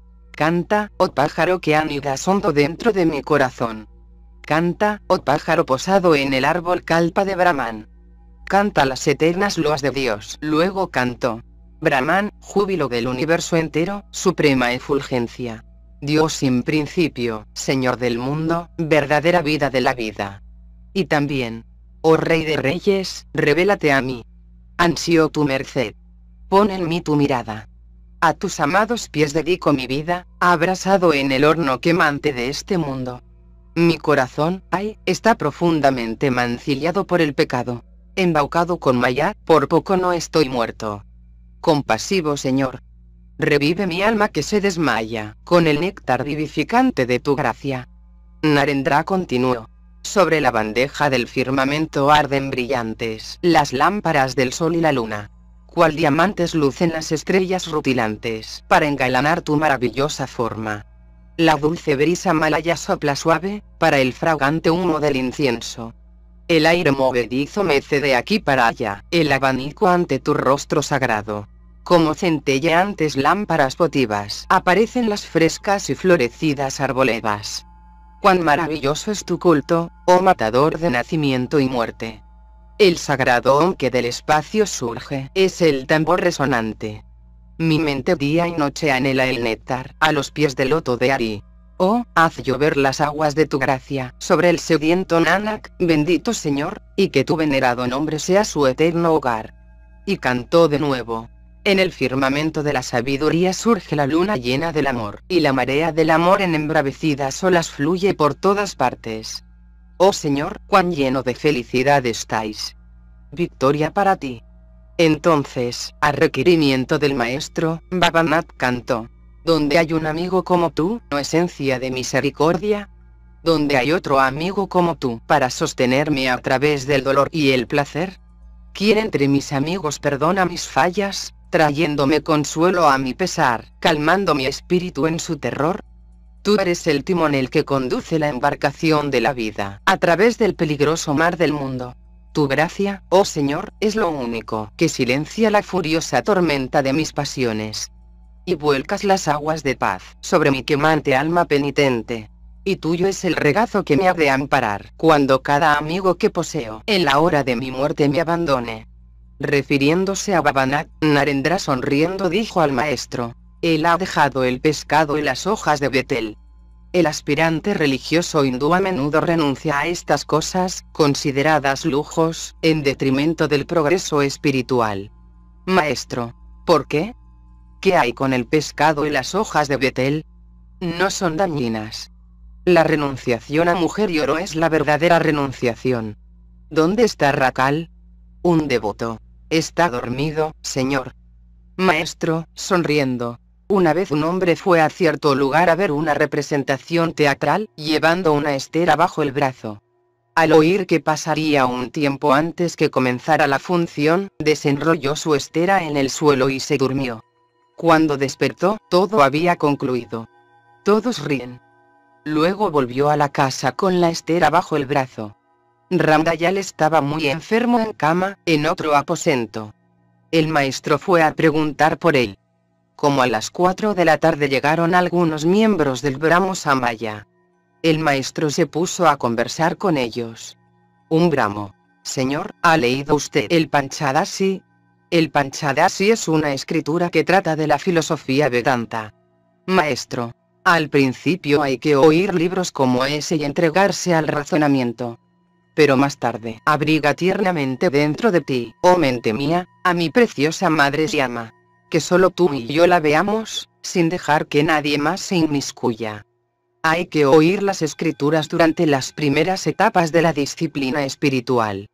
Luego de alcanzar a Dios, el conocimiento no falta. Entonces la Divina Madre lo provee con seguridad. Un niño deletrea cada palabra que escribe, pero más tarde escribe con fluidez. El orfebre está alerta y activo cuando está fundiendo el oro. Mientras el oro no se haya fundido, maneja los fuelles con una mano, mueve el abanico con la otra y sopla un tubo con la boca. Pero en el momento que el oro se ha fundido y ha sido volcado en el molde, queda libre de toda ansiedad. El mero leer las escrituras no es bastante. Una persona no puede comprender su verdadero significado si está pegada al mundo.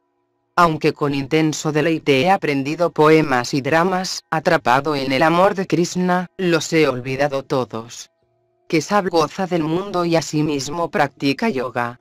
Viviendo en el mundo dirige su mente a Dios. Un devoto describió la asamblea de la Universidad de Calcuta, diciendo que la reunión parecía un bosque de cabezas.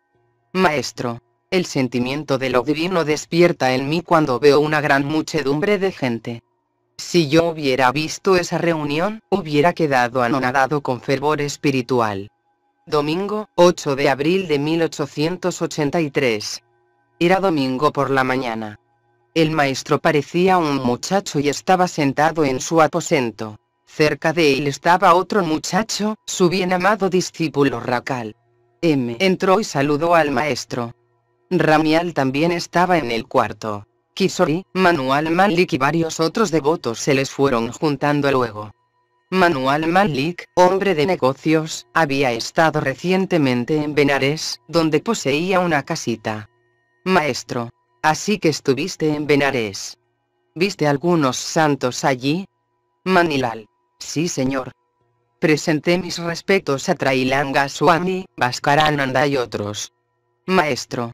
Dinos algo sobre ellos. Manilal. Trailanga Swami está viviendo en el mismo templo donde vivía antes, en el Manikarnika cerca del minarete de Benimadad. La gente dice que antes estaba en un estado espiritual más exaltado. Podía hacer muchos milagros. Ahora ha perdido mucho de su poder. Maestro. Así critica la gente mundana. Manilal. Trailanga Swami guarda un estricto voto de silencio. En cambio, Bhaskarananda es amigo de todos. Maestro. ¿Tuviste alguna conversación con Bhaskarananda? Manilal. Sí, señor. Tuvimos una larga conversación. Entre otras cosas discutimos el problema del bien y del mal. Me dijo, no sigas el sendero del mal. Abandona todo pensamiento pecaminoso. Así es como Dios quiere que actuemos. Solo cumple aquellos deberes que son virtuosos. Maestro. Sí, también esto es un sendero para la gente de mente mundana pero aquellos cuya conciencia espiritual se ha despertado, que han realizado que solo Dios es real y todo lo demás ilusorio, aprecian un ideal diferente. Saben que solo Dios es el hacedor y los demás sus instrumentos. Aquellos cuya conciencia espiritual se ha despertado, jamás dan un paso en falso. Ellos no necesitan razonar para evitar el mal. Están tan llenos de amor a Dios que cualquier acción que emprenden es una buena acción son plenamente conscientes que no son los actores de sus acciones, sino meros servidores de Dios. Siempre sienten, soy la máquina y Él es el maquinista. Yo hago como Él lo hace por medio de mí. Hablo como Él habla por mi conducto. Me muevo como Él me mueve. Las almas completamente despiertas están por encima de la virtud y el vicio. Comprenden perfectamente que es Dios quien lo hace todo. En cierto lugar había un monasterio.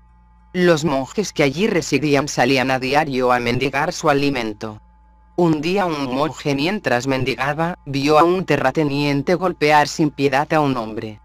El monje, compasivo, se adelantó y pidió al propietario que cesara de pegarle. Pero el propietario estaba tan lleno de rabia que volvió su ira contra el inocente monje y lo golpeó hasta que cayó al suelo inconsciente. Alguien avisó lo sucedido al monasterio. Los monjes corrieron al lugar y hallaron a su hermano que yacía allí. Cuatro o cinco de ellos lo llevaron de vuelta y lo acostaron en una cama, todavía inconsciente. Los otros monjes se sentaron en derredor suyo, triste el corazón. Algunos lo abanicaban. Finalmente alguien sugirió que le dieran un poco de leche para beber. Cuando se la vertieron en la boca, volvió a la conciencia. Abrió sus ojos y miró en derredor. Uno de los monjes dijo, veamos si está plenamente consciente y nos puede reconocer. Gritando en su oído dijo, Reverenciado Señor, ¿quién os está dando leche? Hermano replicó el santo en voz queda, aquel que me pegó, ahora está dándome leche. Pero uno no alcanza semejante estado mental sin la realización de Dios. Manilal. Señor, lo que usted acaba de decir se aplica a un hombre de un estado espiritual muy elevado. Hablé de tales temas en un modo general con Bhaskarananda. Maestro, ¿vive en una casa? Manilal. Sí, señor. Vive con un devoto. Maestro, ¿qué edad tiene ahora? Manilal. Como 55. Maestro, ¿hablaste alguna otra cosa? Manilal. Le pregunté cómo cultivar bhakti. Me contestó. Canta el nombre de Dios. Repite el nombre de Rama. Maestro. Eso es muy bueno. El culto había terminado en los templos y sonaron las campanas para el ofrecimiento de la comida en los altares. Como era un mediodía de verano, el sol calentaba mucho. La pleamar comenzó en el Ganges y vino una brisa del sur. Sri Ramakrishna estaba descansando en su aposento después del almuerzo. La gente de Basirak, lugar de nacimiento de Rakal, había estado sufriendo una tremenda sequía durante los meses de verano. Maestro, a Manilal. Rakal dice que la gente de su aldea ha sufrido seriamente por escasez de agua. ¿Por qué no construyes una represa allí? Eso haría bien a la gente. Sonriendo. Tienes tanto dinero, ¿qué vas a hacer con toda tu riqueza? Pero dicen que los telis son muy calculadores. Todos ríen. Los telis son la casta de los aceiteros a la cual pertenecía Manilal. Comparativamente es una casta baja en la sociedad hindú de Bengala. En verdad, Manilal era un hombre calculador, aunque no le faltara el dinero. En años posteriores hizo una fundación de 25.000 rupias para estudiantes pobres. Manilal no contestó a estas palabras del maestro acerca de las características de su casta. Más tarde, en el curso de la conversación, observó al pasar. Señor, usted se refirió a una represa. También pudo usted limitarse a esa sugestión. ¿Por qué aludir a la casta de los aceiteros y todo eso? Algunos devotos sonrieron para sí mismos. El maestro se rió. Poco después llegaron algunos miembros mayores del Brahmo Samaya. El aposento estaba lleno de devotos. Sri Ramakrishna, sentado sobre su cama frente al norte, continuó sonriendo y habló a los devotos brahmos en un alegre estado de ánimo. Maestro, habláis con ligereza sobre prema. Pero, ¿acaso es una cosa común? Hay dos características de Prema. Primero nos hace olvidar el mundo. Tan intenso es el amor por Dios, que uno se vuelve inconsciente de las cosas exteriores. Chaitanya poseía este amor extático. Tomó un bosque por el sagrado huerto de Brindavan y el océano por las oscuras aguas del Yamuna. Segundo, uno no tiene sentimiento de miedo hacia el cuerpo, que para el hombre es tan querido uno se deshace completamente del sentimiento de que el cuerpo es el alma. Hay ciertos signos de la realización de Dios. El hombre cuyo anhelo por Dios manifiesta sus glorias, no está lejos de alcanzar a Dios. ¿Cuáles son las glorias de ese anhelo? Son discernimiento, desapasionamiento, compasión por los seres vivientes, servir a los santos, amar su compañía, cantar el nombre y las glorias de Dios, decir la verdad y cosas semejantes. Cuando veis esos signos de anhelo en un aspirante, podéis decir con certeza que la visión de Dios no está lejos de obtenerse. La condición en que se halla el hogar de un sirviente, os dirá sin lugar a error, si su patrón ha decidido visitarlo. Primero, los residuos y los matorrales que circundan la casa, han sido desbrozados. Segundo, el hollín y toda la suciedad ha sido barrida de los aposentos. Tercero, el patio, los pisos y otros lugares están bien barridos y limpios. Finalmente el patrón mismo manda varias cosas a la casa, tales como una alfombra, un narguilé para fumar, etc. Cuando veis llegar estas cosas, sacaréis en conclusión que el patrón va a venir pronto un devoto. Señor, hay que practicar primero el discernimiento para alcanzar el dominio de sí mismo. Maestro, también ese es un sendero. Se llama el sendero de Vichara, razonar. Pero también los órganos internos se dominan en forma natural por medio de la devoción. Los órganos internos son la mente, manas, la inteligencia, buddhi, la substancia mental, chita, y el ego, amkara. De ese modo es bastante fácil lograrlo. A medida que el amor a Dios crece, los placeres de los sentidos parecen más y más desabridos. ¿Acaso pueden los placeres de los sentidos atraer al hombre y mujer sacudidos por el dolor el día de la muerte de su hijo? Devoto. ¿Cómo puedo desarrollar mi amor a Dios? Maestro. Repite su nombre y los pecados desaparecerán. Así destruirás la lujuria, la ira, el deseo por las comodidades físicas y cosas semejantes. Devoto. ¿Cómo puedo tener gusto por el nombre de Dios? Maestro. Reza a Dios con un corazón anhelante para que tengas deleite en su nombre. Él colmará sin duda el deseo de tu corazón. Y así diciendo el maestro cantó una canción con su dulce voz, suplicando a la Divina Madre para que concediera su gracia a los hombres dolientes. Oh madre, a nadie más he de culpar. Ay. Me hundo en el pozo que estas manos mías cavaron. Con las seis pasiones por pala, cabe un pozo en el sagrado suelo de la tierra. Y ahora el agua oscura de la muerte mana hacia afuera. ¿Cómo puedo salvarme, oh redentora mía? Seguramente he sido mi propio enemigo. ¿Cómo puedo yo ahora evadir estas oscuras aguas de la muerte? Mira, las aguas surgen hasta mi pecho. ¿Cómo puedo salvarme? Oh Madre, sálvame. Eres mi único refugio. Con tu mirada protectora, llévame hacia la otra orilla del mundo. El maestro cantó de nuevo. ¿De qué fiebre delirante sufro?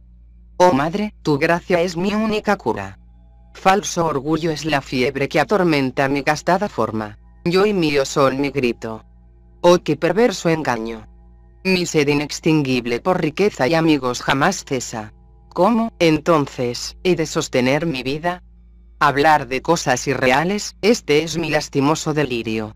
Y siempre me entrego a ello, oh donante de toda buena fortuna. Mis ojos en apariencia dormidos, cerrados están. Mi estómago lleno está con los viles gusanos de la crueldad. Ay. Vago absorto en hechos sin sentido. Y aún por tu santo nombre no tengo gusto, oh madre. Y dudo jamás curarme de esta enfermedad. Luego el maestro dijo, y aún por tu santo nombre no tengo gusto.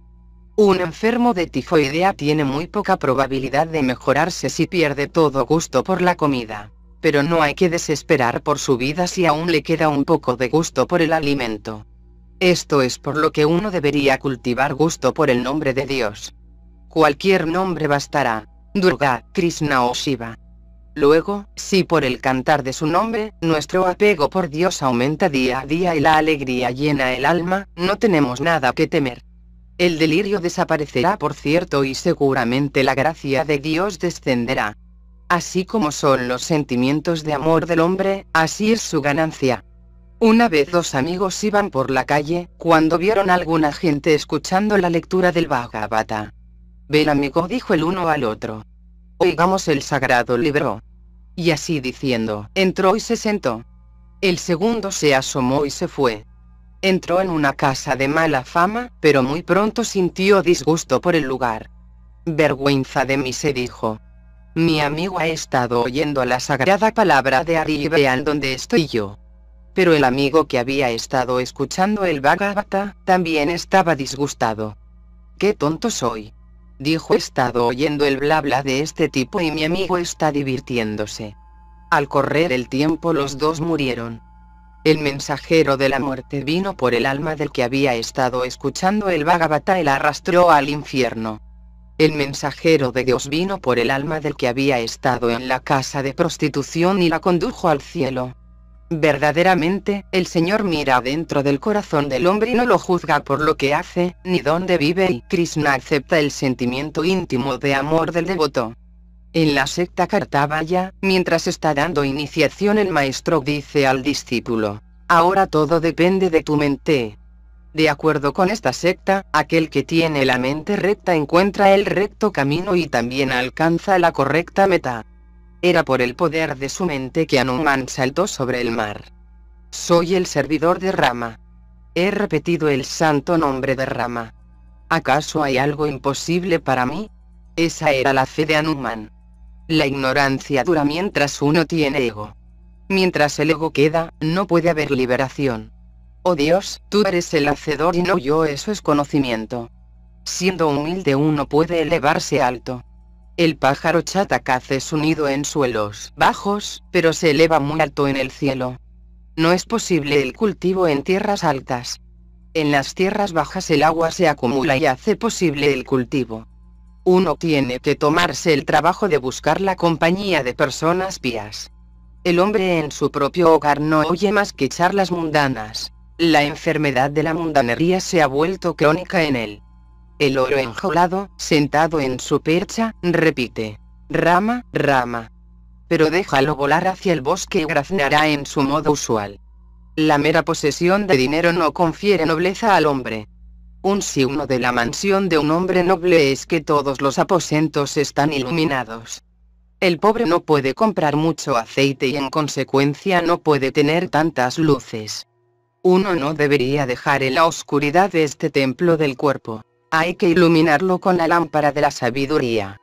Enciende la lámpara del conocimiento en la cámara de tu corazón, mira la faz de la madre, personificación de Brahman.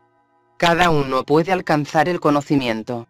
Hay dos entidades. Jivatma, el alma individual y Paramatma, el alma suprema. Por medio de la oración todas las almas individuales pueden unirse al alma suprema. Cada casa tiene su conexión de gas y el gas puede obtenerse del tanque principal almacenado en la compañía de gas. Solicita la compañía y ésta arreglará para proveerte de gas. Luego tu casa estará alumbrada. En alguna gente la conciencia espiritual ya ha sido despertada, pero tienen marcas especiales. No gozan oyendo y hablando de nada sino de Dios. Son como el Chatak, que clama por agua de lluvia aunque los siete océanos, el Ganges y el Yamuna y los ríos cerca de él, estén desbordantes de agua. No beberá nada, sino agua de lluvia, aun cuando su garganta esté ardiendo de sed. El maestro quería oír unos cuantos cantos. Ramlal y un brahmin del templo cantaron. Mora, oh Señor, oh amante de Bhakti, era el brindaban de mi corazón, y mi devoción a ti será tu rada bien amada. Y de nuevo. Las nubes oscuras de la tormenta de verano se desvanecen en la nada, cuando la flauta en la mano y la sonrisa en sus labios, aparece Krishna el moreno, alumbrando el mundo con su encanto. Su deslumbrante ropa amarilla brilla aún más que el destello del relámpago. Una guirnalda de flores silvestres entretejida dulcemente se balancea de su pecho joven, besando suavemente sus pies. Ved, allí está parado el Señor de la vida, la luna del linaje de Nanda, sobrepasando en brillo todas las lunas en el cielo, y con el esplendor de sus rayos inundando las riberas del Yamuna. Está allí parado, robando el corazón de las doncellas. Sacándolas del fogón y del hogar, las atrae. Krishna entra en el altar de mi propio corazón, y con la nota de su flauta, roba mi sabiduría, mi alma y mi vida. A quien Gangam Narayana volcará su cuento de pesar. Ah, amigo, podrías haber comprendido si hubieras ido a las orillas del Yamuna a llevar tu cántaro de agua. Y de nuevo cantaron. Alto era el cielo de los pies de la madre, mi mente se remontaba como una cometa, cuando vino una ráfaga del rudo viento de pecados que la arrastró velozmente hacia la tierra. Maestro, a los devotos. Como el tigre devora a otros animales, así el tigre del celo por el Señor come la lujuria, la ira y las otras pasiones. Una vez que aumente este celo en el corazón, la lujuria y otras pasiones desaparecen. Las gopis de Brindavan tenían este estado mental debido a su celo por Krishna. También este celo por Dios es comparado al colirio. Radha dijo a sus amigas, veo a Krishna por todas partes. Ellas contestaron, amiga, has pintado tus ojos con el colirio del amor. Es por esto que ves a Krishna por todas partes. Dicen que cuando los ojos de uno están pintados con las cenizas de un sapo, uno ve serpientes por todas partes. En verdad son almas ligadas aquellas que constantemente moran en mujer y oro y no piensan en Dios ni por un momento siquiera. ¿Cómo podéis esperar de ellas actos nobles? Son como mangos picoteados por los cuervos, que no pueden ser ofrecidos a la deidad en el templo y que hasta los hombres vacilan en comer. Almas ligadas y gente mundana son como los gusanos de seda. Los gusanos pueden abrirse paso a través de su capullo si quieren, pero habiendo hecho ellos mismos el capullo, están demasiado apegados para dejarlo y así mueren allí. Las almas libres no están bajo el dominio de mujer y oro. Hay algunos gusanos de seda que pasan a través del capullo que ellos han hecho con tanto cuidado. Pero son pocos y raros. Es Maya la que engaña. Solo pocos despiertan espiritualmente y no son engañados por el hechizo de Maya. No caen bajo el dominio de mujer y oro. Hay dos clases de almas perfectas, aquellas que alcanzan la perfección por medio de prácticas espirituales y aquellas que la alcanzan por la gracia de Dios. Algunos labradores irrigan sus campos con gran trabajo, solo entonces pueden obtener cosechas. Pero hay algunos que no necesitan irrigar en absoluto. Sus campos están inundados por la lluvia. No tienen que tomarse el trabajo de sacar agua. Hay que practicar disciplina espiritual laboriosamente para evitar las garras de mala. Aquellos que alcanzan la liberación a través de la gracia de Dios, no tienen que trabajar. Pero, en verdad, son pocos. Luego hay la clase de los siempre perfectos. nacen en cada vida con su conciencia espiritual ya despierta. Pensad en una fuente cuya salida está obstruida. Mientras hace unos arreglos en el jardín, el plomero accidentalmente la destapa y el agua surge a borbotones. Y todavía la gente está azorada de ver la primera manifestación del celo por Dios de un alma siempre perfecta y dice, ¿dónde estaba toda esta devoción, renunciación y amor? La conversación tornó sobre el celo espiritual de los devotos, como fue demostrado en el anhelo de las gopis en Brindaban. Ramial cantó, Tú eres mi todo en todo, oh Señor. La vida de mi vida, la esencia de la esencia. En los tres mundos no tengo a nadie sino a ti para llamar mío.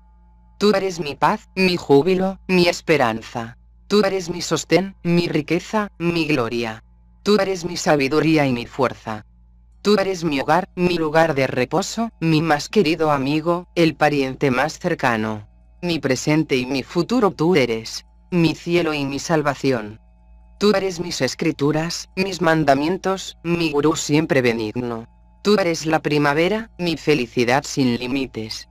Tú eres el camino y tú eres la meta. Tú el adorable, oh Señor. Tú eres la madre de tierno corazón, el padre que castiga. Tú eres el creador y protector. Tú eres el timón el que dirige mi barca a través del mar de la vida. Maestro, a los devotos. Ah, qué hermosa canción. Tú eres mi todo en todo. Ramlal cantó de nuevo, esta vez describiendo las angustias de las gopis por la separación de su bien amado Krishna. Cuando Krishna subió a su carro para irse a Mathura, las gopis se colgaron de las ruedas y no dejaban mover al carro. No se agarren, no se agarren de las ruedas del carro. ¿Acaso son las ruedas las que lo hacen mover? El movedor de sus ruedas es Krishna, por cuya voluntad se mueven los mundos. El maestro entró en profundo samadhi. Su cuerpo estaba inmóvil. Se sentó con las manos juntas como en su fotografía. Lágrimas de alegría fluían de sus ojos. Después de un largo tiempo su mente bajó al plano ordinario de la conciencia. Musitó algo, de lo que los devotos en el aposento podían oír una que otra palabra de vez en cuando. Decía, tú eres yo y yo soy tú, tú comes, tú, yo como. ¿Y qué es esta confusión que tú has creado? Continuando, el maestro dijo, veo todo como un hombre con ictericia. Solo te veo a ti por todas partes, oh Krishna, amigo de los humildes. Oh eterno consorte de mi alma. Oh Govinda. Mientras pronunciara eterno consorte de mi alma y Govinda, el maestro entró de nuevo en Samadhi. Había un silencio absoluto en el aposento. Los ansiosos e insaciables ojos de los devotos estaban fijos en el maestro, un dios hombre de infinitas disposiciones de ánimo. Adarsen llegó con varios amigos. Era un magistrado sustituto, de unos 30 años. Esta era su segunda visita al maestro.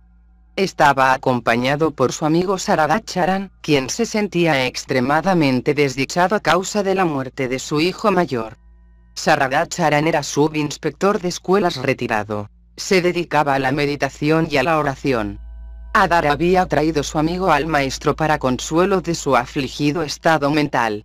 Al descender del samadhi, el maestro halló los ojos de los devotos fijos en él. Aún abstraído murmuró algo para sí mismo. Luego, dirigiéndose a los devotos, Sri Ramakrishna dijo, la sabiduría espiritual de la gente mundana solo se ve en raras ocasiones. Es como la llama de una vela. No. Mejor dicho, es como un solo rayo del sol que pasa por una grieta en la pared. La gente mundana canta el nombre de Dios, pero no hay fervor detrás de ello. Es como los chicos que juran por Dios habiendo aprendido la palabra por las disputas de sus tías. La gente mundana no tiene entereza. Si tiene éxito en una empresa, está muy bien. Pero si no sale bien, no se molestan por ello. Cuando necesitan agua comienzan a cavar un pozo. Pero tan pronto como golpean contra una piedra, dejan de cavar allí y empiezan en otra parte. Quizás lleguen a una capa de arena. Al no encontrar nada más que arena, también abandonan el lugar. ¿Cómo han de tener éxito en conseguir agua a menos que continúen cavando persistentemente donde comenzaron? El hombre recoge la cosecha de sus propias acciones pasadas. Por eso dice la canción, oh madre, ¿a quién he de culpar? Ay. Me hundo en el pozo que estas manos mías cavaron. Yo y mío, eso es ignorancia. Por el discernimiento realizaréis que lo que llamáis yo realmente no es sino el Atman. Razonadlo. ¿Acaso sois el cuerpo, o la carne u otra cosa? Al fin sabréis que no sois nada de eso. Estáis libres de atributos. Luego realizaréis que jamás fuisteis el actor de ninguna acción, que habéis estado libres de virtud y vicio por igual, que estáis por encima de la rectitud y lo inicuo. Por ignorancia el hombre dice, esto es oro y esto es latón. Pero el hombre de conocimiento dice, todo es oro. El razonar cesa cuando uno ve a Dios. Pero hay ejemplos de gente que habiendo realizado a Dios, aún continúa razonando. También hay gente que, aún después de haber visto a Dios, canta su nombre con devoción y canta sus glorias. ¿Hasta cuando llora un niño? Hasta que no mama del pecho de su madre. Tan pronto como comienza a mamar, cesa de llorar. Entonces el niño solo siente el goce. Gozosamente bebe la leche del pecho de su madre. Pero también es verdad que mientras mama, el niño a veces juega y ríe. Es solamente Dios que se ha vuelto todas las cosas. Pero en el ser humano él mismo se manifiesta mucho más. Dios está directamente presente en el hombre que tiene el corazón puro de un niño y que ríe y llora, baila y canta en divino éxtasis. Para entonces Sri Ramakrishna había intimado más con Adar, quien le contó la causa del pesar de su amigo. El maestro cantó como para sí mismo. A las armas, a las armas, oh hombre. La muerte bien armada asalta tu casa. Llevando la aljaba del conocimiento, monta el carro de la devoción. Dobla el arco de tu lengua con la cuerda del arco del amor y apúntale la flecha del santo nombre de la Madre Kali. Aquí está el ardid para la refriega. No necesitas carro ni auriga. Desde las riberas del Ganges, combate a tu enemigo y fácilmente será vencido. Luego dijo, ¿qué puedes hacer? Apróntate para la muerte. La muerte ha entrado en tu casa. Debes combatirla con el arma del santo nombre de Dios. Solo Dios es el hacedor. Yo digo, oh Señor, hago como tú haces a través de mí. Hablo como tú hablas por medio de mí. Soy la máquina y tú eres el maquinista. Soy la casa y tú eres el morador. Soy la locomotora y tú eres el conductor. Da plenos poderes a Dios. No sufrimos si dejamos que un hombre bueno asuma la responsabilidad nuestra. Deja que su voluntad se cumpla. Pero ¿acaso no es natural tu pesar por tu hijo? El hijo es propiamente uno mismo, vuelto a nacer. Laxmana corrió hacia Rábana cuando éste cayó muerto en el campo de batalla. Mirando el cuerpo de Rábana, halló que cada uno de sus huesos estaba acribillado de agujeros. Por lo tanto dijo a Rama, Oh Rama, gloria para tus flechas. No hay un punto en el cuerpo de Rábana que no hayan atravesado.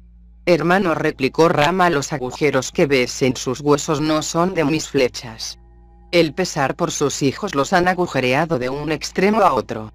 Estos agujeros son las marcas de su dolor ha penetrado hasta sus mismos huesos. Pero la casa, esposa e hijos, son todos transitorios. Solo tienen una existencia momentánea. Solo la palmera es real. Una o dos frutas han caído. ¿Por qué lamentarse? Dios está ocupado en tres clases de actividad. Creación, preservación y destrucción. La muerte es inevitable. Todo será destruido en el momento de la disolución. Nada quedará. En ese momento la Divina Madre recogerá las semillas para la futura creación, así como la señora mayor de la casa conserva en su pote de mezcolanza, paquetitos con semillas de pepino, espuma de mar, píldoras azules y otras cosas. La Divina Madre sacará sus semillas de nuevo en el momento de la nueva creación. Sri Ramakrishna empezó a conversar con Adar en la galería norte de su aposento. Maestro, Adar. Eres un magistrado sustituto. Recuerda que has obtenido tu posición por medio de la gracia de Dios. No olvides a Dios y recuerda que todos los hombres deberán un día recorrer el mismo sendero. Solo nos quedamos en el mundo un par de días. Adarsen murió 18 meses después de esta conversación. Al recibir la noticia de su muerte, el maestro lloró ante la madre por largo tiempo. Adar era un gran devoto de Sri Ramakrishna, quien se refería a él como su propio pariente. Este mundo es nuestro campo de actividad. Nacemos aquí para cumplir con ciertos deberes. La gente tiene sus hogares en el campo, pero viene a Calcuta para trabajar. Es necesario hacer cierta cantidad de trabajo. Esto es una clase de disciplina. Pero hay que terminarlo rápidamente. Mientras el orfebre funde el oro, usa todo. Los fuelles, el abanico y el tubo de manera de mantener fuego ardiente para fundir el metal. Luego que ha concluido la fundición, descansa y pide a su ayudante que le prepare una pitada. Todo el tiempo su rostro estuvo acalorado y transpirado. Pero ahora puede fumar. Uno debe tener una determinación firme. Solo entonces la práctica espiritual es posible. Hay que tener una firme resolución. Hay un gran poder en la semilla del nombre de Dios. Destruye la ignorancia.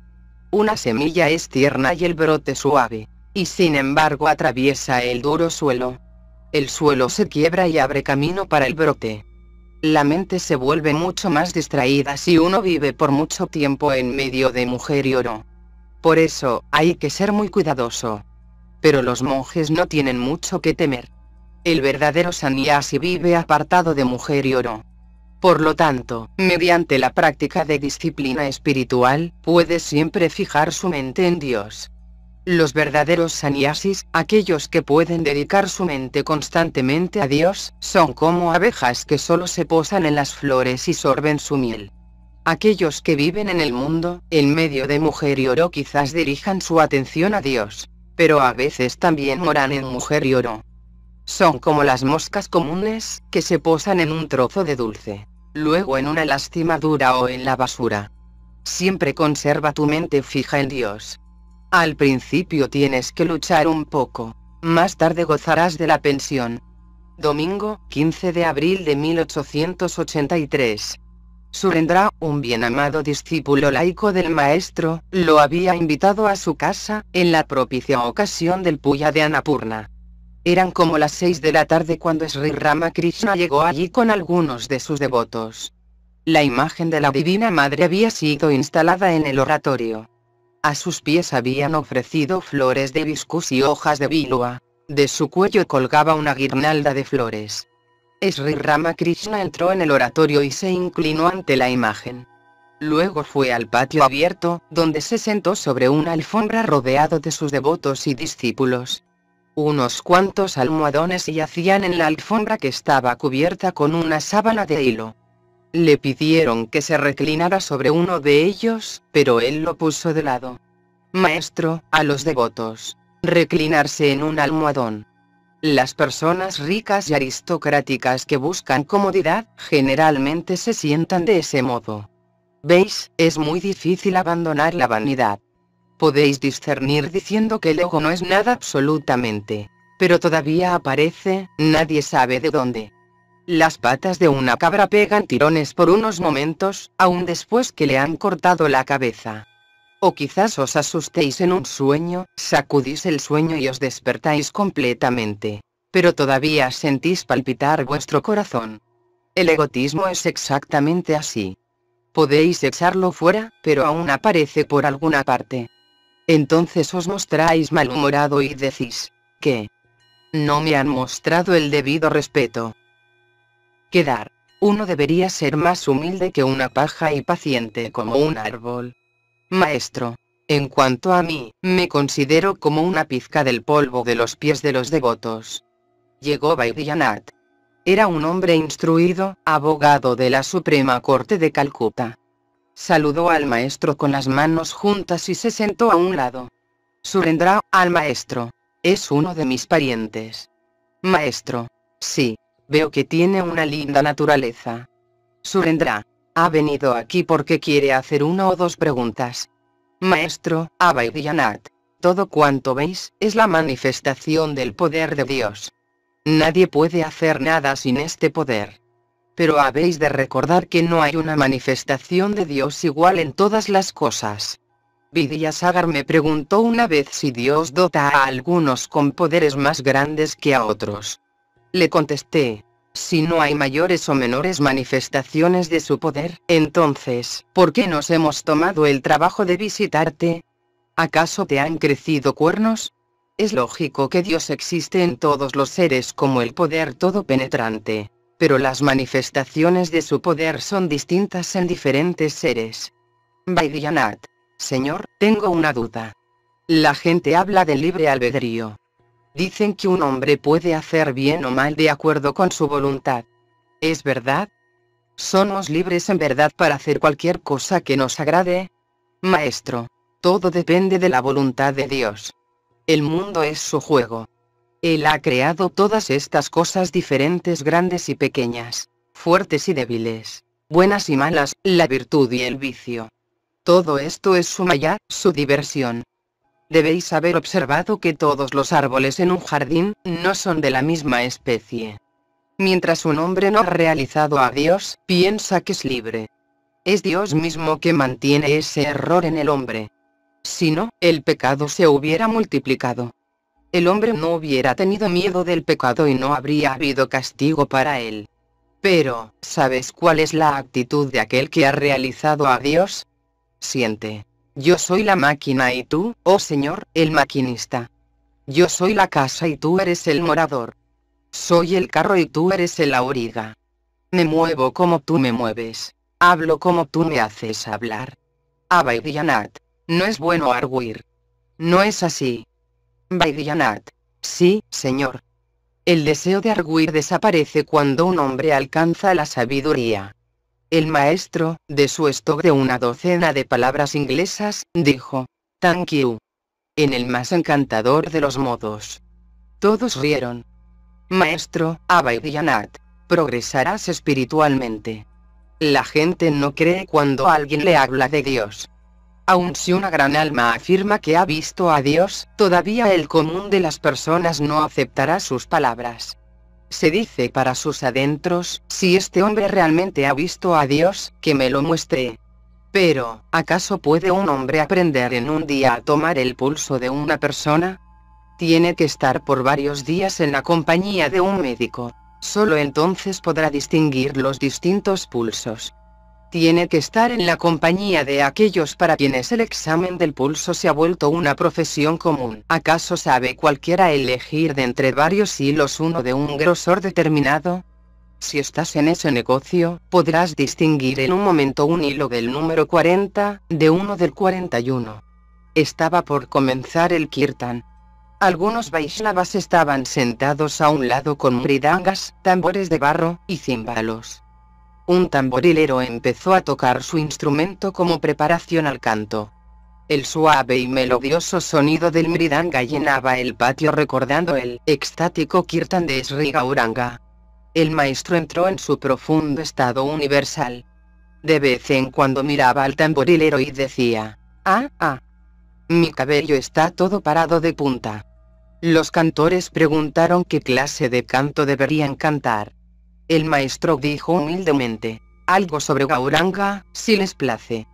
El kirtan comenzó. Cantaron acerca de la celestial belleza de Sri Gauranga. La belleza del rostro de Gauranga supera en brillo al más luciente oro. Su sonrisa ilumina todo el mundo. ¿A quién le importan entonces un millón de lunas brillando en el cielo azul del otoño? El director de los músicos, mientras cantaban, agregó líneas improvisadas. Oh amigo, su rostro brilla como la luna llena.